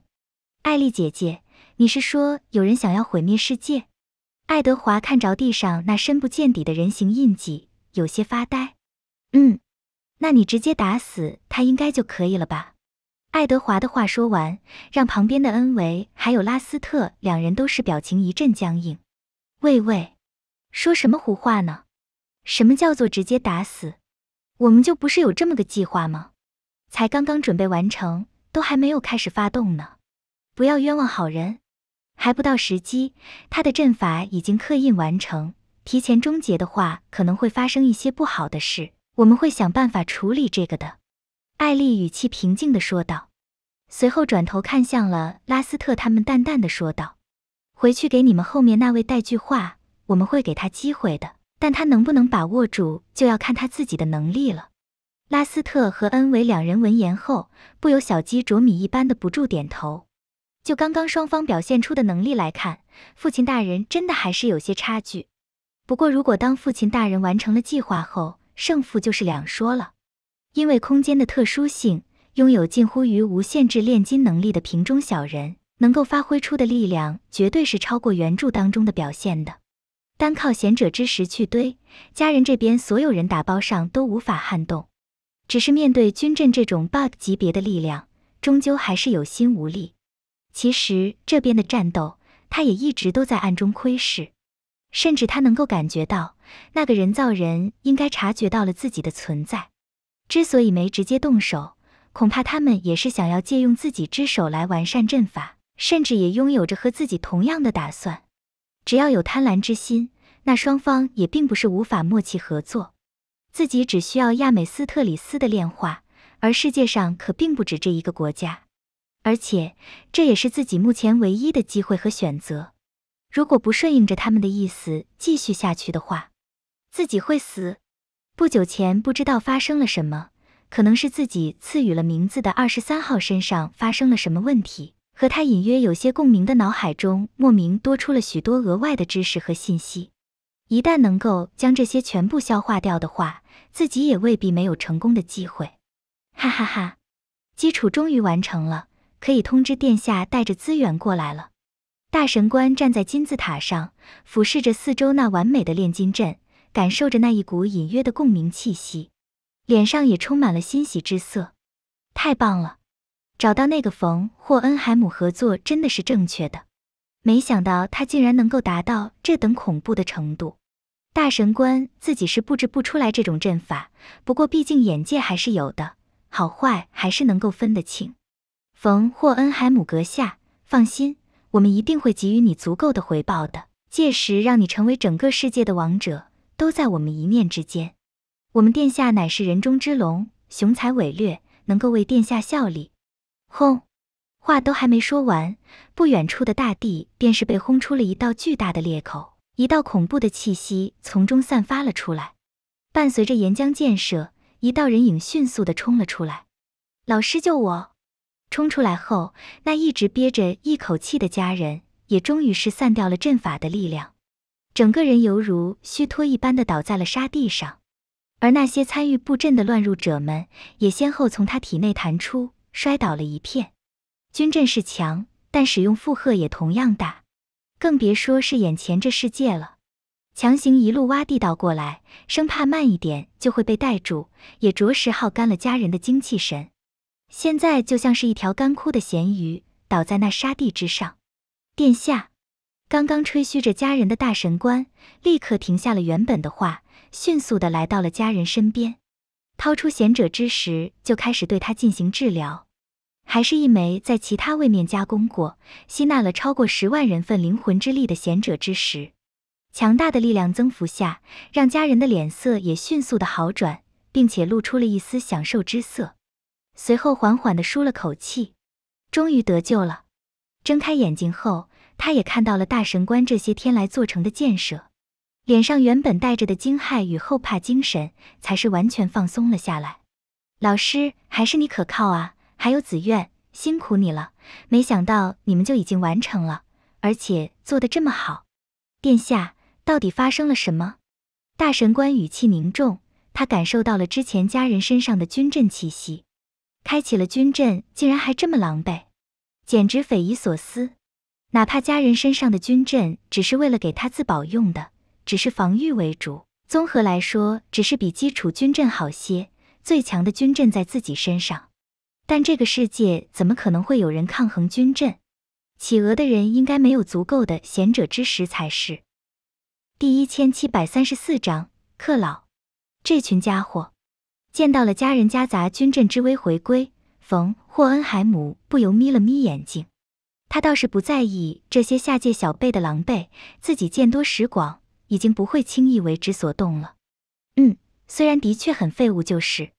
不过他们动用军阵的底线比自己想象当中的要低呀，而且使用了军阵后竟然还逃命，毫无疑问，很可能就是上次见到的那个小鬼动的手，他手上有着更多更强大的军阵。啧，这都是啥风气了？用军阵刷是没难度奖励的，纯粹只能来克服一些困难而已，用了就代表着亏本。不过他们能够用出这种炼金阵的大手笔。的确也有着这种底蕴资本，殿下莫慌，我们在冯霍恩海姆阁下的帮助下，已经完成了基础炼金阵的布置，转换效率提高了三百，再加上您所准备的资源，这一次就直接让您突破天际。大神官安抚着自己这位弟子，确保他的心态不受到打击。而一旦您成功突破，事后我们合力便是能完全将企鹅的那些傀儡魍魉一网打尽。不。要等下，这个世界还隐藏着一个天大的秘密。等到我突破后，我们必须要盯着那边点。家人也逐渐恢复了信心，抬起了手。什么秘密？大神官也感到了有些意外。看来殿下就是因为那个秘密才搞得这么狼狈的。而旁边本来都是看戏、有着斗蛐蛐心态的冯霍恩海姆，在听到家人开始讲解这个世界的真相后，眼神也逐渐变得犀利了起来。果然，我就知道这钱没这么好赚。那家伙果然是盯上了炼成阵，而以那家伙那种信手拈来、随意转化的恐怖，再配合上军阵的话，还真的很是头疼啊。冯霍恩海姆有自信在上界将力量降维传递过来后镇压下界军阵，可如果太棘手，那等价交换之下消耗也不是一般多。既然如此，还真的得要想办法减少一些压力了。眼前这些财大气粗的土财主，还是要借用一下他们的力量消耗一波吧。很不错的年轻人，竟然察觉了世界真相，走到了这一步，将来飞升上来后，恐怕也是呼风唤雨的天骄。不过可惜呀，提前遇到了我，稍微碰到点挫折也是应该的。这算不算是打压新秀啊？自嘲的笑了笑后，冯霍恩海姆心中也下定了决心。随后瞥了那个备受信任叫做中山紫苑的女人一眼。嗯，本来想办法揭穿她，应该是能够起到帮助的。不过天晓得发生了什么。从现场情况看，他受到的信任程度绝对是属于最高梯队的。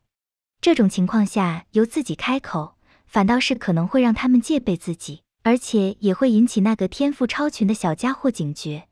既然如此，那就还是不动声色，暗中援助好了。而且再怎么也要为儿子们铺平后路啊！作为人柱的他们，原本有着气运之子的加成，最后也就是失去炼金术而已。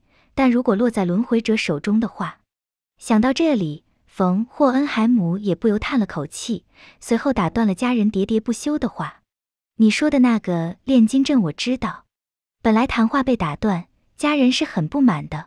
不过在听到了冯霍恩海姆的话之后，顿时便是双目发光。他开始也从老师这里得知到了炼金阵之所以能强化，全靠这一位手段恐怖的炼金术师。现在听说他还知道更深层的秘密，自然是又变得彬彬有礼了起来。我就是之前你嘴里那两兄弟的父亲，同时也是人柱之一。现在之所以游走于全国上下，就是为了将我体内的贤者之石灵魂洒落，用来反制他的大阵。冯霍恩海姆简单的做出了自我介绍，一度让场面有些尴尬。轮回者们针对钢之炼金术师的行动可是有多次的。结果现在人家老爸跳出来了，不过还好，开始并没有表露出什么敌意，而且也没造成什么恶劣结果，都是误会嘛。嗨，我们和阁下的两位公子之间有着些许误会，不过现在自然是没了，还请阁下教我。我不是为了那大阵，我为的是拯救天下万民。您可能不知道，我们的敌人穷凶极恶，手段残忍，为达目的不择手段。他肯定也是盯上了这大阵的，家人满脸的诚恳之色，而平霍恩海姆自然也表示出了信任。我自然是相信你们的，不然也不会说出来了。现在的难题应该就是要对付你们嘴里的那个敌人，反倒是和我羁绊很深的那一位暂且可以放下。通过你们的谈话，大概可以判断出他们知道的不少，再根据炼金阵的动静，可以推算出他们行动的大概时间。不过在此之前，你应该要先利用这炼金阵提升自己，而且我怀疑他们很可能在你们提升自我的时候会出手干扰。冯霍恩海姆简单提醒了一句：“放心，我们这里很隐秘，他们应该找不过来才是。而且就算真的过来了，我们有这么多人守在，还有，难道还怕他们不成？”家人自信心满满。不过这时候晴川却是开口了：“殿下。”不可以的。如果真的他们这时候携带军阵来袭，我反倒是觉得要避其锋芒。为何？因为我们的最后底牌必须要用到关键时刻，比如最后那个大阵之上，献祭全部的大阵和眼前这炼金阵比，还是很容易做出取舍的。毕竟军阵有限，鱼与熊掌不可兼得。晴川的话让家人也感到了一丝恍然，的确如此啊。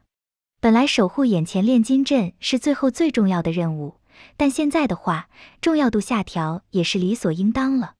老师手中能够镇压一切的最终底牌只有一次，虽然自己这边还有普通军阵，可很明显，如果企鹅硬上的话，自己可能扛不住。嗯，说的有道理，不过我觉得他们找到这里的可能性不大，先抓紧时间吧。有了那种紧迫感后，自然也不再拖延。家人掏出了大量的储物装备，有永久性的，也有一次性的，开始站在金字塔上，就这么向下洒落。同时，大神官晴川、紫苑、井上家康几人也同样把自己身上保管的部分洒落了下去。最差的都是百年份的人参灵芝之流，已经是按吨来算了。就算是冯霍恩海姆对于他们的手笔都感到了有些感慨。真的是不惜血本的强堆啊！借助这个世界，可以达到没有后顾之忧的嗑药流效果。第一千七百三十五章眼花，倒完了，我也倒完了。好，这么多啊！殿下殚精竭虑收集来的，这就是帝国的底蕴。最终，那各种天才地宝的堆砌，已经将整个金字塔都完全填充满。甚至在外还铺上了厚厚的一层。所有人看着这些宝物，也都感到了一种内心本能散发的荣耀。这就是我们帝国的底蕴，我们的潜力，我们这些年来的努力，从上到下一条心，卧薪尝胆的结果。当殿下发动国家级力量开始发力收集的时候，能够起到的效果的确是惊人的可怕。诸君待孤攻城之时，剩下的要扎力量便全都交给诸位了。家人站在金字塔顶，将自己的披风掀开，意气风发。而他的话的确是引起了诸多轮回者们的一阵欢呼。哪怕只是药渣，但这也要是看什么药渣。这么多天才地宝。就算是只有一点点汤水喝，利用当前世界的特殊环境，也足够获得不错的提升了。这就是我们的奖励。在日国，尊卑观念已经深入人心，能够使用殿下用剩下的药渣，是我们的荣幸。哎，终于是来了呀！你们的投入倒是的确还不错，比我想象当中还要更多。只是就在此时，一道声音却是直接将原本火热的气氛降至冰点。顺着声音来源，便是见到了不远处漂浮在空中、静静看着这边的徐月。果然还是避不开他们吗？他们果然还是来了吗？徐月的现身也让诸多轮回者们都感到了如临大敌。现在他们并没有之前那么强的自信了，先后失利几次，甚至连使用军阵的殿下都输得很难看。可以看得出企鹅对这次行动下的血本。再怎么也是继承了北洋遗产的庞大军团，如果他们不计代价的话，的确是能达到眼前的战果。更何况两大高手倾巢而出，足够看出他们的决心了。相比来说，本来稳重起见、出动大神官大人护道的自己这边，相对来说还是有些大意了。没想到企鹅商会在帝国境内竟然也搞出这样的大手笔。或许事情结束后，哪怕己方输了。战略上，帝国也不会吃亏，可家人却绝不愿意牺牲自己的利益来换取战略上的不亏。这一次，哪怕不惜代价，自己也一定要赢。和旁边的晴川对视了一眼，晴川也含笑的点了点头，以示鼓励。殿下呀，有舍才有得，到了必要的时候，也是你需要做出取舍的时机了。见到了师弟的提示，家人也深深的吸了口气，稳定了一下局面。对着徐悦沉声说道：“徐悦阁下，对于当初你击败我们父子，我也是心生佩服。可算是不打不相识，你我双方来之不易的和平，自然不好轻易破坏。贵商会先后两次在公海击杀我国强者，在本次任务空间也破坏在下行动，这一次还又出现想要坏我机缘，当真是想要不死不休吗？”家人那略带服软的语气，让徐悦都不由愣了下。颇为有些意外，有着井上家康在，家人的底牌是什么他也清楚。大神官可是请出了一尊足够连通国运，在本土作战有大幅度加成的超级军阵镇压全场的。本以为自己这么明目张胆的出现，他应该是新仇旧恨一起算，直接让大神官开大来一发的，多少也得逼得自己用出不少贤者之石才是。可这突然的服软，却显然是又有另外的打算了。这种最关键的时候了，那压箱底底牌还不用为的是啥？毫无疑问，肯定是更有价值的东西，那就只有瓶中小人那里的炼成阵了。呃，其实双方在这里做过一场，徐月除了击败他们，摘了他们的果实外，并不会得到什么其他额外好处，还得耗费不少贤者之石。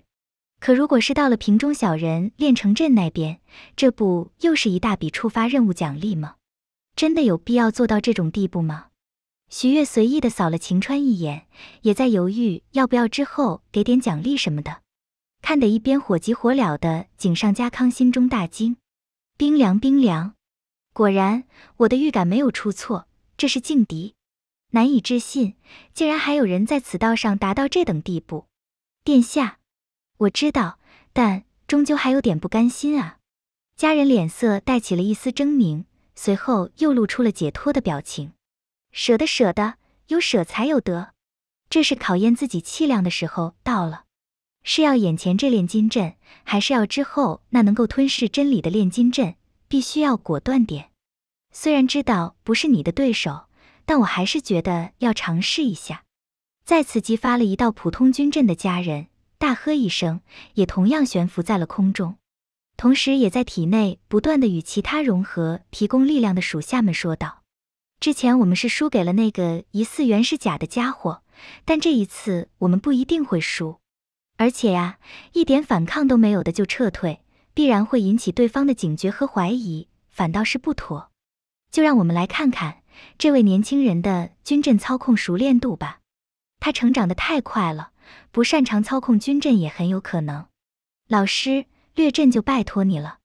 家人郑重的话语和那蜕变一般的精气神，让旁边一直观察的大神官也含笑点头，欣慰不已。自己这位弟子终于是成长起来了，很好，就让徐月成为你的磨刀石，测试测试你的气量吧。你出生之时就代表着一生的不平凡、厚重的底蕴。需要大量的磨刀石打磨积累，别人只能有一次失败，但你却不同。去吧，我的弟子，让我见证见证你成为王的气量。旁边的冯霍恩海姆也在凝重地观察着战场。军阵乃是借用的上界之力，哪怕在此番世界受到了天道的约束和束缚，所爆发的力量也是最顶尖、最一流的。他其实是很想这个时候这群家伙掏出最顶尖的军阵。去挫败那个小鬼，这也是他隐约在帮助这群家伙的理由。不过看来他们想要把最大的筹码压在最终一战之上，到时候以军阵的破坏力，多少还有些麻烦的。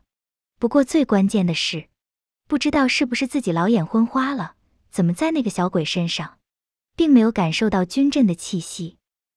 第一千七百三十六章，不亏，老喽。果真是太久没下界了，连军阵气息的捕捉都变得这么差劲了。冯霍恩海姆咳嗽着敲了敲自己的背，一脸的感慨，随后不自觉的又多后退了两步。哈，没用军阵？怎么可能吗？不存在的，你们的底子还是真的厚啊。徐月看着家人，又随手掏出了军阵，也感到了有些感慨。他知道现在日国需要战略性的放弃部分军阵，以换取西方列强的不关注。可这么随意的用，还真的算得上是财大气粗了。毕竟这一次对方仅仅只是进行一次尝试，本意上都有战略撤退的意图了。有就果断点啊，这里又没啥好处。咦，想到了什么的徐悦，便开始在空中朝着某个方向缓缓退去。而另外一边的家人见到徐月竟然主动撤退，更是一脸欣喜。原来如此，原来你只是虚张声势，哈哈哈！还好姑识破了你的诡计，果断的使用了军阵。如果一个普通军阵能够保下眼前这里的炼金阵，单独对自己个人而言也是大赚特赚的。也就这样的情况下，家人没有丝毫犹豫的朝着徐月追击了过去，看得冯霍恩海姆也有些发愣。对方真的是虚张声势吗？以上次见面的情况来说，不至于这样吧。随后伴随着一阵黄沙涌动，冯霍恩海姆也消失在了原地，遥遥吊着几人。斯卡和狗腿沙两人披着披风行走在沙漠之中，不断的朝着外围走去。将斯卡送到中都，参与提前了许多的最终一战，还是多少有点汤水的。虽然斯卡算不上主角。身上能够刷到的上限有限，但好歹也算得上重要配角了，和最终大战的胜利都息息相关。送他归位还是多少有点赚头的。而就在两人即将走出沙漠的时候，遥远的天边一阵妖风飞舞，恐怖的沙尘暴席卷而来。那黑压压遮天蔽日、连接天际的动静，让两人都一阵目瞪口呆。沙尘暴的确是很可怕，沙漠中的头号杀手。然而这种规模太夸张了吧？到底是何方妖孽？徐月修逃，呵斥声遥遥从后方远处传来，顿时就让狗腿杀一个机灵。咦，是废太子被老板引过来了？愣了下后，他便是反应过来了什么，随后便是用一种残酷的眼神看向了旁边还没明白情况的斯卡。哎呦，太可怕了！随着一声叫唤。狗腿沙便是直接一屁股坐在了地上，瑟瑟发抖，好像站不起来了一样。而斯卡此时也是脸色一变，伸手想要去扶他起来，结果一时不察，两人却是滚在了一起，从沙丘上滚落而下。本来就跑不赢沙尘暴，但好歹能够采取一些防护措施的，这一下连防护措施都免了，等待升天就行了。叮，触发任务。徐月和家人两人耳边近乎于同时传来了提示声。窝草，看着触发任务的提示奖励，家人眼珠子都要瞪出来了。有没有搞错啊？这是什么鬼情况？军阵这么香吗？以前都完全没有料到啊。而徐月看着自己显示的奖励，则是有些叹气。空间的补丁打得好快啊！现在就算靠军阵能够刷到的数也越来越少了。不过大概和斯卡本身并不算最重要的角色也有关系吧。估计如果是爱德华他们，奖励还能够更高一些。已经有上限了，差不多就这里吧。原本疾驰而来的徐月，毫无征兆地停在了天空。随手向后一挥，直接炼化的空气连锁反应瞬间席卷而回，将两人移动引动的超级沙尘暴完全抹平，更在家人身前构建了一道强大的封锁气墙。空气墙横推过去的一切阻碍都全被炼金分解，化作了最基本的粒子，并且引发出了一股股恐怖的能量。平推过去后，所有的沙丘都消失，只留下了镜面一样光滑的大地。而那股汇聚起来的能量，便是完全在操控的包裹下，集中在了家人身上。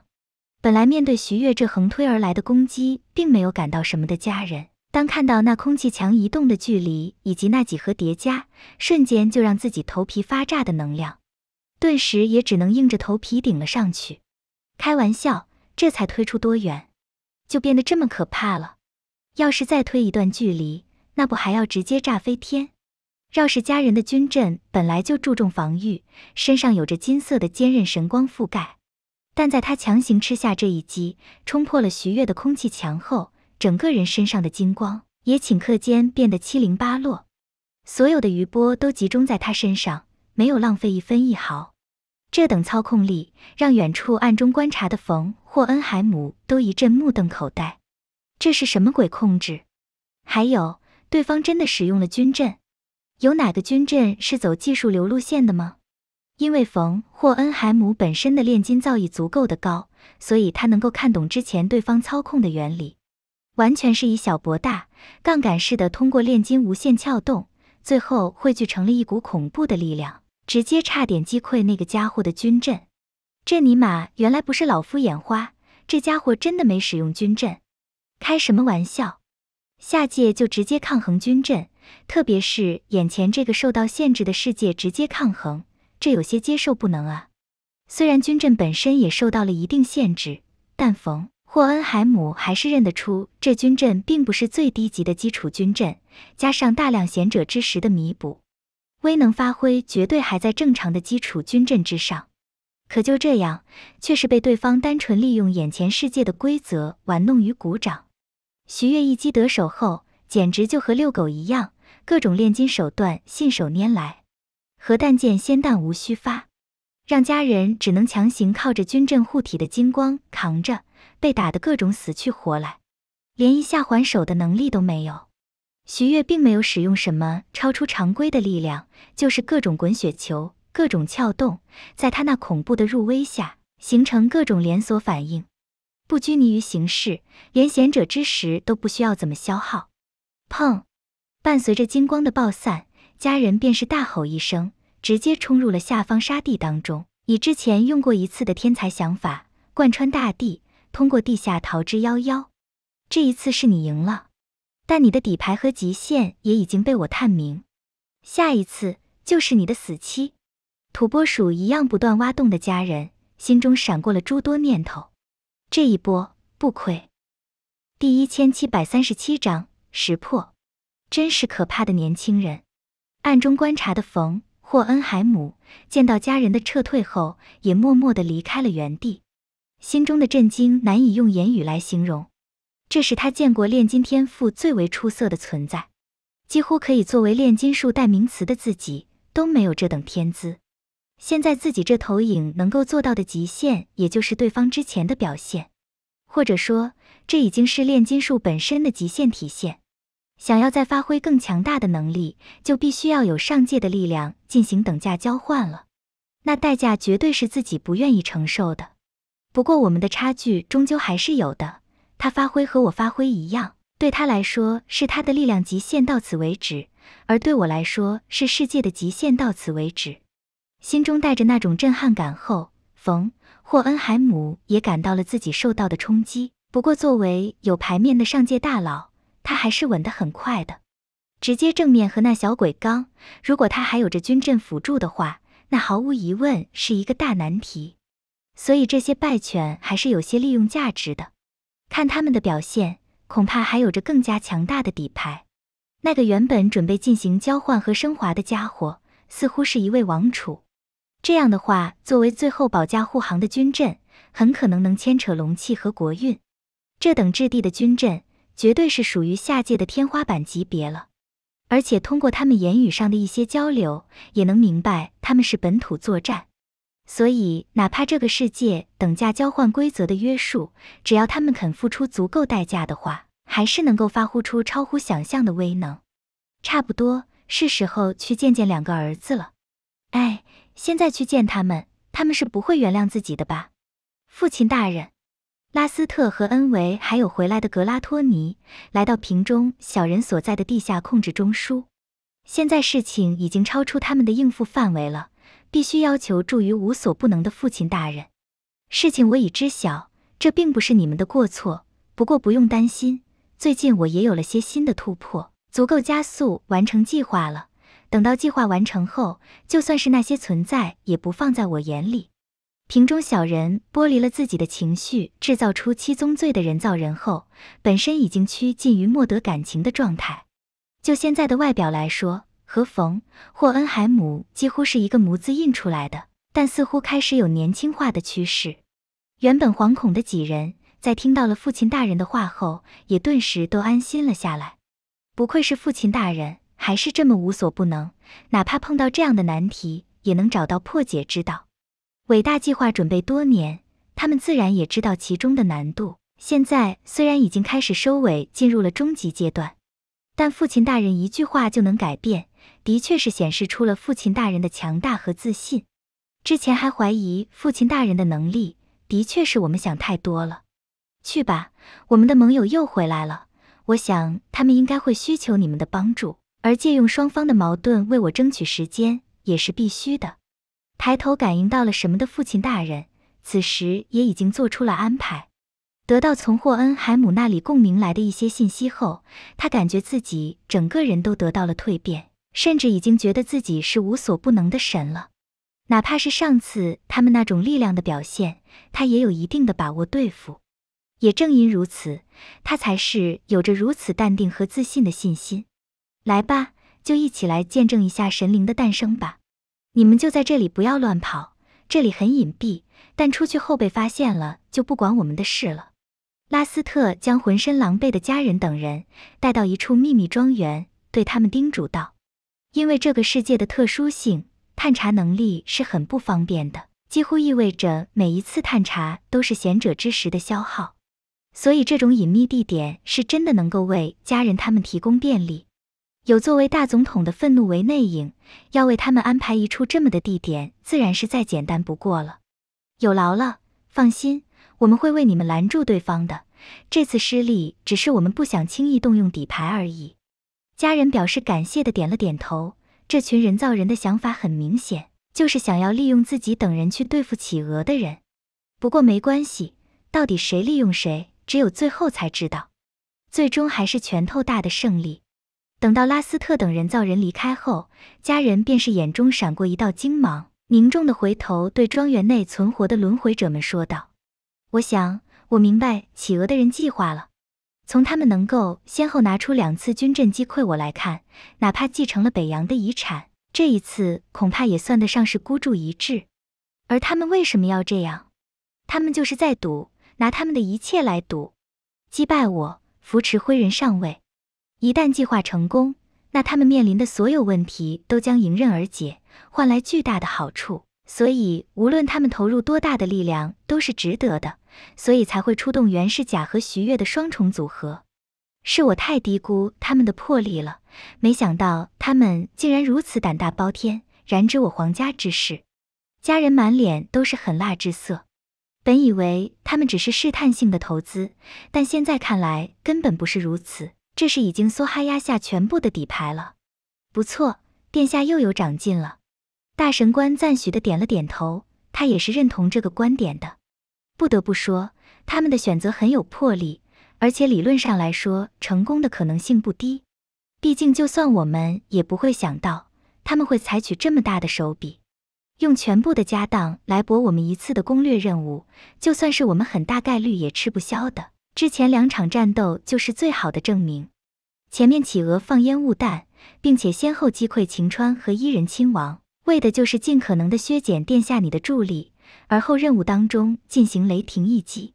不过可惜，这里是帝国境内的任务空间，而我们则有着能牵动国运与龙气的底牌。大神官整个人的气息突然拔高，满脸傲然之色。哪怕是帝国想要达成目的，都只能先一步步蚕食削弱。第一攻击对象也是没有掌握那两大杀器的北洋。这就是国战之间攻击和防守的优劣势。而这一次，你们虽然的确很有魄力，但终究还是棋差一招。妈妈，我真的要做皇帝吗？一点意思都没有。灰人嘟着嘴。背着小手踢了踢地上的石子，对于被安排的道路不太满意。不过没办法呢，毕竟是妈妈的要求，只能乖乖照做了。第一千七百三十八章真正的交换，不愧是上界大佬，完成度真高啊！徐月漂浮在自己的战利品金字塔上，看着那由冯霍恩海姆布置出来的交换炼金阵，也感到了很是满意。自己亲自出手，也就只能做到这种地步了。而看着那堆积成山的天才地宝，徐月也有些感慨。虽然只是新兴帝国，但日国的积累的确不可小觑。哪怕自己靠着企鹅的运营优势，收集到的物资也就和他们差不多而已。特别是相对来说，自己企鹅走的是大众和量大的路线，而家人应该是靠着他们皇室的宝库以及权限，调集到了许多短时间花钱都买不到的东西。S 级以下的物品。企鹅压倒性的优势，但 S 级以上的天才地宝却相差许多。总体来说，半斤八两吧，数目也不少了。这种特殊环境下，就算对我的积累都有不错的帮助，不过还是差点火候。徐月一边嘀咕着，一边也向外掏出了各种东西，什么神树果实啊，吸收星球的果实之类的，还有一些用不上的神器残骸和各种对自己积累的垃圾。难得有这么合适的地方，当然也要全部利用起来才好，不然卖又不好卖，留在手上又可惜。练成，这群小家伙不给力啊，应该怎么推他们一把好呢？冯霍恩海姆看着前方那看似普通的庄园，心底也闪过了一丝无奈。他是一路追踪过来的，不是他看不起这些败犬，是他们真的有点扶不上墙。做人就怕对比呀。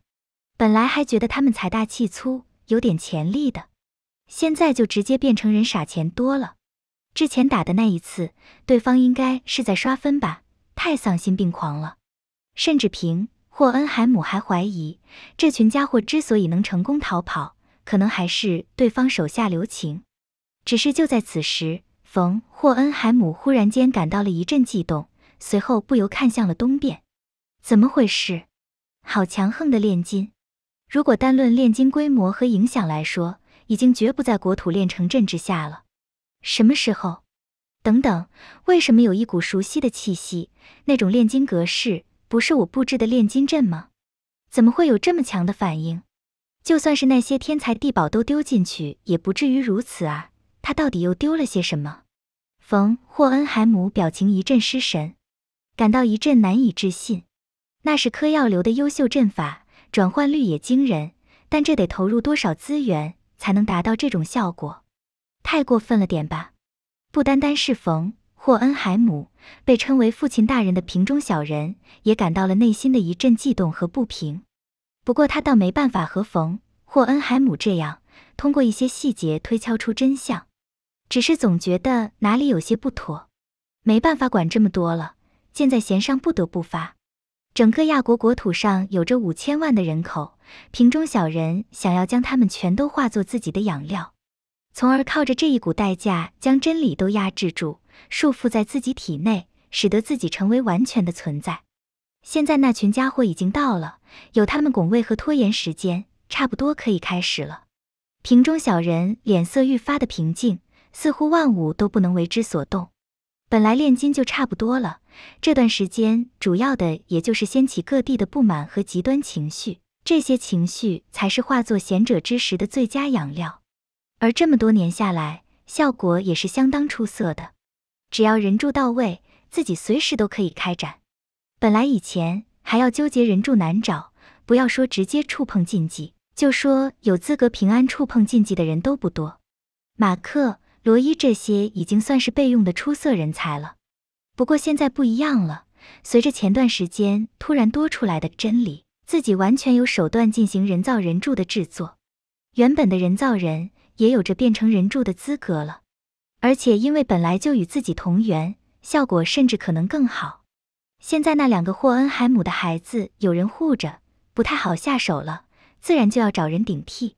戴舵和暴食就是不错的选择，而且除了孩子们可以替代以外，原本一些才华不够的家伙，自己也已经有把握让他们强行接触禁忌而保命返回了，只是需要付出一定的代价而已。这种情况下。无疑又更加简单了很多。毕竟本来的话，几个人住的捕获多少也有些麻烦的。既然条件都已经成熟，那也没必要等了，无需搞得人尽皆知。突然开始的话，反倒是更加方便。呵呵，就让你们见识一下我这些年来的准备吧。准备工作完成的很快，本来就经营这么久，可以放宽条件后备用选项实在是太多了。只是就在瓶中小人准备启动完整强化版的国土炼成之时，当炼成启动之后，才发现自己的不少炼成节点竟然被篡改了，竟然在自己毫无察觉的情况下篡改了。什么时候？什么人？咦？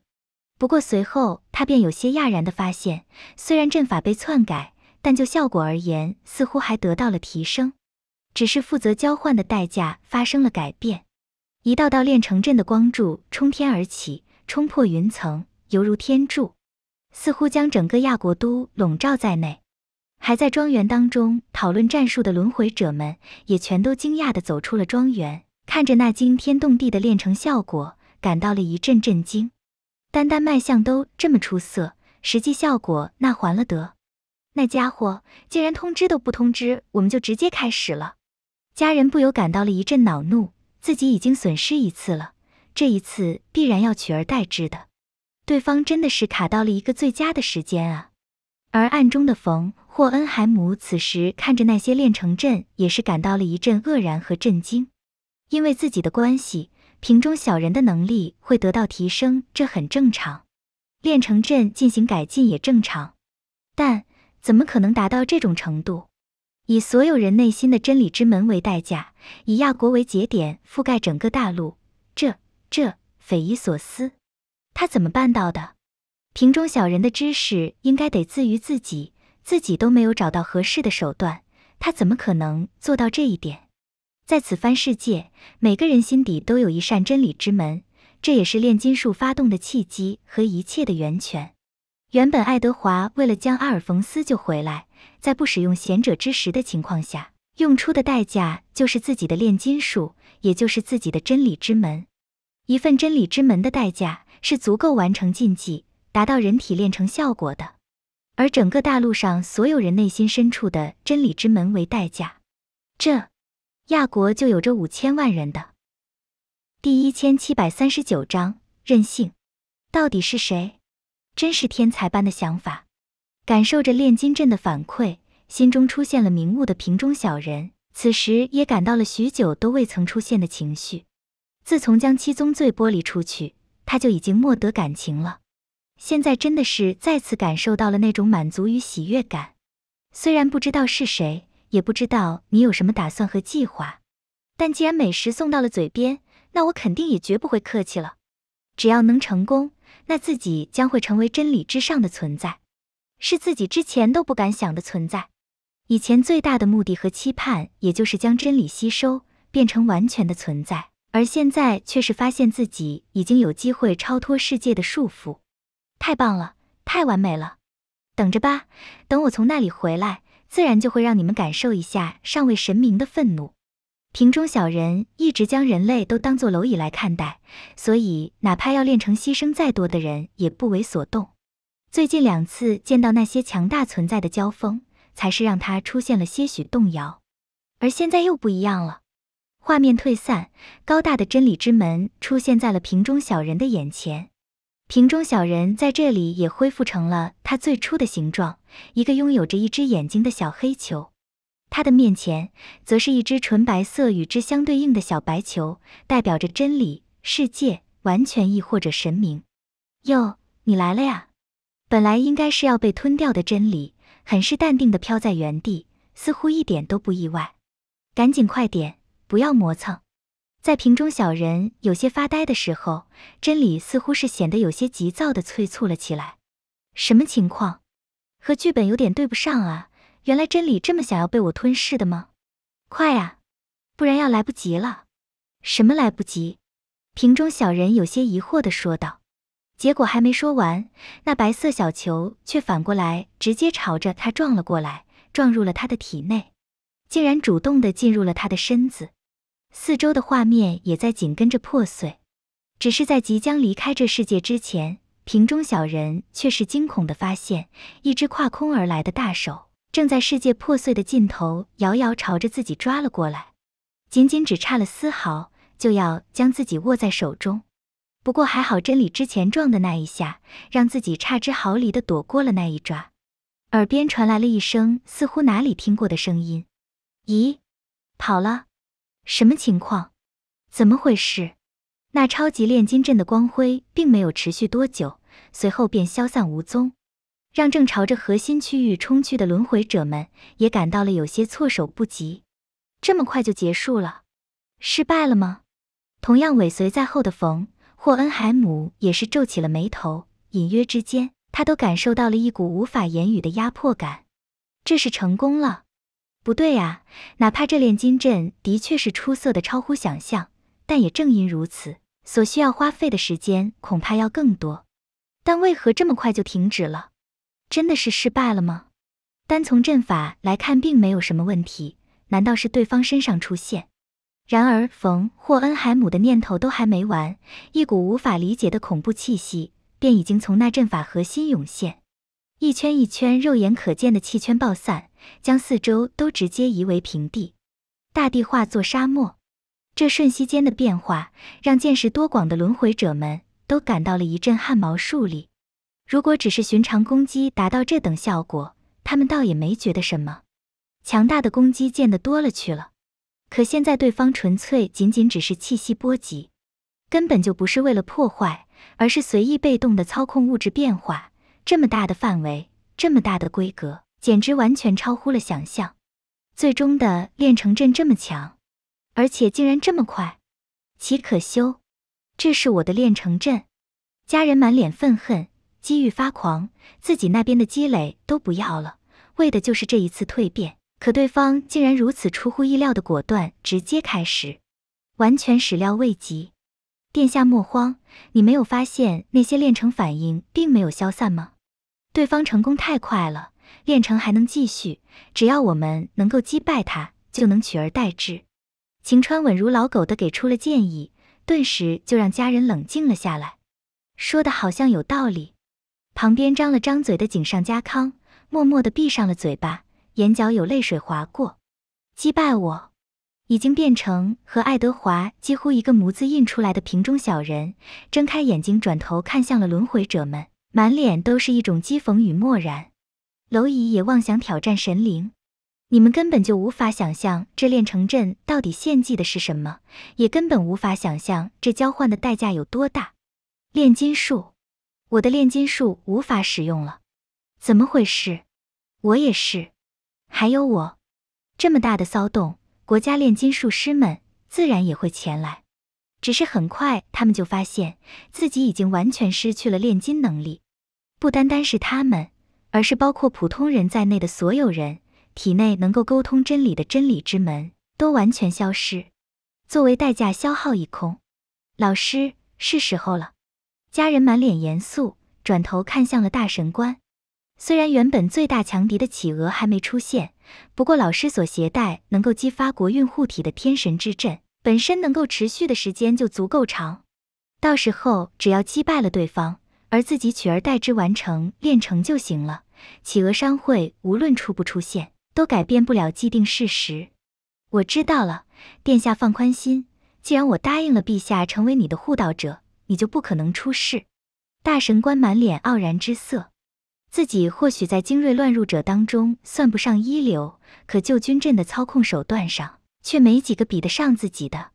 叮铃铃，清脆的铃声在所有人耳畔响起，天空之中似乎落下了诸多羽毛，让刚刚完成炼成、正在体悟自己无与伦比强大的瓶中小人都抬头看向了天空。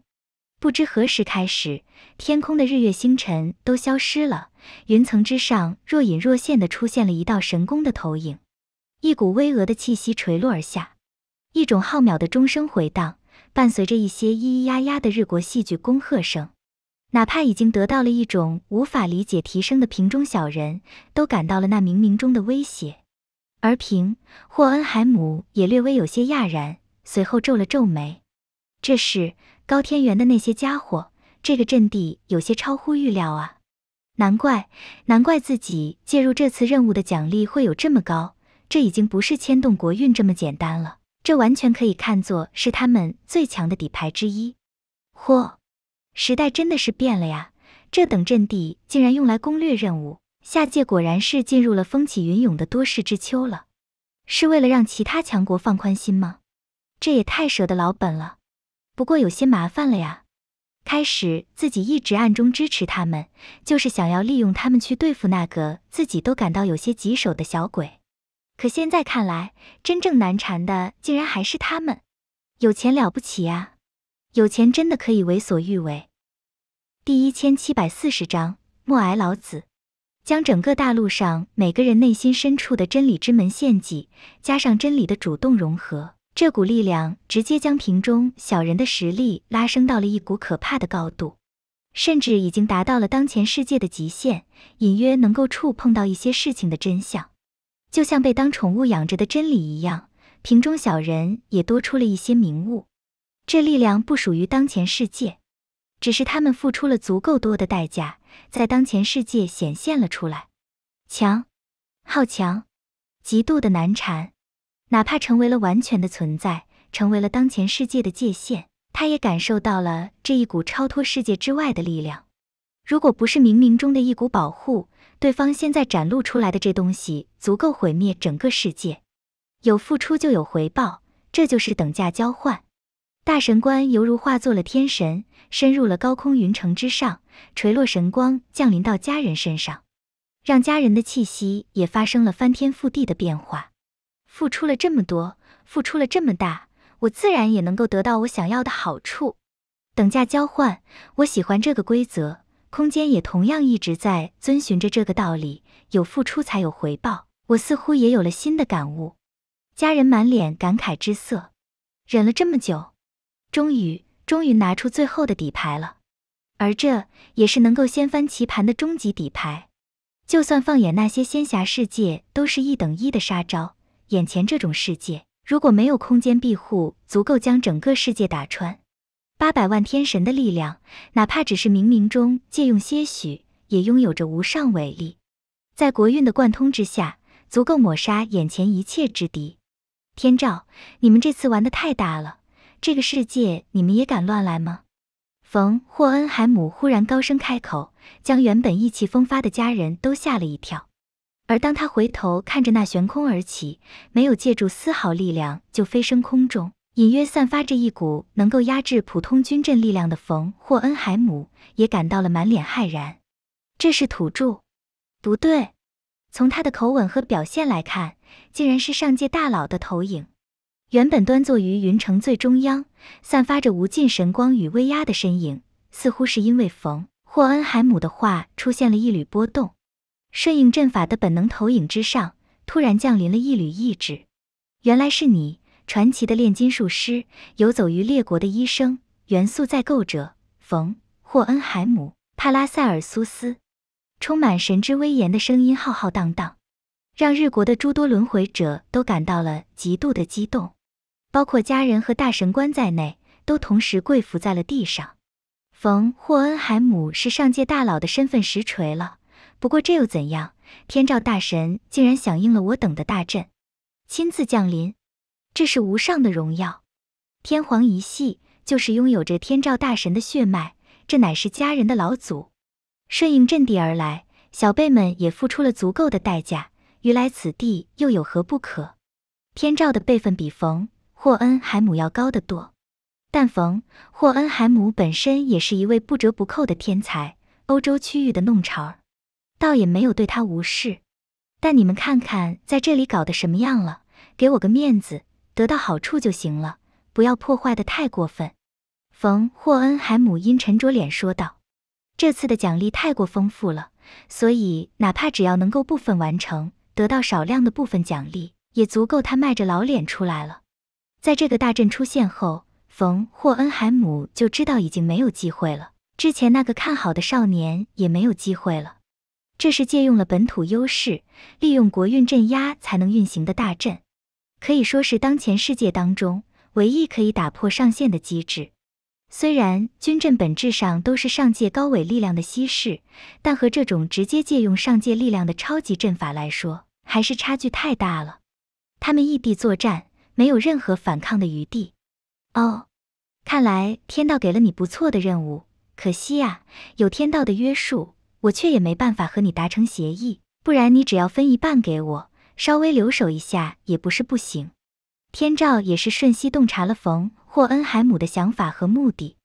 不过天道本身的各种运行是很完善的，这种私下里商量着骗保的事显然是不允许发生的，所以也只能说可惜了。我才是真正的神灵。你们可不要小看我啊！刚刚才得到无法理解力量的瓶中小人被完全无视后，眼中也出现了一阵疯狂之色。聒噪！被打断了谈话的天照，翻手之间就直接将瓶中小人镇压，以这天神之阵为依托，靠着他们身上剩下的全部贤者之石以及国运与龙气开辟的通道，他能够发挥出的力量，压制瓶中小人自然是轻而易举。镇压之后，还轻易的将真理从瓶中小人当中剥离了出来，端坐于神座上，淡淡的扫了冯·霍恩海姆一眼。你的目的就是救下他吧？给你个面子，将挣扎的真理直接甩出去，交给了冯·霍恩海姆。天照也不再言语。这个世界是受到天道庇护的世界，不要凭霍恩海姆说自己也不会太过火。那个天道的小宠物当然也不能干掉。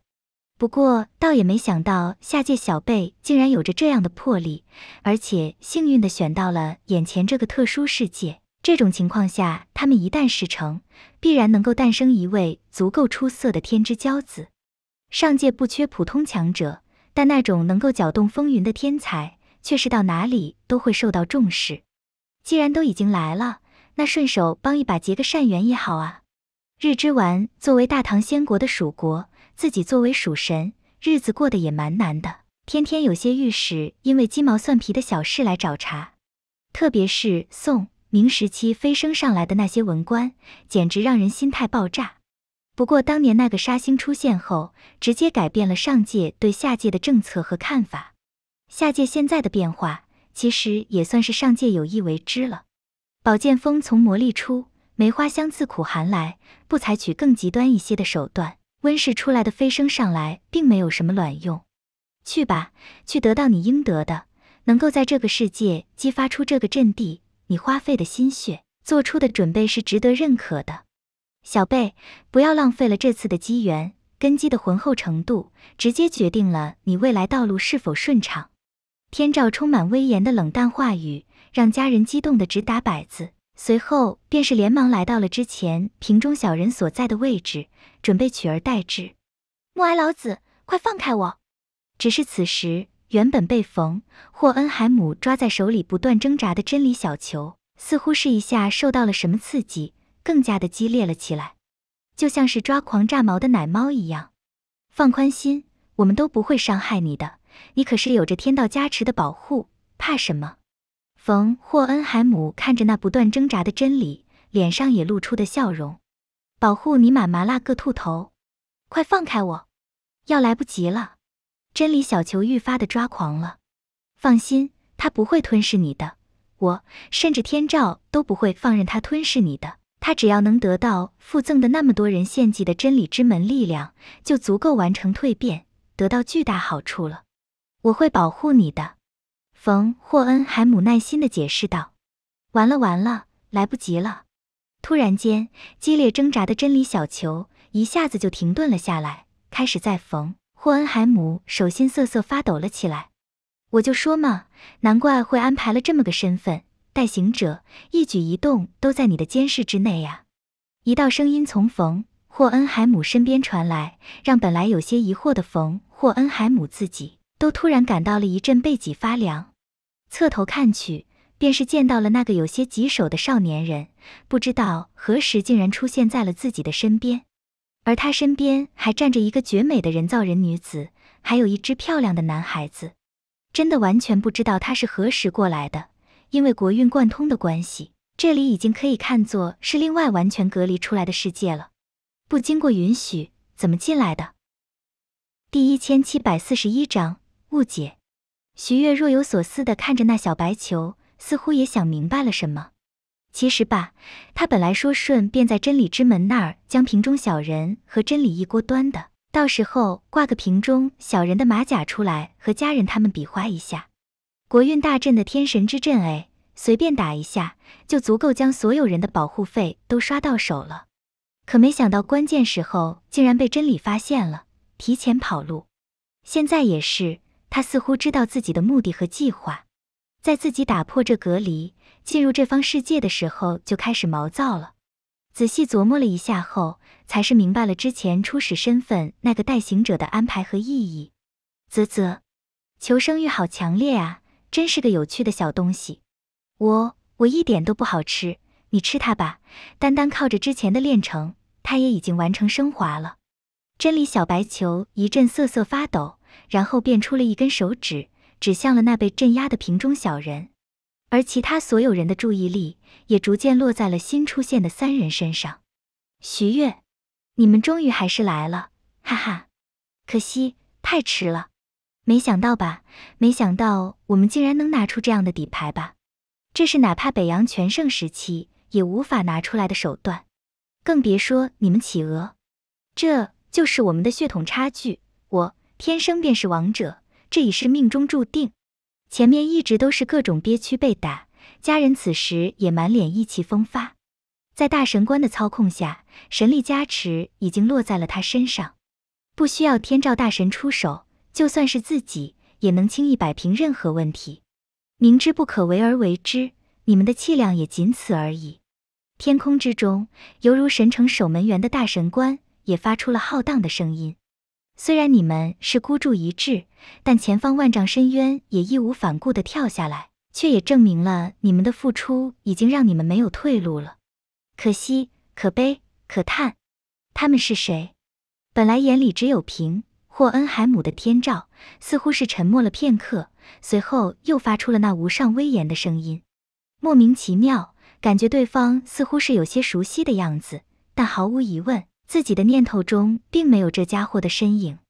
而且他出现的方式，真理对他的忌惮，还有冯霍恩海姆的态度，都让天照有些在意。回禀大神。对方乃是大夏的一位天之骄子和一位即将飞升的顶尖强者，这次过来就是为了想要阻拦在下完成蜕变，而那个小家伙则是在下的余地，企图和他们合伙颠覆我皇室正统。家人摆出一副仆从的样子，恭敬地回复道：“如果不是妈妈要我当，我才不要当什么皇帝呢。”灰人很是不满地叉腰说道，打断了家人的话。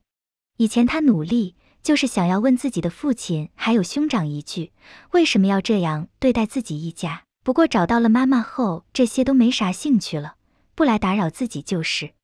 大胆，你知不知道你在打断谁的话？这是天照冕下我们万世一系的源头，至高无上的神王。家人满脸厉色的回头对着灰人呵斥道：“无妨，小孩子的话而已。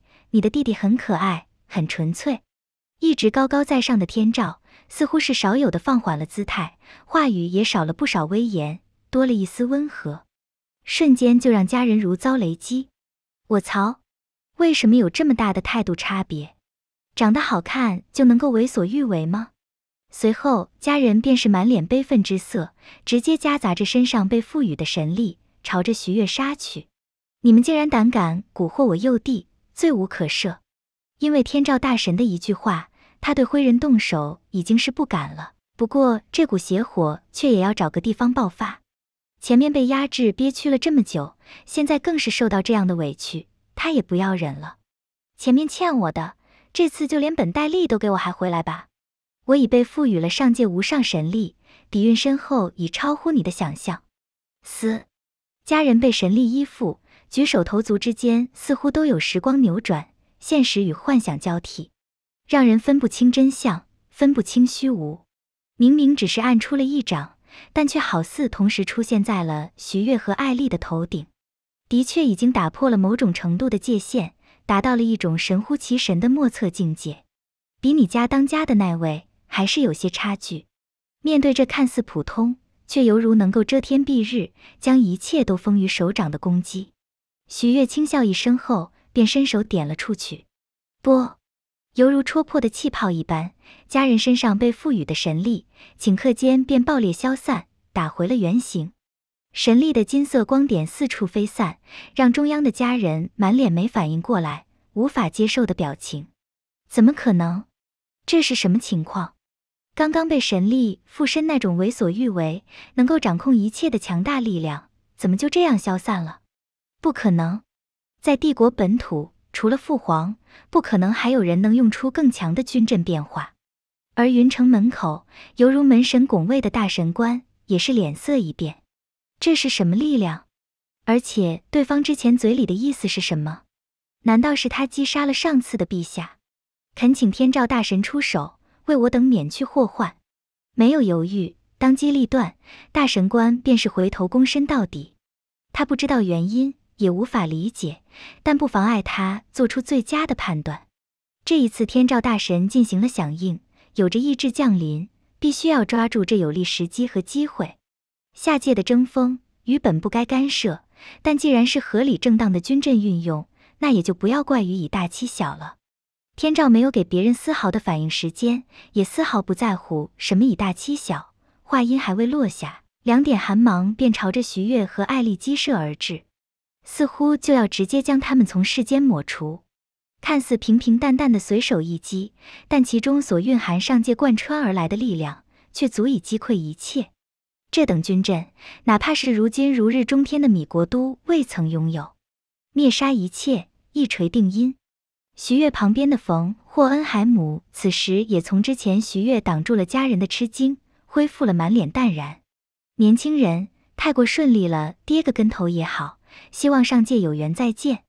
对于冯霍恩海姆而言，只要能够将真理保护了下来，以奖励数的额度来说，自己回去后哪怕只是小部分，也能够赚不少了。这一趟已经值得了。不过这个少年人真是可怕啊！刚刚他又没有在对方身上感受到军阵气息，天照或许都还没有反应过来这一点，但自己之前已经见证过一次，所以反应更快。这等存在，恐怕比起当年那杀星都还要更加恐怖，一上来恐怕就能搅起腥风血雨。只可惜这也是以后的事了。就这一次而言，对方必须要在这里陨落一次啊！希望不要受到打击，一蹶不振。嗯，以贤者之石作为代价布置军阵，再以国运作为代价沟通上界，利用上界的规则感染，让此地暂时脱离空间的约束，的确是一种有趣的手段。抬手将那两点寒芒抓在手心，看着寒芒下的两道字体符文，许月似乎是明白了什么的，点了点头。所以，我只要利用贤者之石，花费代价。暂时接入到眼前世界的话，很多事也就能够顺利许多了。第一千七百四十二章污蔑。对于层次达到某种程度后，瞬息间都能有万千念头。天照之前采取的也是律令抹除类别的言灵能力，速度算不上快，但即便如此，在家人和大神官他们眼中也是快如闪电。哈哈，他死定了，死在天照大神手上，这也是他的荣幸。这话才刚刚说完，所有日国轮回者便都满脸懵逼地看着徐月指尖的两道炎灵符文。本来炎灵是一种虚无缥缈的东西，但徐月强行将其具象化了，想要了解一下上界的攻击手段。荣荣幸，大神官看着眼前的徐月，随意将天照大神的攻击捏在手中，脸上也是一片风中凌乱。等等，发生了什么？这里是哪里？不可能，这里是帝国领土，你不可能开启同级别的军阵，哪怕可以。你们朝廷也不可能会给你的，家人更是满脸发狂的表情，无法理解，无法相信。退下，不要在这里丢人现眼。只是就在此时，一道清脆而高冷的声音便是传入了他的耳中。什么人竟然？听到这话的家人就准备说什么，但回头已经看到那端坐于王座之上的天照大人，夹杂着无法直视的金光，已经来到了自己身边。刚刚是天照大神自己的声音，伴随着金光逐渐消散，一位穿着华贵和风服饰，大概一米四左右，有着红蓝不同瞳色和隐约小虎牙的少女出现在了所有人眼中。天照，嗯，其实一直都是女的，不管是传说中还是哪里都是。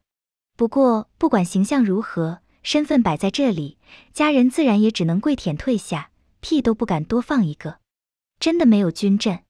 天照呢喃自语，完全有些无法接受。哪怕是自己跨界而击，但以国运贯通上界的通道，能够发挥出的威能，也绝不是下界所能够抗衡的了。对方竟然随手接下了。伴随着天照眼中神光闪烁，他发现自己竟然看不透对方身上的气息，似乎都处于一片朦胧之中。乖乖，这是出了个什么怪物啊？冯霍恩海姆抱着已经老实下来的真理，也感到一阵咂舌。他以为自己什么大场面都见过，但最终却发现有些场面自己还真没见过。一直都以为这么高的奖励是因为这国运大振，是因为天照降临，结果现在才知道，这个奖励并没有错啊，完全是因为这个家伙造成的。我勒个去，大夏这边的都是怪物吗？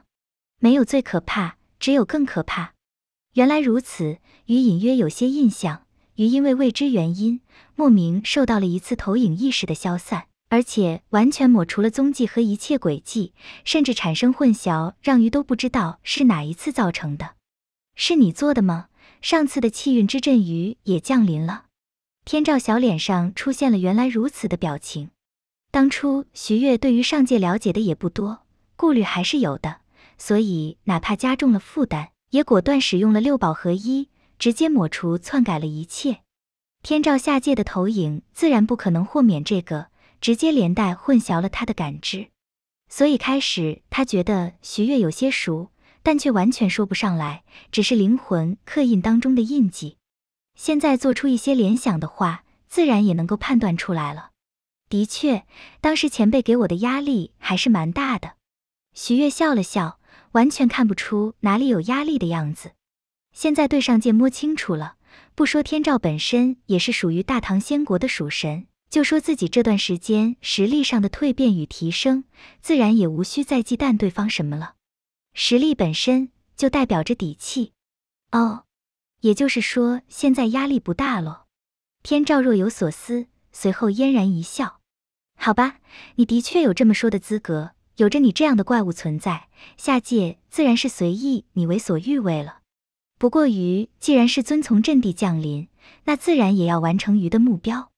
天照前面都还是笑嘻嘻，一副给个面子的样子，下一刻就直接出现在了徐月身前，小手探出，朝着徐月额头抓去，同时一面镜子照射出了一道光束，似乎要将徐月定在原地。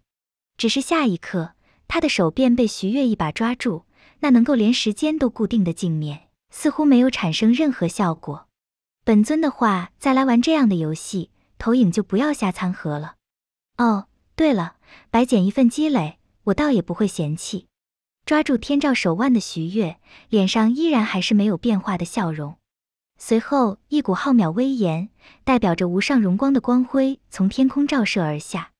隐隐约约另外一道世界，竟然反过来将天空云城笼罩在内。神国，你这家伙！天照抬头看着那隐约的投影，眼中也出现了一阵惊诧。本以为抬得够高了，但没想到竟然还是低估了对方。这种橙色的神国，这是走了天道的后门吧？你想吞噬鱼的投影，也不怕被撑着？好吧，放手啦，人家认输还不行吗？欧尼酱，放开人家啦，人家给你道歉好不好吗？那让所有人窝草的态度变化出现在天照脸上，让徐月眼皮都跳了跳。这家伙可真务实，不过我也很务实。咔嚓，天空云城的裂痕声出现。随后便开始无限分解，化作了诸多碎片与光点，被徐月的神国所捕获。本来只是过来献祭个真理之门，顺便吃个真理的，现在捡到个神国投影的积累也不错。更何况吃掉这投影后，剩下的依然还在碗里，两手都要。你，哼，太过分了，最讨厌你们这样的了。天照见到自家的神国投影，好像饼干一样被掰碎一口口吃掉，脸上也露出了生无可恋的表情。这次有点亏惨了。B，伸手拉下眼皮，吐着舌头，鄙夷了徐月一下后，他这个投影便也同样化作了光点，被吸入了神国之中，只留下了原地一副石化姿态的诸多日国轮回者，还有正在把真理小球放地上的冯霍恩海姆。你不是说好了要保护我的吗？真理小球变出了一只手，抓住了冯霍恩海姆的裤脚。吁吁，放手！冯霍恩海姆用另外那只脚不断轻轻地将真理小人推开，似乎是想要让他放手。谁说了会保护你了？